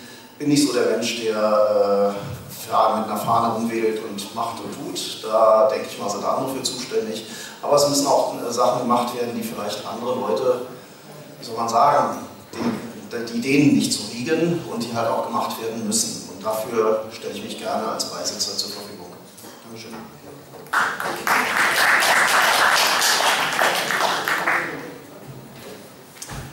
Hallo, ich bin Luther Kroz, äh, auf Twitter Shopping for Berlin. bin seit 2011 in der Piratenpartei, seit 2012 bin ich Gebietsbeauftragter von Stiegel-Zehlendorf. Äh, kurz so ein bisschen mit Heike der Politik gemacht ich war eigentlich schon immer seit Jugend her stark politisch interessiert, habe äh, an vielen Demos früher teilgenommen, würde mich doch als ein bisschen spät 68 bezeichnet. Äh, war äh, viele äh, erste Mai-Demos damals dabei, habe an den Hausbesetzungen in Kreuzberg teilgenommen in den 80er Jahren. Habe mit die erste Schülerdemonstration hier überhaupt in Berlin mit organisiert war dann äh, lange Zeit bei den Jusos, bei den Jusos bis, bis 35. Äh, danach in der SPD, haben auch mal, was wollte eigentlich lieber, warum, mal ein kurzes Gastspiel bei der FDP gehabt. Habe in vielen Ausschüssen mitgewirkt, war Bürgerdeputierter im Jugendhilfeausschuss. Und bei, habe an vielen Wahlkämpfen teilgenommen, aber auch natürlich jetzt hier bei den Piraten schon an vielen Wahlkämpfen teilgenommen, mache sehr gerne Standarbeit, Wahlkampf, alles was rund um, den, äh, um die Wahl zu tun hat auch für die Piraten an äh, nahezu alle äh, Demos teil, die irgendwie mit Piraten Piraten, äh, wo Piraten bei sind, äh, mache, organisierte, also mache Straßenfeste mit, bin bei äh, TTIP und was alles, äh, was alles äh, ist, äh, mit dabei. Für, deswegen für, die, für den Vorstand mitmachen. Äh, Aufgaben gibt es natürlich sehr viele. Mein, meine Prämisse wäre, mich hauptsächlich auch wieder in die Sachen Wahlkampf hauptsächlich mit einzubringen, zu helfen. Wir haben, ihr wisst, wir haben nächstes Jahr die Wahl für 2016. Ich bin eigentlich sehr optimistisch, äh, dass wir hier in Berlin äh, durchaus schaffen können. Wir werden natürlich keine 8,9 Prozent kriegen, aber denke mal 5 bis 5,1 Prozent halte ich für durchaus realistisch. Und äh, wir, wenn hier keiner die Luftschlösser baut wie unser UFO, aber ich denke mal 5, 5,1 ist drin. Und äh, das müssen wir auch unbedingt, wir müssen es schaffen. Denn äh, wenn wir diese Wahl verkacken, hier in Berlin, dann kann auch der UFO zumachen und dann kann Herr Seeber mit seinem 7% Traum äh, kann er dann in der Spree oder das Ego versenken. Äh, ich denke mal, ich bin jemand, der Wahl organisieren kann, der alles ringsum, äh, was alles mit diesem ganzen Zahlwerk zu tun hat, machen kann. Ich bin zwar nicht der große Redner, äh, mal, der sich jetzt auf äh, irgendwie Wahlveranstaltung jetzt hinsetzen kann und reden kann. Ich bin auch, auch mehr einer, der es aus dem Hintergrund äh, organisiert, aber ich denke mal, dafür bin ich gut und das muss natürlich jetzt nicht über diese Arbeit sein. Ich weiß, es kommt sehr viel auf den Landesvorstand, zu viel Arbeit, aber ich denke mal, ich hoffe, den LAFO äh, tatkräftig unterstützen zu können. Okay.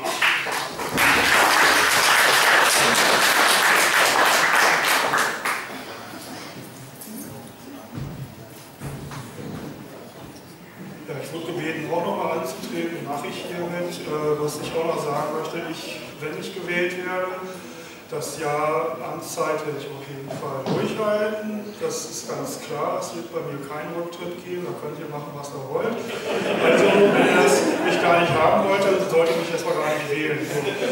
Was kann ich machen? Als Beisitzer kann man sich Aufgaben nehmen, die ich jetzt auch schon als Basispirat jahrelang gemacht habe. Ich sage nur das Straßenfest in Schöneberg, das schwul-lesbische. Das werde ich weitermachen, auch ohne, aber mit wäre es schöner, dann hat man kürzere Wege und ein bisschen offiziellere Verankerung, sieht auch besser aus optisch. Ja, schön. Wahlkampf mache ich sowieso schon, durchgehend seit Februar und wenn ich euch was zusage, was zu tun, ist das in der Regel auch gemacht worden. Deswegen sage ich auch recht wenig zu, damit ich dieses Versprechen und dieses ähm, Label weiter behalten kann. Ihr wisst auch, wenn ihr mich wählt, ihr wisst, was ihr bekommt. Ich bin der, wie ich bin. Ich bin natürlich mit Ecken und Kanten und habe auch meinen eigenen Kopf. Den werde ich mir auch nicht verbieten lassen. Aber wie gesagt, ich bin auch, was ich schon vorher gesagt habe, Pragmatiker und kann auch gewisse Sachen sagen, okay, muss jetzt so gemacht werden und wie ich es will, alles drin. Aber wie gesagt, das ist eure Entscheidung. Macht die Kreuze bei denen, die ihr haben wollt und bei möglichst vielen, weil wir brauchen in diesem Landesvorstand sehr viele Beisitzer, eben weil es bergeweise Arbeit geben wird. Je mehr wir drin haben, es gibt genügend gute Kandidaten auf der Liste, ich will jetzt nicht einzeln nennen, aber ihr wisst ja selber, wenn ihr gut jeden, jeweils, jeweils Kreuz. Ich wäre da sehr dankbar für, wenn ihr das noch handhaben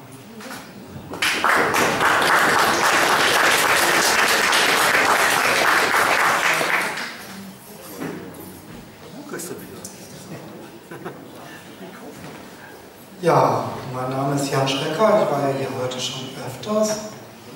Ähm, ich möchte meine Kandidatur jetzt nicht als Bedrohung wissen.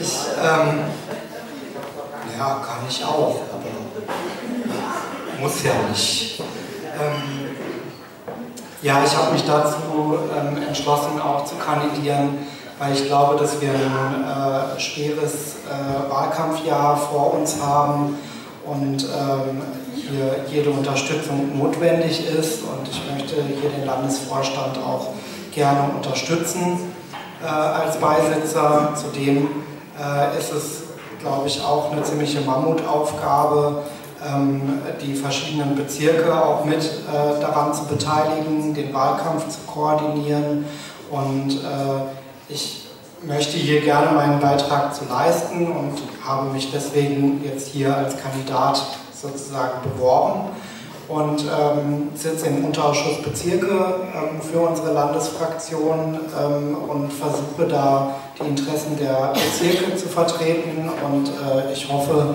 dass ich ähm, in dieser Eigenschaft vielleicht auch ähm, im Landesvorstand ähm, auch den Beitrag dazu leisten kann und die Bezirke immer wieder auch hier äh, zur Sprache bringen kann, um die Interessen der Bezirke zu vertreten.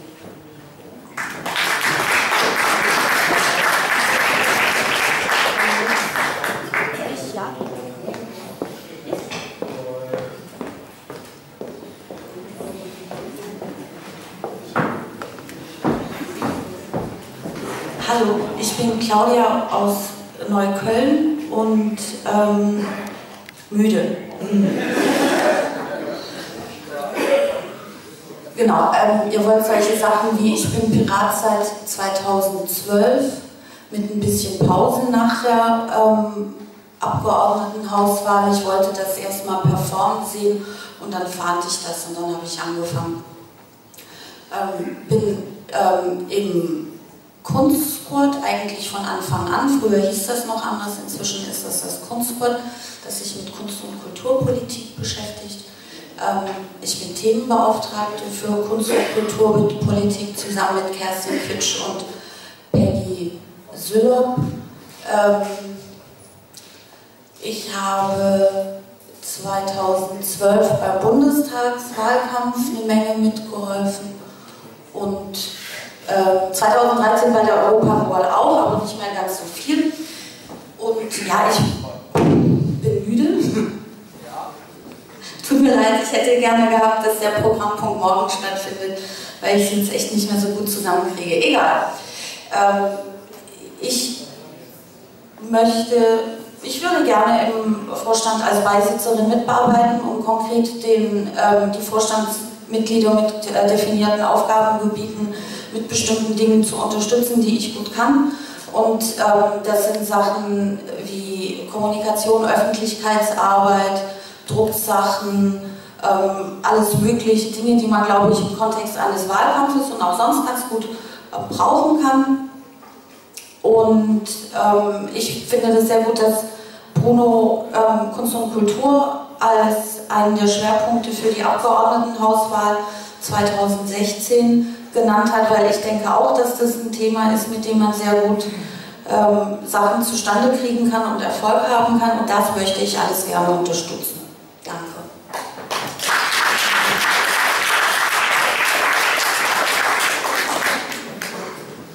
Okay, damit kommen wir zu den Fragen. Bitte anstellen, auch, ich bitte auch alle Kandidierenden nach vorne, damit ähm, an euch die Fragen gebündelt gestellt werden können. Und euch bitte Fragen zu stellen. Lass erst mal aufbauen.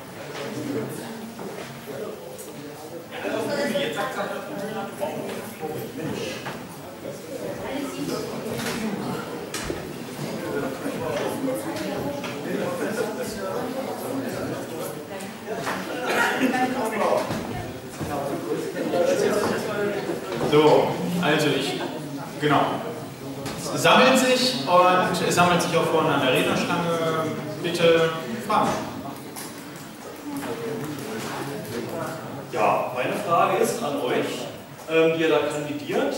Habt ihr schon irgendein, also äh, von Lothar haben es ja schon gehört, habt ihr ein, ein anderes Parteiamt schon? Ähm, habt ihr also, äh, also genügend Zeit? Ähm, ihr dieses Parteiamt vielleicht sogar abgeben, wenn ihr jetzt gewählt werdet? Und die nächste Frage, seid ihr in irgendeiner anderen Partei oder ähm, in irgendeinem politischen äh, oder vielleicht auch nicht so politischen Verein?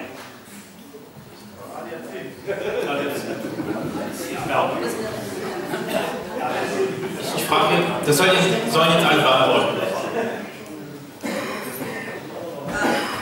Nein zu Zeit kein weiteres Amt, äh, keine weitere Partei, obwohl ich eigentlich versprochen hatte, bei der Partei die Partei Mitglied zu werden, habe ich aber bisher nicht gemacht. Und äh, wir hatten mal versucht, eine Partei, die sonstige, zu gründen, damit wir einen eigenen Balken haben, aber haben das nicht durchgezogen.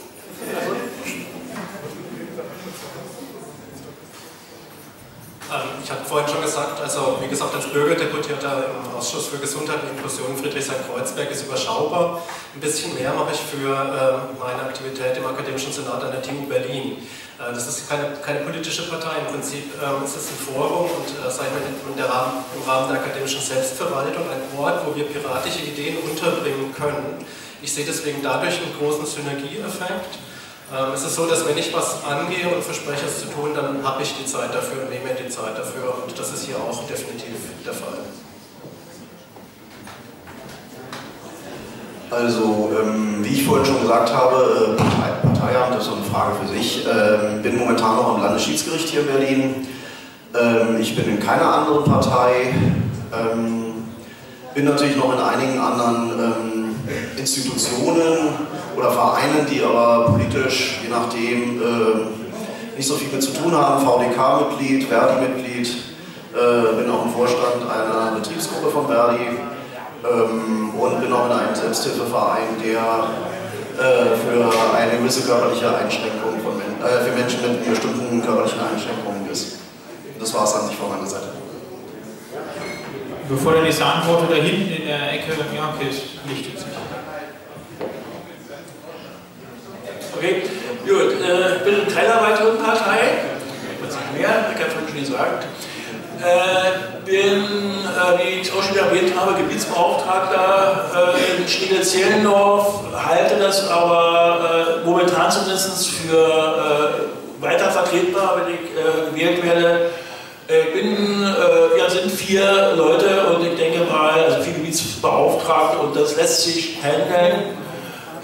sollte es nicht mehr handelbar wäre, würde ich dann allerdings äh, den Posten, also aber würde ich weiter für den Landesvorstand arbeiten und dann eben entsprechend auf, äh, auf den Gebietsbeauftragten verzichten. Der Landesvorstand würde in dem Fall davor gehen.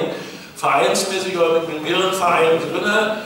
Äh, ich bin in einer deutsch-indischen Gesellschaft, in einem weiteren indischen Kulturverein. Ich bin Mitglied bei Hertha BSC in der Fußball- und einer Boxabteilung. Ich bin im Filmclub und Äh, ich bin äh, Mitglied der Roten Hilfe, was ich also für sehr wichtig auch halte. Und ich bin ganz brandneu äh, seit zwei Tagen Mitglied bei Pelra.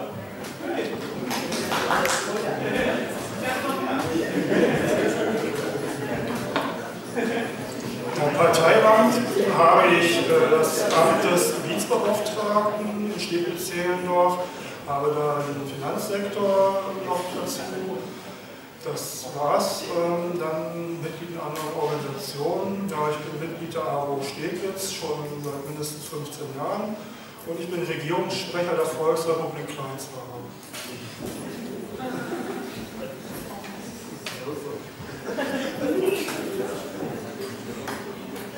Ja, ähm, ja, ich bin äh, Fraktionsvorsitzender der Piratenfraktion Pankow ähm, bin also Bezirksverordneter. Ich habe keine weiteren Parteiämter. Ich sympathisiere, sage ich ganz offen, mit der Plattform Brandenburg, bin dort aber nicht Mitglied bisher. Ähm, ja, ähm, ich äh, habe eben schon gesagt, dass ich Mitglied im Unterausschuss Bezirke bin für die Landesfraktion, bin Mitarbeiter von Christopher Lauer und Pavel Meyer ähm, persönlicher Mitarbeiter und betreue da das Büro. Ähm, bin, jetzt muss ich mal überlegen, in zahlreichen Wohnungsgenossenschaften Mitglied, ähm, Mitglied im Mieterverein, Mitglied bei der Stillen Straße e.V. Verzeiht mir, dass ich jetzt nicht alle aufzählen kann, aber ich glaube, so im Groben war es das.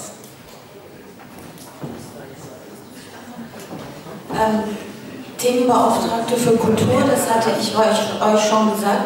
Ich war noch nie in einer anderen Partei und äh, bin Gründungsmitglied von zahlreichen Kunst- und Kulturvereinen, von denen ich mehrheitlich heute weder weiß, ob ich da noch Mitglied bin, sie überhaupt noch existieren oder was so aus jemand geworden ist.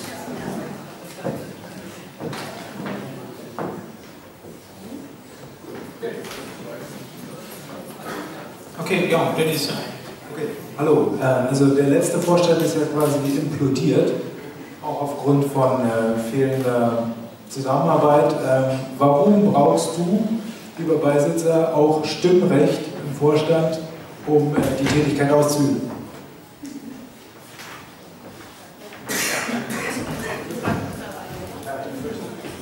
Ja, warum? Ja, weil es schön ist, wenn man es hat. Es geht aber auch ohne, das gebe ich ganz ehrlich zu. Aber wie gesagt, es gibt manchmal so eine kleine bürokratischen Nickeligkeiten. Und da ist dann schick, wenn man Vorstandsmitglied ist, weil man die dann etwas leichter überwinden kann als als normaler Basispirat. Ich finde das okay, wenn es mehr Leute sind, weil die dann auch die Verantwortung miteinander teilen.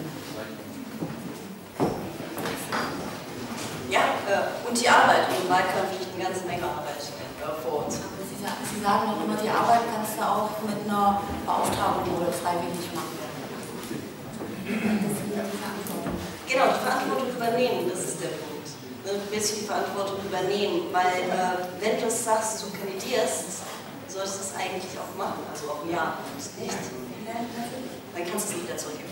Ähm, ja, ich wurde von verschiedenen Leuten gefragt, ob ich es mache, die anscheinend äh, das gut finden würden, wenn ich im Landesvorstand sitze. Ja,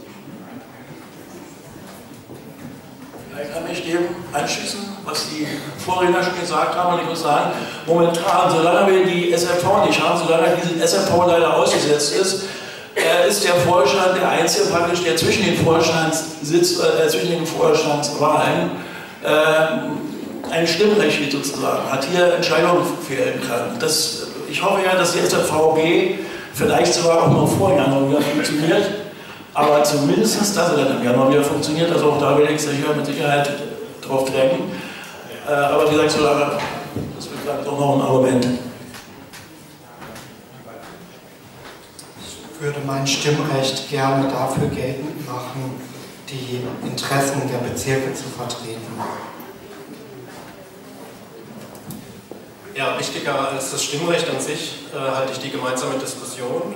Aber wir wissen ja auch, dass äh, gerade die Größe der Stichprobe, sage ich mal, oder die Größe der Gruppe ähm, für das Abbilden eines Beschlusses auf die wirkliche Meinung der Menschen relevant ist. Das heißt, es sollte möglichst groß sein, diese Gruppe, und nicht nur aus drei, vier Leuten bestehen. Also Stimmrecht, ja, ähm, hat was auf jeden Fall.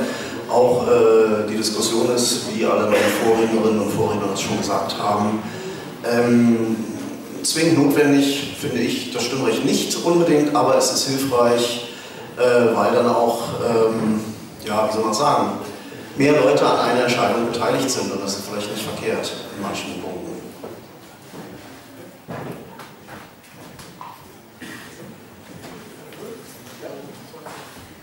Ähm, wo bin ich denn? Ähm, meine, ähm, ach, zunächst einmal äh, Jan, äh, vielleicht äh, möchtest du dich da korrigieren, du sitzt ja wohl nicht für die AGH-Fraktion im Unterausschuss Bezirke, sondern ich hoffe doch sehr, dass du für die äh, Bezirksverordneten ähm, im Unterausschuss Bezirke sitzt. Äh, und ich hoffe, du kannst es ganz schnell äh, korrigieren. Ansonsten ist ja wohl äh, deine Ansprache von wegen, dass du für die Bezirke einstehen möchtest, äh, äh, total hinfällig. Meine zweite Frage äh, geht an Lut, Lothar. Ähm, alldieweil du ja, äh, wir haben uns ja kennengelernt auf der, äh, während der PAF-Verhandlungen gegen mich.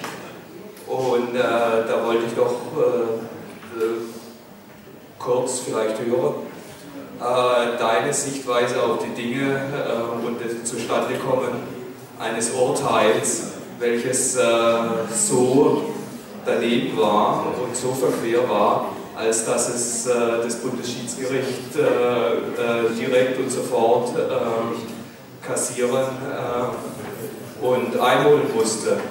Und in dem Sinne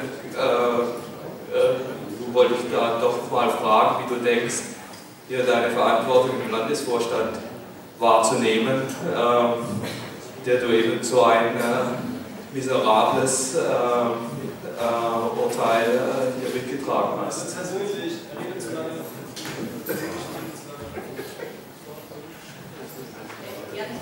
Soll ich darauf antworten, Versammlungsleitung? Wird das in Ordnung? Die Versammlungsleitung diskutiert das noch aus.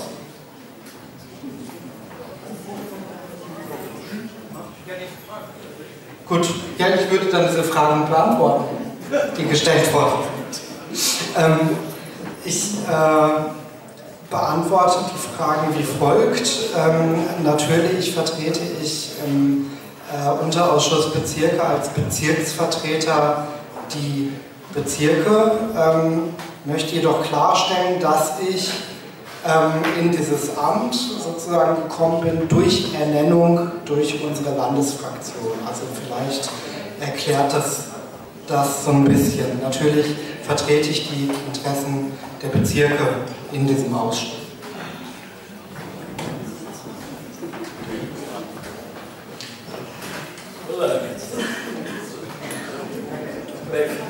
Da vorne, na gut.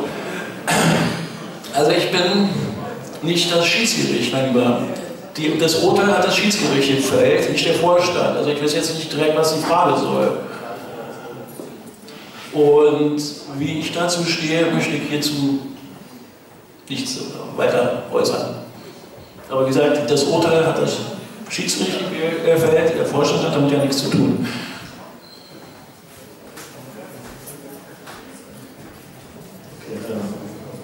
Ja, aufgrund äh, der relativ kurzen Zeit, um sich mit den Kandidaten vertraut zu machen, ist mir jetzt auch nicht so gelungen, weil ja, aus Zeitgründen würde ich eigentlich ganz gerne wissen von den Einzelnen, was denn Ihr Plan im Vorstand ist, weil Beisitzer ist jetzt eine relativ undefinierte Position und man sollte sich zumindest vorher mal Gedanken darüber gemacht haben, in welchem Geschäftsbereich man dann irgendwie, ähm, wo man tätig sein will und was die Idee ist, äh, im Vorstand mitzuwirken, weil einfach, also bis jetzt noch so ein einfach so, ich kandidiere, aber ihr könnt mir jetzt sicherlich sagen, warum ihr noch im Vorstand möchtet und was ihr erreichen wollt. ich glaube, auch das habe ich vorher schon erwähnt, wow, ähm, Mist.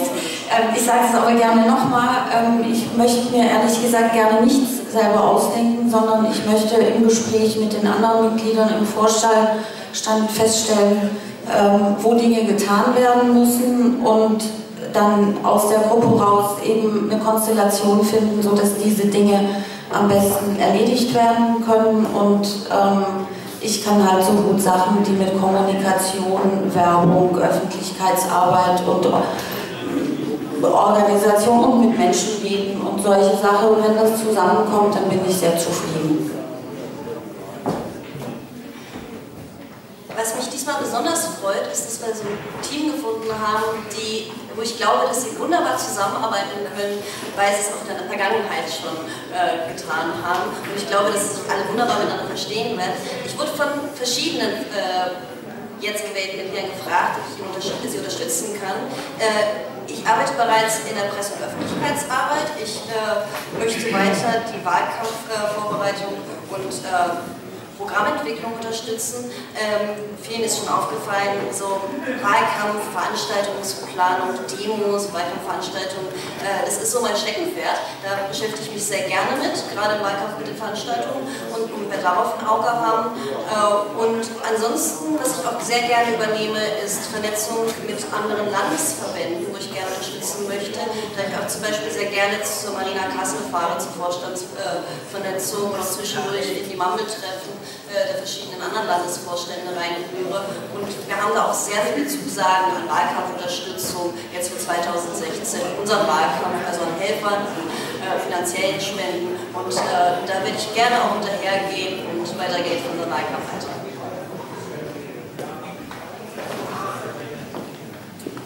Ja, ich habe es ja eben eigentlich schon äh, so ein bisschen schwerpunktmäßig äh, angesagt.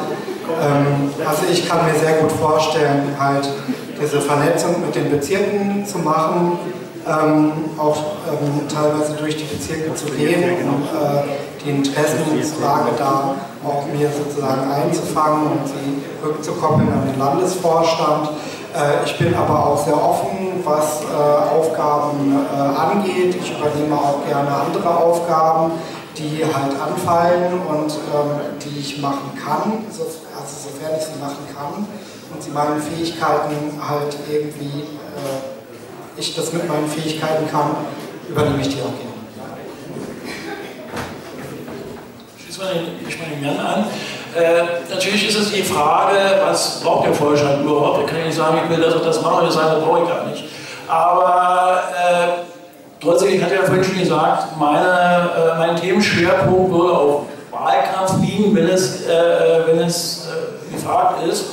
Und Wahlkampf heißt natürlich für mich jetzt äh, auch äh, andere Bezirke mit äh, eine Vernetzung mit anderen Bezirken, andere Bezirke mit einbeziehen. Äh, ich muss sagen, ich aus Stiel-Zehlendorf, da läuft es, äh, haben wir mal die Zusammenarbeit zwischen den äh, Piratinnen und Piraten eigentlich, denke ich mal, recht gut. Äh, es gibt auch andere Bezirke, wo es eigentlich ganz gut läuft, aber wir haben viele Bezirke auch leider äh, hier in der Stadt, wo es eben leider äh, nicht, momentan nicht so ja, wo nicht so viele äh, Leute da sind. Ähm, und es ist aber wichtig, denke ich mal, dass wir im nächsten Jahr in allen Bezirken äh, mit Direktkandidaten antreten, dass wir in allen Bezirken äh, präsent sind. Und äh, da muss man einfach mit, unter, äh, mit dran arbeiten und da muss der Vorstand eben auch mit äh, Präsenz sein. Das kann ich natürlich nicht alleine machen, das ist ganz logisch, aber zumindest Bezirke besuchen und so weiter. Und wir können ja Beauftragte bestellen, die müssen wir bestellen und ich denke mal, äh, wird es auch klappen. Äh, wie gesagt, nochmals, wir müssen den Wahlkampf wuppen nächstes Jahr, sonst können wir alle vergessen, dann kann ja Vorstand, äh, der, der UFO äh, sich auch äh, eintragen. Okay. Zu der Frage, eigentlich gibt sich der Vorstand auf seiner konstituierenden Sitzung oder einer der Folgesitzungen der Geschäftsordnung, da werden die Aufgabenbereiche verteilt. Ich kann natürlich Wunschkonzert spielen, sagen, was ich gerne haben würde, wollen. Ich sage mal so, ich hätte gerne den Bereich, wo ich sozusagen Straßenfest in Schöneberg weitermache, vielleicht ist eine andere auch andere Straßenfest, dann unter Umständen noch Infostand und die ganzen Geschichten, gerade in den Bezirken, wo nicht so viele Leute, dass da auch ein bisschen Hilfe vom Vorstand dazu kommt, das ist, das ist anläuft.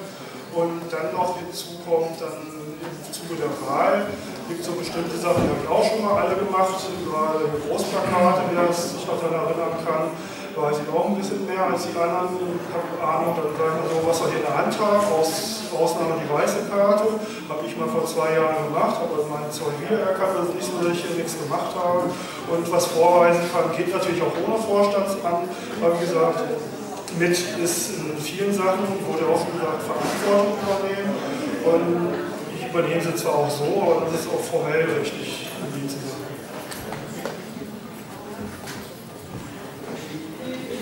Ich würde gerne im Wahlkampf äh, mich speziell an die Hochschulen in Berlin auch richten wollen. Das sind 100.000 teilweise nicht so festgefahrene Menschen äh, hinsichtlich ihrer politischen Meinung äh, wie im Durchschnitt.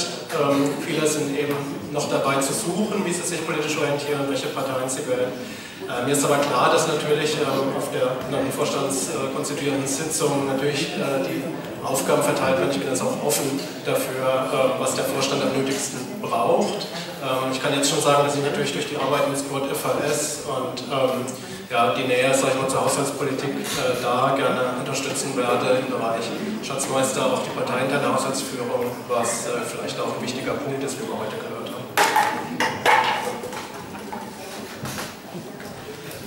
Ich habe ziemlich lange überlegt, ob ich überhaupt antrete, weil äh, ich mir auch nicht sicher war, was mich hier erwartet. Und so ist es letztendlich auch. Ich bin Mensch, der sich jetzt noch nicht festgelegt hat, wird auch ziemlich schwer fallen äh, für mich, äh, mich da in der Hinsicht schon irgendwie zu positionieren. Es gibt sicherlich Dinge im Vorstand, die man nicht so gerne macht. Es gibt äh, Dinge, die einem vielleicht mehr liegen. Ich würde es auch nicht zukommen lassen und was man nicht kann, kann man durchaus lernen. Der derzeitige Vorstand, das haben auch Politbeisitzer gerechnet, ist eine sehr, eine sehr gute Zusammenstellung. Sehr gute Leute sind gewählt worden. Und ich denke mal, ähm, das kann was werden. Wie Lothar auch schon gesagt hat, die Wahlen stehen an. Wir brauchen einen stabilen Vorstand, wir brauchen keine Leute, die einfach so wieder hinschmeißen. Das schätze ich auch momentan bei keinem so ein und deswegen lasse ich es auf mich zukommen und werde sicherlich auch meinen Weg und meinen Platz dort finden, wenn ich gewählt werde.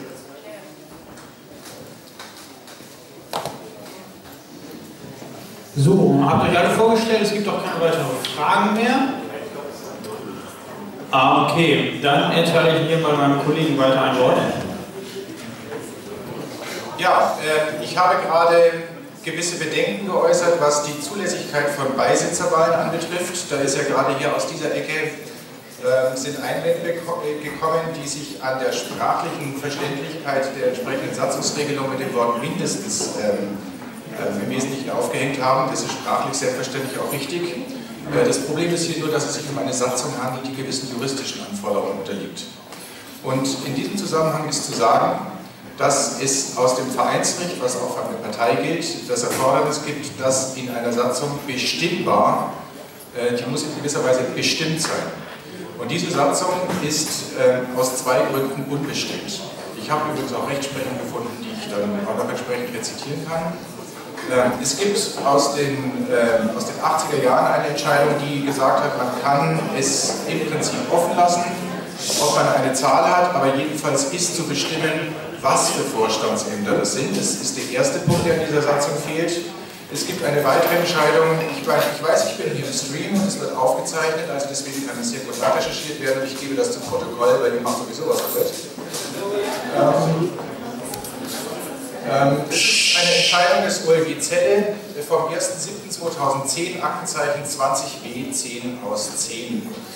Da kann ich den Schlusssatz zitieren, der lautet, eine Satzung wie die des Antragstellers, die es völlig offen lässt, wie viele Mitglieder letztlich den Vorstand bilden, genügt nicht den Anforderungen des Paragraphen 58 Nummer 3 BGB. Mit anderen Worten, was ich gerade gesagt habe, bleibt stehen. Es ist möglich, dass eine Versammlung bestimmt, wie viele Beisitzer gewählt werden, das ist möglich, aber dazu brauche ich eine satzungsmäßige Ermächtigung. Dann muss in der Satzung stehen, die Versammlung kann zusätzlich zu den vorstehenden Vorstandsämtern noch eine von ihr festzulegende Zahl von Beisitzern wählen. Wenn das so drinstehen würde, dann müsste man darüber beschließen. Hier fehlt es an einer satzungsmäßigen Bestimmung und demzufolge halte ich diese Satzungsregelung für unbestimmt und damit eine Beisitzerwahl für unzulässig. Würde die Beisitzerwahl jetzt durchgeführt werden und der Vorstand so zusammentreten, könnte man über eine Unwirksamkeit der gesamten Vorstandswahl diskutieren, aber soweit äh, müssen wir jetzt hier im Moment nicht denken. Ich werde hier jetzt auch nicht in juristische Diskussionen einsteigen, weil die Verantwortlichkeit für die Frage, ob die Vorstandswahl, die Beisitzerwahl durchgeführt wird, liegt bei der Wahlleitung. Die ist gerade draußen und telefoniert. So, hier, hier ist es im Stream, jetzt können die Juristen sich dann drüber machen, aber das ist jetzt hier mal zu Protokoll gegeben. Soll ich was fragen, bitte? Ähm, ich weiß nicht, ob ich das dich frage oder ob ich alle frage. Ich frage den, den es weiß, der es weiß oder die es weiß. Können wir jetzt eben die Satzung fixen und dann die Wahl durchführen? Das kann ich dir gerne beantworten. Ähm, Satzungsänderungsanträge äh, sind sicherlich ein wesentliches Element einer Versammlung. Wir haben äh, im Prinzip eine Spiegelbildlichkeit zwischen der Tagesordnung, wie sie in der Einladung ist, und dem, was dann tatsächlich in der Versammlung gemacht wird. Wir haben jetzt bei uns in der Partei, aus meiner Sicht auch rechtlich zulässig, durchaus die Praxis, dass wir eine vorläufige Tagesordnung haben, die dann später noch angepasst wird. Davon allerdings ausgenommen sind die Punkte, die wesentlich sind. Ich nehme ein, ein extremes Beispiel, wenn ich in einer Satzung in der, Tages in der, in der ähm, vorläufigen Tagesordnung einer Einladung nicht drinstehen habe, dass ein Vorstand zu wählen ist, dann darf ich selbstverständlich in der Versammlung den Vorstand nicht wählen. Satzungsänderungsanträge sind ebenfalls etwas Grundsätzliches. Und hier könnte man jetzt zu diskutieren anfangen. Ähm, beispielsweise beim letzten BPT gab es einen Obersatz, den ich übrigens auch selbst geschrieben habe, wo drin stand, Satzungsänderungsanträge, soweit sie die Zusammensetzung des Vorstands betreffen. Das ist ein Obersatz, da kann man durchaus drüber reden, dass später noch ein Satzungsänderungsantrag eingefügt wird, weil es grundsätzlich um diese Frage ging. Ich habe jetzt jeder Einladung einen solchen Obersatz nicht entnehmen können und demzufolge habe ich meine Zweifel, ob das noch geht, aber das könnte man heute Abend überprüfen.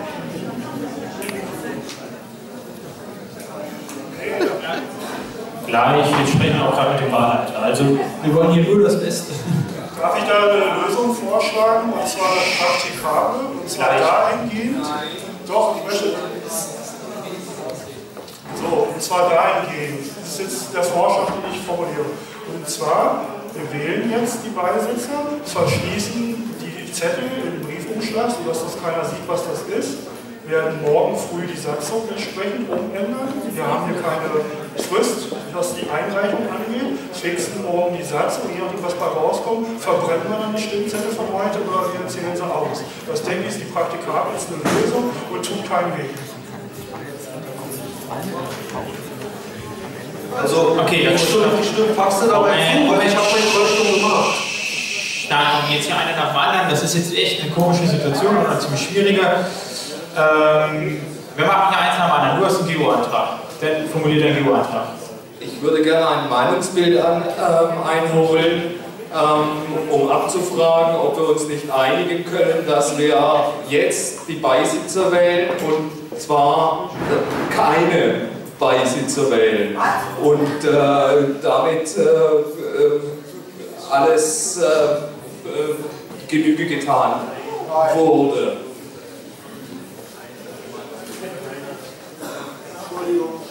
Also ich habe das jetzt so eine... Habt ihr das Meinungsbild verstanden?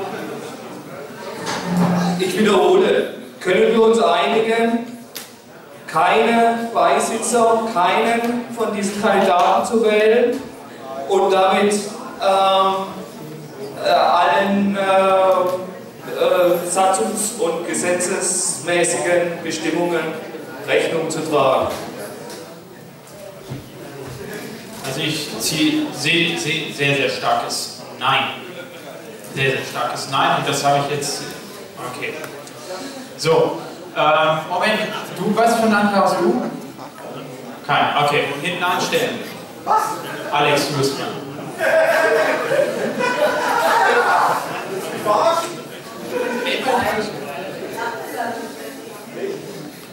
Okay, wir haben mal ein bisschen Buzzword-Bingo. Es wäre schön und sehr transparent gewesen, wenn diese Information ein bisschen früher zugekommen wäre, wir recherchieren können. Danke.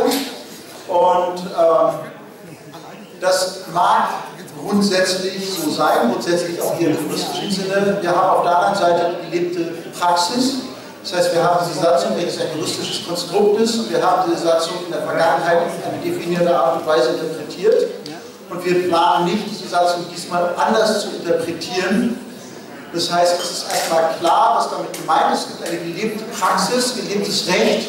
Und dieses gelebte Recht können wir hier an dieser Stelle anwenden. Wenn dann jemand das Ganze anfechten will, kann er das gerne tun und dann können wir auch gerne feststellen, ob der Recht bekommt oder nicht. Ähm, Es ist so, dass die Parteien eine sehr große Freiheit haben in dem, was sie tun. Ja, das Vereinsrecht gilt grundsätzlich in dem Sinne, dass es sich da um einen nicht eingetragenen Verein handelt, was eine Partei ja ist. Auf der anderen Seite gilt das Parteienrecht, aber die Parteien haben traditionell einen sehr großen Freiraum darin, wie sie sich selbst organisieren und gestalten, weil sie Organ des demokratischen Systems sind und daher über sich selbst entscheiden können und müssen. Und an der Stelle plädiere ich darauf, äh, auf das alte grundsätzliche Prinzip, Bange machen gilt nicht. Und dann kann es gerne jemand in Frage stellen. Dann werden wir eine weitere Eventform machen, machen da möglicherweise dann eine Aufstellungsversammlung oder nicht. Da kann man jetzt nicht das Maul drüber zerreißen. Aber an dieser Stelle zu sagen, es gibt dort Zweifel und in Zelle wurde mal, ich habe leider das Aktenzeichen auch nicht mitschreiben können, ich hätte es gerne rausrecherchiert, aber da bleibt jetzt auch nicht die Zeit. Äh, dafür jetzt die Beisitzerwahl abzublasen, ist totaler Blödsinn, es kostet massiv Zeit und äh, es kann dann gerne angefochten werden, aber ich glaube nicht, dass das viel Erfolg hat. Danke. Du hast einen GO-Antrag? Hast du einen GO-Antrag? Okay, dann High Five. Ah, hast du jetzt auch einen, oder willst du was sagen? Ja, okay, dann kann sich...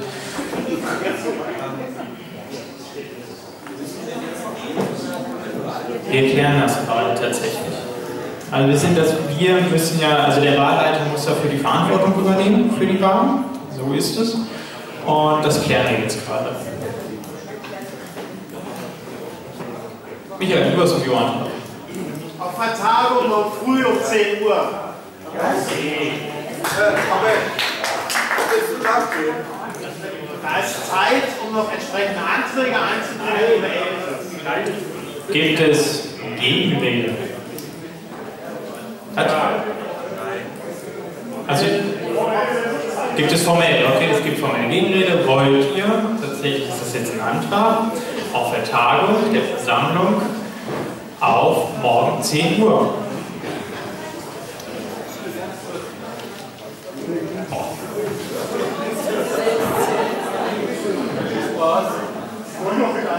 Karten oben lassen bitte.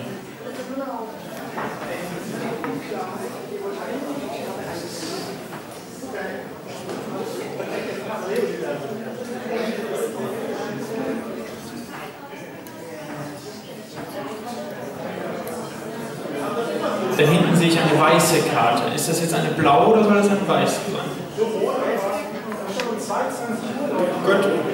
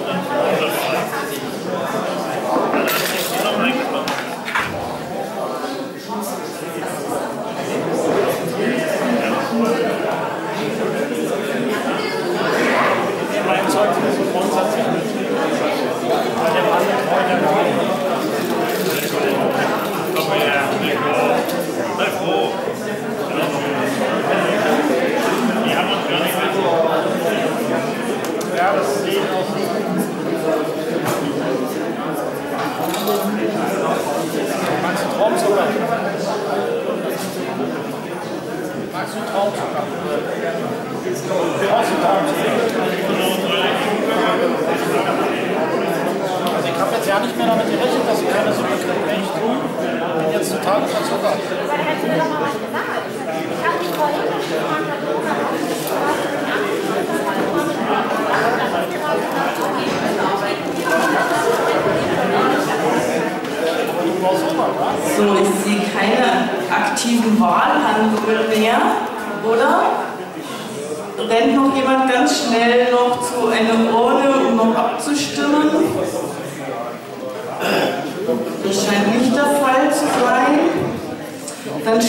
hier mit den Wahlgang und mit meinem Wahlhelfer auszuzählen.